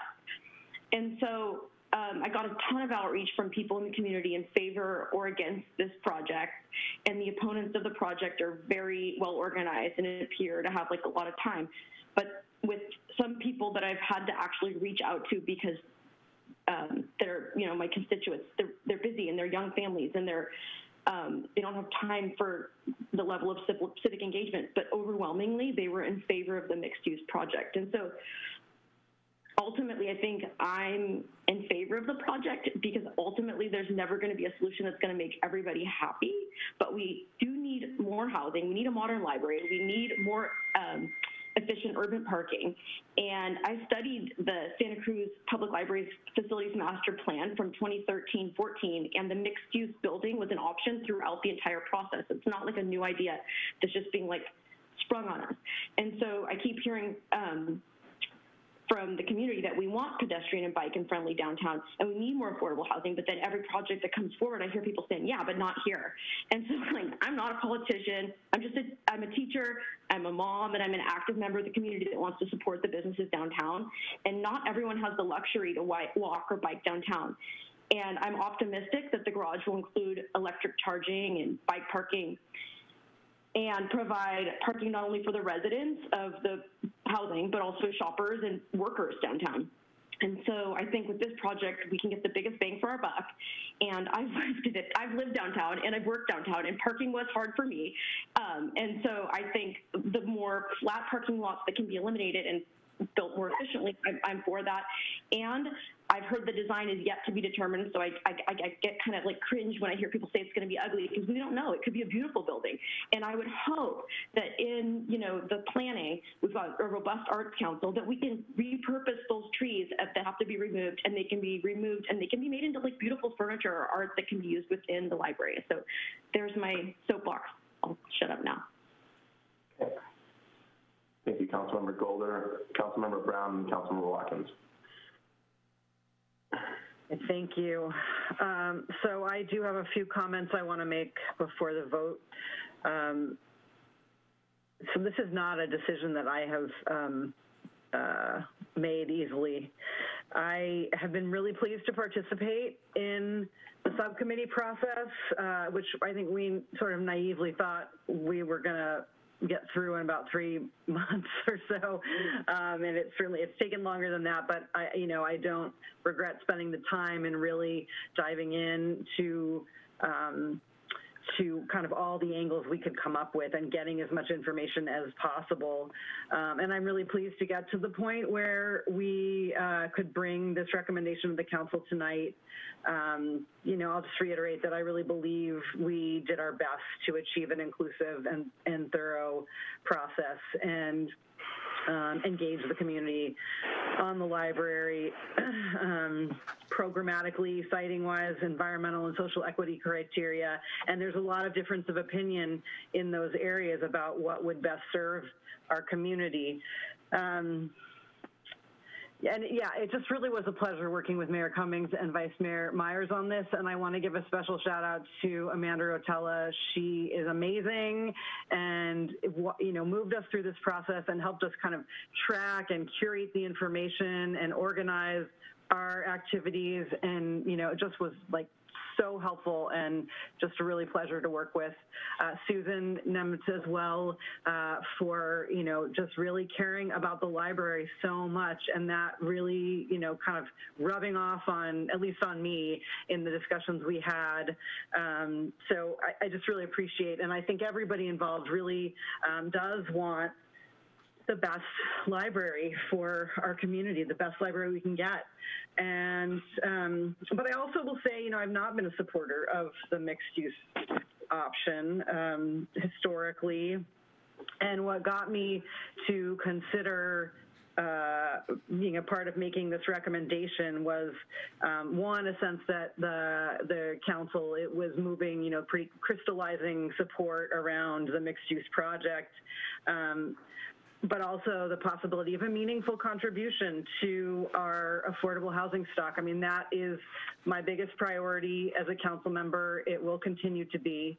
Um, so that said, um, I'm glad that we were able to kind of move in the direction of hopefully getting some some meaningful uh, affordable housing in terms of the number of units and the level of subsidy to allow for very low income uh, residents in you know to to uh, access those units.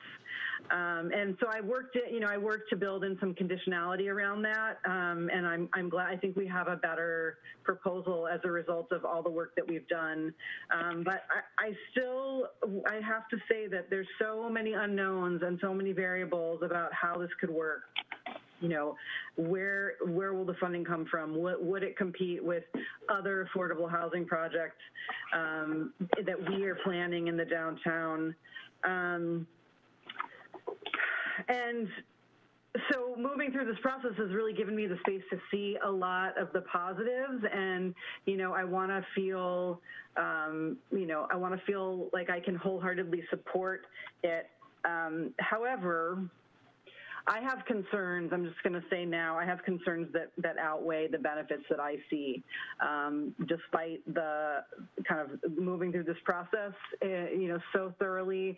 I just feel like there are too many unknowns, and even with conditionality, it's hard to kind of guarantee. I mean, I don't think we can guarantee that these units will be affordable. Um, I. Um, Yeah, so that, so that's, those are some of my concerns, and I'll just say, um, in my role as a subcommittee, uh, member, I feel like my charge was really to, to really actively engage in that process and be, you know, genuinely, um, uh, a part of it and, and really genuinely want to come to a recommendation we could all make. Um, to and to take it seriously to you know to do all the things that we did that have been kind of listed and and discussed here so i won't repeat them um, and you know to really so that's the technical um, aspect to really to you know roll up our sleeves and go get into the weeds and uh, and i feel good about having done that that said, in my role here tonight, I think that, um, you know, I, my job here is to represent the public and to represent the public interest. And in my time on the council, I have never um, seen more lopsided correspondence. Um, I mean, people have said three to one, but in, you know, as my I've tracked it over time, it's it feels to me like it's closer to four to one. Um, opposing the mixed use project. Um, I don't want to go in to repeat the litany of concerns that people have raised, um, which many of which I share. Um, but I do think that the unknown, so I'll just say the unknown potential to realize the, the affordable units, um, concern about the timeline and the completion questions. I think, I mean, MidPen says that, you know, some of the projects that have recently been approved in, out in the unincorporated part of the county will take at least five years to um, kind of pull together the, up to five years to pull together the financing uh, to, to build those projects. So that kind of makes me nervous about the timeline as well for doing a project this way um, with the library. Um, I I obviously have concerns about the use of lot, the loss of lot four. Uh, when what do we mean when we say higher, better uses? Um, I think that means different things for different people, and that's been really clear in the communications we've received. Um, so.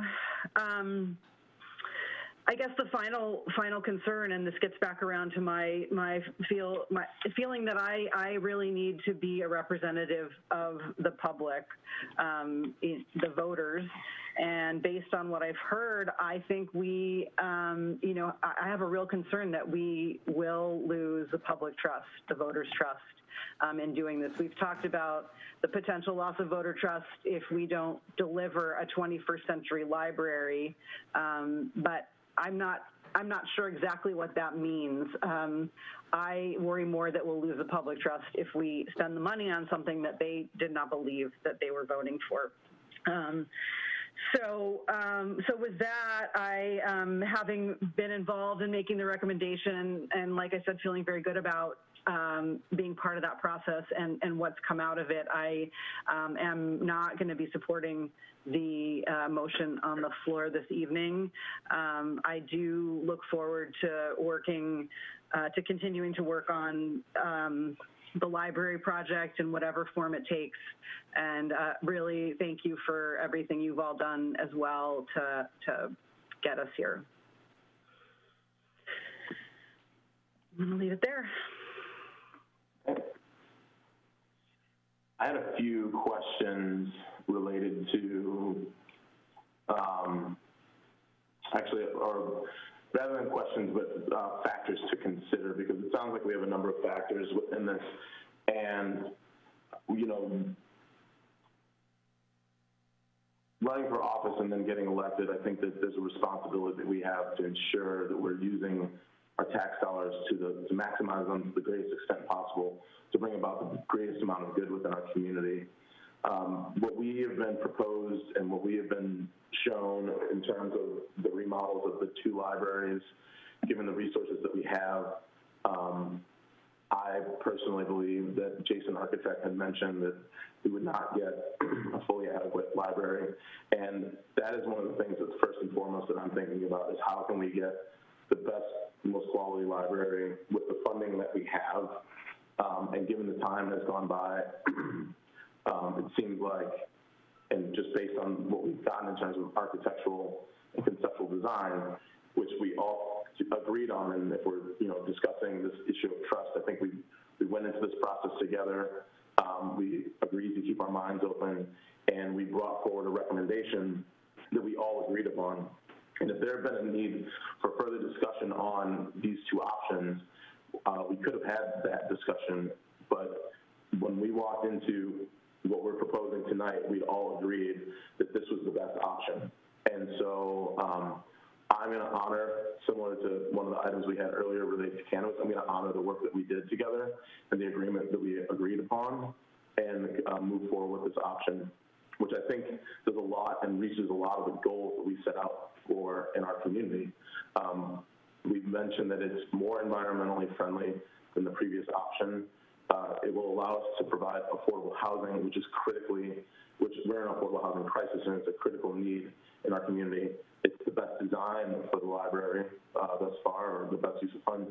And so, you know, when I ran for, and I'll also say that there's a lot, you know, personally, I felt like there was a lot of misleading information. Um, when I was running, I did oppose, and I still do oppose, a six-story parking garage going on top of a library. Uh, but I was not aware at the time that there were opportunities for other options. And I, and at numerous forums, or a few forums, when asked if there was, if I would consider housing on with the library, I actually was open to that idea because we are in so desperate need of affordable housing in our community. And uh, had I known that this could have been an, an, an option uh, at that time, I would have been supportive of an affordable housing project on top of the library or, or mixed into the use of a library. So I just want to share that because, again, I'm also not a politician. I'm somebody who really deeply cares about this community. And I really want to see us meet our goals around housing and providing quality infrastructure for our community. So I'm going to move forward and honor the, the process that we went through in meeting with the community. I do, however, have a number of uh, concerns that have come up that I would like to see if we could consider um, adding to these conditions. And I sent those over to Bonnie. So Bonnie, maybe if you could put them on the screen.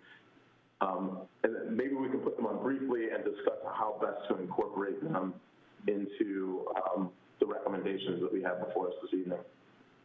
Uh, Mayor, I don't have them, so did you maybe send it to Bonnie Lipscomb? Um, maybe I didn't. Mayor, why, why you have that clarified, is it possible to add a, just a couple comments? Sure, go ahead. Okay. Um, I just want to I just want to share my deep appreciation for everybody's perspective and comments brought forward, and I I just recognize the um, the difficulty of um, unknown and the various perspectives and the challenges associated with um, with these types of decisions.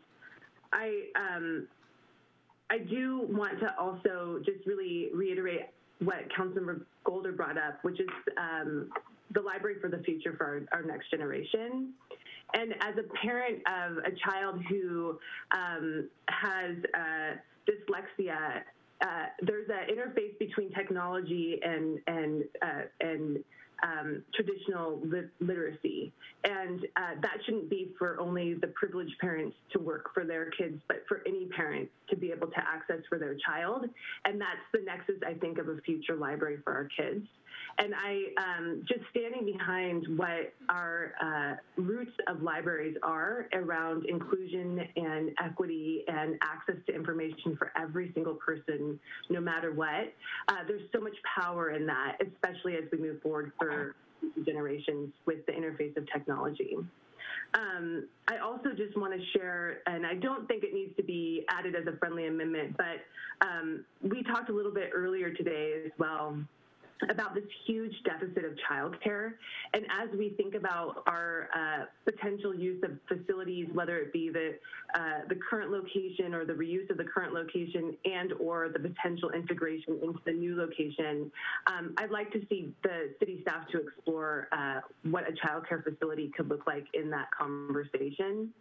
And then also just briefly want to share my appreciation and support for what uh, Mayor Cummings brought up, which is that we have an opportunity to make this a very green building in terms of climate sustainability and how we could explore ta uh, tax and cash incentives to, to be able to move us in that direction as well.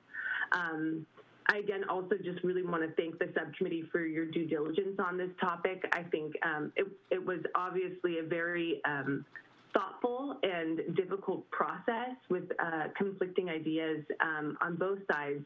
And um, with the integration of the affordable housing and the criteria used, and with at the heart of it being a future library um, and the best potential library for our community, I really respect where you landed. So um, those are just sort of my brief comments, and and and thank you for the time. Thank you. So I sent the, um, some additional considerations over to Bonnie that maybe she can put on the screen because I do also share the concern with um, making sure this actually happens, that we do get affordable housing into this project because, again, I also wouldn't have been supportive of this should we have, would we have not not been able to get high quality library and also the affordable housing. Um, if this had been a project that was, you know, parking on top of a, a library, I don't think that that would have been um, a good use of, of community funds. So um, a couple of these I think might already be built in, but maybe we can, after people have a chance to take a look at them, we can see where best to incorporate them into the motion. But the first is that we direct that the affordable housing component of the project be the highest project priority for funding from the Low Income Housing Trust Fund. So uh, just ensuring that we are using the funding to actually make that affordable housing happen. And if there's other ways we can get the funding or future funds to make that happen, that we do so. Uh, that we direct the economic development uh, release an RFP, RFQ process as soon as possible to return at the second meeting in August with a recommendation from the nonprofit developer for the affordable housing component of the project. Also like to see if we, if the, well, I think what we should do is move forward with that being the goal, and if we need additional time, that we can do it. But I think the intention is that we get this out immediately and we see what we can get and what developers will be interested in, um, in taking on this project. The third is to direct economic development staff to apply to the county housing authority for Section 8 project-based vouchers for the affordable housing component of the project. I think that was brought up earlier by uh, the economic development director, and she said that is something that we can do.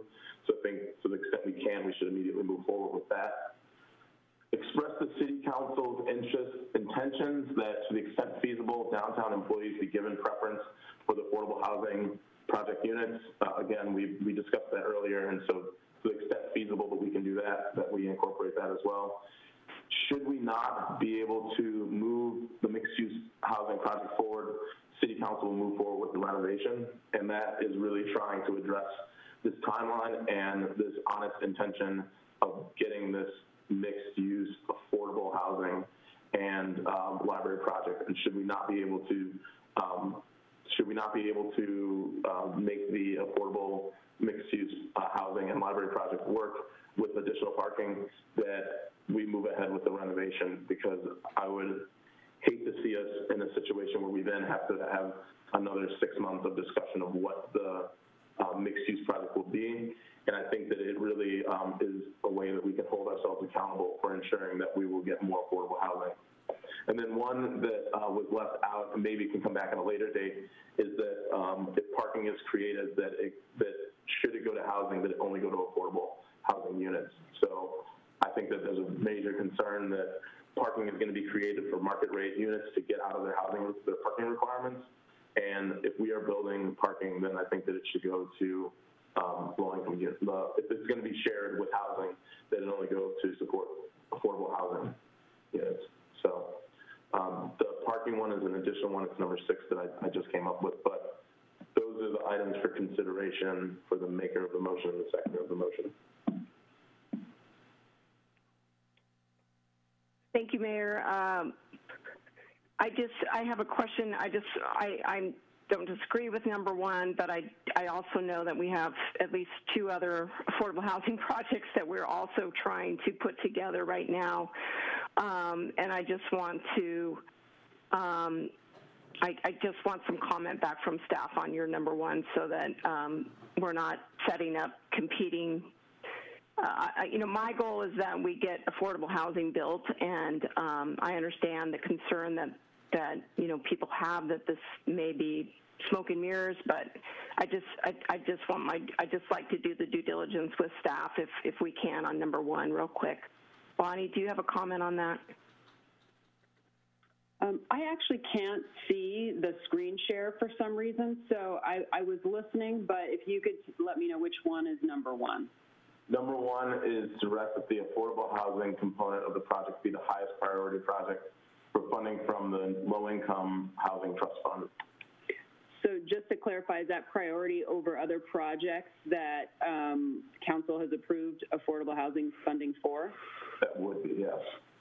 And my, because I think the concern that I've heard from folks in the community is that they want to ensure that this, that, that we are actually intentionally going to put in affordable housing. And many people are concerned that if we move forward with mixed use, that the funding won't be there, and then we'll say, we can't do the, we can't do the low-income housing, so we're just going to move forward with something else. And so I just want to know how we can ensure that we're going to have affordable housing. If this is the mechanism, um, if this needs to be done, then I think that we should, we, then it, I think it should be done.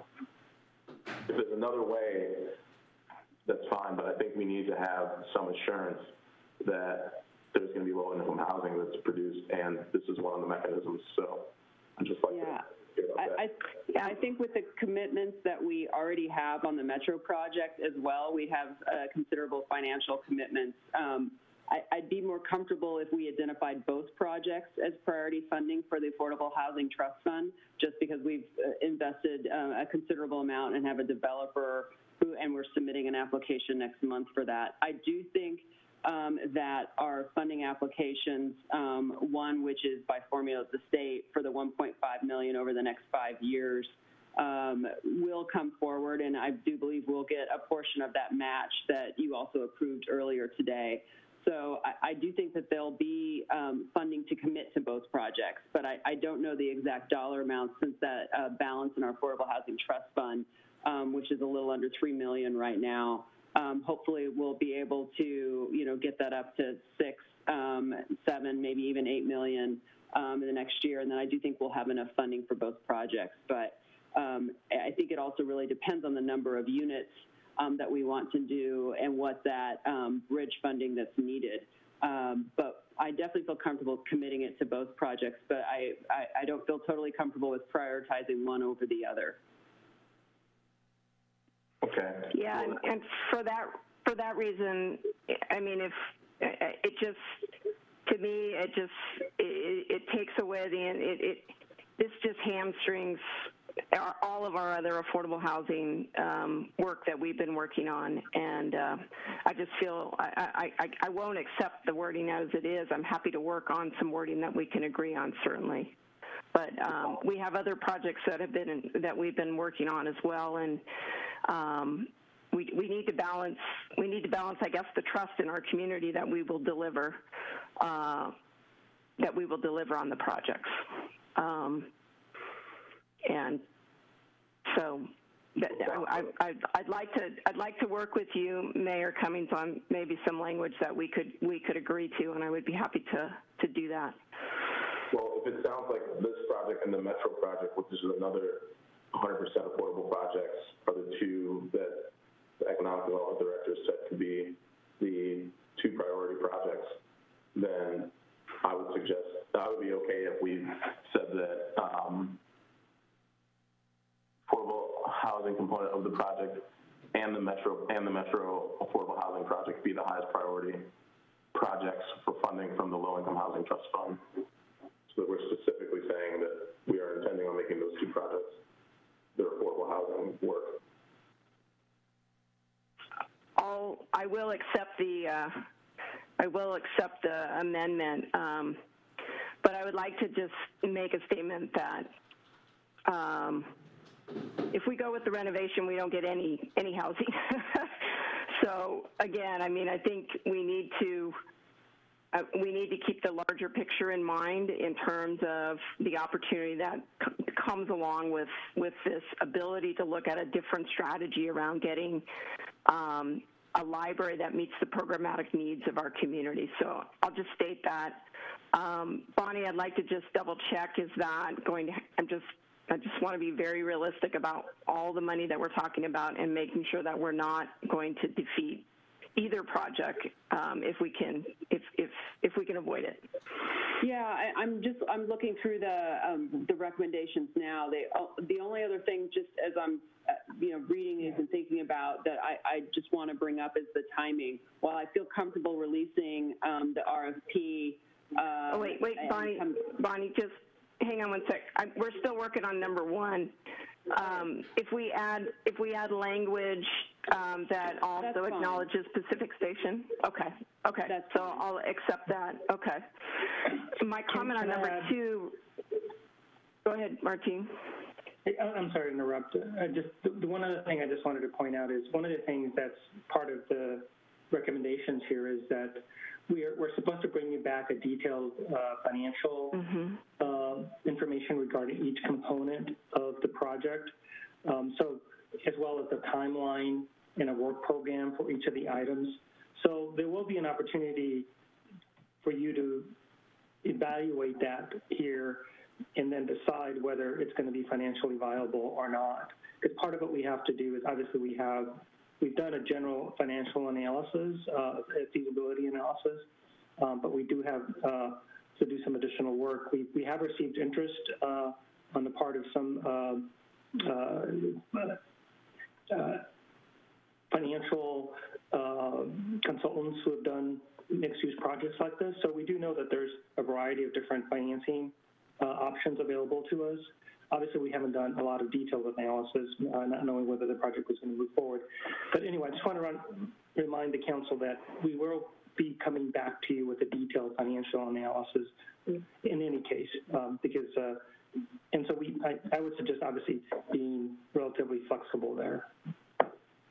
Yeah, and so I think that if we make the commitment tonight and it comes back and there's additional finance mechanisms, then we can obviously change this. But I think that we need to have some level of assurance that we're going to be committing, seriously making, making a serious commitment to the affordable housing component of this. So just just so I'm clear, um, Mayor Cummings, would um, the following wording work um, direct that the affordable housing component of the project, um, along with the metro project, be the high uh, remain a high priority project or remain I guess remain the highest priority projects for funding from the Low Income Housing Trust Fund. Does that sound right? Okay. Yeah.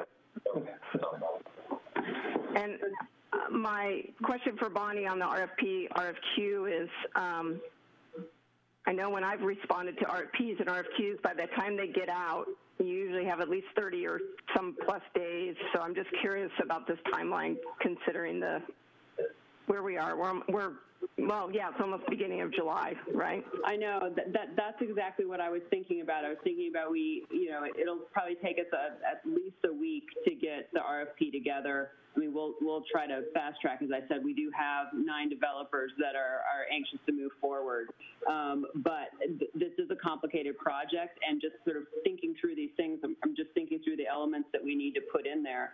You know, with the fact that we're applying for these two state um, funding, affordable housing funding sources. You know, one thing that's out there that may not mesh really well with this with this timeline of the second meeting in August is that we may not have. I'm thinking we we probably won't have the feedback on what those awards are for our affordable housing trust fund from the local housing trust match and the other PLHA match. So um, by then, and those are significant sources of revenue, and that's probably going to impact the developer's response on their commitment to the project just from what the city's going to be able to provide.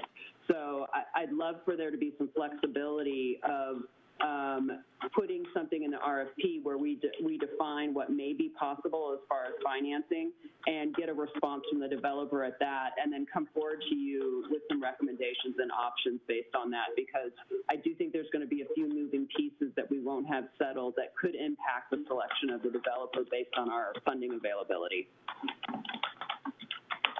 Okay.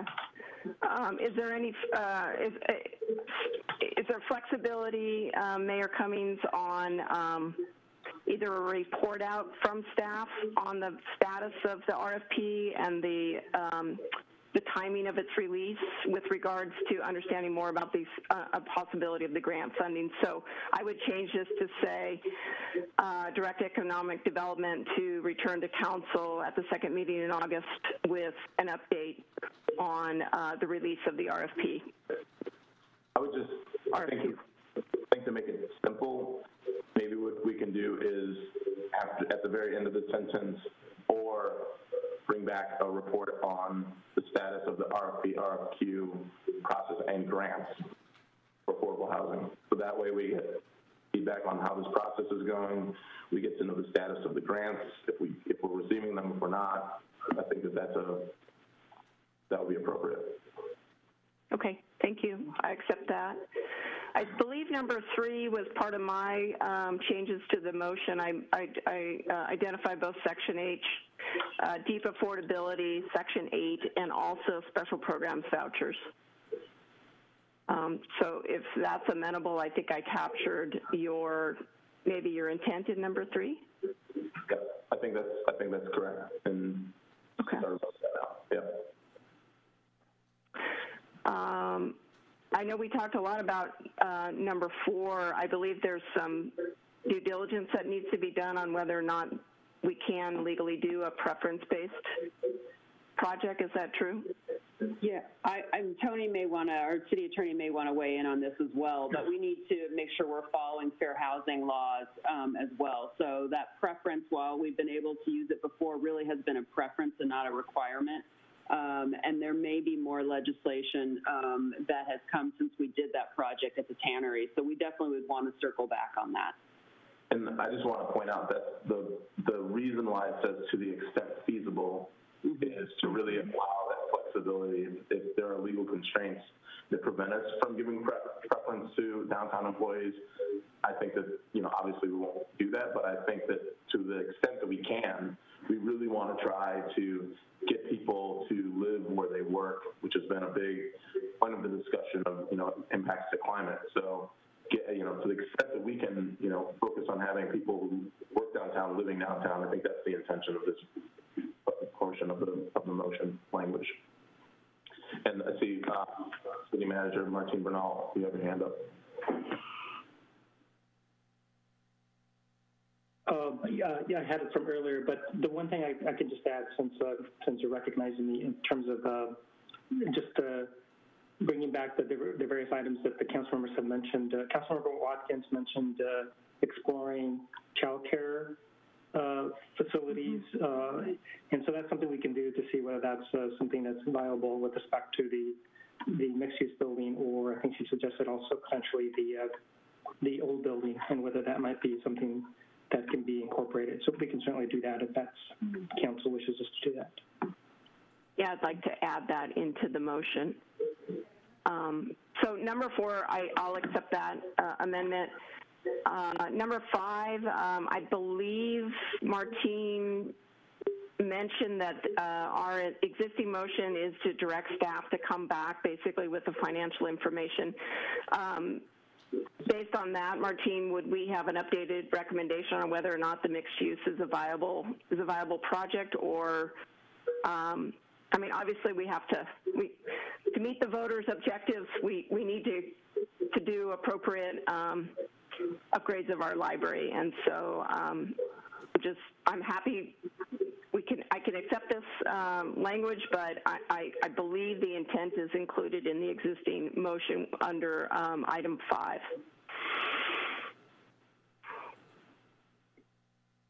Yes, I mean, I think if you're asking me, yes, we should, when we come back with the, when we do the financial analysis, I mean, we should know whether we, it's viable and uh, what else is needed. Um, and, and so then, then that would be the opportunity to then provide direction about uh, what, what to do next, um, which, you know, at this point we would be left with uh, looking at a renovation project. Okay, and, I, and I'm out of five that it should be mixed use affordable housing project, but I think if we if we have that in, and then we will see what we can get at the next meeting, at the meeting in August. Um, that really the intention is, you know, we're really trying to get the affordable housing component, and if we can't meet, maximize those benefits, then we'll, we'll likely need to move forward with renovation. As, far as the uh, timing of the financial analysis, um, I have to check with Bonnie on that, but first, uh, select the design build team. And then after that, uh, they would assist us with the financial, uh, packaging, uh, or information as well as the work plan and timeline. So Bonnie, do you have a time frame for that? Yeah, I, I, uh, Martín, um, that was exactly what we were talking about from the timeline as far as getting the design build team and then moving forward because we need to figure out some of those elements um, as far as the design and the housing and how many levels and you know before we can do some robust um, cost estimates. With that said, um, with some of our partners, we have been looking at general financing, financing sources already, um, both for the affordable housing component, and we can give some feedback um, within this timeline on that. So I think um, in the spirit of, of the earlier recommendation as far as coming back in August, we can, you know, we'll continue to get, uh, you know, all the information that we can as it's available and bring it back to council. Um, but to have really detailed um, cost estimates, we are going to need um, to have um, at least a schematic design that council has approved so that we can we can move forward and get a little more accurate um, numbers on that projection. So in, with regard to that, I think I won't, I will not accept your number five, Mayor Cummings, because I, it sounds like it's sort of inherent in the, in, in the existing motion. Is that, is that acceptable to you? Um, I just will then, if, if that's not acceptable at this point in time, I will say that when this comes back, I just want it to be clear that, um, like my, part of my major intention of moving forward with this is that there's been this of confidence that we can make an affordable housing project work on this site. And I think that we've already kind of set our standards, but I'm, I'm willing to withdraw that because I think we've already set our standards with having a minimum of 50 affordable units. And if we can't meet that, then we're going to have another conversation around this topic. So I'm happy to remove that at this time. And then um, we'll have to, based on the financial projections and our ability to meet the affordable housing, the low income housing, we'll need to re- revisit that when we have these conversations around finances. And then the one that isn't shown, and I think we can also talk about at a later point, but is this idea that we're not building parking for um, market rate units. So uh, I was parking for housing. Parking for housing units can only go to affordable units. Um, I'm happy to include that now um, if that's acceptable. If not, I'll be making it again at a later point in time, but I think that we shouldn't be building parking for, to accommodate market rate housing. If it's amenable to you, Mayor Cummings, uh, I, I think that there's there's a number there's so much information that we should be getting back, hopefully in the next 60 days. That um, that you know, with that additional information, I think we can shape, potentially shape, uh, you know, a, a stronger recommendation uh, if, if you think that's appropriate. Um, so we can revisit that, capture that in the minutes, um, obviously, but but um, maybe not include that in the in the uh, in the motion this evening, if possible. Okay, yeah, because we will have to revisit this again, and it sounds like in about a month or late August. I'm assuming that this is coming back in late August, it seems like, based on some of the conversation we've been having. I don't know if Martín or Bonnie, you could weigh in on that, but that's fine. That's how I see this. I foresee this heading. Yeah, uh, I would, I would have to defer to Bonnie on that. Bonnie, do you have the sense of the time frame? Um, I, I think definitely the second week in August would be more realistic, the second meeting. Okay. Yeah, and that would be a- more of a, of a, of a preliminary sort of financial analysis, uh, you know, without all the, all the detail of the particular project, so that would, that would come later. But we can give you a sense of, you know, general feasibility. Okay. and with regards to the request from Councilmember Watkins, um, I, I'm very interested in that concept, obviously. Um, I do know that in working with the library staff over the last year, um, the square footage of sort of what may be possible in this mixed use is, is programmatically um, meeting some, of the objectives, but certainly not all. So I, I, I'd like to um, make that as an intent statement um, or uh, direct that that potentially be looked at as one of the options for the existing library site, uh, if that's amenable to you. I, I think trying to load um, I, I'm just not. I'm just. I don't know enough about child care centers combined. You know, I just don't know. I think it's a. It's a bigger. Um, it's a bigger decision point, and I'd like to to acknowledge it, but figure out a way to, that it also has some flexibility, um, and and especially with regards to looking at the existing site, uh, existing library site as as possibly a place to look for that. Are you amenable to that, or just an expression of child care is another use? No, sure. I, I, I guess I um, just wanted to share that, you know, one of the things about sort of a, um, uh, location for a mixed-use building where you're going to have housing and walkable communities, and part of that is access.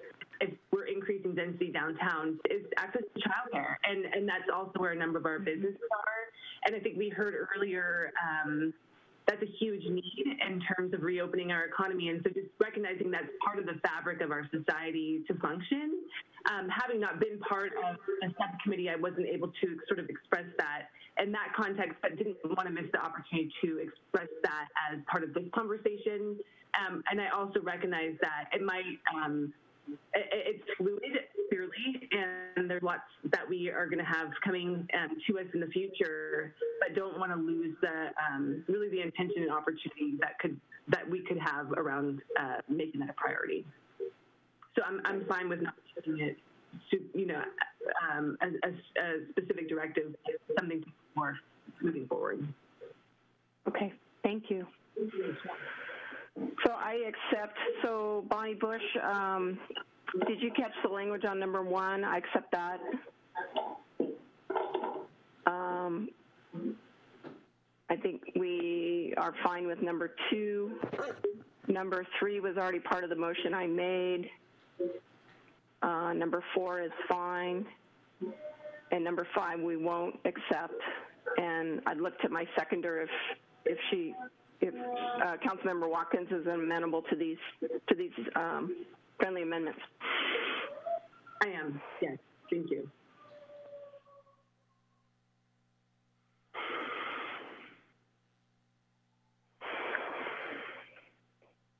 Thank you, Mayor.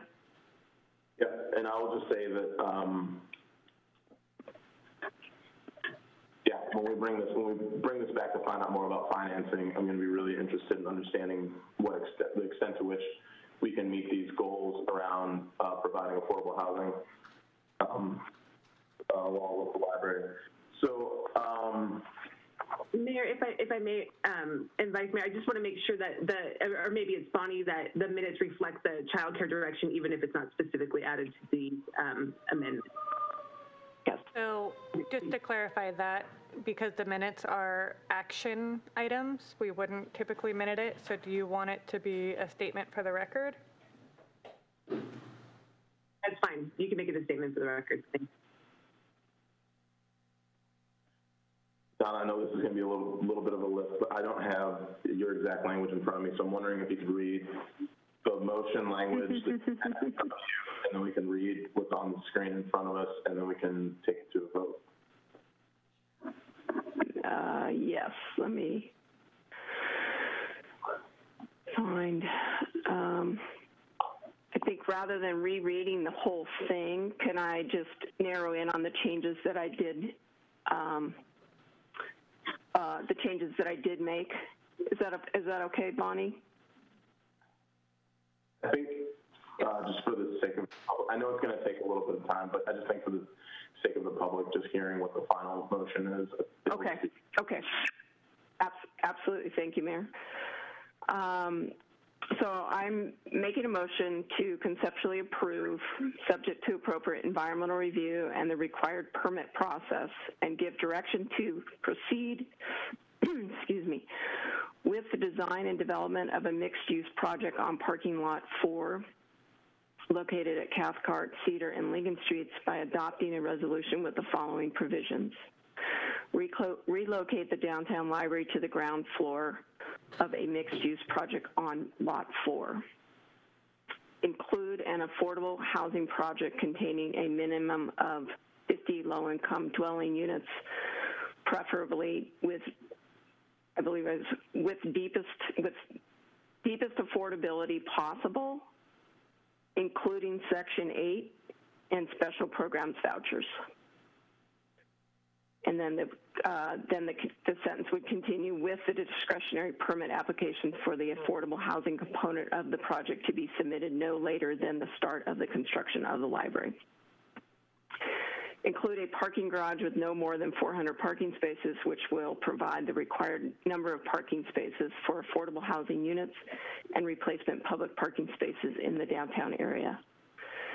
And D, restrict the total height of the building not to exceed the height of the University Town Center development, or if this isn't possible, the development at 1010 Pacific Avenue, especially as regards the housing portion of the project. Authorize staff to proceed with selection of an owner's representative to manage the overall project implementation and competitive RFP, RFQ process for selection for selection of a design build project team. Uh, and number three, I'm trying to make sure I fit yours in here. Um, so part of that, yeah, so uh, under number two, we should add, um, let's see here, that the, under two, under two, it should say authorize staff to proceed with selection of an owner's representative to manage the overall project implementation and a competitive RFQ, RFP, RFQ process as soon as possible. I'm looking at Justin's number two language to return at the second meeting in August with a recommendation for the nonprofit developer for the affordable housing component of the project or a informational update for council should the RFP, RFQ process not um, uh, not be completed. Is that amenable? Um, okay. We got number three is done.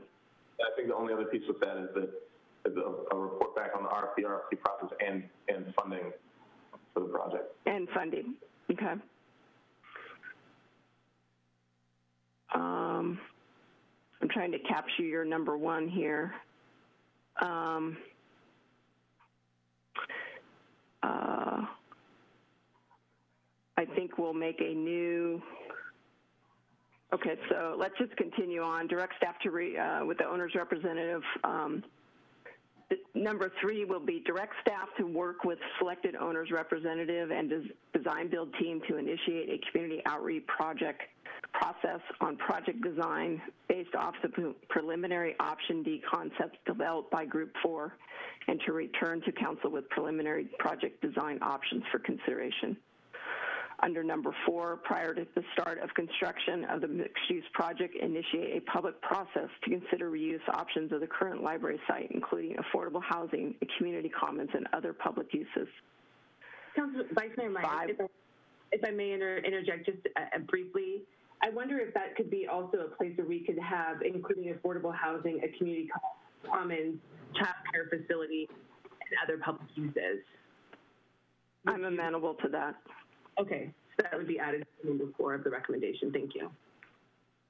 Under number five, direct staff to provide a report to City Council one to two months in one to two months following the selection of the design build team containing A, detailed financial information regarding each component of the mixed-use project, B, a work program and timeline for implementing the affordable housing units, library, and parking garage to include a public engagement process, and C, general schematic showing the integration of the library, housing, parking, and commercial, commercial use components.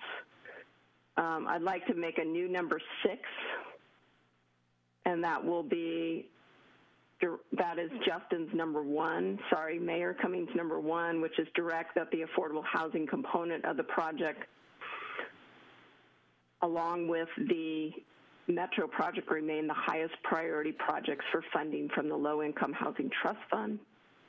And finally, our new number, uh, this will be number, number seven, direct staff to en- re-engage with the farmers market and move forward with council direction from June 12, 2018 to execute an agreement and develop a design for a permanent downtown farmers market on parking lot number seven, located at the corner of Cathcart and Front Streets. I believe I've captured everything with that rereading. Well, I think uh, eight would be number four, which is on the screen, related to uh, employee preference. Oh, yes, thank you for catching that. Okay. That might fit in, in one B. When when you talk, where you, where you describe the, the affordable housing project aspect of it. Yeah, mm-hmm. usually there. So in one B, the language is currently there. I think it's the council's intention that to the extent feasible, one kind of place for the affordable housing project.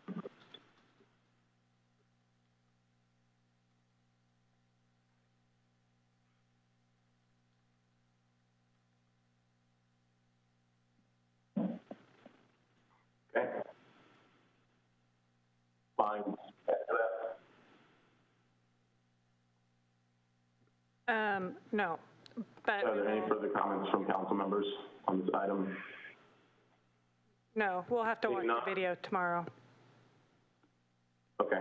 Um, seeing none, let's, uh, we'll, we'll ma- take it to a vote. So I'll turn it over to the clerk. There's one other item I have to request. A, um, roll call vote.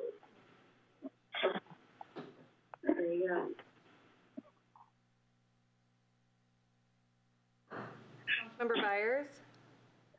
No. Math- uh, Mathews is absent. Uh, Brown? No. Golder? Aye. Watkins?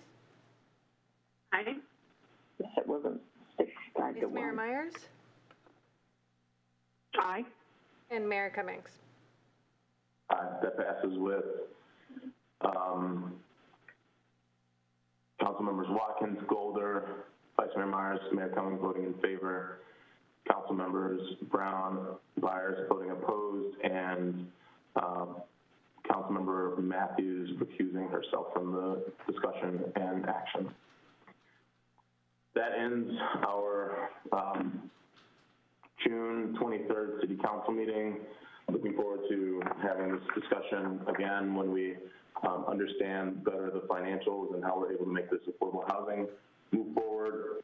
And I want to thank you all for a productive day and have a good evening. Night. Thank you.